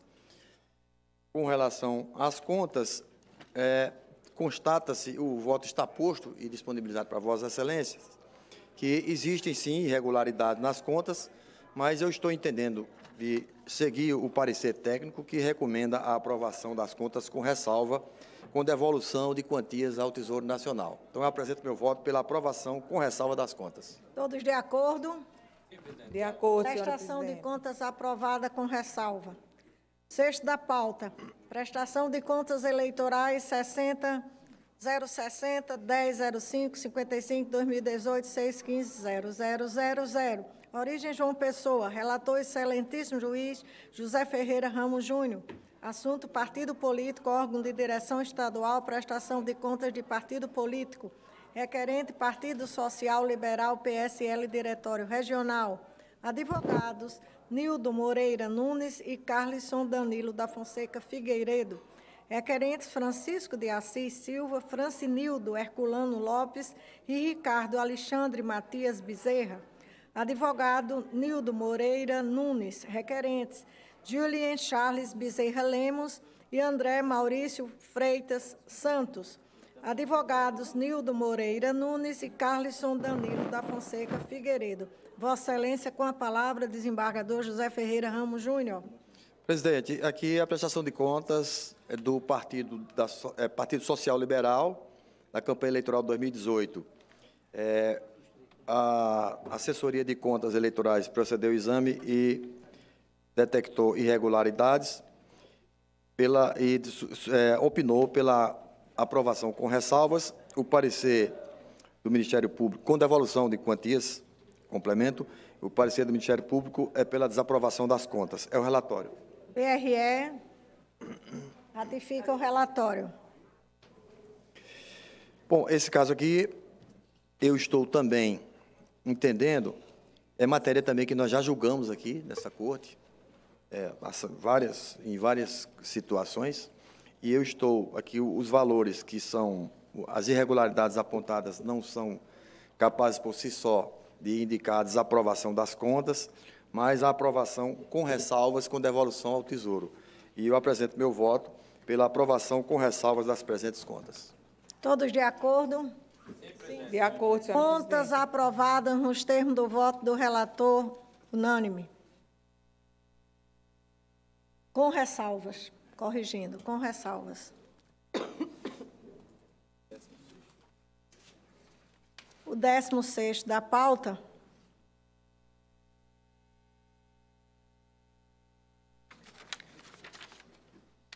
Eu haver minha suspeição por motivo de foro íntimo nesse 16º, peço licença para me retirar e passo a direção dos trabalhos para a desembargadora Agamenilde Dias, nossa vice-presidente. Por não, senhora presidente. Chama julgamento o agravo regimental de número 060 0519 diz 31 2020, que tem sua origem em Rio Tinto, Paraíba, de relatoria da juíza membro Maria Cristina Paiva Santiago, tendo como agravante Felipe Pessoa de Souza e advogado Ravi Vasconcelos da Silva Matos. Dá, concedo a palavra à relatora. Senhora Presidente, Egrégia Corte, trata-se de agravo regimental com pedido de reconsideração direcionado ao juiz de primeiro grau, interposto pelo advogado Ravi Vasconcelos, patrono de Felipe Pessoa de Souza, Rafael José do Nascimento Fonseca, Luan Cardoso de Menezes, Adelson Francisco da Silva e Severino Pereira de Souza, vereadores eleitos pelo Partido Cidadania do município de Rio Tinto nas eleições de 2020, além de Rosélia Lima de Azevedo, suplente do mesmo partido, contra a decisão monocrática desta relatoria, que negou seguimento a recurso eleitoral interposto pelos vereadores e suplentes acima mencionados em face de sentença prolatada pelo juízo da 55ª Zona Eleitoral Rio Tinto, Paraíba, que julgou procedente em parte age ajuizada por Arthur Antunes de Coimbra Pereira Duarte, Severino Alves Pessoa, Marcos Aurélio de Oliveira Silva e Marcos Antônio Fernandes de Moura, suplentes de vereador pelo Partido Progressista de Rio Tinto, e cassou o registro de todos os candidatos vinculados ao DRAP do Partido Cidadania, além de ter determinado a realização de novo cálculo do quociente eleitoral, por entender configurada a bula aos percentuais de gênero, previstos no artigo 10, parágrafo 3 da Lei 9.504 de 97. A decisão recorrida, com fundamento no artigo 49, inciso 4 do regimento interno deste tribunal, reconheceu a manifesta intempestividade do recurso eleitoral e a ausência de justa causa a atrair a devolução do prazo recursal, prevista no artigo 223 do Código de Processo Civil, como pretendido pelos agravantes. O dispositivo da decisão restou posta nos seguintes termos e eu peço venha a vossas excelências para não reproduzir a, a, a, parte que consta aí na tela de Vossas Excelências. Sustenta que o magistrado de primeiro grau teria usurpado a competência do TRE e ofendido sua dignidade ao apontar que o documento trazido aos autos pelo patrono é inverossímil e só foi trazido aos autos para justificar a perda do prazo. Fecho aspas. Destaca que a representante do Ministério Público Eleitoral, de maneira surpreendente, reproduziu os argumentos do magistrado, ofendendo de maneira grave a dignidade do advogado. Entende que o magistrado de primeiro grau não teria é, o condão de contradizer o médico, vou abrir aspas, pois não tem conhecimento técnico para isso, nem exigir que o advogado com 40 graus de febre fosse ao escritório peticionar para informar que está doente, ou mesmo subestabeleça para um terceiro, sem qualquer conhecimento na causa, e quebrando a confiança fiduciária otorgada. Fecho aspas. Discorre sobre o princípio da eventualidade, por entender que os autos devem retornar ao Ministério Público Eleitoral para a emissão de parecer acerca do mérito da ação de investigação judicial eleitoral, junto à declaração médica, que entende suficiente para demonstrar a justa causa pretendida, nos termos do artigo 223. E, no tocante ao fato de ter realizado audiência no período que estaria enfermo, afirma que o prazo de três dias para o recurso eleitoral começou na segunda-feira, dia 25 de setembro de 2023, tendo o advogado comparecido à Corte Eleitoral já enfermo, realizando seu mistério, afirmando que, após sair do plenário com a piora do seu quadro clínico, o advogado compareceu ao profissional médico às 18 horas, tendo sido atendido e recebido o referido atestado médico. Diante disso, assevera que é impossível realizar um complexo recurso em algumas horas e, ainda que o prazo eleitoral não se contando em horas, não pode ser imputado ao patrono uma demanda não prevista na lei, que, executa, que executasse, concluísse e protocolasse o recurso nas horas em que não esteve em que não esteve acobertado pelo atestado no primeiro dia do prazo, pois o prazo, como dito, é contado em dias, mais precisamente em, exíguos três dias. Assevera que a febre, prostração com o uso de antibiótico impede qualquer profissional de realizar seu labor com afinco e perfeição. Ademais, para realizar subestabelecimento, necessário seria a aquiescência dos otorgantes do mandato, em virtude da fidúcia existente na relação profissional. Requer, ao final, que os autos retornem ao Ministério Público Eleitoral para manifestar sobre o mérito da causa e ainda a reconsideração da decisão que inadmitiu o recurso, pelas razões expostas. Juntou documentos, conclusos, incluiu o feito em mesa para julgamento nos termos do artigo 178 do regimento interno deste tribunal. É o relatório. Senhora, é, antes de, de, de, conceder a palavra ao advogado, que se encontra em sala virtual, gostaria de solicitar a disponibilização do voto no sistema, ao tempo em que conceda a palavra ao doutor Ravi Vasconcelos da Silva Matos. Excelentíssima, excelentíssima senhora presidente de exercício, excelentíssima senhora representante do Ministério Público, doutor relator, doutor relatora, demais membros dessa corte. Excelentíssima senhora relatora, esse processo ele é interessante porque nós estamos aqui num processo em que é exatamente o último dia da doutora Cássia. Presenciamos, nesses dois anos da, da iluminada presença do doutor Casa nessa corte, uma luta incessante pela igualdade. Seu mandato, como, como procurador regional eleitoral, foi pautado pela sua excelência, como ele é de costume. Coincidência, esse último processo também luta por igualdade. E que tipo de igualdade estamos falando? Porque é uma igualdade particular. É uma igualdade que não representa apenas aqui meus constituintes, mas sim toda uma classe, toda uma categoria, que tem nessa corte dois excelentes representantes, doutor Roberto e doutora Maria Cristina. E por que igualdade? Que a lei, o Código de Processo Civil, garante que não há hierarquia entre advogados, juízes e promotores, mas desses três, só um deles encontra dificuldades quando adoece dentro dos autos. E ultrapassada essa parte preambular, aqui eu faço questão de fazer alguns esclarecimentos. No dia 25 de setembro de 2023, compareci a esta corte eleitoral para fazer uma defesa num processo criminal do qual eu havia me habilitado recentemente. E me habilitando recentemente, pedi, a relatora era, era a doutora Maria Cristina, pedi para que fosse retirado de pauta para que eu pudesse e, e entender o processo. E assim foi feito. A doutora Maria Cristina, muito diligente, retirou de pauta e pautou para o dia 25. E por lealdade e boa-fé a esta corte, compareci, mesmo já com princípios de, de uma grave infecção bacteriana, compareci a esta corte e fiz a sustentação oral. Saindo de lá, fui ao médico, que me deu o seguinte atestado médico. Atesto para os devidos fins trabalhistas que o paciente supracitado deverá permanecer afastado de suas atividades trabalhistas por um período de quatro dias, a partir da data em que se submeteu à consulta por mim em 25 de, 25 de setembro de 2023.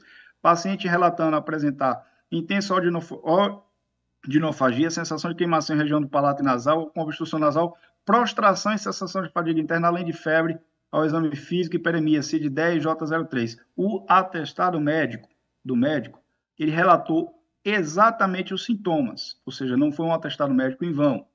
E aí eu faço questão de esclarecer ao, ao membro do Ministério Público, já tive a oportunidade de conversar com a doutora Cassi, que, que muito, muito representa a excelência do, do serviço público. E conversando com ela, também esclareci, é, guardando a ressalva que ela tem do entendimento, mas esclareci sobre. Eu fui, fiz, fiz-me necessário pedir ao médico que ele esclarecesse, porque havia esse, esse, esse confronto de informações. Como é que eu compareci ah, no dia 25 pela tarde e junto ao atestado médico do dia 25? E o médico esclareceu que declarou para fim de apresentação judicial que foi atendido por mim, Ravi Vasconcelos Silva Matos, das 18 horas e 4 minutos às 19, o qual foi submetido à consulta. Ele, ele expõe o quadro clínico, o tratamento que eu me submeti e o tempo que eu necessitei, de ficar de atestado médico, com quadro febril, fadiga, indisposição, um, um fala prejudicada, com dores de cabeça, cefaleia. E dentro dessas condições, do qual estava cometido com infecção bacteriana, qual foi necessário fazer o uso de antibióticos, é, esse, esse documento novo, posterior à decisão de, de doutora Maria Cristina, ele esclarece exatamente dois pontos que a doutora Cássia teve dúvida.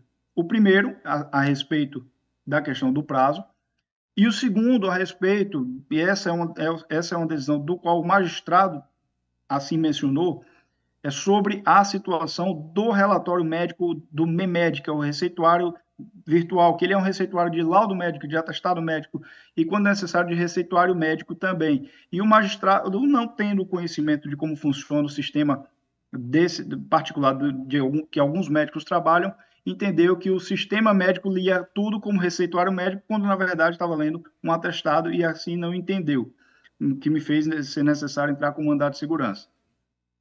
Eu, eu, eu, eu entendo, excelências, que, que nenhum profissional, nenhum profissional pode ser obrigado a trabalhar nas condições em que eu me encontrava naquele momento. 40 graus de febre, é, com prostração, fadiga, cefaleia, não havia a mínima condição de trabalhar naquelas condições. E o STJ e o TSE entendem que o atestado médico por si só, e aí digo, por si só, ele não é capaz de, de, de constituir a justa causa do 223. Contudo, o atestado médico, quando descreve os sintomas, e aí quem relata é o profissional da medicina, o profissional da saúde, quando descreve os sintomas, ele é sim capaz de configurar a justa causa do parágrafo 1 do artigo 223.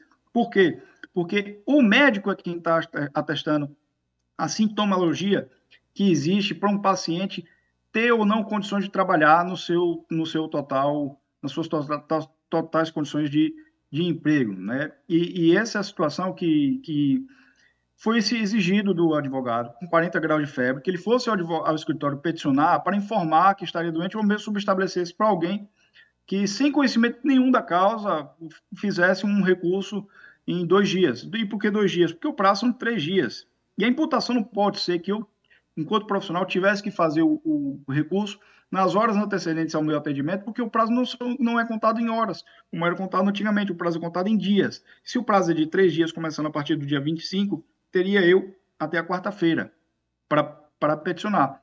Contudo, como estava como estava de atestado médico, o fiz no momento em que me senti melhor. E aí é o que eu repito, que não há, não há qualquer indício de trânsito julgado, como afirmado pelos, pelos investigantes, porque, e assim como o doutor Acácio também falou, porque os investigados, a, a gente esclareceu ao juízo que não há trânsito julgado processual, tem visto que o, o atestado médico, ele é justa causa, porque ele é um evento alheio à minha vontade, não quis adoecer, e que me pediu de praticar o ato por si só. Quando eu juntei o recurso, eu juntei junto com o atestado.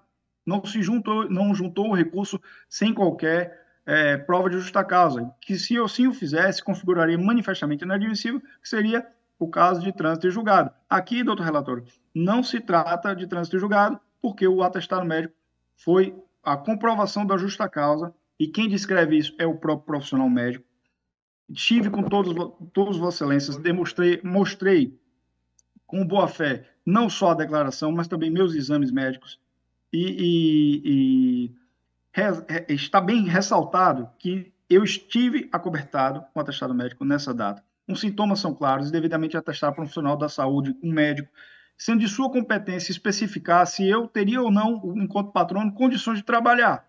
Não cabendo ao judiciário fazer esse tipo de avaliação, e deliberação sobre as reais condições, quando há um profissional médico que o diga. Se o atestado médico apenas dissesse a CID, aí sim, excelências, aí sim poderia ser inferido que não teria justa causa e que o atestado médico assim não faria. Mas eu era o único patrono habilitado nos autos, único patrono, e dessas questões eu faço questão de trazer, por exemplo, é, é, decisões também do STJ, decisões do STJ, como tem decisões do Tribunal Regional Eleitoral de Santa Catarina, Tribunal Regional Eleitoral do Pará, e o TSE também que diz, é, é, conforme precedentes do TSE e do STJ, somente se configuraria doutor, a força doutor maior... Ravi, com a, a sua licença, resta, licença, resta um minuto e 30 segundos.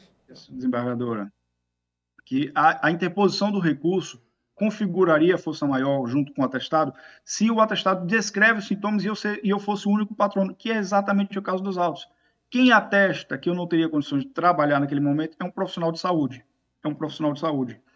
O atestado, ele descreve. E aí, eu, eu rememorando na semana passada, doutor Júnior, é, com razão, é, se ausentou do seu trabalho porque esteve, esteve doente. E quantos, quantos de nós assim não fazemos quando estamos doentes? Não somos o, o advogado é, é, ele não pode ser obrigado a trabalhar doente ou aí ao seu escritório para subestabelecer para alguém doente quando as suas condições de saúde assim são impossibilitadas. Por essas razões, excelência, eu, enquanto profissional, é, aqui estou não só em defesa dos meus constituintes, mas também toda a classe, toda a advocacia, é, que se vê representada nesta corte por dois excelentíssimos, é, excelentíssimos representantes, o desembargador Roberto e a desembargadora Maria Cristina, mas requer, assim, desta forma, que seja reconsiderada a decisão para admitir, tendo em vista o novo documento que foi juntado, que é a declaração médica reconhecido firma, do qual houve o esclarecimento dos fatos que levaram a desembargadora Maria Cristina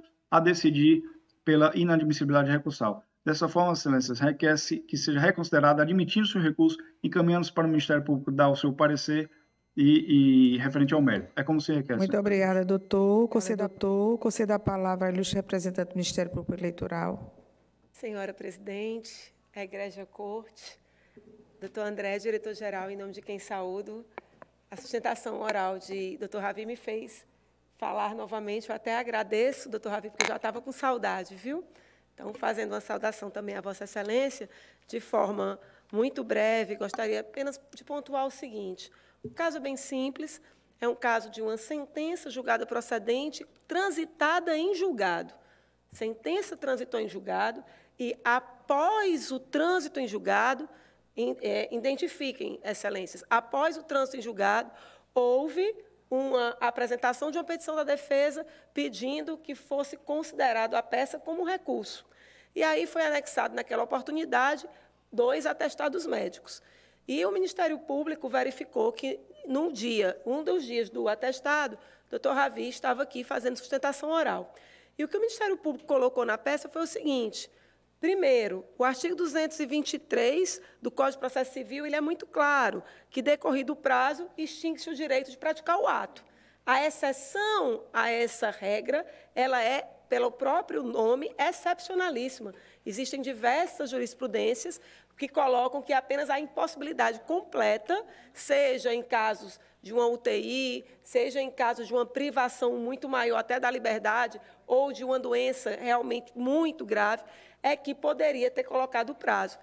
E aí não se está questionando, nesse momento, é, se teria ou não teria, se a doença é ou não. Se está dizendo o seguinte: ora, se o advogado esteve presente aqui no dia que estava com o atestado apresentado nessa ação, mesmo tendo ido depois, é, significa dizer que ele estava apto a também fazer o julgamento.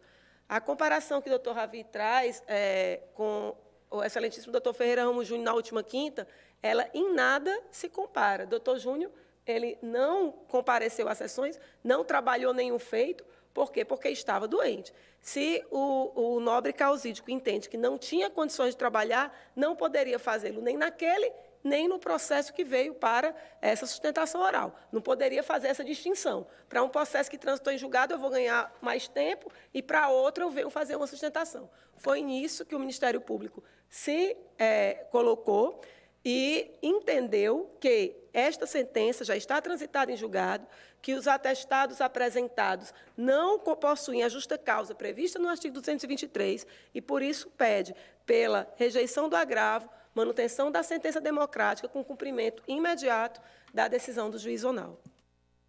Muito obrigada, doutora Cássia. E vendo aqui a questão, a matéria do que trata esse agravo regimental, e face a apresentação de impedimento, de suspeição pela presidente, o que me fez substituir essa presidência, e necessitando, portanto, de apreciação com o coro completo, mesmo com as, as vossas colocações, as vossas razões de, de, sustentadas em tribuna, doutor Ravi, aqui a sustentação do Ministério Público, entendo em suspender o julgamento para que para convocação de substituto para composição do coro na próxima sessão de julgamento. É como fica. Senhora presidente, pois eu não. queria só pedir hum. para a senhora determinar a Secretaria Judiciária para juntar as notas taquigráficas da intervenção do Doutor Ravi, por favor. Pois não, assim será deferida a, juntada das notas taquigráficas do doutor Ravi, apresentada agora em tribuna para instruir e ser registrado no processo. Muito obrigada, doutor Bruno. Então, declaro, não havendo mais processo a, a ser julgado, solicito ao doutor André só a leitura da certidão deste julgado da suspensão deste julgamento, inclusive com o deferimento do requerimento feito pelo doutor Bruno Teixeira com relação às notas taquigráficas, para enriquecer o, julgado.